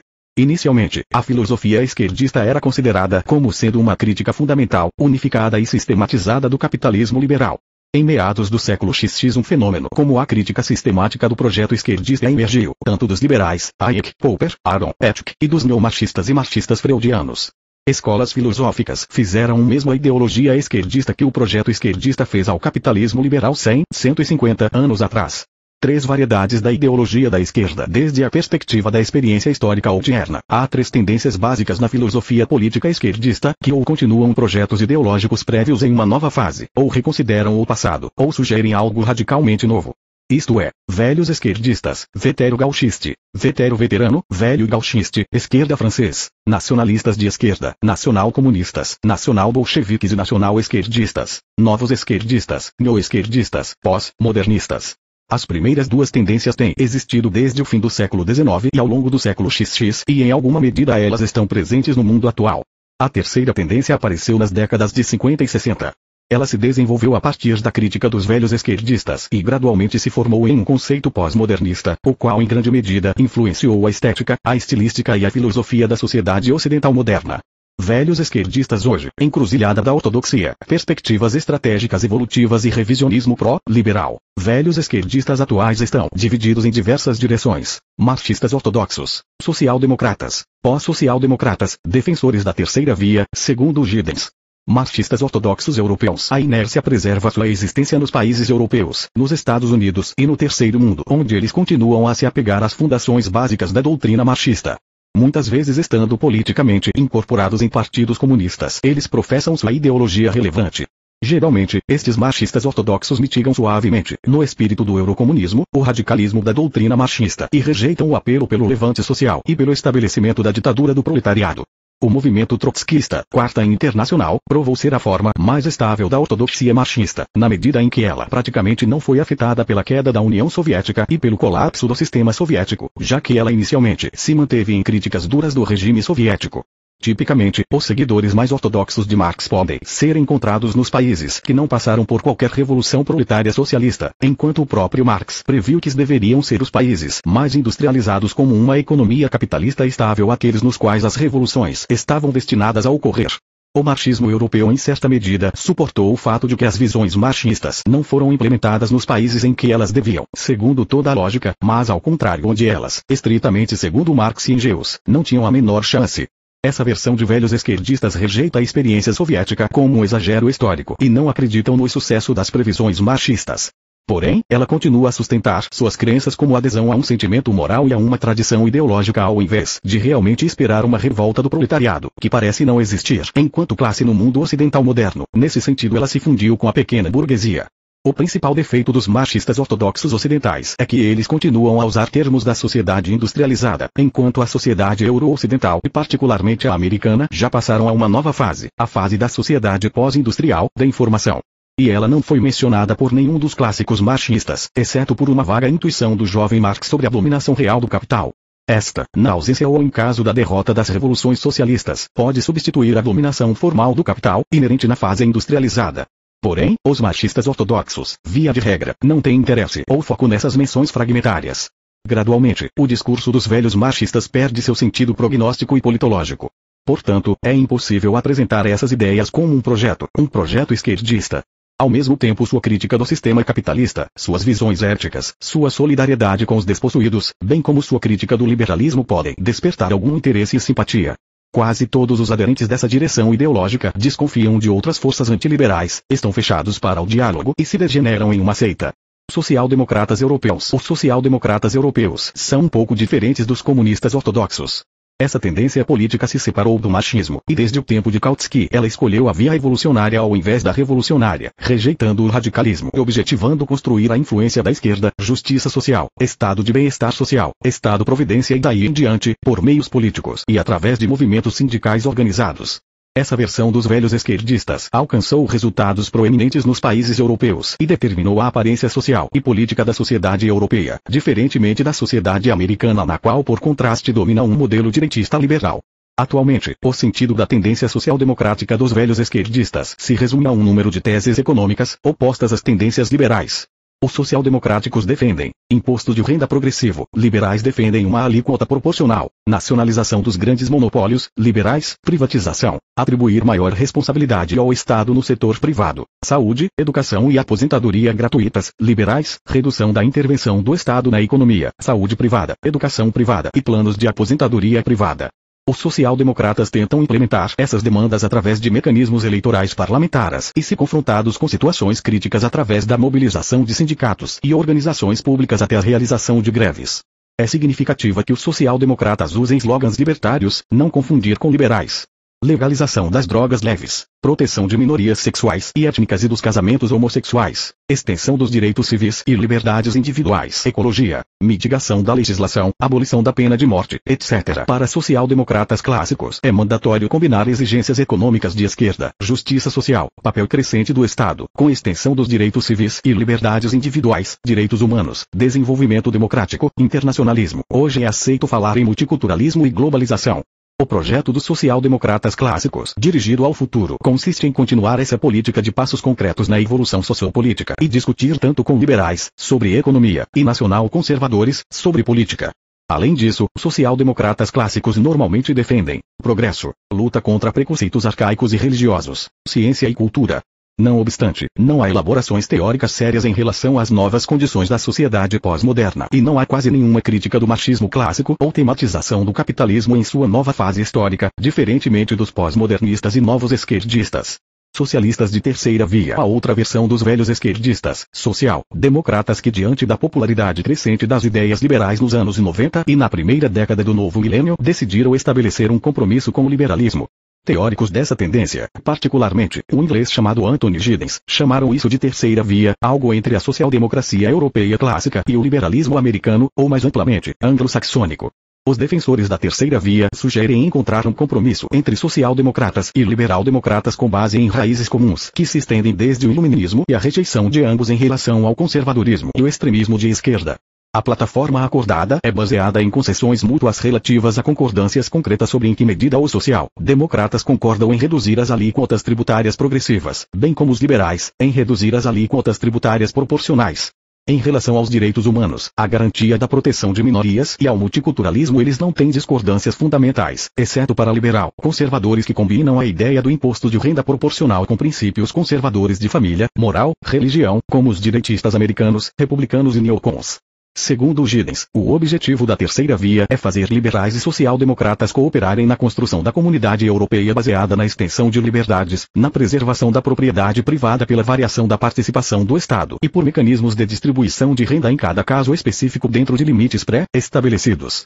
Diferentemente dos social-democratas clássicos, sem mencionar os comunistas europeus, os defensores da terceira via simpatizam com os Estados Unidos e insistem na consolidação da comunidade atlântica, enquanto os esquerdistas, tanto velhos como novos, tendem a criticar duramente os Estados Unidos e a sociedade americana devido ao liberalismo, da desigualdade e ao imperialismo. São os defensores da terceira via que são renegados dos movimentos esquerdistas, de fato. E apenas os trotskistas vão mais longe do que isso. Os trotskistas americanos, os principais teóricos neoconservadores, e os trotskistas europeus, por exemplo, Barroso, o presidente português da Comissão Europeia, que mudaram suas visões do comunismo extremista e do socialismo revolucionário para uma igualmente radical defesa do liberalismo, do mercado e da desigualdade econômica. Os socialistas de terceira via veem o projeto da esquerda como a manutenção do status quo. Nacional-comunismo, paradoxo conceitual, discrepâncias ideológicas, energias subterrâneas. O nacional-esquerdismo deveria ser considerado um fenômeno muito especial. Diferentemente do machismo ortodoxo e da social-democracia, essa tendência tem sido pouco explorada e sua interpretação correta é uma tarefa do futuro. O caso é que o próprio nacional-esquerdismo quase nunca faz propaganda de sua ideia nacional, a oculta ou até abertamente a crítica. Consequentemente, o estudo do discurso aberto ou direto do movimento, partidos e regimes nacional-comunistas são dificultados devido ao fato de que as teses discursadas ou correspondem com a realidade apenas parcialmente, ou de jeito algum. Nós podemos encontrar o discurso nacional esquerdista realizado, aberto e integral apenas nas margens daqueles regimes e partidos políticos que de fato professavam e implementam este mesmo modelo ideológico, e se recusam a admiti-lo. Portanto, o nacional-esquerdismo evita a pesquisa racional frontal, preferido manter metade desse fenômeno, tudo que esteja conectado com o nacional, nas sombras. Nacional-comunistas se consideram apenas comunistas, marxistas ortodoxos, que seguem estritamente as ideias clássicas marxistas, de modo a entender o que isso tudo significa, é suficiente estabelecer o seguinte critério. Somente passaram pelas revoluções socialistas, proletárias, aqueles países que, segundo Marx, não estavam prontos para elas graças às seguintes razões. Estrutura agrária desses países, subdesenvolvimento, ou mesmo ausência, de relações capitalistas, pequeno número de proletariado urbano, industrialização fraca, preservação das condições básicas da sociedade tradicional, como resultado do fato de que estes países pertenciam à pré-modernidade, este é o paradoxo fundamental do marxismo. Naqueles países em que o socialismo deveria ter vencido e onde as condições eram favoráveis, ele não venceu, ainda que puramente a nível teórico. Seja nestes países que as tendências e partidos marxistas ortodoxos existiam e ainda existem. E eles venceram naqueles países em que, segundo Marx, eles não poderiam ter vencido. Os próprios comunistas vitoriosos, em primeiro lugar, os bolcheviques russos, fizeram o um máximo para ocultar e maquiar essa óbvia discrepância nas previsões de seu professor, sem analisá-las conceitualmente. Ao contrário, eles preferiram ajustar voluntariamente a realidade às suas conclusões teóricas, ajustar a sociedade, a política e a economia para fazer com que elas artificialmente e mecanicamente concordem com critérios abstratos.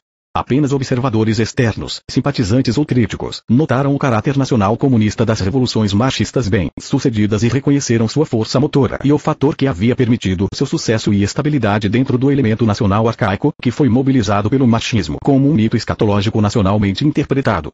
Um dos primeiros simpatizantes que notou isto foi Sorel, então, Ostrelov, Savitsky, os alemães Miekisch, Petel, Laufenberg, Wolfgang, Etch, da parte dos críticos, Popper, Hayek, com Aron, o nacional-comunismo predominou na União Soviética, na China comunista, na Coreia, no Vietnã, na Albânia, no Camboja e em um número de movimentos comunistas nos países do Terceiro Mundo, dos Chiapas mexicanos e do Sendero Luminoso peruano ao Partido dos Trabalhadores do Kurdistão e ao socialismo islâmico.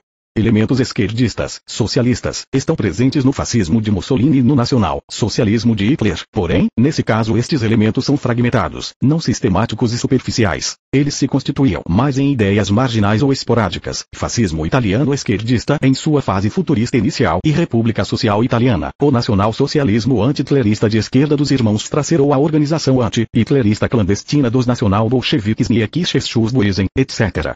Porém, poderia parecer que diante disso e por seu nome nós deveríamos incluir o nacional-socialismo nessa categoria. Ainda assim não havia socialismo. Enquanto tal no nacional-socialismo, havia mais provavelmente estatismo multiplicado pelas invocações de energias arcaicas do etnos e da raça. Porém, o bolchevismo soviético, que foi reconhecido pelos Menavekita Nikolai Strelov como nacional-bolchevismo, de fato continha ambos os princípios, social e nacional, ainda que este segundo não tivesse uma definição conceitual. Até agora um grande número de movimentos políticos, por exemplo, na América Latina, são inspirados por essa ideia, complexo, e regimes políticos em Cuba, Venezuela e Bolívia, Evo Morales é o primeiro líder latino-americano de origem indígena, ou Ollanta Humala, cujos seguidores quase tomaram o poder no Peru e outros movimentos nacional-comunistas, são realidades políticas completas. Seus sistemas estatais estão ou baseados neles ou isso bem pode ocorrer no futuro próximo. Quando o comunismo contém ideias de esquerda multiplicadas por energias nacionais, étnicas, arcaicas, e é implementado nos termos da sociedade tradicional ele tem chances reais. Efetivamente, isto é machismo heterodoxo, um tipo de nacional machismo, independentemente de como ele se avalie e aqueles países, nos quais todas as pré-condições clássicas para a implementação do comunismo, sociedade industrializada, indústria desenvolvida, proletariado urbano, estão presentes, não passaram pela Revolução Socialista, exceto pela efêmera República da Bavária, não estão passando por ela e, provavelmente, nunca passarão. O significado do nacionalismo de esquerda, nacional, esquerdismo, consiste na mobilização de bases arcaicas, locais, via de regra, de modo a liberá-las na superfície e realizá-las na criatividade social e política. Aqui entra a teoria socialista, que serve como um tipo de interface para estas energias, as quais sem o socialismo permanecem como um fenômeno local. E graças ao machismo, ainda que entendido e interpretado de uma maneira específica, estas energias têm uma oportunidade de intercomunicação com fenômenos substancialmente similares, ainda que estruturalmente diferentes, e até mesmo reivindicar universalidade e escopo planetário, transformando o nacionalismo, aquecido pela racionalidade socialista, em um projeto messiânico. A grande experiência da União Soviética demonstra o quão em larga escala uma iniciativa nacional comunista pode ser, tendo criado quase por um século uma enorme dor de cabeça para todo o sistema capitalista global. E a China nas condições atuais, mais e mais focando no componente nacional de seu modelo social e político, prova que esta base, transformada no tempo adequado e de modo delicado, pode permanecer competitiva mesmo após o trunfo global do capitalismo liberal. Por outro lado, a experiência da Venezuela e da Bolívia demonstra que os regimes nacional-comunistas aparecem hoje em dia e demonstram sua viabilidade mesmo diante de sérias pressões. A Coreia do Norte, o Vietnã e Cuba têm preservado seu sistema político desde os tempos soviéticos sem realizar quaisquer reformas de mercado, como a China e sem perder terreno como a União Soviética. Do ponto de vista teórico no caso do nacional esquerdismo, nós lidamos com um marxismo que foi razoavelmente modificado no espírito de expectativas escatológicas arcaicas, de uma mitologia nacional profunda conectada com a espera pelo fim do mundo e com o retorno da idade de ouro culto à carga, premilenialismo. A tese sobre a justiça e o estado da verdade, que é uma base para a utopia socialista, é realizada religiosamente e desperta energias tectônicas fundamentais de um etnos.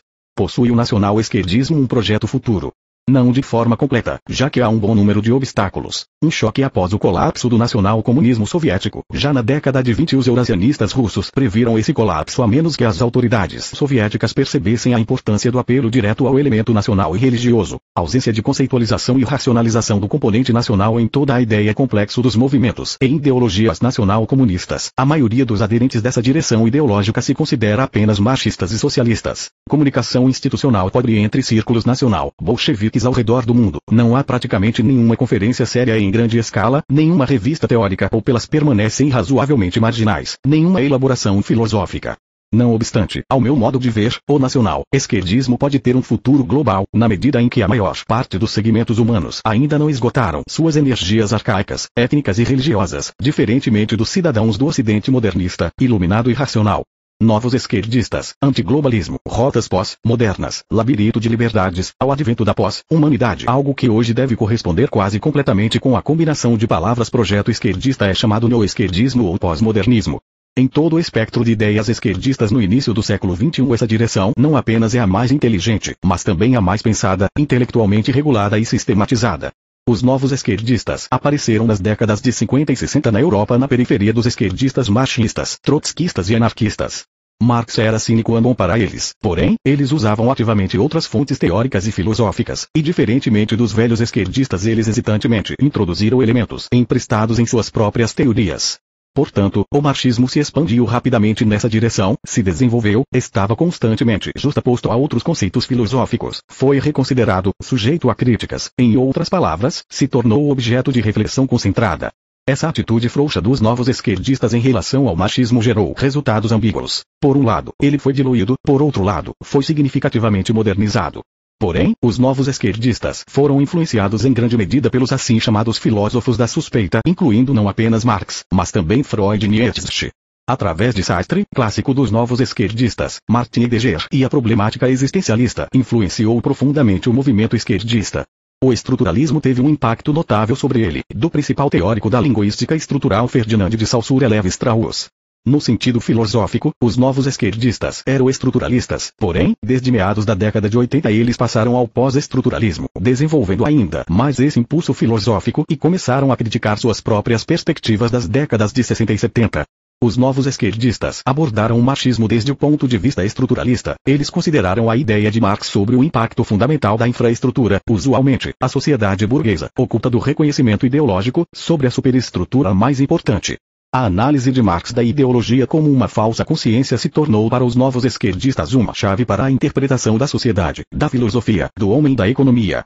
Porém, eles descobriram a mesma abordagem dessa ideia com Nietzsche, que derivou todo este espectro de ideias filosóficas da vontade de poder inicial. Esta era a infraestrutura, segundo Nietzsche, e com Freud, que usou o subconsciente ou os impulsos do subconsciente enraizados na base da sexualidade humana e em sua estruturalização inicial na primeira infância como uma infraestrutura. O modelo heideggeriano com a existência pura, o Dasein como infraestrutura foi colocado sobre em seu lugar. Os novos esquerdistas reduziram todas as versões do deciframento da infraestrutura ao esquema integrante, no qual o papel da infraestrutura enquanto tal, independentemente da tendência filosófica específica, foi transferido para o conceito de estrutura. Estrutura são, ao mesmo tempo, forças de produção, se refletem nas relações de produção, no subconsciente, vontade de poder e desenho. A ideia básica dos novos esquerdistas era sobre a sociedade burguesa ser o resultado de uma violência e supressão múltipla da superestrutura sistema político burguês, consciência cotidiana, elites, sistemas filosóficos geralmente aceitos, ciência, sociedade, economia de mercado, etc., sobre a infraestrutura e a estrutura também amplamente entendida, incluindo o subconsciente, o proletariado, o corpo, as massas, a experiência existencial, a liberdade e a justiça autênticas.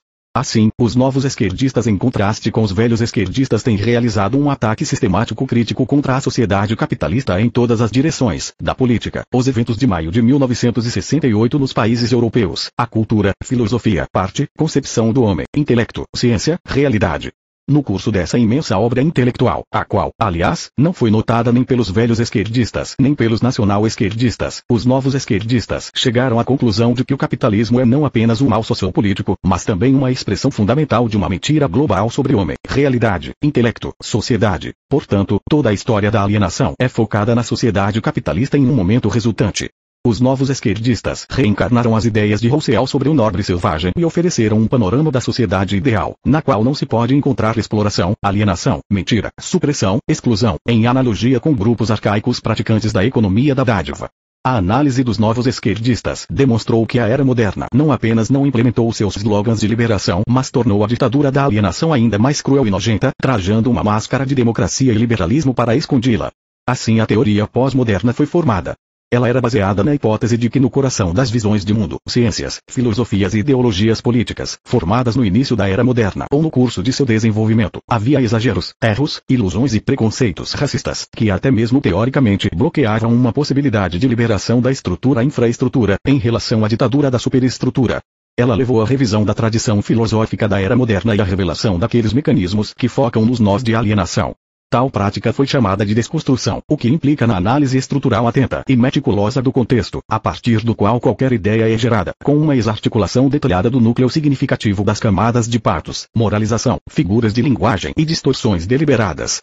Foucault em sua loucura e civilização e o nascimento da clínica demonstrou que a atitude moderna em relação à insanidade mental e mesmo em relação à doença tem todos os sinais de racismo, apartheid intelectual e outros preconceitos totalitários. Torna-se óbvio ao se equiparar homens doentes com criminosos, bem como na identidade estrutural dos institutos penitenciários e terapêuticos, que costumavam ser uma e a mesma coisa durante o início da era moderna. A sociedade burguesa, apesar de sua mímica e da fachada democrática, acaba se revelando uma sociedade totalitária e disciplinar. Embora os novos esquerdistas quase nunca tenham posto em dúvida ideias normativas sobre o intelecto, a ciência, a realidade, a sociedade, etc., bem como mecanismos políticos e econômicos, que são uma consequência de longo alcance de mecanismos de alienação mais profundos, no centro dessa ditadura liberal. Esta é a principal diferença entre os novos esquerdistas e os velhos esquerdistas. Os novos esquerdistas lançam dúvidas sobre a estrutura do intelecto, disputam a profundidade do conceito de realidade, revelam a ciência positiva como uma mistificação e a ditadura do mundo da ciência feira com, e criticam duramente o conceito de humano como uma abstração totalitária. Eles não acreditam na possibilidade de mudar qualquer coisa pela evolução do sistema atual ao modo esquerdista. E mais, eles disputam a efetividade do machismo radical, observando, naqueles países em que o machismo devia ter vencido, ele não venceu, e naqueles países em que o machismo venceu, ele não é marxismo ortodoxo. Eles pegam a crítica do stalinismo e da experiência soviética de Trotsky, Assim, os novos esquerdistas definem um projeto em grande escala do futuro certo com as seguintes demandas no centro: recusa do intelecto, apelo pela escolha consciente da esquizofrênia por Deleuze e Guattari, abolição do homem como medida de todas as coisas, a morte do homem por Levi e a morte do autor por R. Barthes superação de todos os tabus sexuais, liberdade para escolher o sexo, revogação da proibição do incesto, recusa em considerar uma perversão como perversão, etc. Legalização de todos os tipos de drogas, inclusive das drogas pesadas, passagem a novas formas espontâneas e esporádicas de ser, rizoma por Deleuze, destruição da sociedade estruturada e do Estado em favor de novas comunidades anárquicas livres.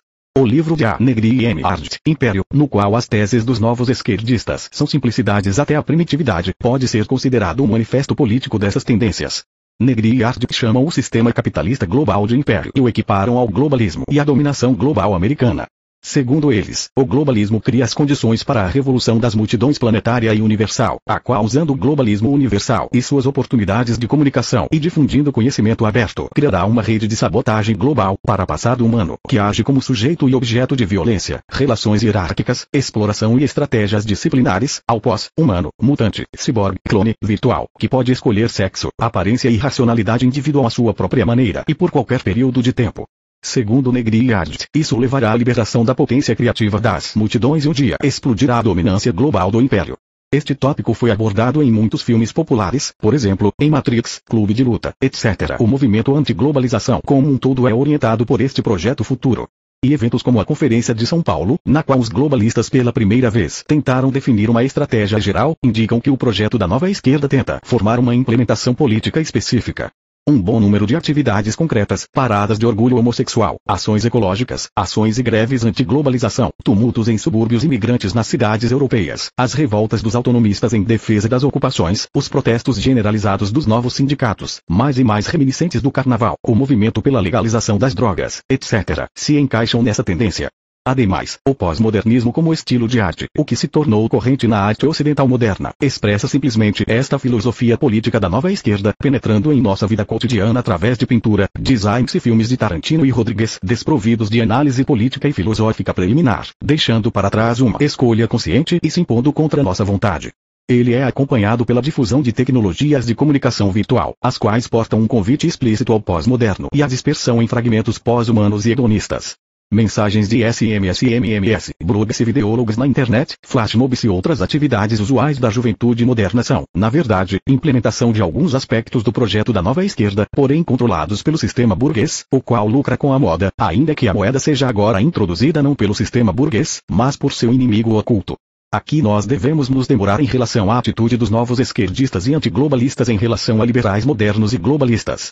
Como outrora Marx considerou que o capitalismo com todos os seus horrores era mais progressivo que o feudalismo e a Idade Média, já que ele torna mais próximo o advento do socialismo. Hoje os pós-modernistas e novos esquerdistas modernos, criticando duramente o império, o apoiam em certa medida, na medida em que o império, segundo eles, agravando a alienação e endurecendo sua ditadura planetária, prepara revoluções globais de multidões. Esquerdistas na Rússia moderna. Para concluir, nós devemos abordar as posições das forças esquerdistas na Rússia. Na prática, nós vemos que não há velhos esquerdistas no sentido completo nesse país, bem como no tempo soviético. O grupo dos dissidentes soviéticos, Zinoviev, Chevrovitsky, Medvedev, não conta, na medida em que eles não conseguiram desenvolver qualquer escola notável. Por outro lado, os nacional-comunistas representam uma camada social, psicológica e política ampla com o Partido Comunista da Federação Russa à sua frente. Como toda a história soviética, marcada com a vitória do socialismo, um garantido sinal de base arcaica, é a história do nacional esquerdismo inconsciente, essa tendência dificilmente é surpreendente.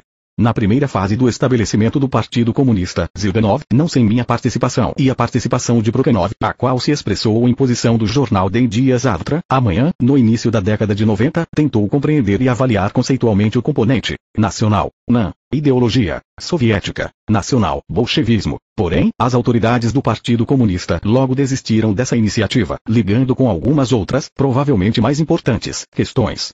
Ainda assim, ao nível da retórica e da reação primária, os comunistas russos falam como nacional-conservadores e às vezes como monarquistas ortodoxos. O que é mais, os russos médios, especialmente, de geração intermediária e mais velha, como um todo são nacional-esquerdistas inconscientes. Eles sempre apoiam essa ideia complexo à primeira oportunidade, o partido rodina pátria, e assim interpretam um grande número de coisas que não tem nada a ver com ela, o social-conservadorismo da Rússia Unida e de Putin.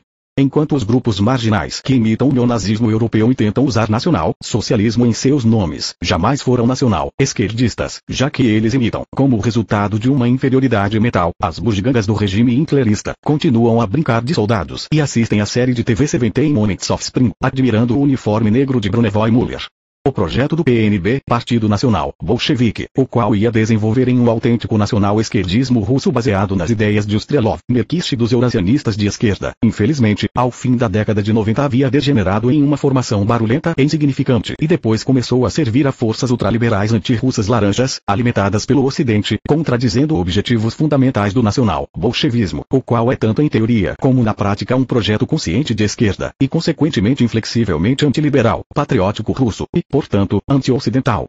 novos esquerdistas e pós-modernistas estão quase ausentes no espectro político russo. O discurso filosófico pós-moderno é complicado demais para eles. Um pequeno grupo de antiglobalistas conscientes representativos existe, mas eles são mais famosos nos países ocidentais e não representam nada sério, nem em um sentido organizacional, nem em sentido piórico. Na arte russa, em particular em Vinzavod, na Galeria Guilman, bem como nos filmes russos, tendências pós-modernas são claramente visíveis, e sua expressão artística é às vezes impressionante. Os livros de Sorokin ou Pelevin representam o pós-moderno em uma forma literária. Ademais, um produto artístico médio ou mesmo tecnológico, o que é mais importante, leva consigo uma parte oculta do pós-moderno, assim ocupando o espaço cultural russo com sinais ativos, elaborados em laboratórios criativos dos novos esquerdistas, e então produzidos pela indústria global, a qual tira uma vantagem de curto prazo dele, e gradualmente solapa suas bases. A Rússia desempenha um papel de consumidor inativo, que não entende o sentido político e ideológico daquilo que automaticamente consome, seguindo a moeda e tendências globais, e esquecendo que, segundo os pós-modernistas, toda tendência possui um inaugurador, os sujeitos que lançam uma moda particular com um objetivo específico. Capítulo 14 O liberalismo e suas metamorfoses. Em 1932, o nacional bolchevique alemão Ernst Niekisch, cujas ideias eram notavelmente similares tanto às dos nacional bolcheviques russos, Ostrelov, e às dos eurasianistas, escreveu um livro com um título revelador: Hitler Desastre para a Alemanha. O livro passou quase desapercebidamente, mas após alguns anos o levou direito para os campos de concentração. Ele acabou estando absolutamente certo, Hitler de fato apareceu precisamente para ser uma figura fatídica para a Alemanha fatídica, significando não acidental, bem fundada, enraizada no curso das coisas, unida à lógica do destino, mas incorporando seu aspecto mais sombrio.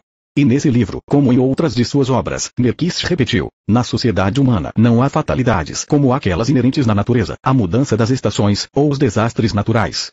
A dignidade do homem consiste no fato de que ele sempre pode dizer não. Ele sempre pode se rebelar. Ele sempre pode se erguer e lutar mesmo contra aquilo que parece inevitável, absoluto e imbatível. E mesmo que ele seja derrotado, ele pode dar um exemplo aos outros. E outros tomarão seu lugar. E outros dirão não. É por isso que as ocorrências mais fatídicas e fatais podem ser derrotadas com a força da alma. Merkis confrontou o nazismo e os nazistas, e previu mais cedo e mais precisamente do que outros quais seriam as consequências de seu domínio sanguinário para a Alemanha e para a humanidade. Ele não desistiu. Ele lançou um desafio contra o maligno fado, não abaixando a guarda. Mais importante, ele resistiu a uma força que parecia invencível com um punhado de antinazistas. Um grupo de seguidores de Niekisch, um deles o nacional bolchevique Auschwitz, Boisan, se tornou o núcleo da Orquestra Vermelha. Foi ele, quase cego então, que as tropas soviéticas libertaram de um campo de concentração em 1945.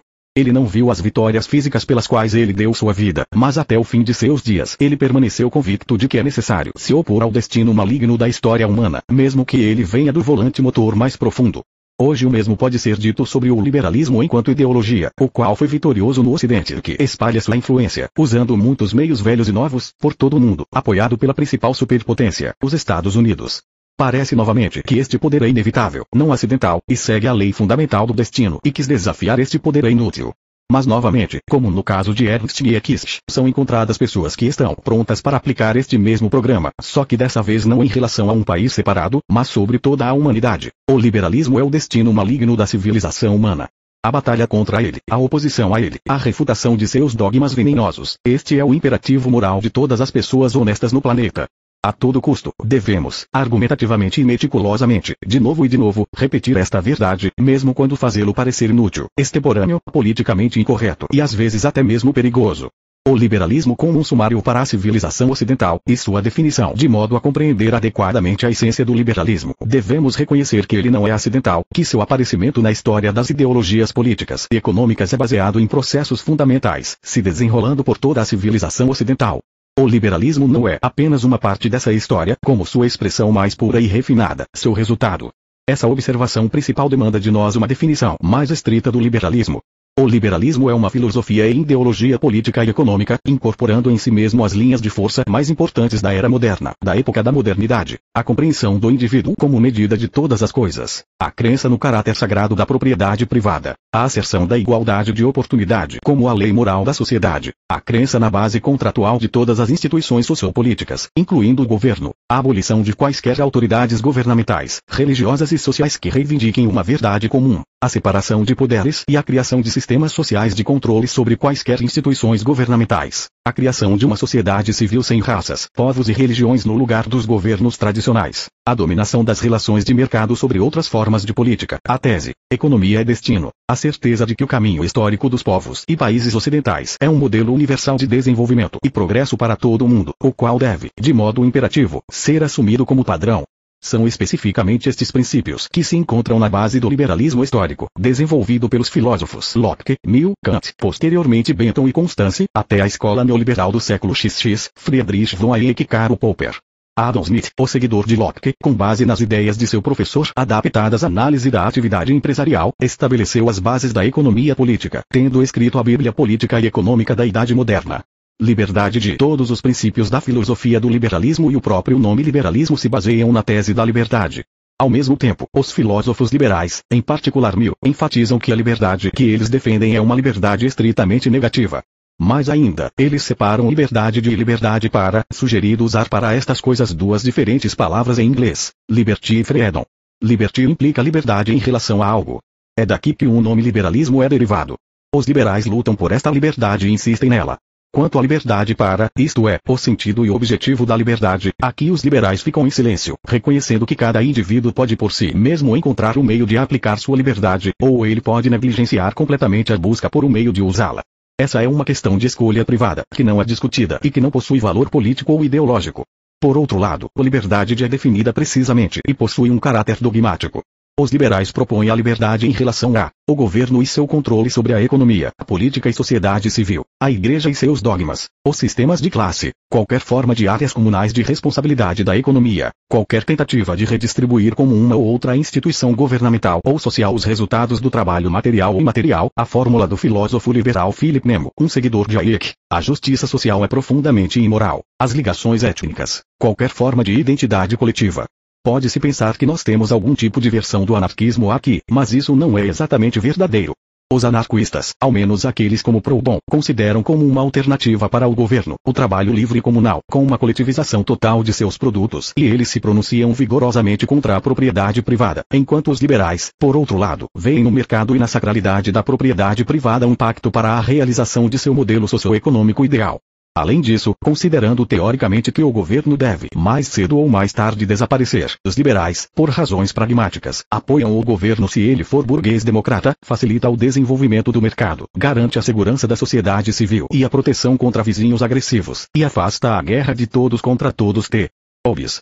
Em tudo mais os liberais vão ainda mais longe, repudiando praticamente todas as instituições sociopolíticas, até a família e a diferenciação sexual. Nos casos extremos, os liberais apoiam não apenas a liberdade de aborto, mas até mesmo a liberdade de diferenciação sexual, apoiando os direitos de homossexuais, transexuais e daí em diante. A família, como outra forma de sociedade, é pensada por eles como sendo um objeto puramente contratual, como outras empresas, condicionada por acordos legais.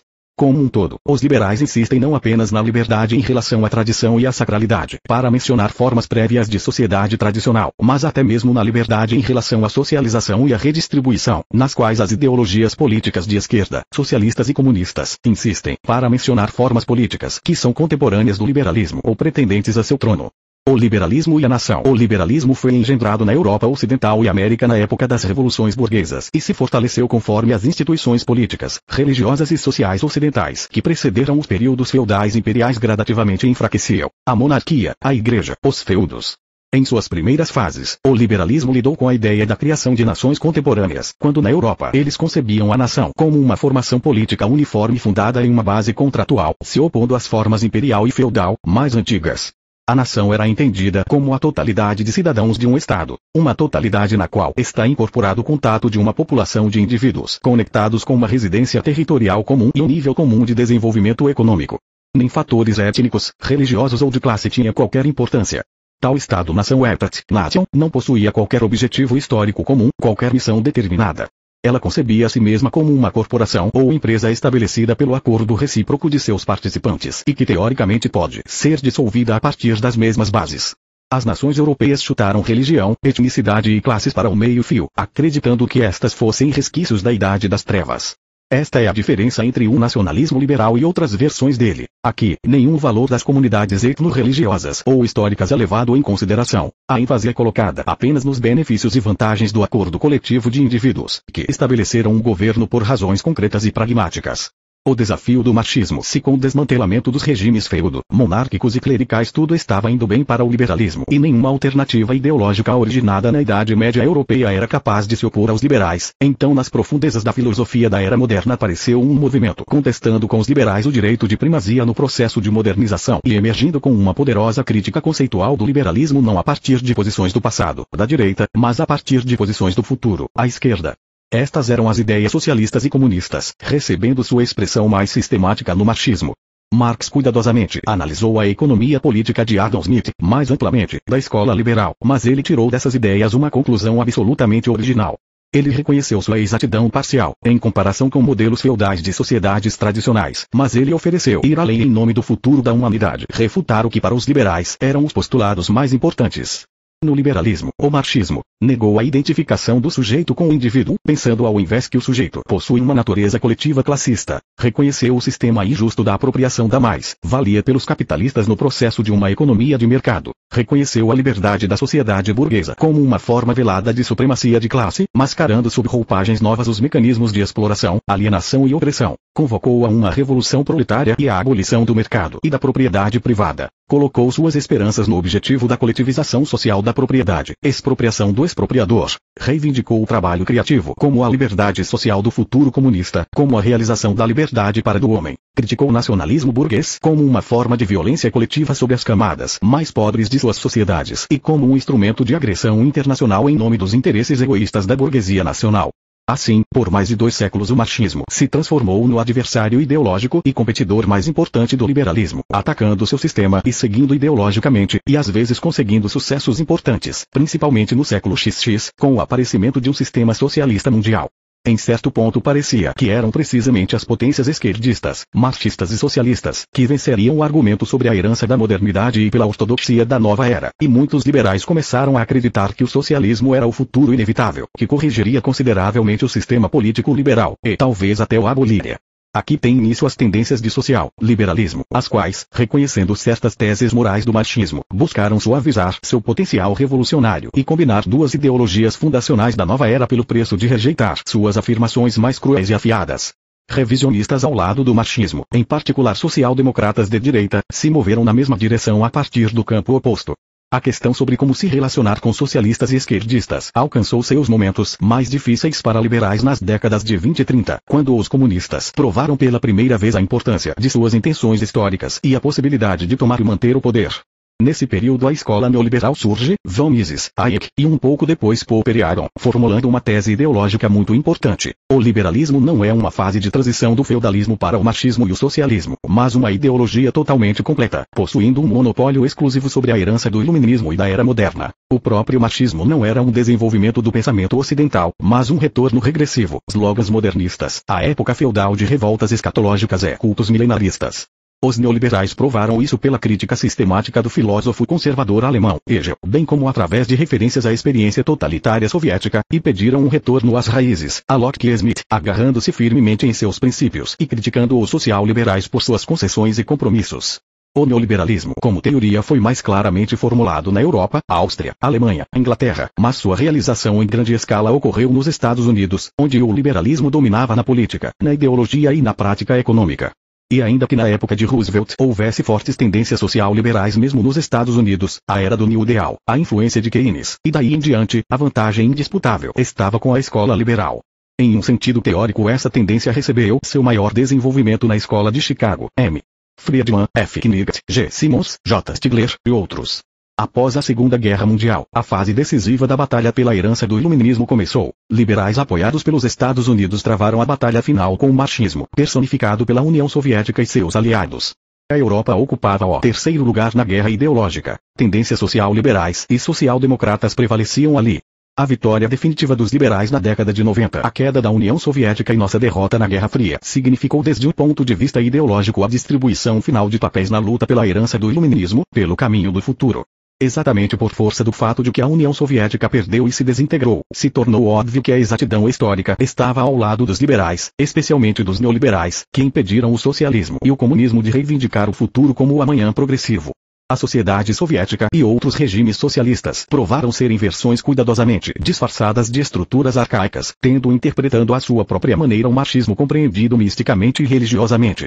Esse momento extremamente importante na história política da humanidade, primeiramente, colocou o pingo no i em relação à questão mais importante dos tempos. Qual das duas ideologias centrais do século XX seguiria o passado, o espírito do iluminismo, e automaticamente receberia o futuro, o direito de dominar por meios ideológicos os dias futuros. A questão do objetivo do processo histórico estava resolvida. Na metade do século XX o filósofo francês, hegeliano de origem russa, Alexander Kojev, sugeriu que o fim da história hegeliano marcaria uma revolução comunista mundial. Os tradicionalistas, R. Guénon, J. Evola, que rejeitavam o iluminismo, defendendo a tradição e prevendo o fim do mundo através da vitória da quarta casta os sutras do proletariado, pensavam de modo similar. Mas em 1991 com a dissolução da União Soviética ficou claro que o fim da história não teria uma forma machista, mas uma forma liberal, algo que o filósofo americano Francis Fukuyama se apressou a informar à humanidade, proclamando o fim da história como a vitória planetária do mercado, do liberalismo, dos Estados Unidos e da democracia burguesa. O marxismo como uma possível alternativa e projeto do futuro se tornou um episódio insignificante da história política e ideológica.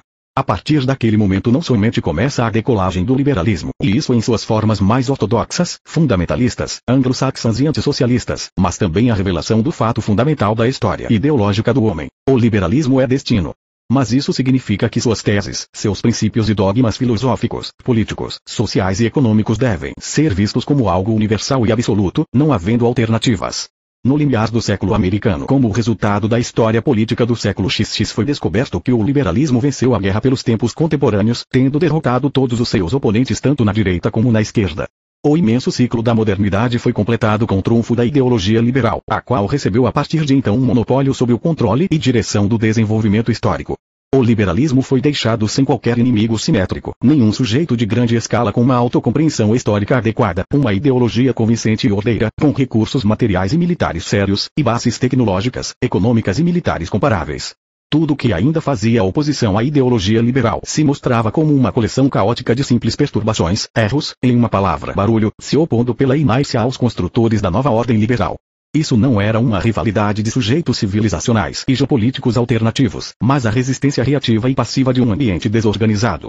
Do mesmo modo, a estrutura do solo, a chuva, vazio kárstico ou terreno pantanoso incomodam os construtores de estradas, a discussão não é sobre a construção de outra rota na qual outra companhia insiste, mas na resistência dos materiais. Nessa situação os Estados Unidos, como a cidadela do liberalismo mundial, assumiram uma nova qualidade, Desse momento em diante, eles se tornaram não apenas uma entre duas superpotências, mas o único herói planetário, subitamente se distanciando de seus rivais. O crítico francês dos Estados Unidos, Aubert Vedrin, sugeriu que os Estados Unidos deveriam daí em diante ser chamados não de uma superpotência, mas de uma hiperpotência, enfatizando sua solidão e sua superioridade assimétrica.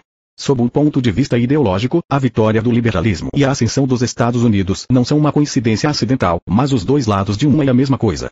Os Estados Unidos venceram a Guerra Fria não porque acumularam um maior potencial e chegaram à frente na competição tecnológica, mas porque se basearam na ideologia liberal, provando tanto sua competência tecnológica como sua retidão histórica na guerra ideológica, substanciando o equilíbrio da era moderna.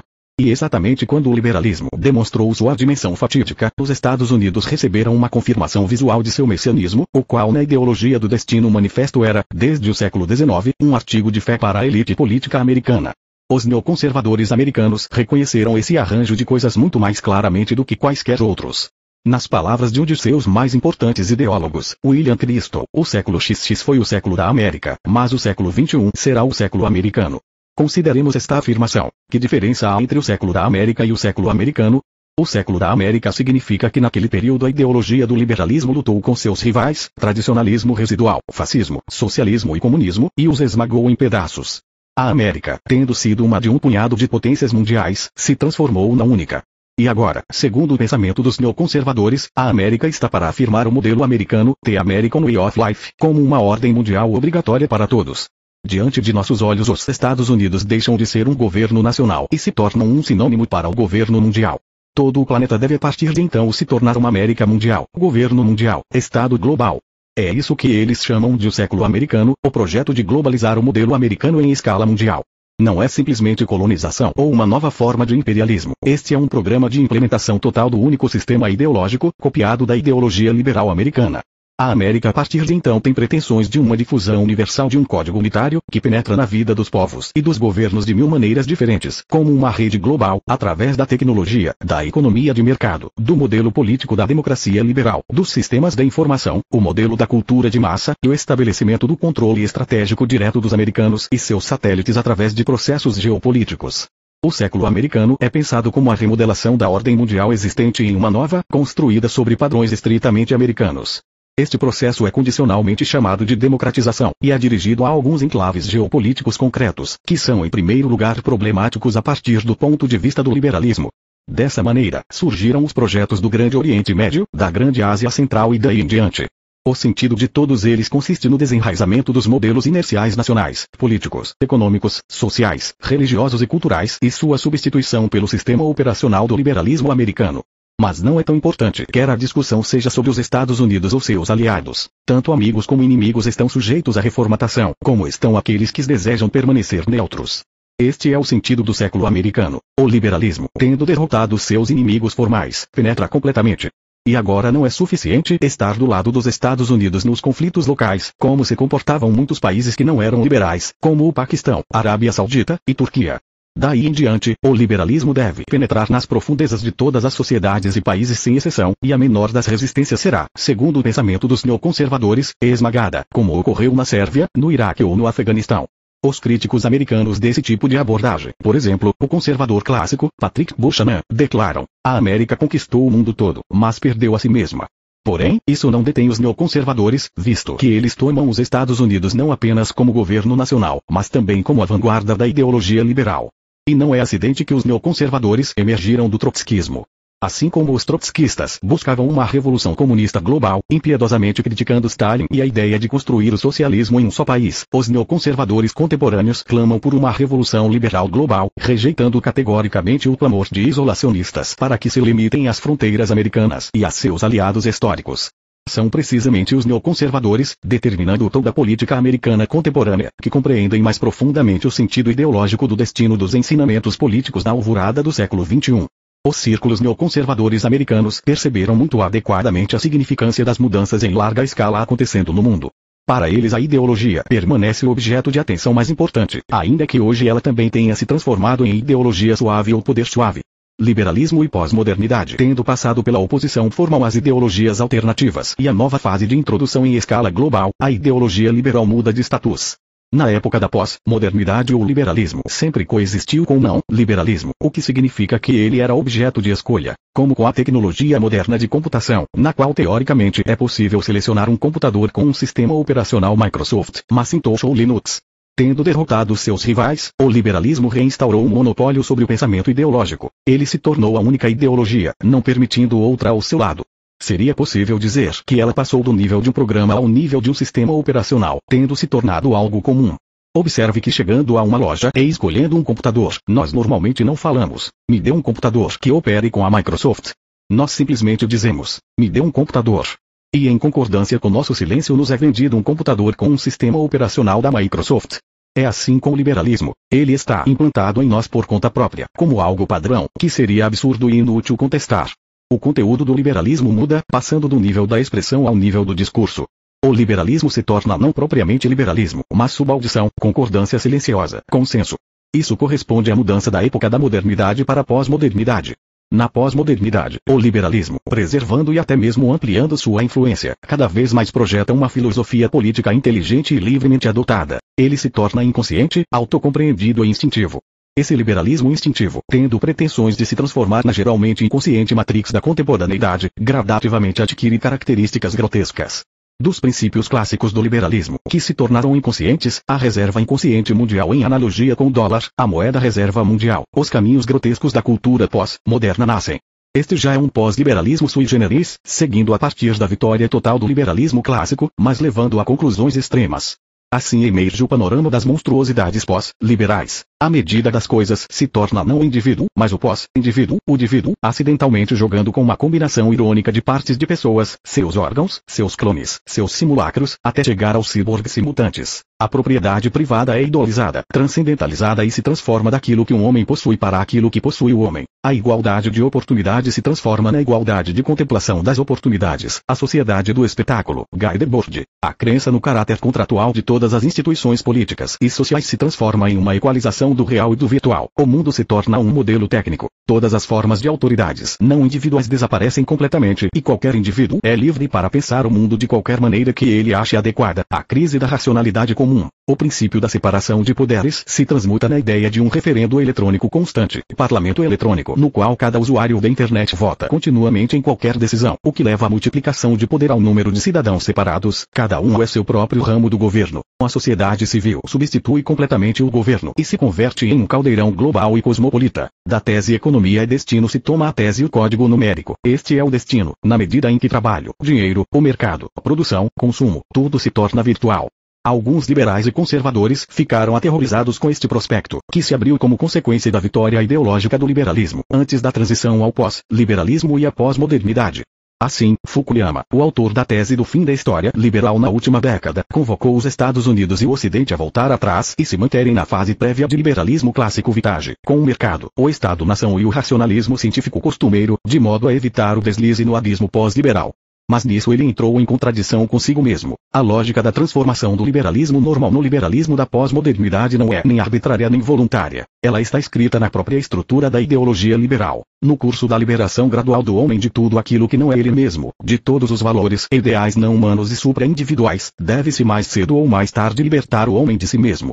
E a crise mais assustadora do indivíduo não começa quando ele está combatendo ideologias alternativas que negam que o homem seja o maior dos valores, mas quando ele alcança sua conclusiva e irreversível vitória. O liberalismo na Rússia contemporânea Se fôssemos justa por tudo que foi mencionado previamente sobre o liberalismo com aquilo que é entendido por liberalismo na Rússia, nós teríamos que admitir que não há liberalismo aqui. Há liberais, mas não liberalismo. Até o início da década de 90, a ideologia marxista dominava formalmente na Rússia, tendo gerado a maioria das pessoas que de um jeito ou de outro influenciam as decisões do governo hoje.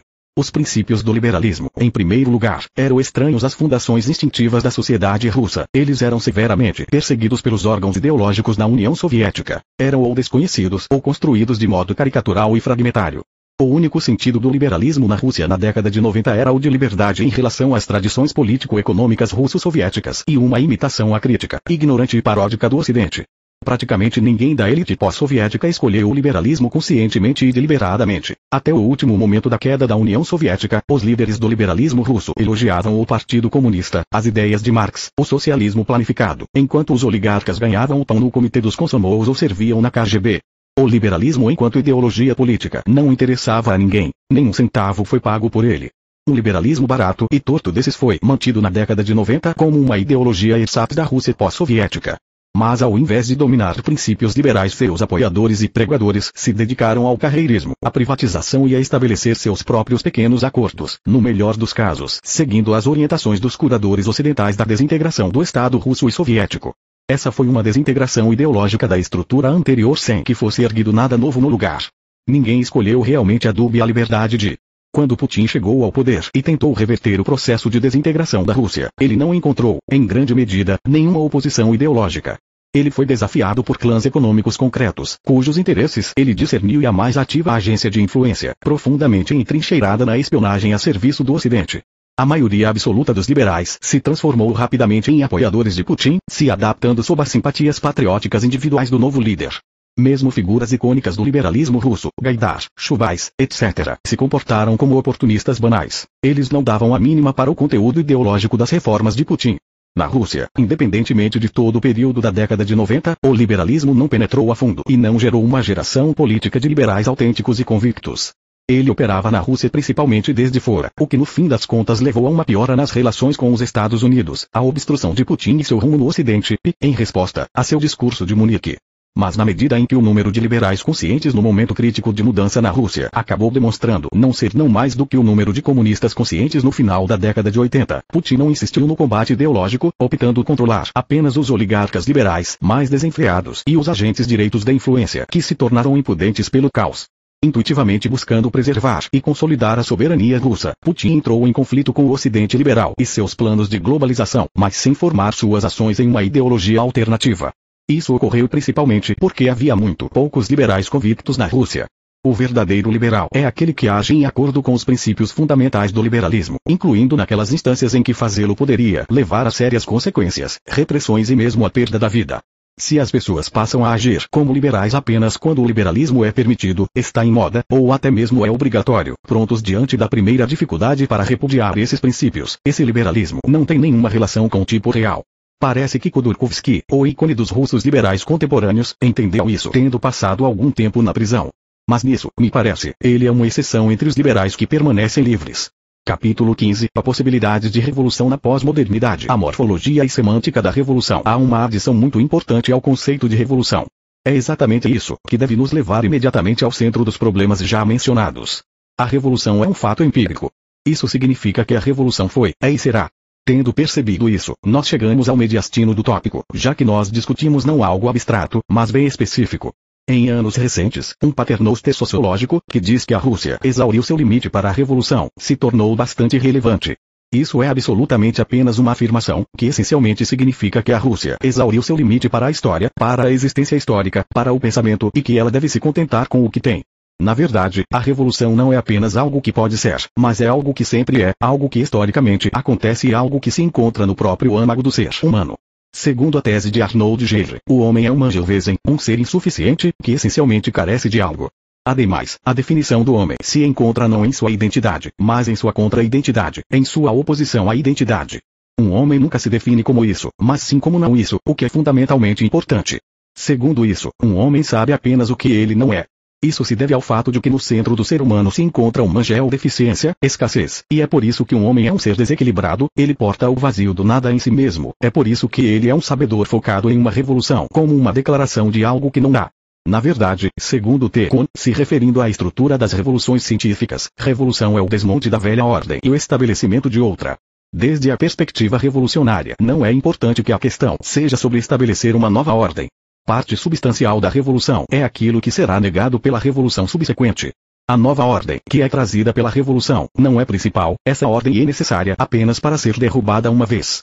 Porém, o sentido da revolução não é o de simplesmente remover o ruim e o substituir pelo bom, ou mesmo remover a velha ordem e colocar em seu lugar uma nova. O sentido da revolução se encontra na insatisfação com o que existe, e na declaração que declara que deve haver algo mais. A revolução é uma busca pela superação do que é presente nesse momento. E esse fato é mais importante do que aquilo que os revolucionários oferecem no lugar da velha ordem. Em relação a isso, a destrutividade da revolução se torna seu poder construtivo. Porque assim, a questão está na figura do Mangelwesen, a essência, cuja característica principal é insuficiência e deficiência. Se o homem não fosse assim, então sua revolução buscaria a substituição de um regime por outro. Efetivamente, de modo que ele seja ele próprio, ele deve estar em revolução. Sua própria existência é um processo revolucionário que incorpora a deficiência de identidade ao invés de buscar por uma nova identidade.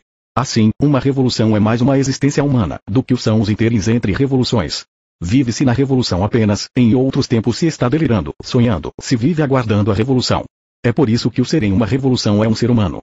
Assim, a revolução, por um lado, é um fato empírico, mas por outro, uma característica antropológica que reflete a essência do homem. Assim sendo, ela é ao mesmo tempo possível e real, é potencial e atual. Se nós estivéssemos falando sobre a revolução como algo impossível, como algo que jamais ocorreu antes, como algo que simplesmente talvez possa acontecer, então nós teríamos falado sobre sua idealização.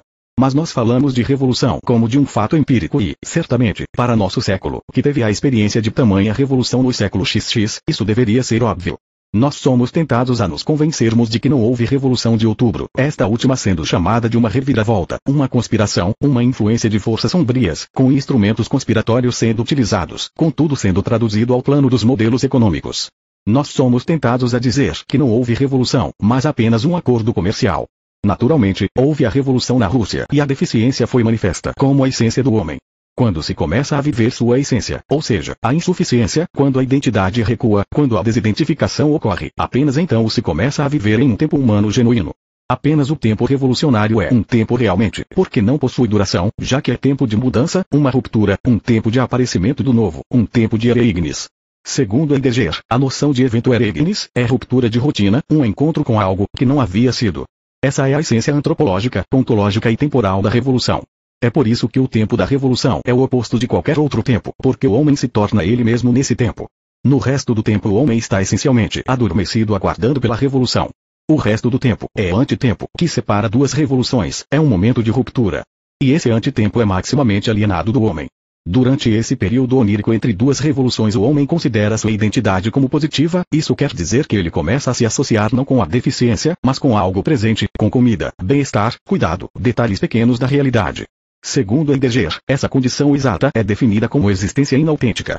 O homem não vive como parte de sua existência, ele está sendo substituído por Dasman, e a existência humana genuína, o Dasein, está ausente. O Dasein é revelado apenas na Revolução, o resto do tempo é o tempo de Dasman, um enquadramento, dentro de cujos limites o homem se identifica com uma ficção, com um fetiche. Mas essa não é a figura de um homem, isso não é um homem em sua essência verdadeira. Tecnologia da Revolução Assim, a Revolução é empírica, ontológica e conceitual em sua natureza. Agora nós podemos abortar a perspectiva da Revolução em seu aspecto tecnológico. Aqui nós passamos ao campo da sociologia e transferimos nossa atenção à figura de Wilfredo Pareto, que falou sobre a mecânica da Revolução. Ele a descreve bastante cinicamente, no mesmo sentido que Leon Walras, Robert Michels e Gaetano Mosca, representantes da direção neo-maquiavelista.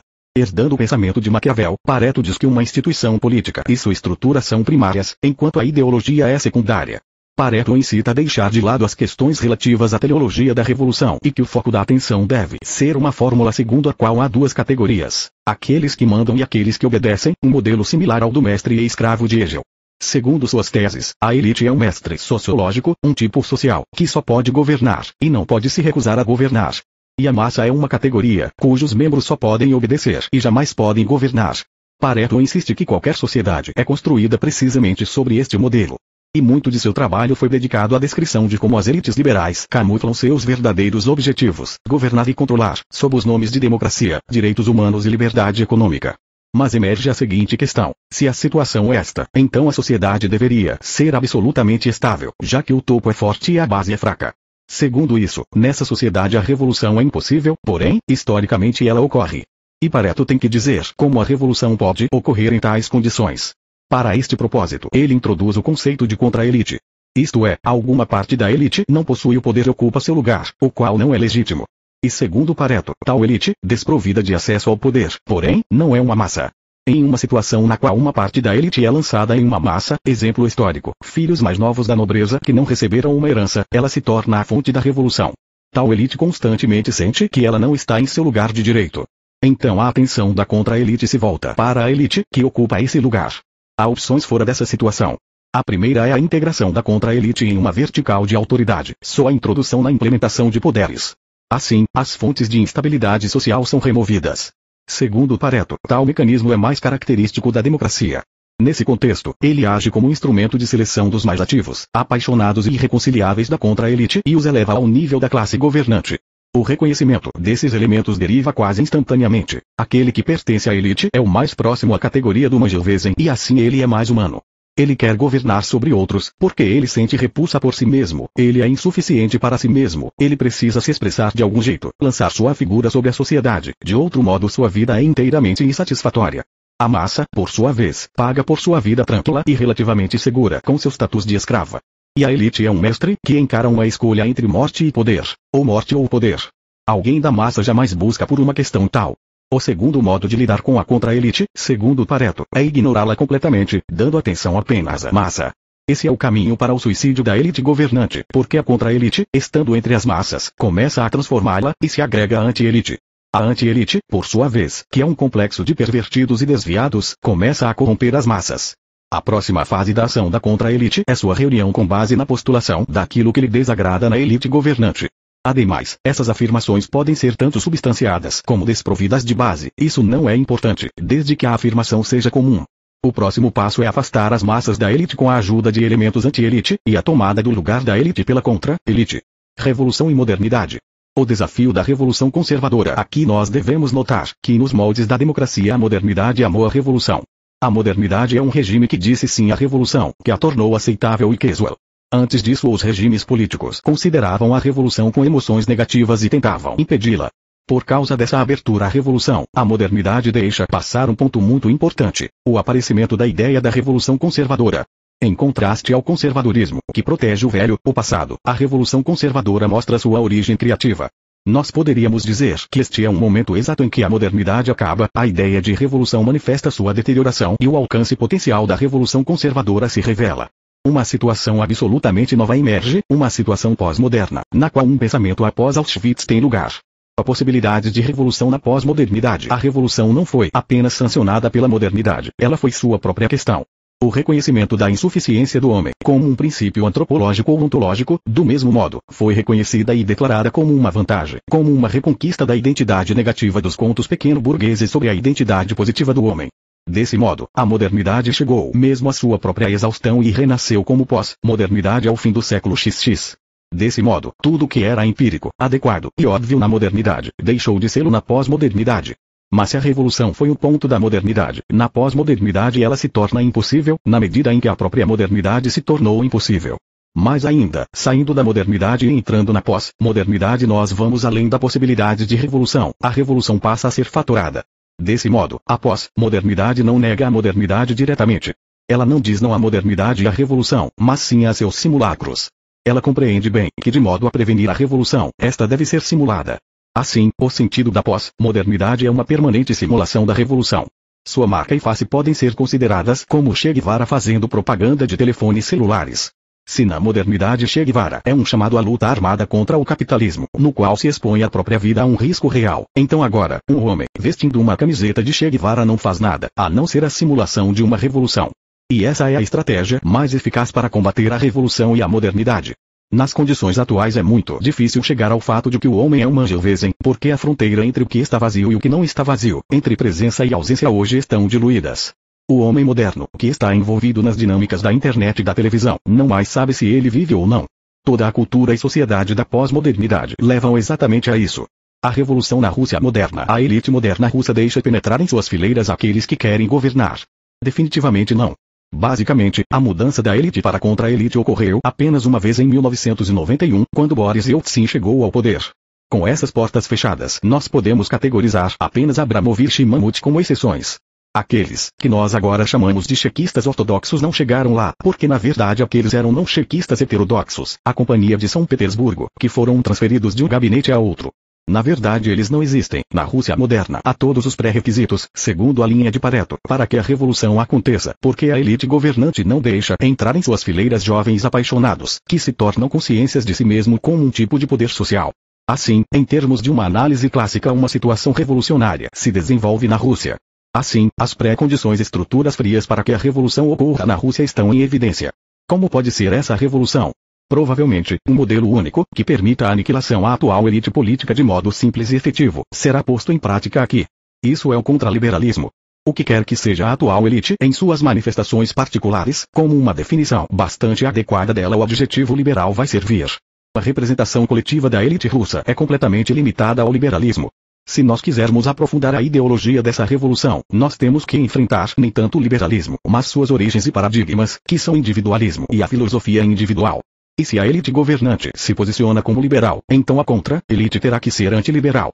Aqui, a plataforma mais apropriada será a ideologia de Louis Dumont e sua obra Ensaio sobre o Individualismo.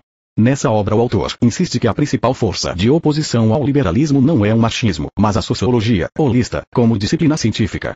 Nos esquemas da sociologia holista, uma tese sobre a primazia da sociedade em relação ao indivíduo possui um potencial revolucionário. O holismo, ainda que tomado de forma pura e crua, pode ser oposto, por um lado, ao individualismo das elites e por outro lado, pode atrair as massas dormentes, que se reconhecerão nele.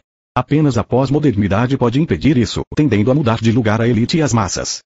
Em relação a isso, nós deveríamos prestar atenção à obra de Christopher Last, A Revolta das Elites. Se a versão anterior do padrão sociológico de Ortega y Gasset foi o fato de que na vanguarda da sociedade apareciam novos tipos sociais, que são incapazes de fazer história, então Last aponta que novas elites na verdade refletem o conteúdo e as principais qualidades e características das massas. Na verdade, as massas e as elites trocaram de lugar. Nossas novas elites consistem em pessoas comuns, de classe média, da pequena burguesia, de pessoas com uma visão de mundo medíocre. Ademais, a elite moderna evita seus deveres elitistas e se torna um duplo simulacro. Assim, a pós-modernidade evitará a revolução, e já o faz. Nossa tarefa é compreender e desenvolver uma descrição da situação da pós-modernidade e a possibilidade de revolução nela. Para esse propósito, eu convido todos os participantes do Centro de Estudos Conservadores. Capítulo 16 Contra o mundo pós-moderno O mal da unipolaridade O mundo atual é unipolar, com o Ocidente global como seu centro e com os Estados Unidos como seu núcleo. Este tipo de unipolarismo possui características geopolíticas e ideológicas. Geopoliticamente, é o domínio estratégico da Terra por parte da hiperpotência norte-americana e os esforços de Washington para organizar o balanço de forças no planeta, de modo com que ele possa governar o mundo inteiro de acordo com os seus próprios interesses imperialistas, nacionais. Isto é ruim, porque priva os outros estados e nações de uma verdadeira soberania. Quando há apenas uma instância para decidir quem está certo e quem está errado, e quem deveria ser punido e quem não deveria, nós temos um tipo de ditadura global. Eu estou convencido de que isso não é aceitável. Portanto, nós devemos lutar contra isto. Se alguém nos priva de nossa liberdade, nós temos que reagir. E nós reagiremos. O Império Americano deve ser destruído. E em algum ponto, ele será. Ideologicamente, a unipolaridade é baseada em valores modernistas e pós-modernistas, que são abertamente antitradicionais. Eu compartilho da visão de René Guénon e Julius Evola, que consideravam a modernidade e a sua base ideológica, individualismo, democracia liberal, capitalismo, consumismo, ética, como sendo a causa da futura catástrofe da humanidade e a dominação global do modo de vida ocidental como razão da derradeira degradação da Terra. O Ocidente está se aproximando do seu término e nós não podemos deixar que ele arraste todos nós para o abismo com ele. Espiritualmente, a globalização é a criação da grande paródia, o reino do anticristo.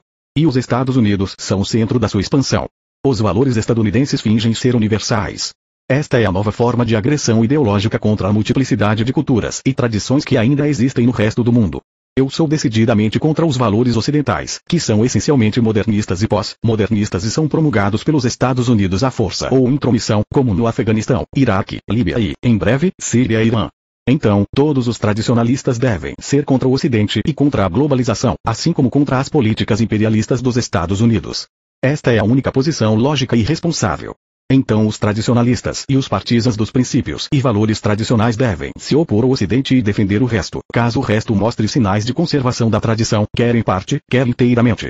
Pode haver e realmente existem pessoas no Ocidente, e mesmo nos próprios Estados Unidos, que não concordam com o presente estado das coisas e não aprovam a modernidade e a pós-modernidade. Eles são defensores das tradições espirituais do Ocidente pré-moderno. Eles devem estar conosco nesta luta em comum. Eles devem tomar parte na nossa revolta contra o mundo moderno e pós-moderno. Nós lutaríamos juntos contra um inimigo em comum. Outra questão é a da estrutura de uma possível frente anti-globalista e anti-imperialista e dos seus participantes. Eu creio que nós devamos incluir nela todas as forças que lutam contra o Ocidente, contra os Estados Unidos, contra a democracia liberal, contra a modernidade e a pós-modernidade. O inimigo em comum é a instância em comum para todos os tipos de alianças políticas muçulmanos, cristãos, russos e chineses, tanto esquerdistas quanto direitistas, os índios e judeus, que desafiam o atual estado das coisas, a globalização e o imperialismo estadunidense. Portanto, todos eles são virtualmente amigos e aliados. Nossas ideias podem ser diferentes, mas nós temos uma característica muito forte em comum: o ódio pela realidade social atual. Nossas ideias que diferem são potenciais, impotentia. Mas o desafio com que lidamos é real, inactu. Então, esta é a base para uma nova aliança. Todos que compartilhem de uma análise negativa sobre a globalização, a ocidentalização e a pós-modernização, devem coordenar seus esforços para a criação de uma nova estratégia de resistência ao mal onipresente. E nós podemos achar aliados em comum mesmo nos Estados Unidos, assim como entre aqueles que escolheram a via da tradição sobre a decadência atual. Em direção à quarta teoria política, neste ponto nós devemos fazer uma importante pergunta: qual tipo de ideologia nós devemos usar em oposição à globalização e seus princípios liberal-democráticos, capitalistas e modernistas, pós-modernistas? Eu creio que todas as ideologias antiliberais de antes, comunismo, socialismo e fascismo, não são mais relevantes. Elas tentaram combater o capitalismo liberal e falharam. Isso se deu, em parte, porque no fim dos tempos, é o mal que prevalece, e em parte por causa das suas próprias limitações e contradições internas. Então é hora de começar uma profunda revisão das ideologias antiliberais do passado. Quais são seus pontos positivos? O seu ponto positivo é o próprio fato delas terem sido anticapitalistas e antiliberais, assim como anticosmopolitas e anti-individualistas. Estas características devem ser aceitas e incorporadas a uma futura ideologia. Mas a doutrina comunista em si, moderna, ateia, materialista e cosmopolita. Estas coisas devem ser jogadas fora. Por outro lado, a solidariedade social do comunismo, a justiça social, o socialismo e as atitudes holísticas gerais para com a sociedade, são boas em si por si mesmas. Então nós precisamos separar os aspectos materialistas e modernistas do comunismo e rejeitá-los, enquanto preservamos e abraçamos os aspectos sociais e holísticos. No que concerne às teorias da terceira via, e a certo ponto também aos tradicionalistas como Julius Evola, existiram muitos elementos inaceitáveis, principalmente entre o racismo, a xenofobia e o chauvinismo. Estas não são apenas falhas morais, mas são também atitudes teórica e antropologicamente inconsistentes. Diferenças entre etnias não resultam em superioridade ou inferioridade. As diferenças devem ser aceitas e afirmadas sem nenhum tipo de sentimento ou consideração racista. Não existe uma medida comum ou universal para julgar diferentes grupos étnicos. Quando uma sociedade tenta julgar a outra, ela aplica os seus próprios critérios, portanto, comete violência intelectual. A atitude etnocêntrica é exatamente o crime da globalização e da ocidentalização, assim como o imperialismo estadunidense. Se nós libertarmos o socialismo das suas características materialistas, ateístas e modernistas, e se nós rejeitarmos o racismo e os pequenos aspectos nacionalistas das doutrinas da terceira via, nós chegamos a uma ideologia política completamente nova. Nós a chamamos de quarta teoria política, ou 4TP, a primeira sendo o liberalismo, que nós essencialmente desafiamos, a segunda sendo a forma clássica do comunismo, a terceira sendo o nacional-socialismo e o fascismo. A sua elaboração começa do ponto de interseção entre as diferentes teorias políticas antiliberais do passado, isto é, comunismo e teorias da terceira via. Então nós chegamos ao nacional-bolchevismo, que representa o socialismo sem o materialismo, o ateísmo, o progressismo e o modernismo, assim como as teorias de terceira via sem o racismo e o nacionalismo. Mas este é apenas o primeiro passo. A adição mecânica de profundamente revisadas versões das ideologias antiliberais do passado não nos dá um resultado final. É apenas uma aproximação inicial, uma aproximação preliminar. Nós precisamos ir mais longe e fazer um apelo à tradição e a fontes pré-modernas de inspiração. Aí nós temos o estado ideal platônico, a sociedade hierárquica medieval e as visões teológicas do sistema social e normativo, cristão, islâmico, budista, judeu ou hindu. Estas fontes pré-modernas são muito importantes para desenvolver a síntese nacional bolchevique.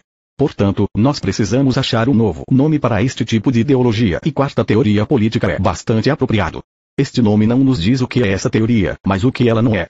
Então ele é um tipo de convite e apelo, ao invés de um dogma. Politicamente, nós nos deparamos com uma base interessante para a cooperação consciente entre os esquerdistas radicais e a nova direita, assim como com religiosos e outros movimentos antimodernos, como ecologistas e teóricos verdes, por exemplo. A única coisa na qual nós insistimos para a criação de um pacto de cooperação é colocar de lado os preconceitos anticomunistas e antifascistas. Estes preconceitos são os instrumentos nas mãos dos liberais e globalistas, pelos quais eles mantêm seus inimigos divididos. Então, nós devemos rejeitar categoricamente o anticomunismo, assim como o antifascismo. Ambos os preconceitos são ferramentas contra-revolucionárias nas mãos da elite liberal global. Ao mesmo tempo, nós devemos nos opor fortemente a qualquer tipo de confronto entre as várias crenças religiosas, muçulmanos contra cristãos, judeus contra muçulmanos, muçulmanos contra índios, e daí em diante. As guerras e tensões entre confissões trabalham pela causa do reino do anticristo, que tenta dividir todas as religiões tradicionais para impor a sua própria pseudo-religião, a paródia escatológica. Então nós precisamos unir a direita, a esquerda e as religiões tradicionais do mundo em uma luta comum contra o inimigo em comum. Justiça social, soberania nacional e valores tradicionais são os três principais princípios da quarta teoria política. Não é fácil formar uma aliança tão diversificada. Mas nós devemos tentar se quisermos derrotar o inimigo. Na França existe um ditado, la droite diz valeu sete la gauche do travail la insoral. Em italiano fica, la destra sociale e la sinistra identitária. Exatamente como ficaria em inglês, português, nós veremos depois. Nós poderíamos ir mais longe para definir o sujeito, o ator da quarta teoria política. No caso do comunismo, o sujeito central era a classe. No caso dos movimentos de terceira via, o sujeito central era o raça ou nação. No caso das religiões, é a comunidade de fiéis. Como poderia a quarta teoria política lidar com essa diversidade e divergência de sujeitos? Nós propomos, como sugestão, que o sujeito principal da quarta teoria política possa ser encontrado no conceito heideggeriano de Dasein, ser aí. É um conceito concreto, mas extremamente profundo que poderia ser o denominador comum para o posterior desenvolvimento ontológico da quarta teoria política. O que é crucial considerar é a autenticidade ou inautenticidade da existência do Dasein. A quarta teoria política insiste na autenticidade da existência, para que ela seja a antítese de qualquer forma de alienação, social, econômica, nacional, religiosa ou metafísica. Mas o Dasein é um conceito concreto. Todo indivíduo e toda cultura possuem seu próprio Dasein. Eles diferem entre si, mas estão sempre presentes. Tendo aceitado o Dasein como sujeito da 4TP, nós devemos passar para a elaboração de uma estratégia comum no processo de criação do futuro, que se encaixe nas nossas exigências e visões. Valores como justiça social, soberania nacional e espiritualidade tradicional podem nos servir como fundação. Eu acredito sinceramente que a quarta teoria política, assim como suas variações secundárias, nacional-bolchevismo e eurasianismo, pode ser de grande utilidade para os nossos povos, nossos países e nossas civilizações.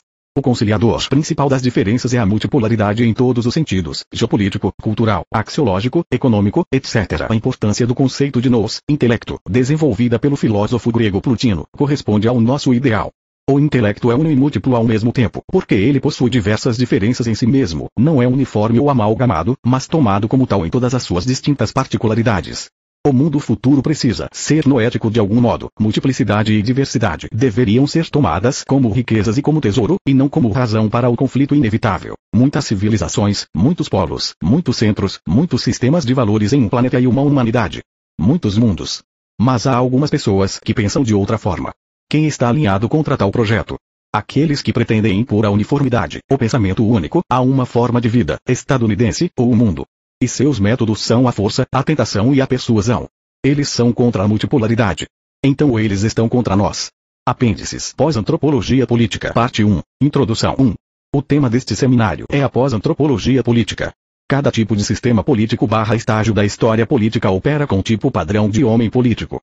Dizemos um homem da Idade Média, um homem da modernidade, ética, descrevendo as construções históricas e políticas específicas. Essas construções são diretamente dependentes da organização e formalização das relações de poder em uma sociedade e se relacionam com o eixo do poder, que é a essência do político, e com a identificação amigo-inimigo comum, C. Schmidt, que é também a essência do político. O político é poder, identificação política, nosso barra não nosso. Cada forma política fornece um modelo diferente de poder de identificação. Assim como sistemas políticos, existem muitas antropologias políticas. A teologia política, C. Schmidt sugere que a política reflete, e em certos casos constitui, um padrão de antropologia política. 2. O homem político é transformado de uma forma do político para outra. Isso é suficientemente traçado na filosofia da política e na pós-filosofia. Agora focaremos em de que forma a antropologia política encontra a pós-modernidade. 3. A pós-modernidade é algo que se impõe, que pisa. Pisa em nós. Mas ela ainda não pisou. Portanto, o estudo da pós-modernidade possui uma hilária brecha criativa. Ainda que ela pise, ela pode também não pisar, nós podemos, ou não podemos, não está claro, nos esquivar dela. Então, falar sobre a pós-modernidade é interessante, excitante e arriscado ao mesmo tempo. É um processo com um fim desconhecido e um sentido desconhecido. Ainda é possível afetar esse fim e esse sentido. A história, aparentemente, acabou e a pós-história está apenas começando, devemos procurar nela por um espaço de luta, ganhar este espaço e expandi-lo. 4. A pós-antropologia política está prevendo barra construindo o homem político na pós-modernidade. Nós não apenas estudamos o que existe, mas seguimos o processo e tentamos afetá-lo. Pensamento fantasioso é profecias autorrealizáveis são bastante legítimos e bem-vindos aqui. Explorando a pós-antropologia política, nós a chamamos de volta à vida. Parte 2. Pós-homem político e pós-estado 1. Características absolutas do pós-homem da pós-modernidade são despolitização, autonomização, microscopização, sub- e transhumanização, como uma forma especial de desumanização, individualização, fragmentação. Assim é a rejeição e negação de algo que foi político nas fases prévias torna-se política como forma dominante. A politização encontra a despolitização. A política do humano da pós-modernidade está em fuga do elemento e da estrutura do político para a nova área. O humano da pós-modernidade declara guerra ao político, primeiro com base na economia, homo econômicos contra homo políticos, então contra a economia sujeito-objeto clássica em nome da rede dinâmica do jogo livre, criativo, de peças livres, negri, art. A indústria da moda, o glamour e o show business demonstram que para ter prosperidade material não é necessário ganhar dinheiro, deve-se entrar para a coleção social relevante, se tornar um membro da rede glamourosa móvel. Páginas brilhosas, nas quais o corpo sem órgãos desliza da direita para a esquerda, é como uma incorporação concreta do l'espace illicit de Deleuze, uma imagem da pós-economia. Por exemplo, para ganhar dinheiro é suficiente ser gay, nesse caso, trabalhar não é necessário, é opcional. 2. O homem pós-político derruba o poder e o coletivo, e em seguida o individual, a identidade. Ele não reconhece as relações de poder acima ou abaixo dele, não sabe o que são os nossos e os não nossos, e não aceita nenhuma narrativa longa que vá além do seu microcosmo. Sua política é expressa em forma de desejos e impulsos vegetativos de donos e objetivos desconhecidos. Talvez seja desejo, mas não é de ninguém e para ninguém especificamente. 3. É de um jogo aleatório de subindividualidade e transindividualidade que o pós-homem cria um modelo de pós-estado. O pós-estado é uma paródia irônica do estado, ou estado vice-versa. Estado fantasma, estado zombaria. No pós-Estado, instituições são móveis e efêmeras, políticas e princípios legais estão continuamente e rapidamente mudando. Não tem nenhuma simetria vertical ou horizontal visando a unificação com a rede. É uma espécie de república pirata localizada no ciberespaço. Ou um carnaval brasileiro, que substituiu a rotina. No pós-Estado, o sério e o frívolo trocam de lugar e é um tipo de Saturnália tornada permanente. Em política, o pós-homem constituiu este pós-Estado, divertindo-se com seu jogo loucamente mortal. 4.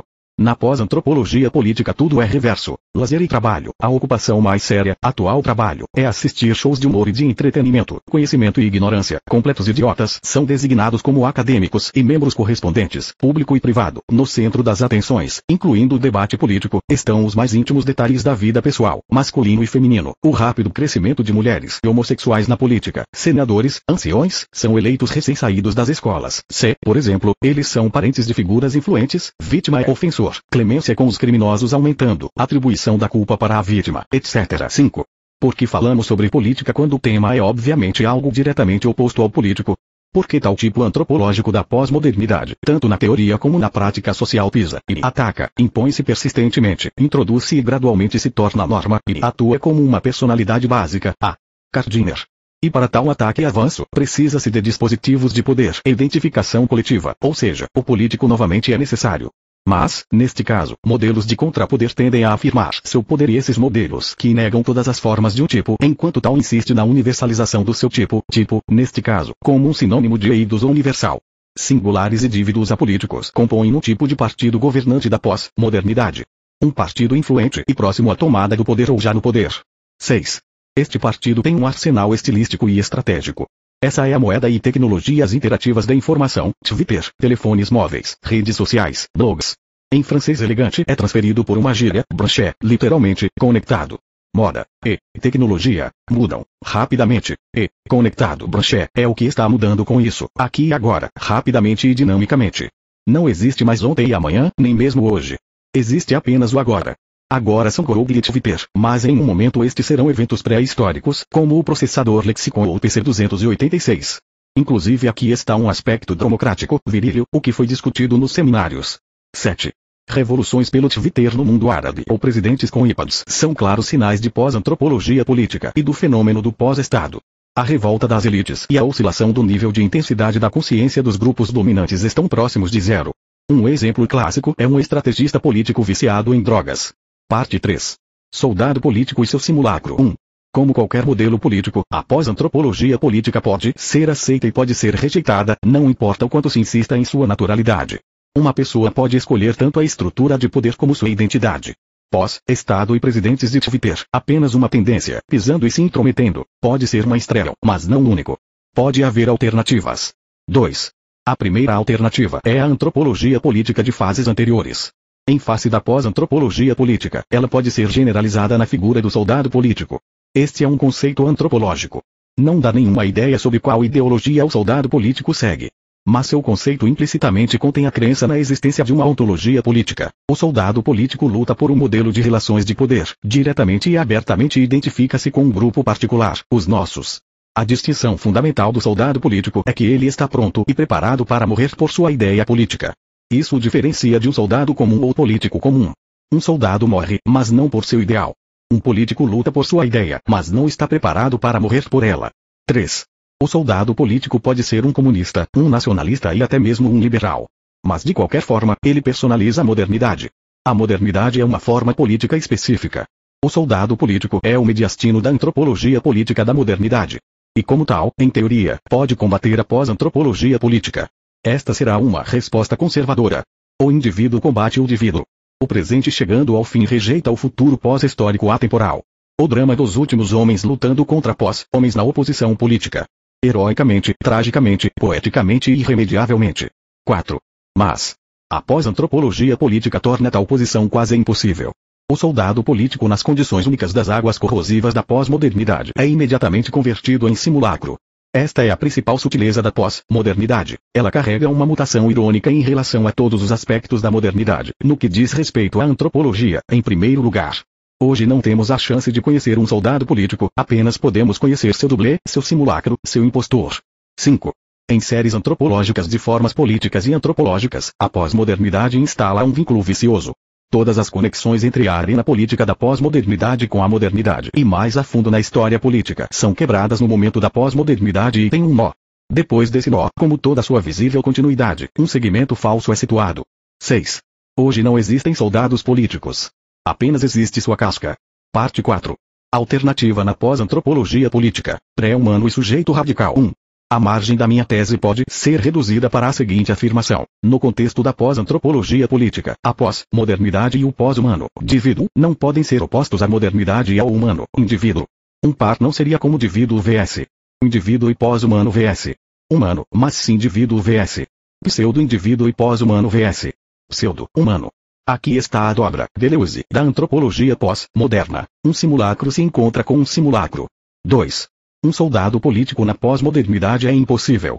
Só pode ser um simulacro. 3. Consequentemente, a oposição deve ser diferente. Não uma conexão antropológica prévia designada a colidir com o segmento pós-antropológico das séries antropológicas, que está localizado após o elemento substituído, laço, mas uma figura completamente diferente. Isso é, devemos falar da expressão política do sujeito radical. 4. Este tema deve estar, de alguma forma, integrado 4TP. Não há espaço e tempo para desenvolvermos isso aqui.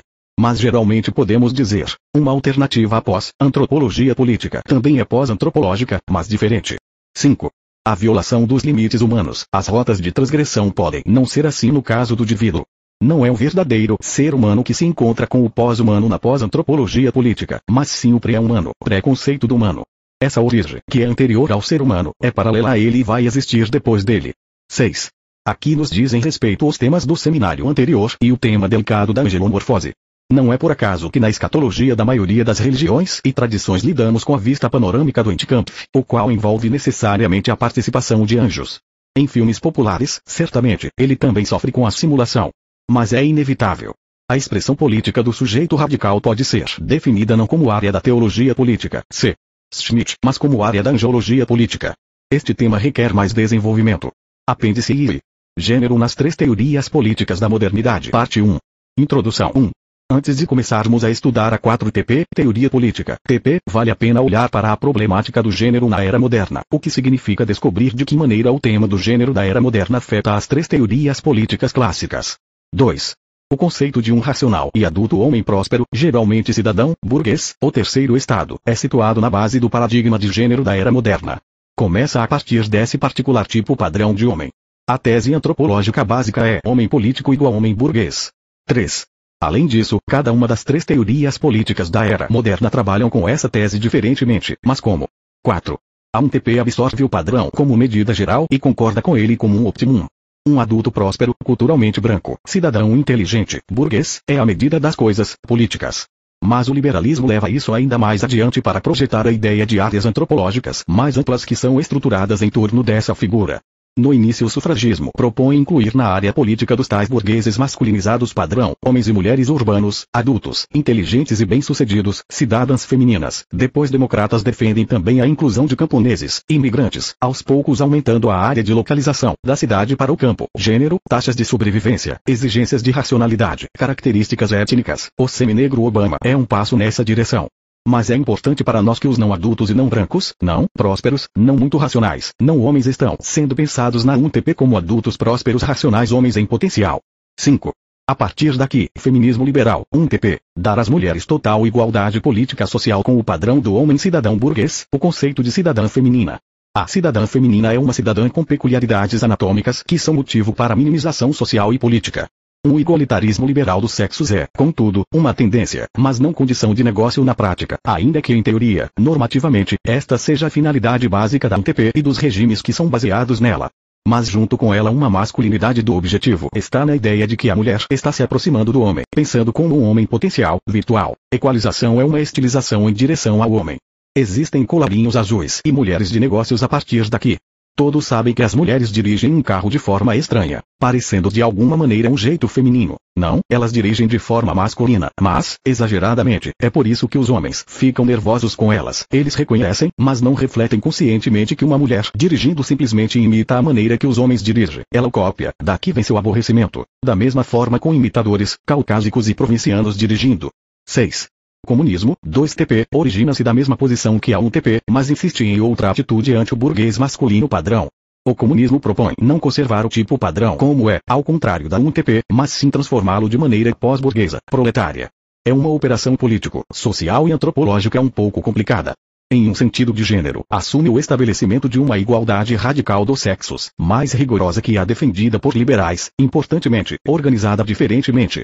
E o homem burguês e a mulher burguesa, como um construto subordinado do homem burguês, devem ser transformados em alguma outra coisa. Aqui, igualitarismo dos sexos é uma expressão do igualitarismo das pessoas na sociedade e representa a medida da dissolução das linhas de comando. Se a linha de comando é dissolvida na prática, a simetria vertical homem-mulher é dissolvida de igual forma. Um homem proletário não é mais um homem burguês assim como uma mulher. Relações de gênero no contexto de um proletariado emancipado admitem não a liberação da essência homem-mulher, mas, por exemplo, de acordo com Bourdieu ou Negri-Ardit a liberação do proletário do gênero como convenção social. O que é um proletário comunista pós-gênero? Muitos autores pós-modernos respondem à pergunta da seguinte forma, isso é um mecanismo de desejos Deleuze barra Guattari dispositif de la sexualité non polaire Foucault redes de rizoma Deleuze mutantes sexuais não, utilizados negri barra ardit cyborg dona Harvard. O feminismo ultra-esquerdista, gauchisme, é um programa de liberação do sexo como uma forma de construção social hierárquica. Falamos aqui não da liberação da essência feminina, mas sobre superar o sexo como ele é. Se a atenção é presa em particulares de outro sexo, por Simone de Beauvoir, Julia Kristeva ou Lucy Irgaray, isso é apenas para a relativização da masculinidade no caminho para a libertação. O desejo não tem sexo. Liberdade é uma liberdade em relação ao sexo. 7. A 3TP tinha algumas opções em torno do gênero. Antes de tudo um heroísmo ultramasculino. Exaltação do patriarcado. Também possuíam o branco adulto, urbano, racional e bem-sucedido que era padrão, mas exaltado e expandido em proporções. Este é um hiperburguês masculino.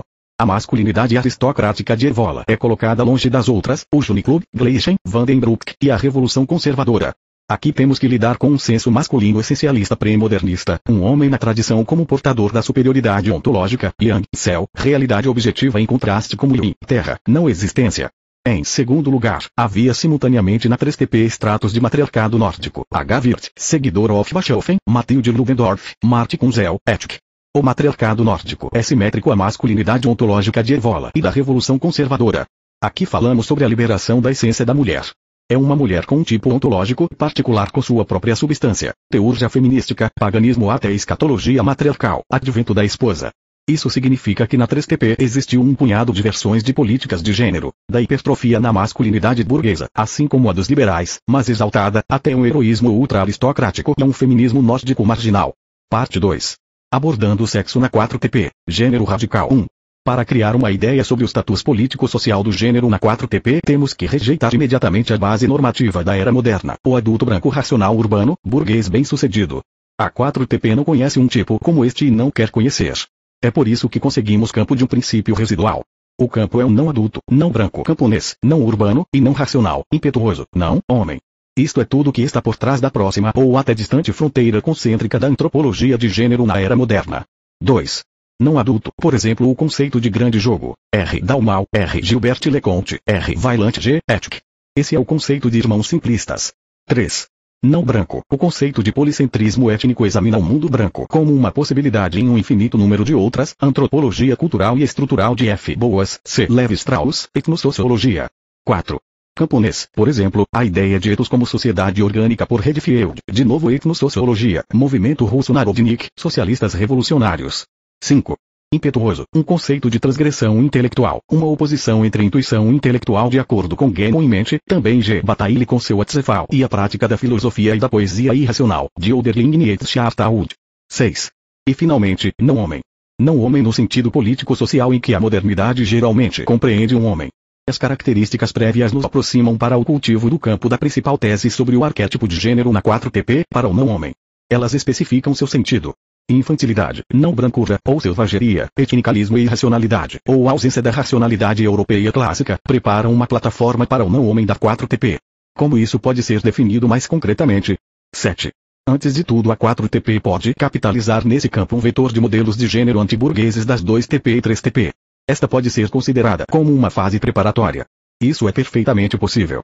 Uma ideia proletária de identidade pós-gênero é interessante como um projeto imediatamente crítico. No contexto pós-moderno pode ser adicionada para o arsenal, desprovido de sua conotação materialista, no espírito do dadaísmo primitivo, anti-arte, ou do canária de Marinette ou Nietzsche.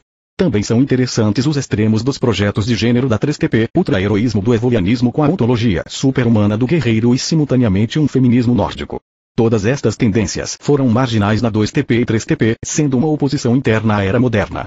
Todas elas podem ser incorporadas na 4TP como um fundo estético agradável.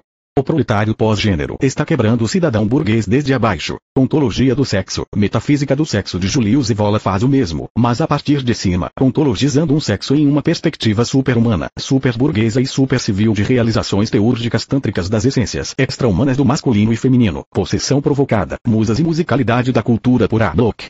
8. Mas todas essas são operações preliminares, ainda por sua própria natureza intensa e cativante. A essência do não-homem da 4TP ainda está posta de lado. Esse lado é do sujeito radical. Ele é não homem porque ele é não humano e estando fora dos paradigmas que definem regras e limites, incluindo limites de ontologias divinas. Um homem certamente pressupõe uma mulher e o sujeito radical pressupõe nada fora, por isso que ele não é simétrico a nada. 9. Ele é andrógeno ou não? Mas por que não? Um andrógeno é um humano raiz, antes do sexo humano, e seu radicalismo está nele, significando radix igual raiz, pertencimento às raízes. Falamos sobre isso em um seminário sobre a 4TP. E chegamos ao tema da zona em comum onde prática e teoria coincidem e até são indistintas. O caos precede as estruturas duplas de ordem da mesma maneira. O sujeito radical no sentido de gênero precede a diferenciação entre macho e fêmea, mas não existe um produto da entrada deles. Ele precede-os, mas não os segue. Podemos definir o sexo do sujeito radical, gênero radical. 10. No espírito do angelomorfismo da antropologia política da 4TP, podemos descrever o sexo do sujeito da 4TP como sexo dos anjos. O sexo pode ao mesmo tempo se estabelecer pelo desejo masculino, de Bene Elohim, seduzido pela beleza das filhas dos humanos, ou pode ser apresentado como um androide fêmea, ninfa da estrela polar, Porciliane, Atalanta Fugis ou Beatrice. 11. E mais, a questão que Heidegger não levantou, se Dasein tem sexo. Qual sexo tem o Dasein? Deve ser um muito fundamental, parte 3. Gênero radical e transformações de gênero na era pós-moderna. Entropia do Eros 1. Agora podemos examinar o problema, como aproximadamente e provisoriamente descrito por nós. O gênero radical da 4TP é correlato com as transformações de gênero na era pós-moderna. 2. Na era pós-moderna, a convergência das três tendências de gênero, neoliberal, neomachista e, muito fragmentada, neonazi existem. 3. A tendência neoliberal aspira a maximizar o padrão de um cidadão burguês, transferindo para toda a população da Terra. Esta é a teoria dos direitos humanos. Um cidadão masculino racional é conceitualizado como humano ou indivíduo perdendo contato com o sexo anatômico e social, tornando-se um imperativo padrão global. Um homem burguês está se tornando tão total e universal que substitui os outros tipos. Daqui existem indústrias para jovens e crianças e moda para cães e gatos. 4. A tendência neomachista insiste no convencionalismo social do sexo e se torna ativamente evidente na proliferação e legitimação de códigos homossexuais e transgêneros. A libertação do sexo é realizada através do seu jogo e caráter permanente. Ambas as tendências juntam-se no liberalismo de esquerda, Lilin, com a sexualidade transgressiva, FR. Gauchismo ou ultraesquerdismo, multiplicado pelo individualismo, liberalismo clássico. 5. A outra direção do ultraliberalismo é a loucura sado, mas o nazi satanista, exaltação da masculinidade burguesa e uma soberania sexual individualista do indivíduo atomizado. Estes são os faça o que quiser e com quem quiser, adicionando uma compensação financeira e um princípio de voluntariedade de Crowley. O neonazi hoje é uma paródia patológica que vem do pasquim barato de Visconti, Os Malditos, ou da exploração tosca e mentalmente fraca no estilo de recepcionista da noite. Na área do gênero neonazi está sempre presente um atributo de entretenimento, clubes gays e decorações clássicas de sex shop. 6. Isso significa que um panorama de gênero se expandindo diante da face de um guardião da 4TP representa uma explosão do homem burguês ante nossos olhos. Ele voa para longe aos pedaços, salvando apenas sinais virtuais da sua dominação. O sexo da era moderna está se acabando na nossa frente. O centro está se dispersando, áreas concêntricas perdem suas órbitas. Um sexo excêntrico de redes descoordenadas e dispersas existe. A rápida entropia do Eros está ocorrendo. 7. Mas o sujeito da quarta teoria política, Dasein, não é um conservador. Ele não insiste no impossível retorno ao homem adulto branco, burguês, urbano, esperto e bem de vida, que no momento exato vai se esconder no horizonte histórico, abrindo caminho para um carnaval de mutantes no espírito do Howard Stern Show ou para figurantes da cultura do apocalipse de Adam Parfait, ou mesmo arquétipos mais atraentes, mas desaparecidos há muito tempo, por exemplo, cavaleiros medievais e belas donzelas eruditas com elegantes livros filosóficos em mãos pálidas e gentes unicórnios próximos às pernas. 8. Obscurantismo de gênero da era pós-moderna e a entropia global do Eros têm de ser reconhecidos no espírito do cenário escatológico de uma escatologia não dual, por exemplo no Kalki Purana indiano, apresentado elegantemente e convincentemente no campo escatológico Finis Mundin, como antecipando uma nova transformação de gênero, uma paródia precipitada e preventiva, como a careta de despedida da comitiva do anticristo no último extertor de morte do mundo que finalmente esfria. O gênero desaparece rapidamente, diferentes são feitos iguais, as dinâmicas de oposição vão se acabando e se transformam em nada. O sujeito radical atentamente busca essas transformações, facilmente definindo nelas algo que elas estão parodiando e o ponto no qual elas estão sendo uma paródia, o que significa ser uma paródia dele próprio. Apêndice I. Quarta Teoria Política e Praxis Parte 1 o termo praxis e seus significados indicando o tema do seminário, eu não sabia como ele seria divulgado. Foi visto vagamente, sendo percebido, que a quarta teoria política deveria levar para uma quarta prática política. Esse é o ponto de início. Para além disso, começa o desenvolvimento do livre pensamento. Separação da parte teórica, contemplação e prática, operações nos objetos, pragmata, ou pensamento e ação, ou ideia e implementação, ou princípio e manifestação, ou intelecção e ação, ou mito e ritual, é o tema de tópicos duplos de muitas disciplinas. Todos estes pares têm uma geometria semântica diferente. Mas todos eles são constitutivos. Ciência, teoria, contemplação, prática, objetos, metafísica, princípio, manifestação, religião, mito, ritual, filosofia, intelecção, ação, tecnologia, ideia, projeto, realização, implementação, uso trivial, pensamento, atividade. Agora discutiremos a segunda coluna de termos. Sendo que a quarta teoria política não é algo divido, mas afirma ser ao mesmo tempo ciência política, metafísica política, angelópolis, teologia política, escatologia política, filosofia política e tecnologia política, a área menos desenvolvida até agora, devemos pensar um pouco sobre a segunda coluna de termos de forma completa. Uma objeção. Como descobrimos, mas ainda não descrevemos, o ator da quarta teoria política é Dasein. O Dasein foi alinhado por Heidegger como uma saída radical de quaisquer dualidades similares. A mesma coisa quando dissemos em outra ocasião sobre o holismo do Imaginaire. O que são essas duas colunas? Este é um típico diferencialismo ontológico ou trabalho de Logos. Na 4TP Journée e Logos não são excluídos, porém, ambos são privados de exclusividade. Dasein requer um apelo ao novo Logos, para a ontologia fundamental, isso quer dizer que para a solução, e não formulação, do problema da quarta prática política, precisamos antes ir para a área onde a teoria, contemplação e prática, operações em objetos, pragmata, pensamento e ação, ideia e realização, princípio e realização, intelecção e ação, mito e ritual se encontram. Isso é importante. A quarta prática política não é a simples aplicação da quarta teoria política à realidade, como no caso das teorias anteriores. A quarta teoria política não é diretamente análoga às outras três teorias políticas. A diferença radical é que a quarta teoria política busca superar o tópico dual da modernidade. A teoria por si mesma na quarta teoria política é algo diferente. E não é outra coisa que a prática. Para entender a quarta prática política é necessário ir para as raízes da quarta teoria política. E tocando essas raízes, onde a divisão entre duas colunas já não existe. Isso apela ao pré-conceito, pré-ontologia, pré-ontologia ou pré-ser humano sobre a antropologia. Parte 2. Teorias políticas da modernidade e suas práticas políticas. Nas três teorias políticas clássicas da modernidade, teoria e prática são identificadas claramente. O liberalismo, primeira teoria política, tem a economia e o mercado como formas apropriadas de prática política. No âmbito da primeira teoria política, o mercado é a política. Daí surge o Homo econômicos de Weber. A realização do ciclo do mercado, representante da primeira teoria política, implementa sua teoria. O marxismo atribui grande valor à praxis. Esta é a revolução, luta de classe, sob o socialismo, teoria ativa, trabalho, que cria os seres humanos de novo e de novo. De acordo com Heidegger, a primeira e segunda teorias políticas são manifestações do fenômeno Machenschaft. Atenção ao Machen fazer. Isto é, segundo Heidegger, a praxis é o núcleo da primeira e segunda teoria política. Daí aparece a Techne como destino e metafísica. Ou seja, de acordo com Heidegger, genericamente, a prática política é a essência das duas primeiras teorias políticas. Na terceira teoria política, a praxis é mais complexa. Primeiramente, a praxis mais clara e monstruosa foi a praxis do Holocausto e a realização da política racial pelo nazismo.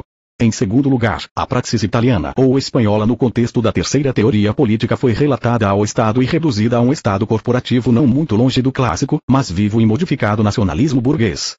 Heidegger, que estava no contexto da terceira teoria política, mas representou o molde para a quarta teoria política, viu o Machenschaft também na terceira teoria política.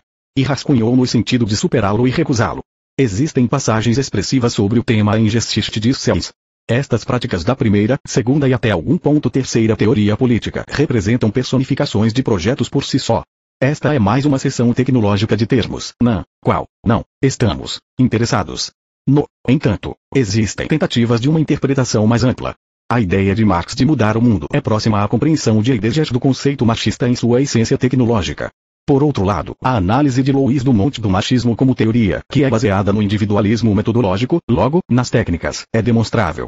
Em todos os casos a Machenschaft é um ponto comum das três teorias políticas da modernidade. E esta Machenschaft axiomaticamente postula tópicos duais de sujeito-objeto. O sujeito concebe, pensa, e realiza no objeto, ação e realidade. Praxis, como produção, Erstellung. E Machenschaft são modelos de relação sujeito-objeto, de teoria e prática nas três teorias políticas da modernidade. E elas são baseadas na diferenciação estrita. O diferencial entre teoria e prática, que reflete o diferencial entre sujeito e objeto, é a essência das três teorias políticas da modernidade.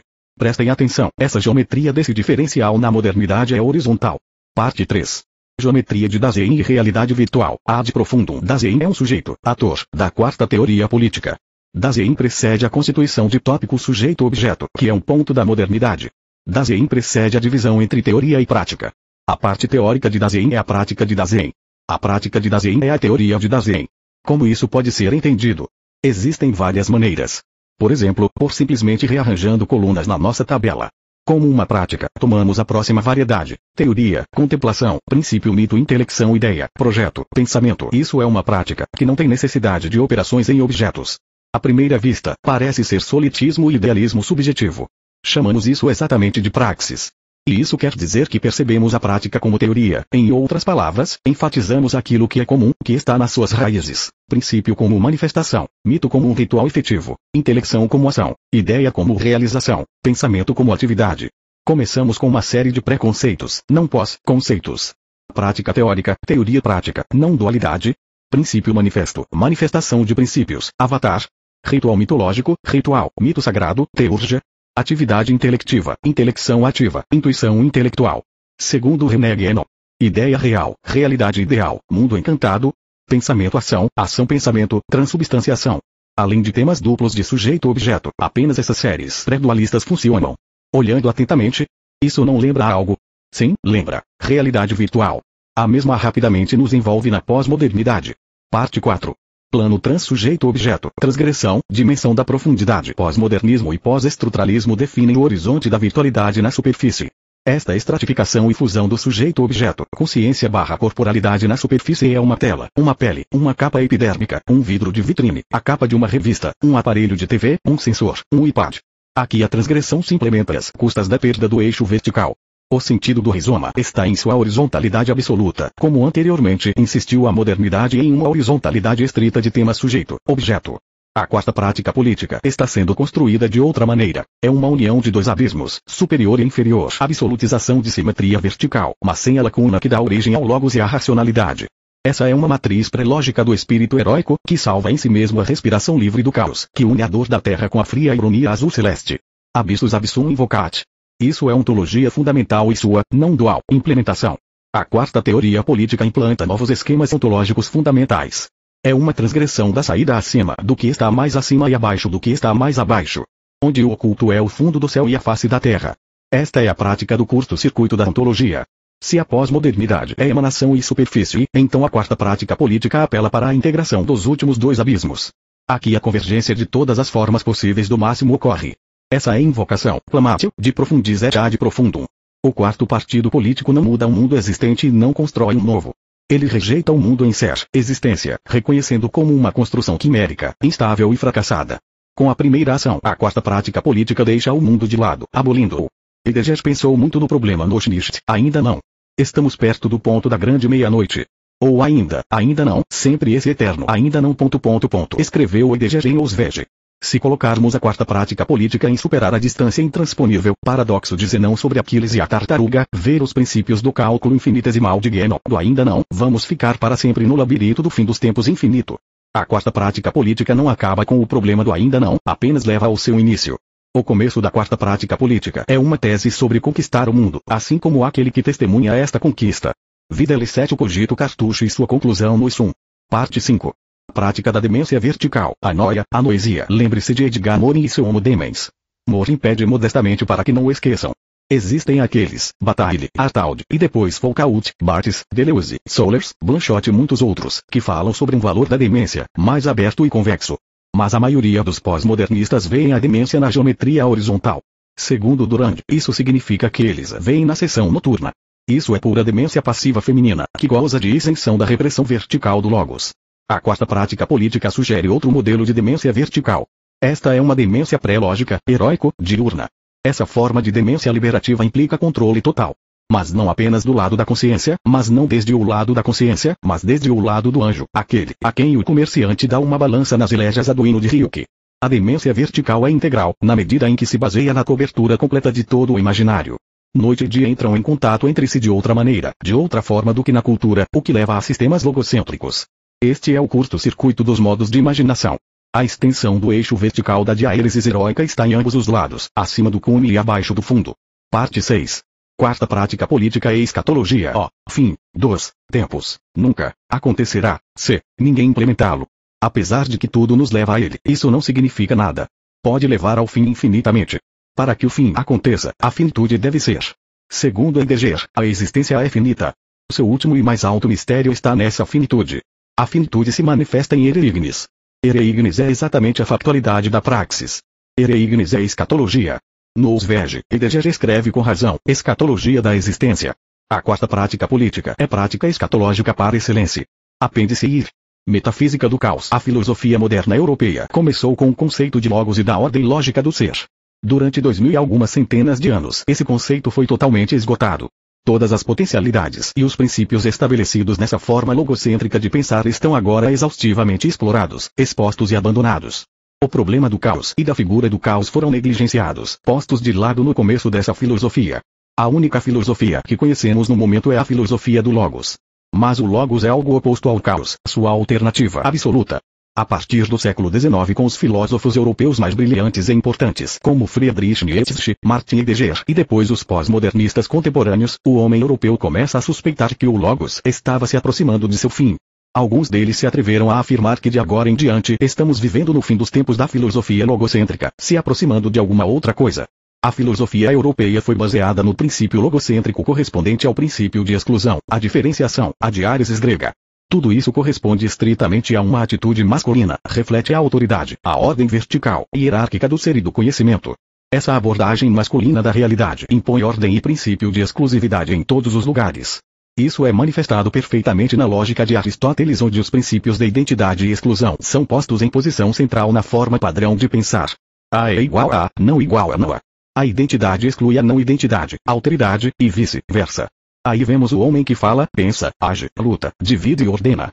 Nos dias de hoje, toda esta filosofia logocêntrica acabou e devemos pensar em outras possibilidades de pensar fora do modo logocêntrico, falocêntrico, hierárquico e exclusivista. Se o logos já não nos satisfaz, fascina e imobiliza, somos inclinados a tentar outra coisa e a expressar o caos. Para começar, existem dois conceitos diferentes de caos. A física e filosofia modernas se referem a sistemas complexos, bifurcações ou equações não integrais e processos que utilizam o conceito caos para designar tais fenômenos. Eles o entendem não como a ausência de ordem, mas como uma ordem difícil de perceber como tal, de modo que é uma ordem, mas uma ordem complicada, que parece não ser uma ordem, mas em essência é. Tal caos ou turbulência é calculável na natureza, mas com meios e procedimentos matemáticos e teóricos mais sofisticados do que a ciência natural clássica costuma lidar. O termo caos é usado aqui de forma metafórica. Na ciência moderna, continuamos a lidar com uma maneira essencialmente logocêntrica de explorar a realidade. Então o caos aqui não é mais que uma estrutura dissipativa do logos, o último resultado de sua decadência, queda, decomposição. A ciência moderna não está lidando com outra coisa que o logos, mas uma espécie de pós-logos, ex-logos, ou logos no último estado de dissolução e regressão. O processo de destruição e dissipação final do logos é tomado aqui pelo caos. Na realidade isso não tem nada a ver com caos como tal, com o sentido grego original do termo. É mais um tipo de extrema confusão. René Guénon chamou a era em que vivemos atualmente a era da confusão. A confusão significa o estado do ser que está depois da ordem e a precede. Assim, devemos fazer uma distinção clara entre dois conceitos diferentes. Por um lado temos o conceito moderno de caos que representa a pós-ordem ou uma mistura de fragmentos contraditórios sem nenhuma unidade ou ordem, ligados entre eles por correspondências e conflitos pós-lógicos altamente sofisticados.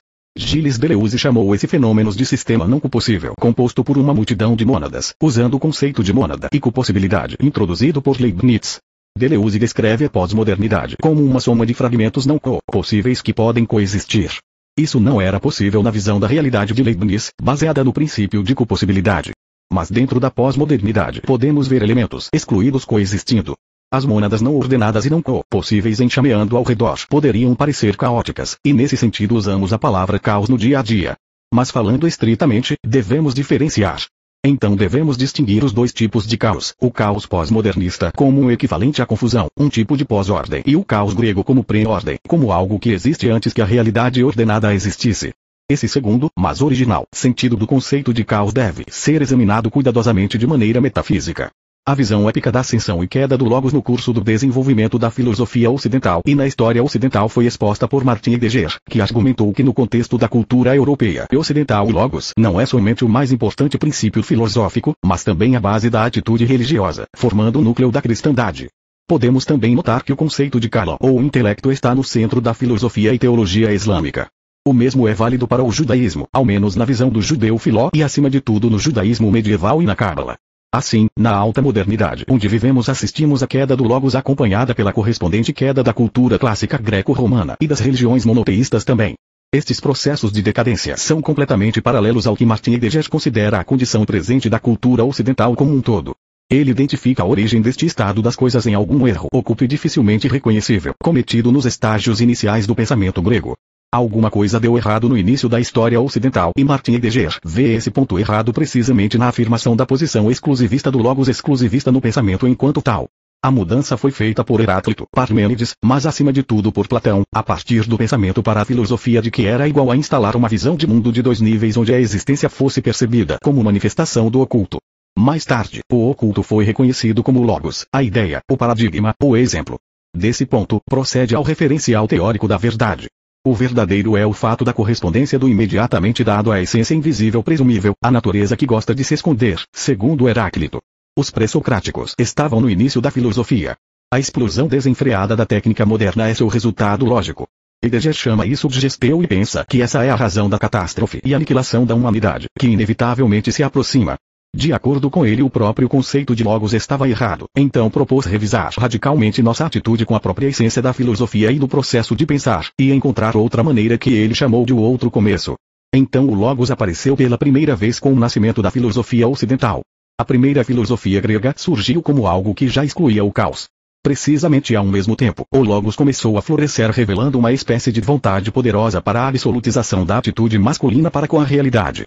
O devir da cultura logocêntrica aniquilou ontologicamente o polo oposto ao próprio logos, e, o feminino caos.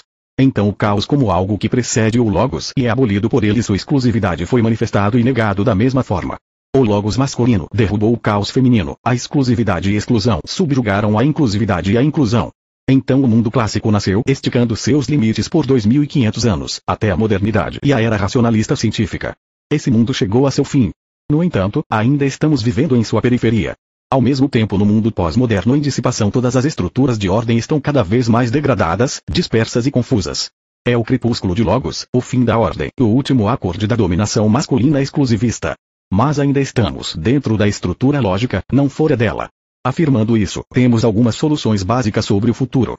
Primeira, o retorno do reino do Logos, a revolução conservadora, a restauração da dominação em escala total masculina em todas as áreas da vida, a filosofia, religião, a vida cotidiana, isso poderia ser feito espiritualmente socialmente ou tecnicamente. Esse caminho onde a técnica encontra a ordem espiritual foi fundamentalmente explorado e estudado por Ernst Junger, amigo de Martin Heidegger. O retorno ao classicismo acompanhado pelo apelo ao progresso técnico. O esforço para salvar o decadente logos, a restauração da sociedade tradicional. A eterna nova ordem. A segunda maneira é aceitar as tendências correntes e seguir a direção da confusão, envolvendo-se mais e mais na dissipação das estruturas, no pós-estruturalismo e tentar conseguir prazer no confortável deslizamento para o nada. Essa é a posição escolhida por representantes esquerdistas e liberais da pós-modernidade. É niilismo em estado puro, originalmente identificado por F. Nietzsche e explorado por M. Heidegger. O conceito do nada sendo potencialmente presente no princípio da identidade próprio ao logos não é aqui o limite do processo da decadência da ordem, mas sim o âmbito construído racionalmente da expansão ilimitada da decadência horizontal, multitudes incalculáveis das flores de putrefação. No entanto, podemos escolher uma terceira alternativa e tentar transcender as fronteiras de Logos e sair para além da crise do mundo pós-moderno, literalmente pós-moderno, e estabelecido além da modernidade, onde a dissipação do Logos atinge seu limite. Aqui a questão desse limite é crucial. Vendo do ponto de vista do Logos em geral, incluindo o mais decadente, além do domínio da ordem existe nada. Então atravessar as fronteiras do ser é ontologicamente impossível. O nada não é, assim diz após Parmênides toda a ontologia ocidental logocêntrica. Essa impossibilidade afirma a infinitude da fronteira do Logos e garante a decadência interna ao reino da ordem continuidade eterna. Além das fronteiras do ser, existe um nada e um movimento para esse limite é analiticamente infinito e sem fim. Aqui é totalmente válida a teoria de Zeno de Elia. Assim, ninguém pode cruzar a fronteira para o não ser não existente, porque ele simplesmente não é. Se insistirmos, no entanto, em fazer isso devemos apelar para o caos no seu sentido original grego, como algo que precede o ser e a ordem, algo pré-ontológico. Estamos em frente a um problema realmente crucial. Um grande número de pessoas hoje não está satisfeita com o que está acontecendo a seu redor, com a absoluta crise de valores, religiões, filosofia, ordem política e social, com as condições pós-modernas, com a confusão e perversão, com a era da decadência extrema. Mas considerando o sentido essencial da transformação da nossa civilização no presente estado, não podemos olhar para as fases precedentes da ordem logocêntrica e suas estruturas implícitas, pois foi precisamente o logos que trouxe as coisas para o estado em que se encontram atualmente, tendo em si os germes da decadência do presente. Heidegger identificou com extrema credibilidade as raízes da técnica na solução pré-socrática do problema do ser por meio do logos. De fato o logos não pode nos salvar das condições instaladas por ele mesmo. O logos não tem mais uso aqui. Então apenas o caos pré-ontológico pode nos sugerir como ir além da armadilha da pós-modernidade. Ele foi posto de lado na criação da estrutura lógica do ser como fundamento. Agora é sua vez de vir para o jogo. De outra forma, seremos condenados a aceitar uma pós-modernidade dissipada pós-lógica que pretende ser eterna de alguma forma, pois aniquila o próprio tempo. A modernidade matou a eternidade e a pós-modernidade está matando o tempo. A arquitetura do mundo pós-moderno é completamente fragmentada, perversa e confusa. É um tipo de labirinto sem saída, dobrado e torcido como a fita de Mobius. O logos que era a garantia da retitude da ordem serve aqui para fornecer a curvatura, sendo usado para preservar a impassibilidade da fronteira ontológica com nada contra eventuais transgressores. Assim, a única maneira de nos salvarmos, de salvar a humanidade e a cultura dessa armadilha é dar um passo além da cultura logocêntrica, em direção ao caos. Não poderíamos restaurar o Logos e a ordem indo em direção a eles, pois eles carregam em si a razão da sua eterna destruição. Em outras palavras, para salvar o logos exclusivista, devemos apelar à instância inclusiva alternativa, que é o caos. Mas como poderíamos usar o conceito de caos e basear nele nossa filosofia se a filosofia sempre foi para nós algo lógico por definição? Penso que para resolver essa dificuldade, devemos abordar o caos não pela posição do logos, mas da posição do próprio caos. Ela pode ser comparada com uma visão feminina, a compreensão feminina da figura que não é excluída, mas pelo contrário, incluída na igualdade. O Logos considera a si próprio como o que é e como o que é igual a si próprio. Ele pode aceitar as diferenças dentro de si porque ele exclui o que é diferente de si fora de si. Assim a vontade de poder está atuando. A lei da soberania. Para além do Logos, afirma o Logos, não há nada. Então o Logos excluindo tudo além de si próprio exclui o caos. O caos usa diferentes estratégias, ele inclui em si próprio tudo que é, mas ao mesmo tempo tudo que não é. Assim o inclusivo caos inclui também o que não é inclusivo como ele mais do que aquilo que exclui o caos. Então o caos não percebe o Logos como outro em relação a si próprio, ou como algo não existente. O Logos como o primeiro princípio da exclusão está incluído no caos, presente nele, envolvido por ele e possui lugar garantido nele. Assim a mãe que carrega o bebê carrega consigo o que é uma parte dela e não é uma parte dela ao mesmo tempo. O homem concebe a mulher como ser externo e busca penetrá-la. A mulher considera o homem como algo interno e busca dar-lhe a luz. O caos é o eterno nascimento do outro, ou seja, de Logos. Em suma, a filosofia caótica é possível porque o caos inclui por si mesmo o logos como uma possibilidade interior. Pode livremente identificá-lo, apreciá-lo e reconhecer sua exclusividade inclusa na sua vida eterna. Então, chegamos à figura do muito especial logos caótico, que é um logos completamente e absolutamente fresco, sendo eternamente revivido pelas águas do caos. Esse logos caótico é ao mesmo tempo exclusivo, e é por isso que é propriamente logos, e inclusivo, sendo caótico. Trata-se da igualdade e da alteridade de forma diferente. O caos pode pensar. Ele pensa. Nós poderíamos perguntar como ele o faz? Nós temos perguntado ao Logos. Agora é hora do caos. Devemos aprender a pensar com o caos e dentro do caos. Eu poderia sugerir, como exemplo, a filosofia do pensador japonês Kitaro Nishida, que construiu a lógica do baixo ou a lógica dos lugares em vez da lógica aristotélica. Devemos explorar outras culturas além do Ocidente para tentar encontrar diferentes exemplos de filosofia inclusiva, religiões inclusivas e assim por diante. O logos caótico não é apenas uma construção abstrata. Se procurarmos bem, acharemos as verdadeiras formas dessa tradição intelectual. Nas sociedades arcaicas, assim como na teologia oriental e correntes místicas. Apelar ao caos é a única maneira de salvar logos. O logos precisa de um salvador para si mesmo, não poderia salvar-se, ela precisa de algo oposto de si mesmo para ser restaurado na situação crítica da pós-modernidade. Nós não poderíamos transcender a pós-modernidade. Esta última não pode ser ultrapassada sem apelar para algo que seja anterior à razão de sua decadência. Assim, devemos recorrer a outras filosofias que não a ocidental. Em conclusão, gostaria de dizer que não é correto conceber o caos como algo pertencente ao passado. O caos é eterno, mas eternamente coexistindo com o tempo. Então o caos é sempre absolutamente novo, fresco e espontâneo. Poderia ser considerado como uma fonte para qualquer tipo de invenção e novidade, porque a eternidade sempre tem em si mesma algo mais do que era, é ou vai ser no tempo. O logos por si mesmo não pode existir sem o caos, como um peixe não pode viver fora da água. Quando colocamos um peixe fora da água, ele morre. Quando, ó, peixe, começa a insistir excessivamente de que é algo distinto da água ao seu redor, mesmo que seja verdade, ele vem até a praia e morre. É um tipo de peixe louco. Quando colocamos de volta na água, ele pula de novo. Então deixemos esse morrer se ele quiser. Existem outros peixes na água. Vamos segui-los. A era astronômica que está chegando ao fim é a era da constelação de peixes. O peixe na praia. O peixe agonizante. Então precisamos muito de água. Apenas uma atitude completamente nova ante o pensamento, nova ontologia e nova gnoseologia podem salvar o Logos fora da água, na praia, no deserto que cresce e cresce, como Nietzsche previu. Apenas o caos e uma filosofia alternativa baseada na inclusividade podem salvar a humanidade moderna e o mundo das consequências da degradação e decadência do princípio exclusivista chamado Logos. O Logos expirou e todos podem ser enterrados sob suas ruínas a menos que apelemos ao caos e seus princípios metafísicos e usemos-los como base para algo novo. Esse poderia ser o outro começo do qual falou Heidegger. Apêndice V. O projeto da Grande Europa, um projeto geopolítico para um futuro mundo multipolar. 1. Depois da decadência e desaparecimento do bloco socialista da Europa Oriental no fim do século passado, se fez necessária uma nova visão geopolítica mundial sobre a base de um novo foco. Mas a inércia do pensamento político e a falta de imaginação histórica entre as elites políticas do Ocidente vitorioso levaram a tomar uma opção simplista. A base conceitual da democracia ocidental liberal, uma sociedade de economia de mercado, o domínio estratégico dos Estados Unidos em escala mundial, se converteram na única solução ante todo tipo de desafios emergentes e o modelo universal que deve ser aceito por toda a humanidade. 2. Ante os nossos olhos está surgindo uma nova realidade, a realidade de um mundo organizado em sua totalidade no paradigma americano. Um influente think tank conservador nos Estados Unidos moderno se refere a ele abertamente mediante um termo mais apropriado, o Império Global às vezes, Império Benevolente, R. Kagan. Este império é unipolar e concêntrico por natureza. No centro se encontra o Norte Rico, a Comunidade Atlântica.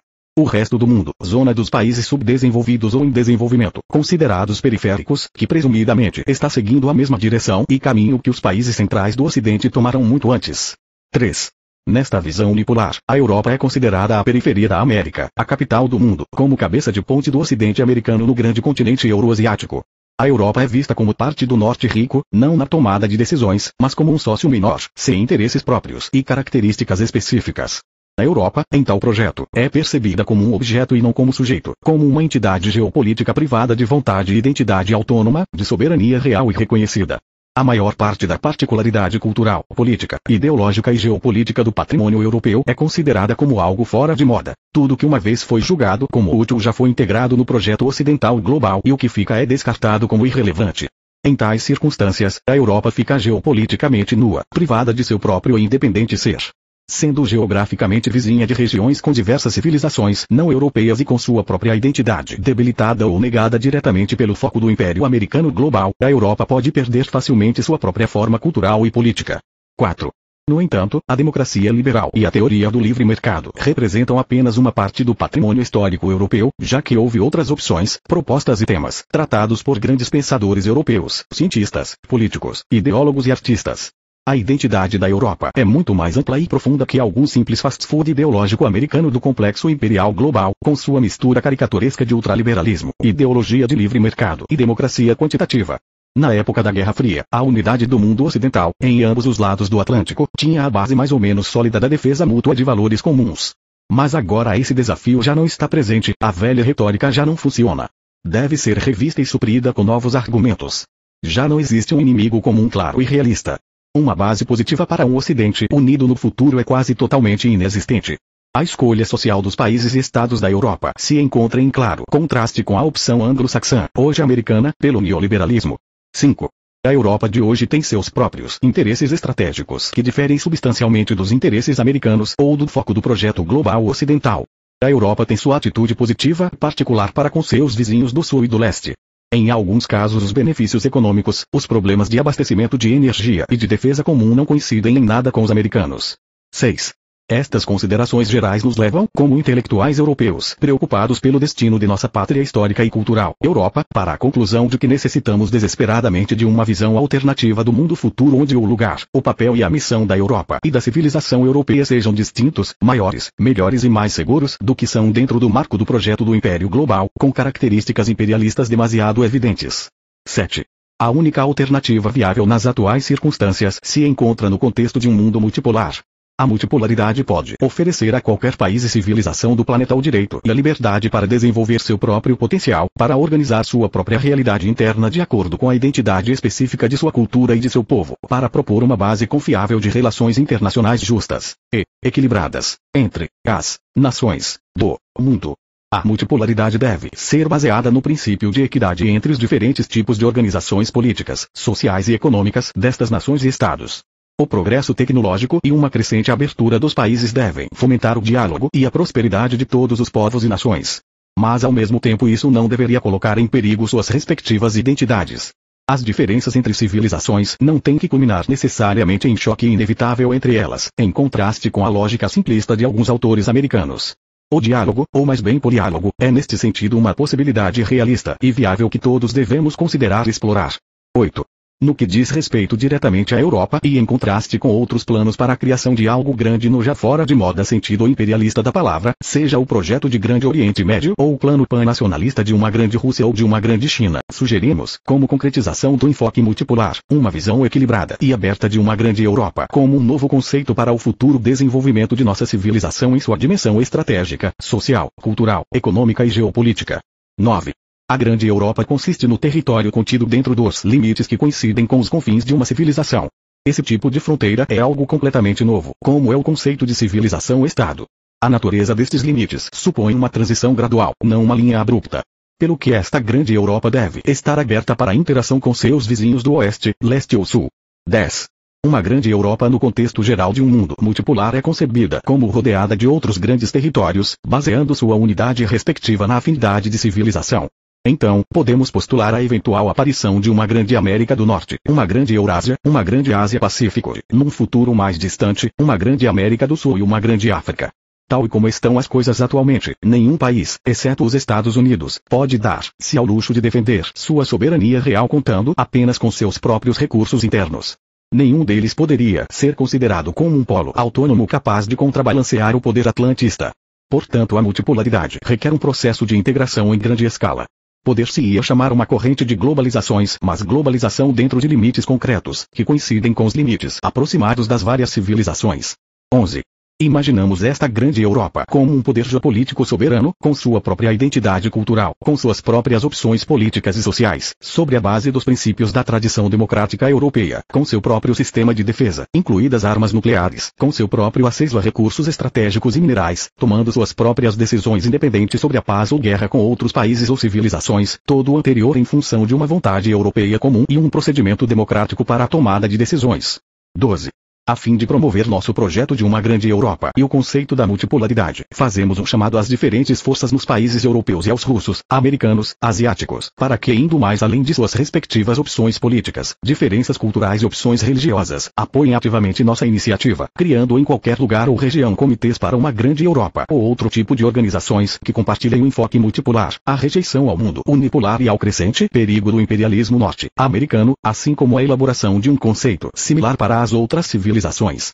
Se trabalharmos juntos, afirmando fortemente nossas diferentes identidades, seremos capazes de encontrar um mundo equilibrado, justo e melhor, um grande mundo em que qualquer digna cultura, sociedade, fé, tradição e criatividade humana encontrarão seu próprio e merecido lugar.